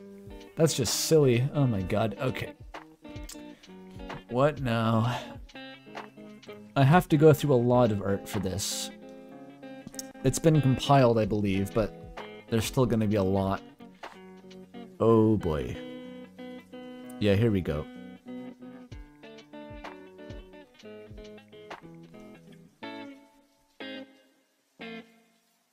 Wait, how old are these messages? No, these are still fairly okay. This is the most up to date. Got it. Okay. Oh Yasumi, oh Yasumi, I know that it's hard to do. Oh yes. Anyway, uh, sorry, got distracted. Um,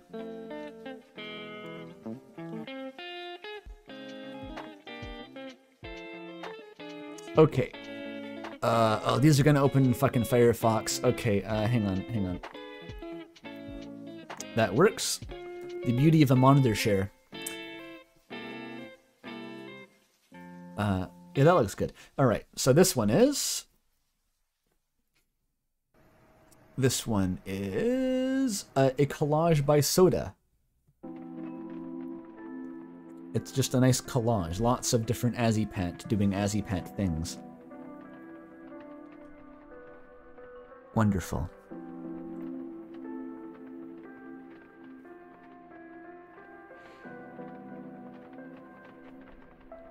My friends thought I was weird for watching an Deltarune gay yaoi fanfic stream, and I'm starting to agree.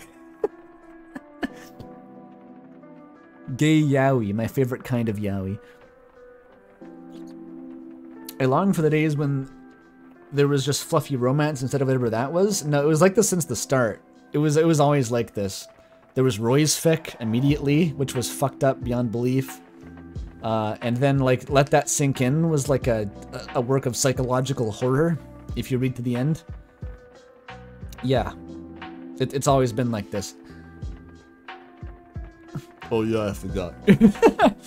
Okay, there's so much more art. This is just the beginning. Okay, so that's by Soda. Then we got. Oh, we had. This is a draw over of. It keeps opening it in the other tab. Um, it's a draw over of a photo of Vinny and Jerma, I believe. Where I think Pizza Pants is Jerma and Asriel's Vinny. It's the same poses. It's, it's a really weird fucking photo. I don't know if it's if it's photoshopped or not.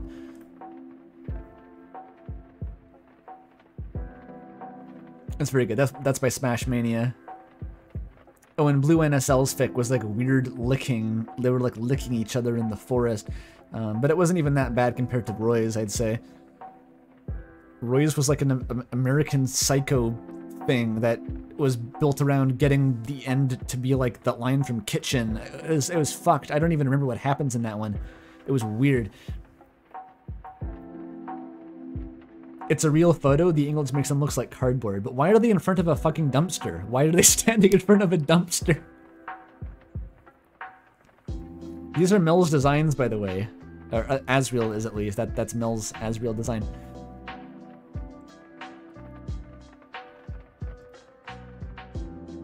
Uh, okay. There's so much art. Lava Cake uh, has do doodled an Umrizzy pants for us. Look at that. Aren't they cute? There's Umi on the left, Lizzie on the right. They're wonderful little blorbos.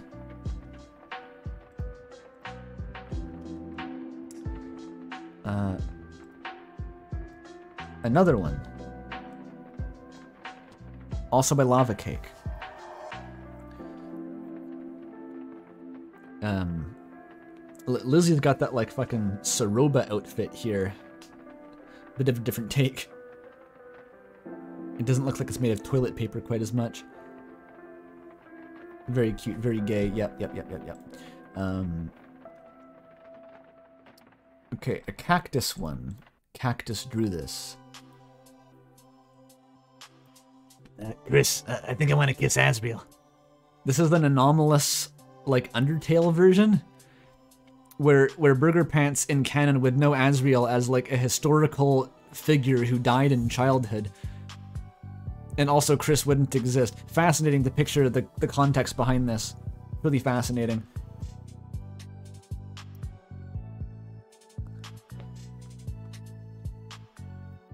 The timelines are merging.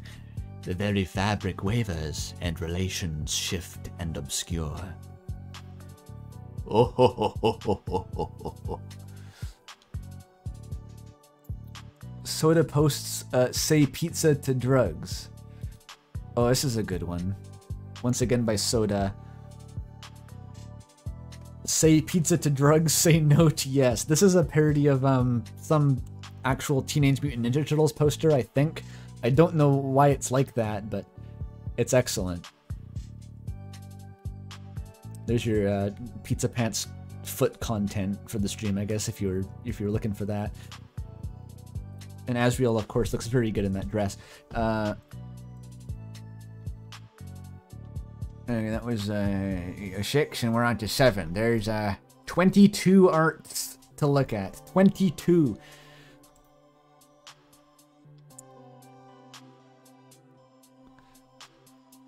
Okay, this is uh, another soda collage, I believe. This is a collage of Asriel's emo phase. it's wonderful. You're the only one who gets it. Um, am I? I mean, I am. Or is that also pizza? This is who I am, Mom. He's he's wearing like the uh, something about the way he's drawn here just reminds me of fucking like the coffin of Andy and Leyley. he's got the vibe right. Uh, he's got like the hyperdeath eyeliner and shit, but something about it. He's playing ska and crying. he goes into the bathroom and cries to ska music. What a disaster. And this is, of course, just a rehash of them developing the God of Hyperdeath with Kira, but it's Kris instead now. Uh, you'll love to see it. That's a really good Asriel, though. Like, th this guy here. the purple highlight. Fucking sick.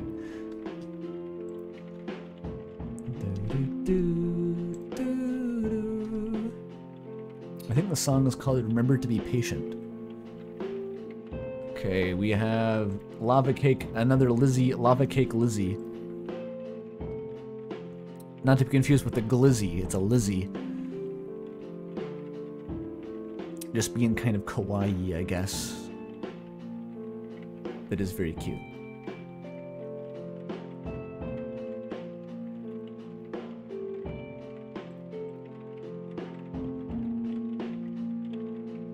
We're on to a blue NSL Umrizzy Pants Pony Kiss. This one sounds promising.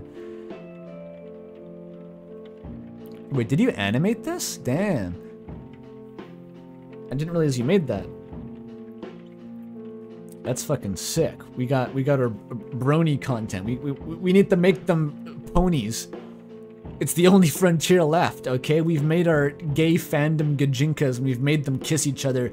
They need to be horses now, too. They need to be horses wearing dresses and shit. And also be gay and kiss. yeah, that's where we're going. That's what it's all about. Hell yeah. Okay.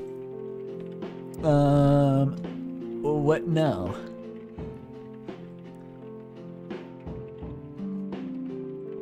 Soda posts sweatpants. Delicious.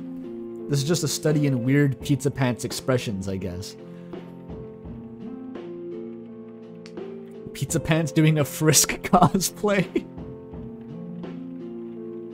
Asriel cosplaying Sans? Oh, Jesus Christ. Please tell him to stop doing that. I don't like it. Oh, Pizza Pants already kind of has a Sans cosplay going on there. Nice.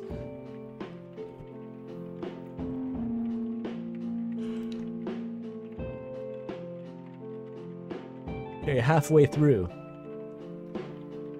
Oh, we have one of Walter's patented humanifications of Azzy Pants. They keep doing this for uh, Night in the Woods previously, and here we have humanified Azzy Pants.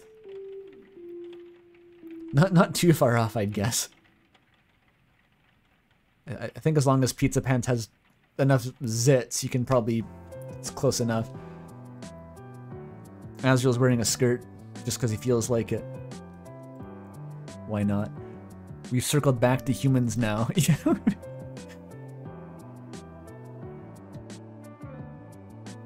uh, who? What? What other personified fandom ships exist that we could ship Umrizzy Pants girls with? Like, I, know there's definitely others, but like, how far afield do we have to go to find one of those? Are they from Hetalia or some shit? Like, what are we working with at that point?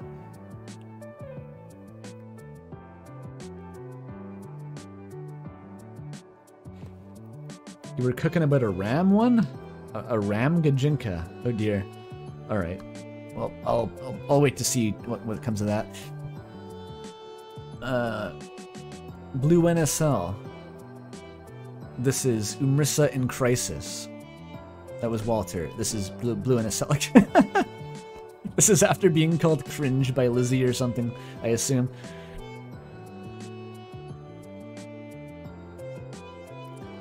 Oh, here's the next one. Uh, this I love this one personally.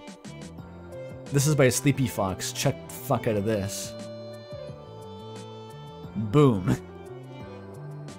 Now that's Azzy Pants. Holy shit.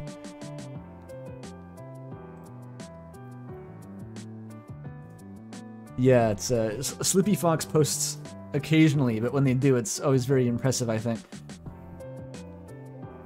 Those two got a bit of sugar in the tank, I'll tell you.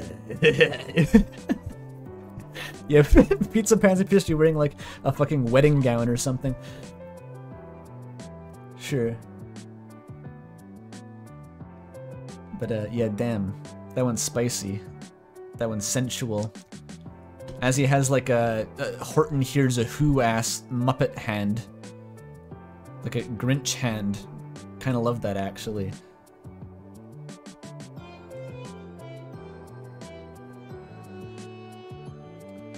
Uh, oh, we now we have 10 million Azzy Pants cross stitches because of course, of course we do. These are by Ness, aka uh, uh, yeah, Thunder Cat called Thunder Seven. They're in chat somewhere. Um,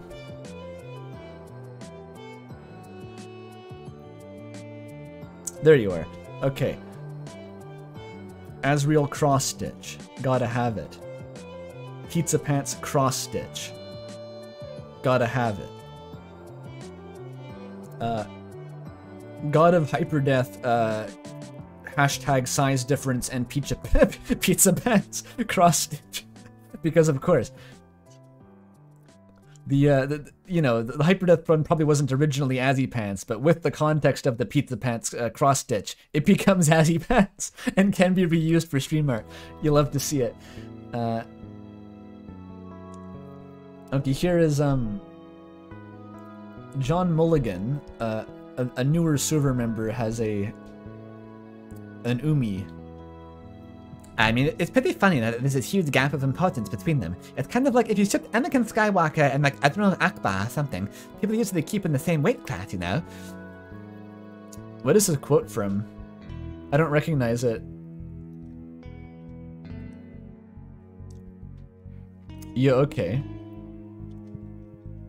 John Mulligan, I, I said their name. Okay. We have uh, another Walter one. This is just a Lizzie. It, it, doesn't have to be humanified because Lizzie is human. I, I like that Lizzie a lot, actually. They look like a kind of bedraggled and slightly pathetic in a way that the other art doesn't often capture. It's they, they look like they stayed up all night writing fan fiction, which they do every night, and put on the same clothes that they wore yesterday. It's a joke specifically for Regan. Oh, okay.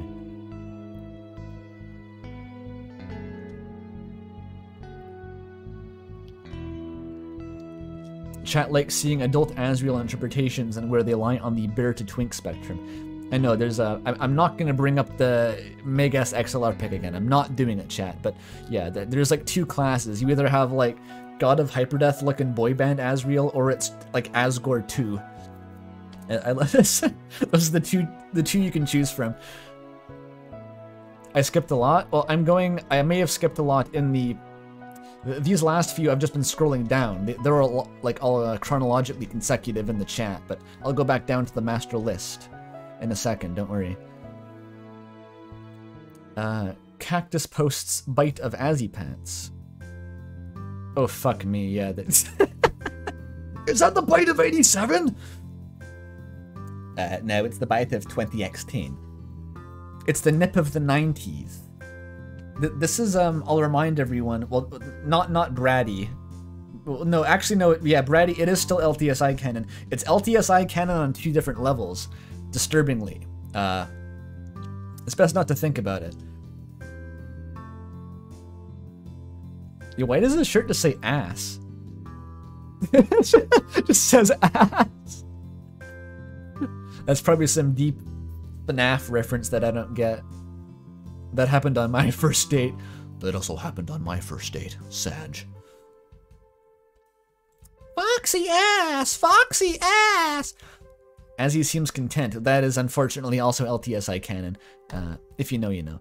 Um, Boy posts an Umrizzy Pants Valentine. This was the author of that last fic, by the way. This is the this is the mind we're dealing with. You're gross and I'm shitty, but I'm gay and you're pretty. So if you'd ever be so kind to be my Umris Valentine. Exactly. This is the shit that should be carved into like a, a, a cave in the Mojave Desert and left for historians to make sense of in a thousand years. It would be a great cave painting. Beautiful. Lizzie's expression. it's a good. It's not having a face, but frowning anyway. Happy Valentine's Day, you queers, says chat. Very true. It's not Valentine's Day yet, but you know, in principle. Uh, Della post Azzy Pant ship art. Uh,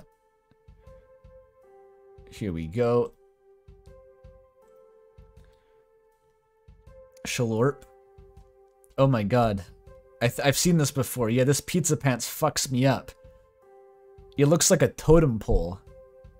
He looks like a Simpsons character who got like a like a facelift went wrong. He's amazing. It's such a good pizza. It's like a 3D render of a pizza pants that you rotated. And he's so three-dimensional, yes. like his head is like a cylinder. That's fucked up. Beautiful. Asriel's looking kinda... I don't know, he's got like a... Is that a mullet? I don't know, he's got some sort of hair. Interesting. Pizza. I can't look at him without cracking up. Like he's he's fucked up looking. He looks like Long Noelle. That's what it's reminding me of. You all remember Long Noelle? Chance of Gaster increases with longer Noelle face. That's what he looks like. Yeah, he, he couldn't swallow a large rat. He could unhinge his head 90 degrees back like a toilet and just drop a rat down his throat. What a guy. Easily one of the best DR memes ever. Oh, yeah, yeah. Um, we're getting near the end. 18. Oh no, wait, there's more than 22. Because the cross stitch were grouped together. And the next four are grouped together as one entry. These are Valentine's Day cards. Oh god, uh, yeah, I remember seeing these earlier. You were the pizza pants to my Asriel. Keep these out at your like middle school class and get bullied for the rest of your life. I dare you. I dare someone. It'd be a funny, funny idea. Y you can be old enough to use Discord and still a middle schooler, right? I'm pretty sure you can. Yeah, someone can do that. Or maybe that's just an elementary school thing. I can't fucking remember. That used that was like a thing, and when you're young enough, y'all just like habitually give everyone in the class a Valentine's Day card. It's like it's like a an obligation. Oh yeah, yeah, the the trauma with the you gave the kid a Star Wars card and they're like, why do you like Star Wars so much? yeah, experience that same trauma that Regan felt, but with Azzy pants. So much, much worse. Let me tell you about Umrith with Riz. she was like drooling. God, these are funny. Um, there's two more of these. I'd let you throw up, honey. why? Why is that Asriel's slogan now? Why? That, since when was that even an Azzy Pants thing? Throwing up on each other. That was a new Brizzy Pants thing. Asriel threw up and let that sink in. It wasn't Burger Pants. If that's what you're into, Azzy, fuck it. Nothing I can do about that. Uh.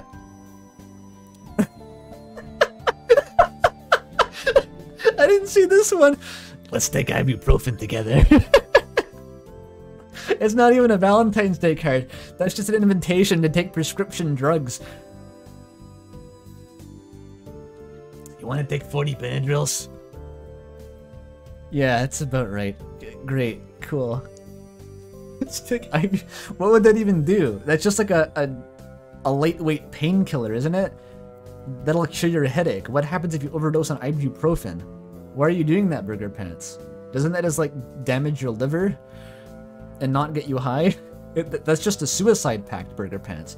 I don't think you're offering to get high. You just want to kill yourself. Cool. That's a cool uh, uh, Valentine's card, though. Very topical. Um,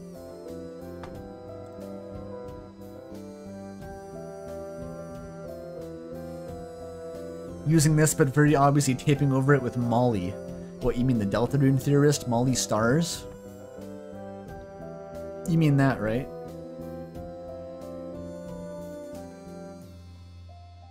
Um, there's still more. Rose also does the card. Oh, this one's great. I saw this this morning. Your dark eyes remind me of the dark abyss of inherent depravity lodged in my soul. Whenever I look into them, I'm reminded of how much of a detestable creature I am, how I'm a martyred sacrifice for the civilized society, my charred soul paraded around society to remind everyone of the price that is paid by my unique brilliance and ambition, of my talents and taste. Still, this feeling, chilling reflection within your visage does not deter me. In fact, it pulls me deeper, like an addiction, a vice, which which I have many. I am a crucible built out of sin and depravity, scum, a writhing maggot between the heel of society's mocking gaze. We are alike in that way, two freaks destined for revilement and abandonment. For us, I see two options to either flail helplessly against the tide of destiny, in civility, attempt to climb the waterfall of this corrupt world and try to carve out an ill-fitting place amongst the sheep that kick us down to the canyon of filth, or to stand together, stand as monuments to sin, but stand tall despite it. We must embrace passionately, not out of obligation to the systems that kick us down, but in defiance of them. Sorry, I trailed off.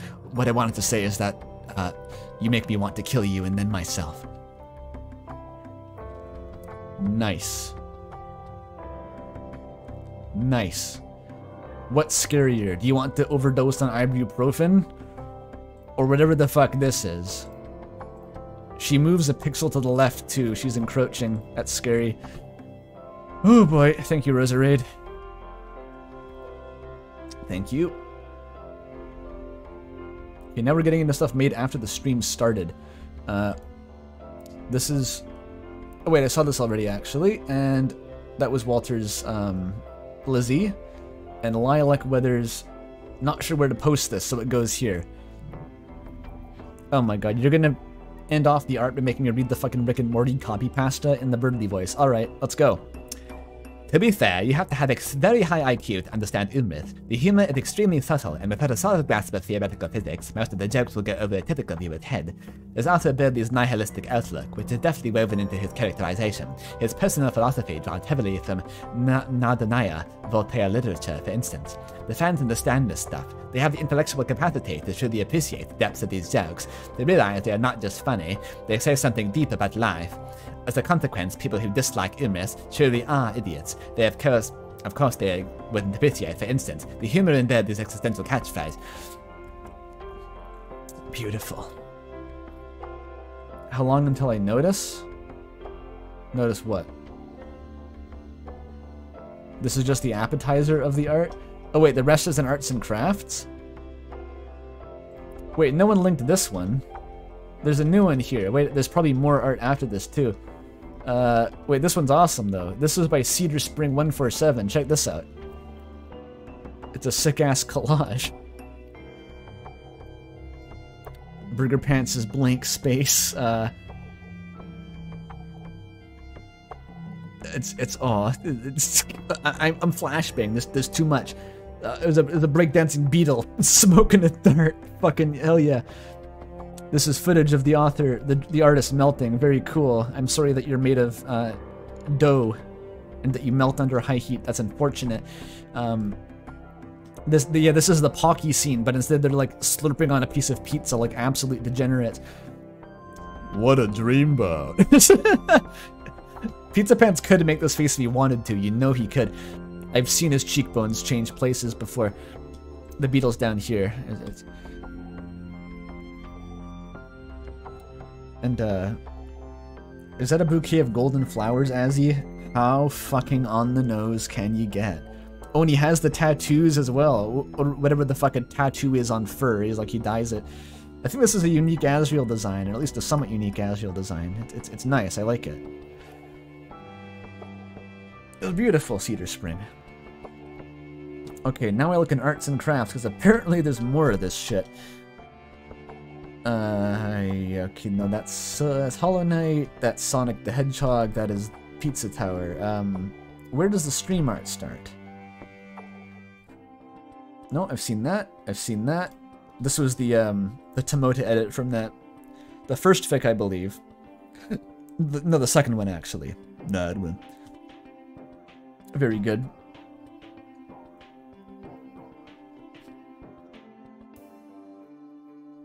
Uh, Izzy meets Lizzie by Doc. Yo. Oh yeah, this is Izzy and Lizzie. It was hypothesis. This is uh the Izzy, Izzy Pendleton, the protagonist of ACDS Stuck, and and Lizzie, whatever the fuck her name is. Um, I believe this is some guy named Weird. Like his name is Weird. That's a weird name.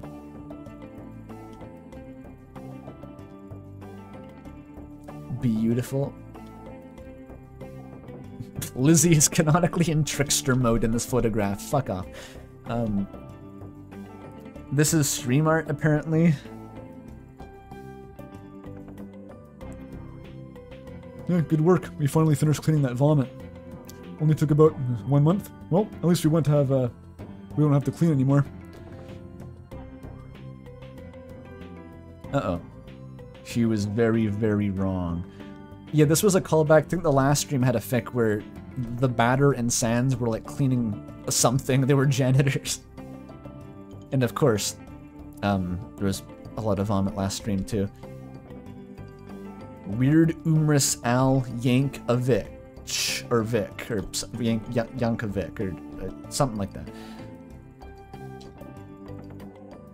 Outson came in clutch. All right, what we got? What even is happening here? Oh, this is uh, as he goes to a bar once, gets hammered, is convinced to catfish his best friend on Grindr. That's what you can expect if you go to the campus bar, basically.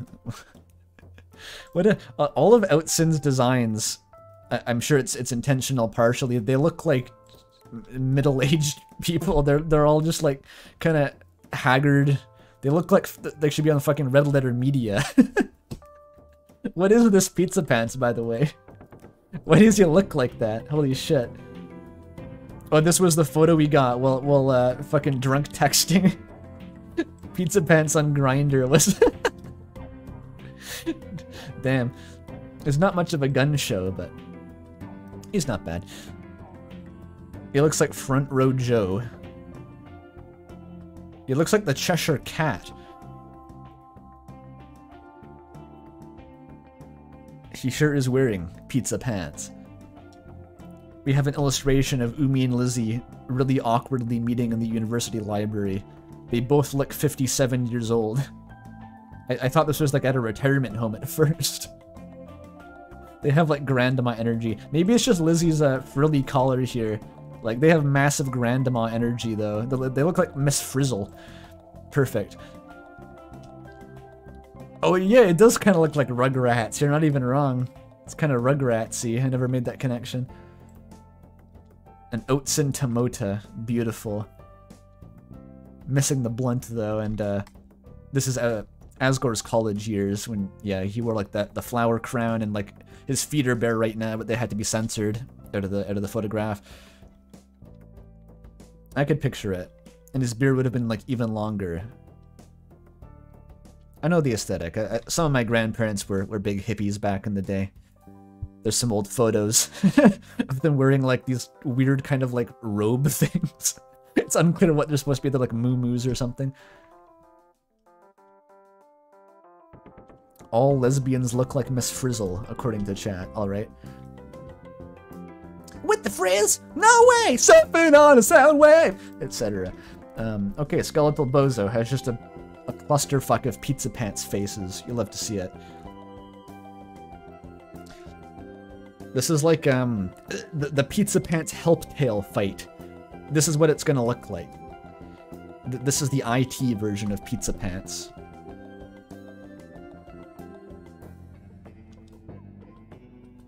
That is okay. That's not stream. Uh, yo. Strangely hot umi by Hey Pigeon. That in, in their own words, this is like a. Damn. That that's some kind of aesthetic. She's pulling off some kind of look there with the, the pixelated birdly tattoo. And it kind of looks like she's crying, but it's just cigarette smoke and the bags under her eyes. Beautiful. Hey Pigeon, I, I don't recognize that artist before. Uh, she looks like uh, Chell from Portal. A little bit. Maybe, I, not, not that much, I don't know. Huh. Oh, it's the first thing you've posted. Well, it's nice. That's the, the second pigeon-themed user of ACDS. Please nobody fix her is the first reply in the Discord server.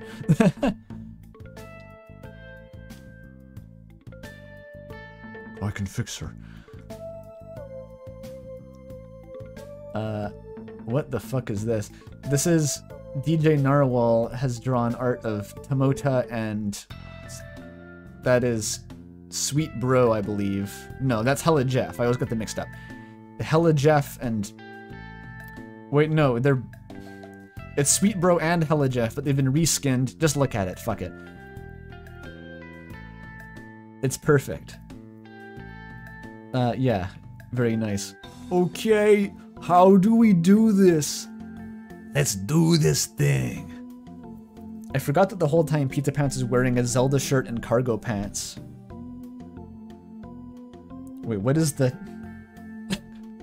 is this like a is this like a joke where you it's like, look, the color palette's a pride flag, but it's just pointing at nothing and makes no sense. it's kind of kind of a good gag, I guess. what are you looking at? Uh, come on. It's the best part of Homestuck. This is high class. We're making this happen!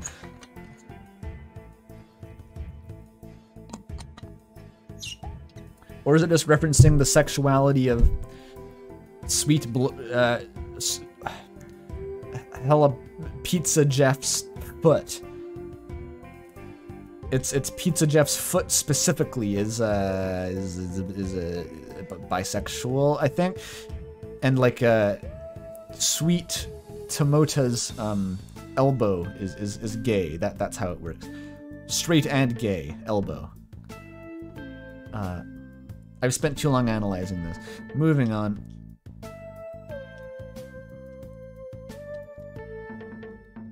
Dio Brando. Oh, it's a it's a branded Dio Brando. You get it with with brands. That's by, by Aztourism. Bye bye, Jojo. It's not Goku. It's Dio. Oh my god. Check out this Umi by Horchata. There's no polite way of saying that name. Horchata. Damn. That that's a a hell of a stylish Umi. That's got charisma. She almost looks like she has her life together a little bit. She's really projecting some intense aura right now. She looks like an Evangelion character. Fucking sick.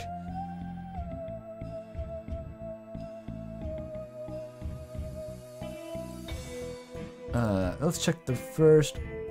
Oh, this was fan art. I missed it. Oops. The two hot umis should kiss. You, you shipping it? Yeah.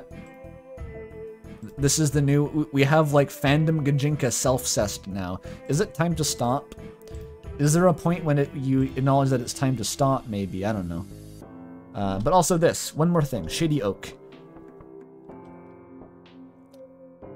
What is this? Noelle, you must exit the frame. I must add this to my cringe compilation. What is even happening here? There's someone dancing a story of Undertale, and oh, oh, I I know what's happening. This is the very beginning. This is um this is like Catty twerking, the story of Undertale, and uh, uh, Toriel's Naruto running in with um the, the death kanji from Sekiro that Sekiro invented, the symbol that Sekiro invented that means death.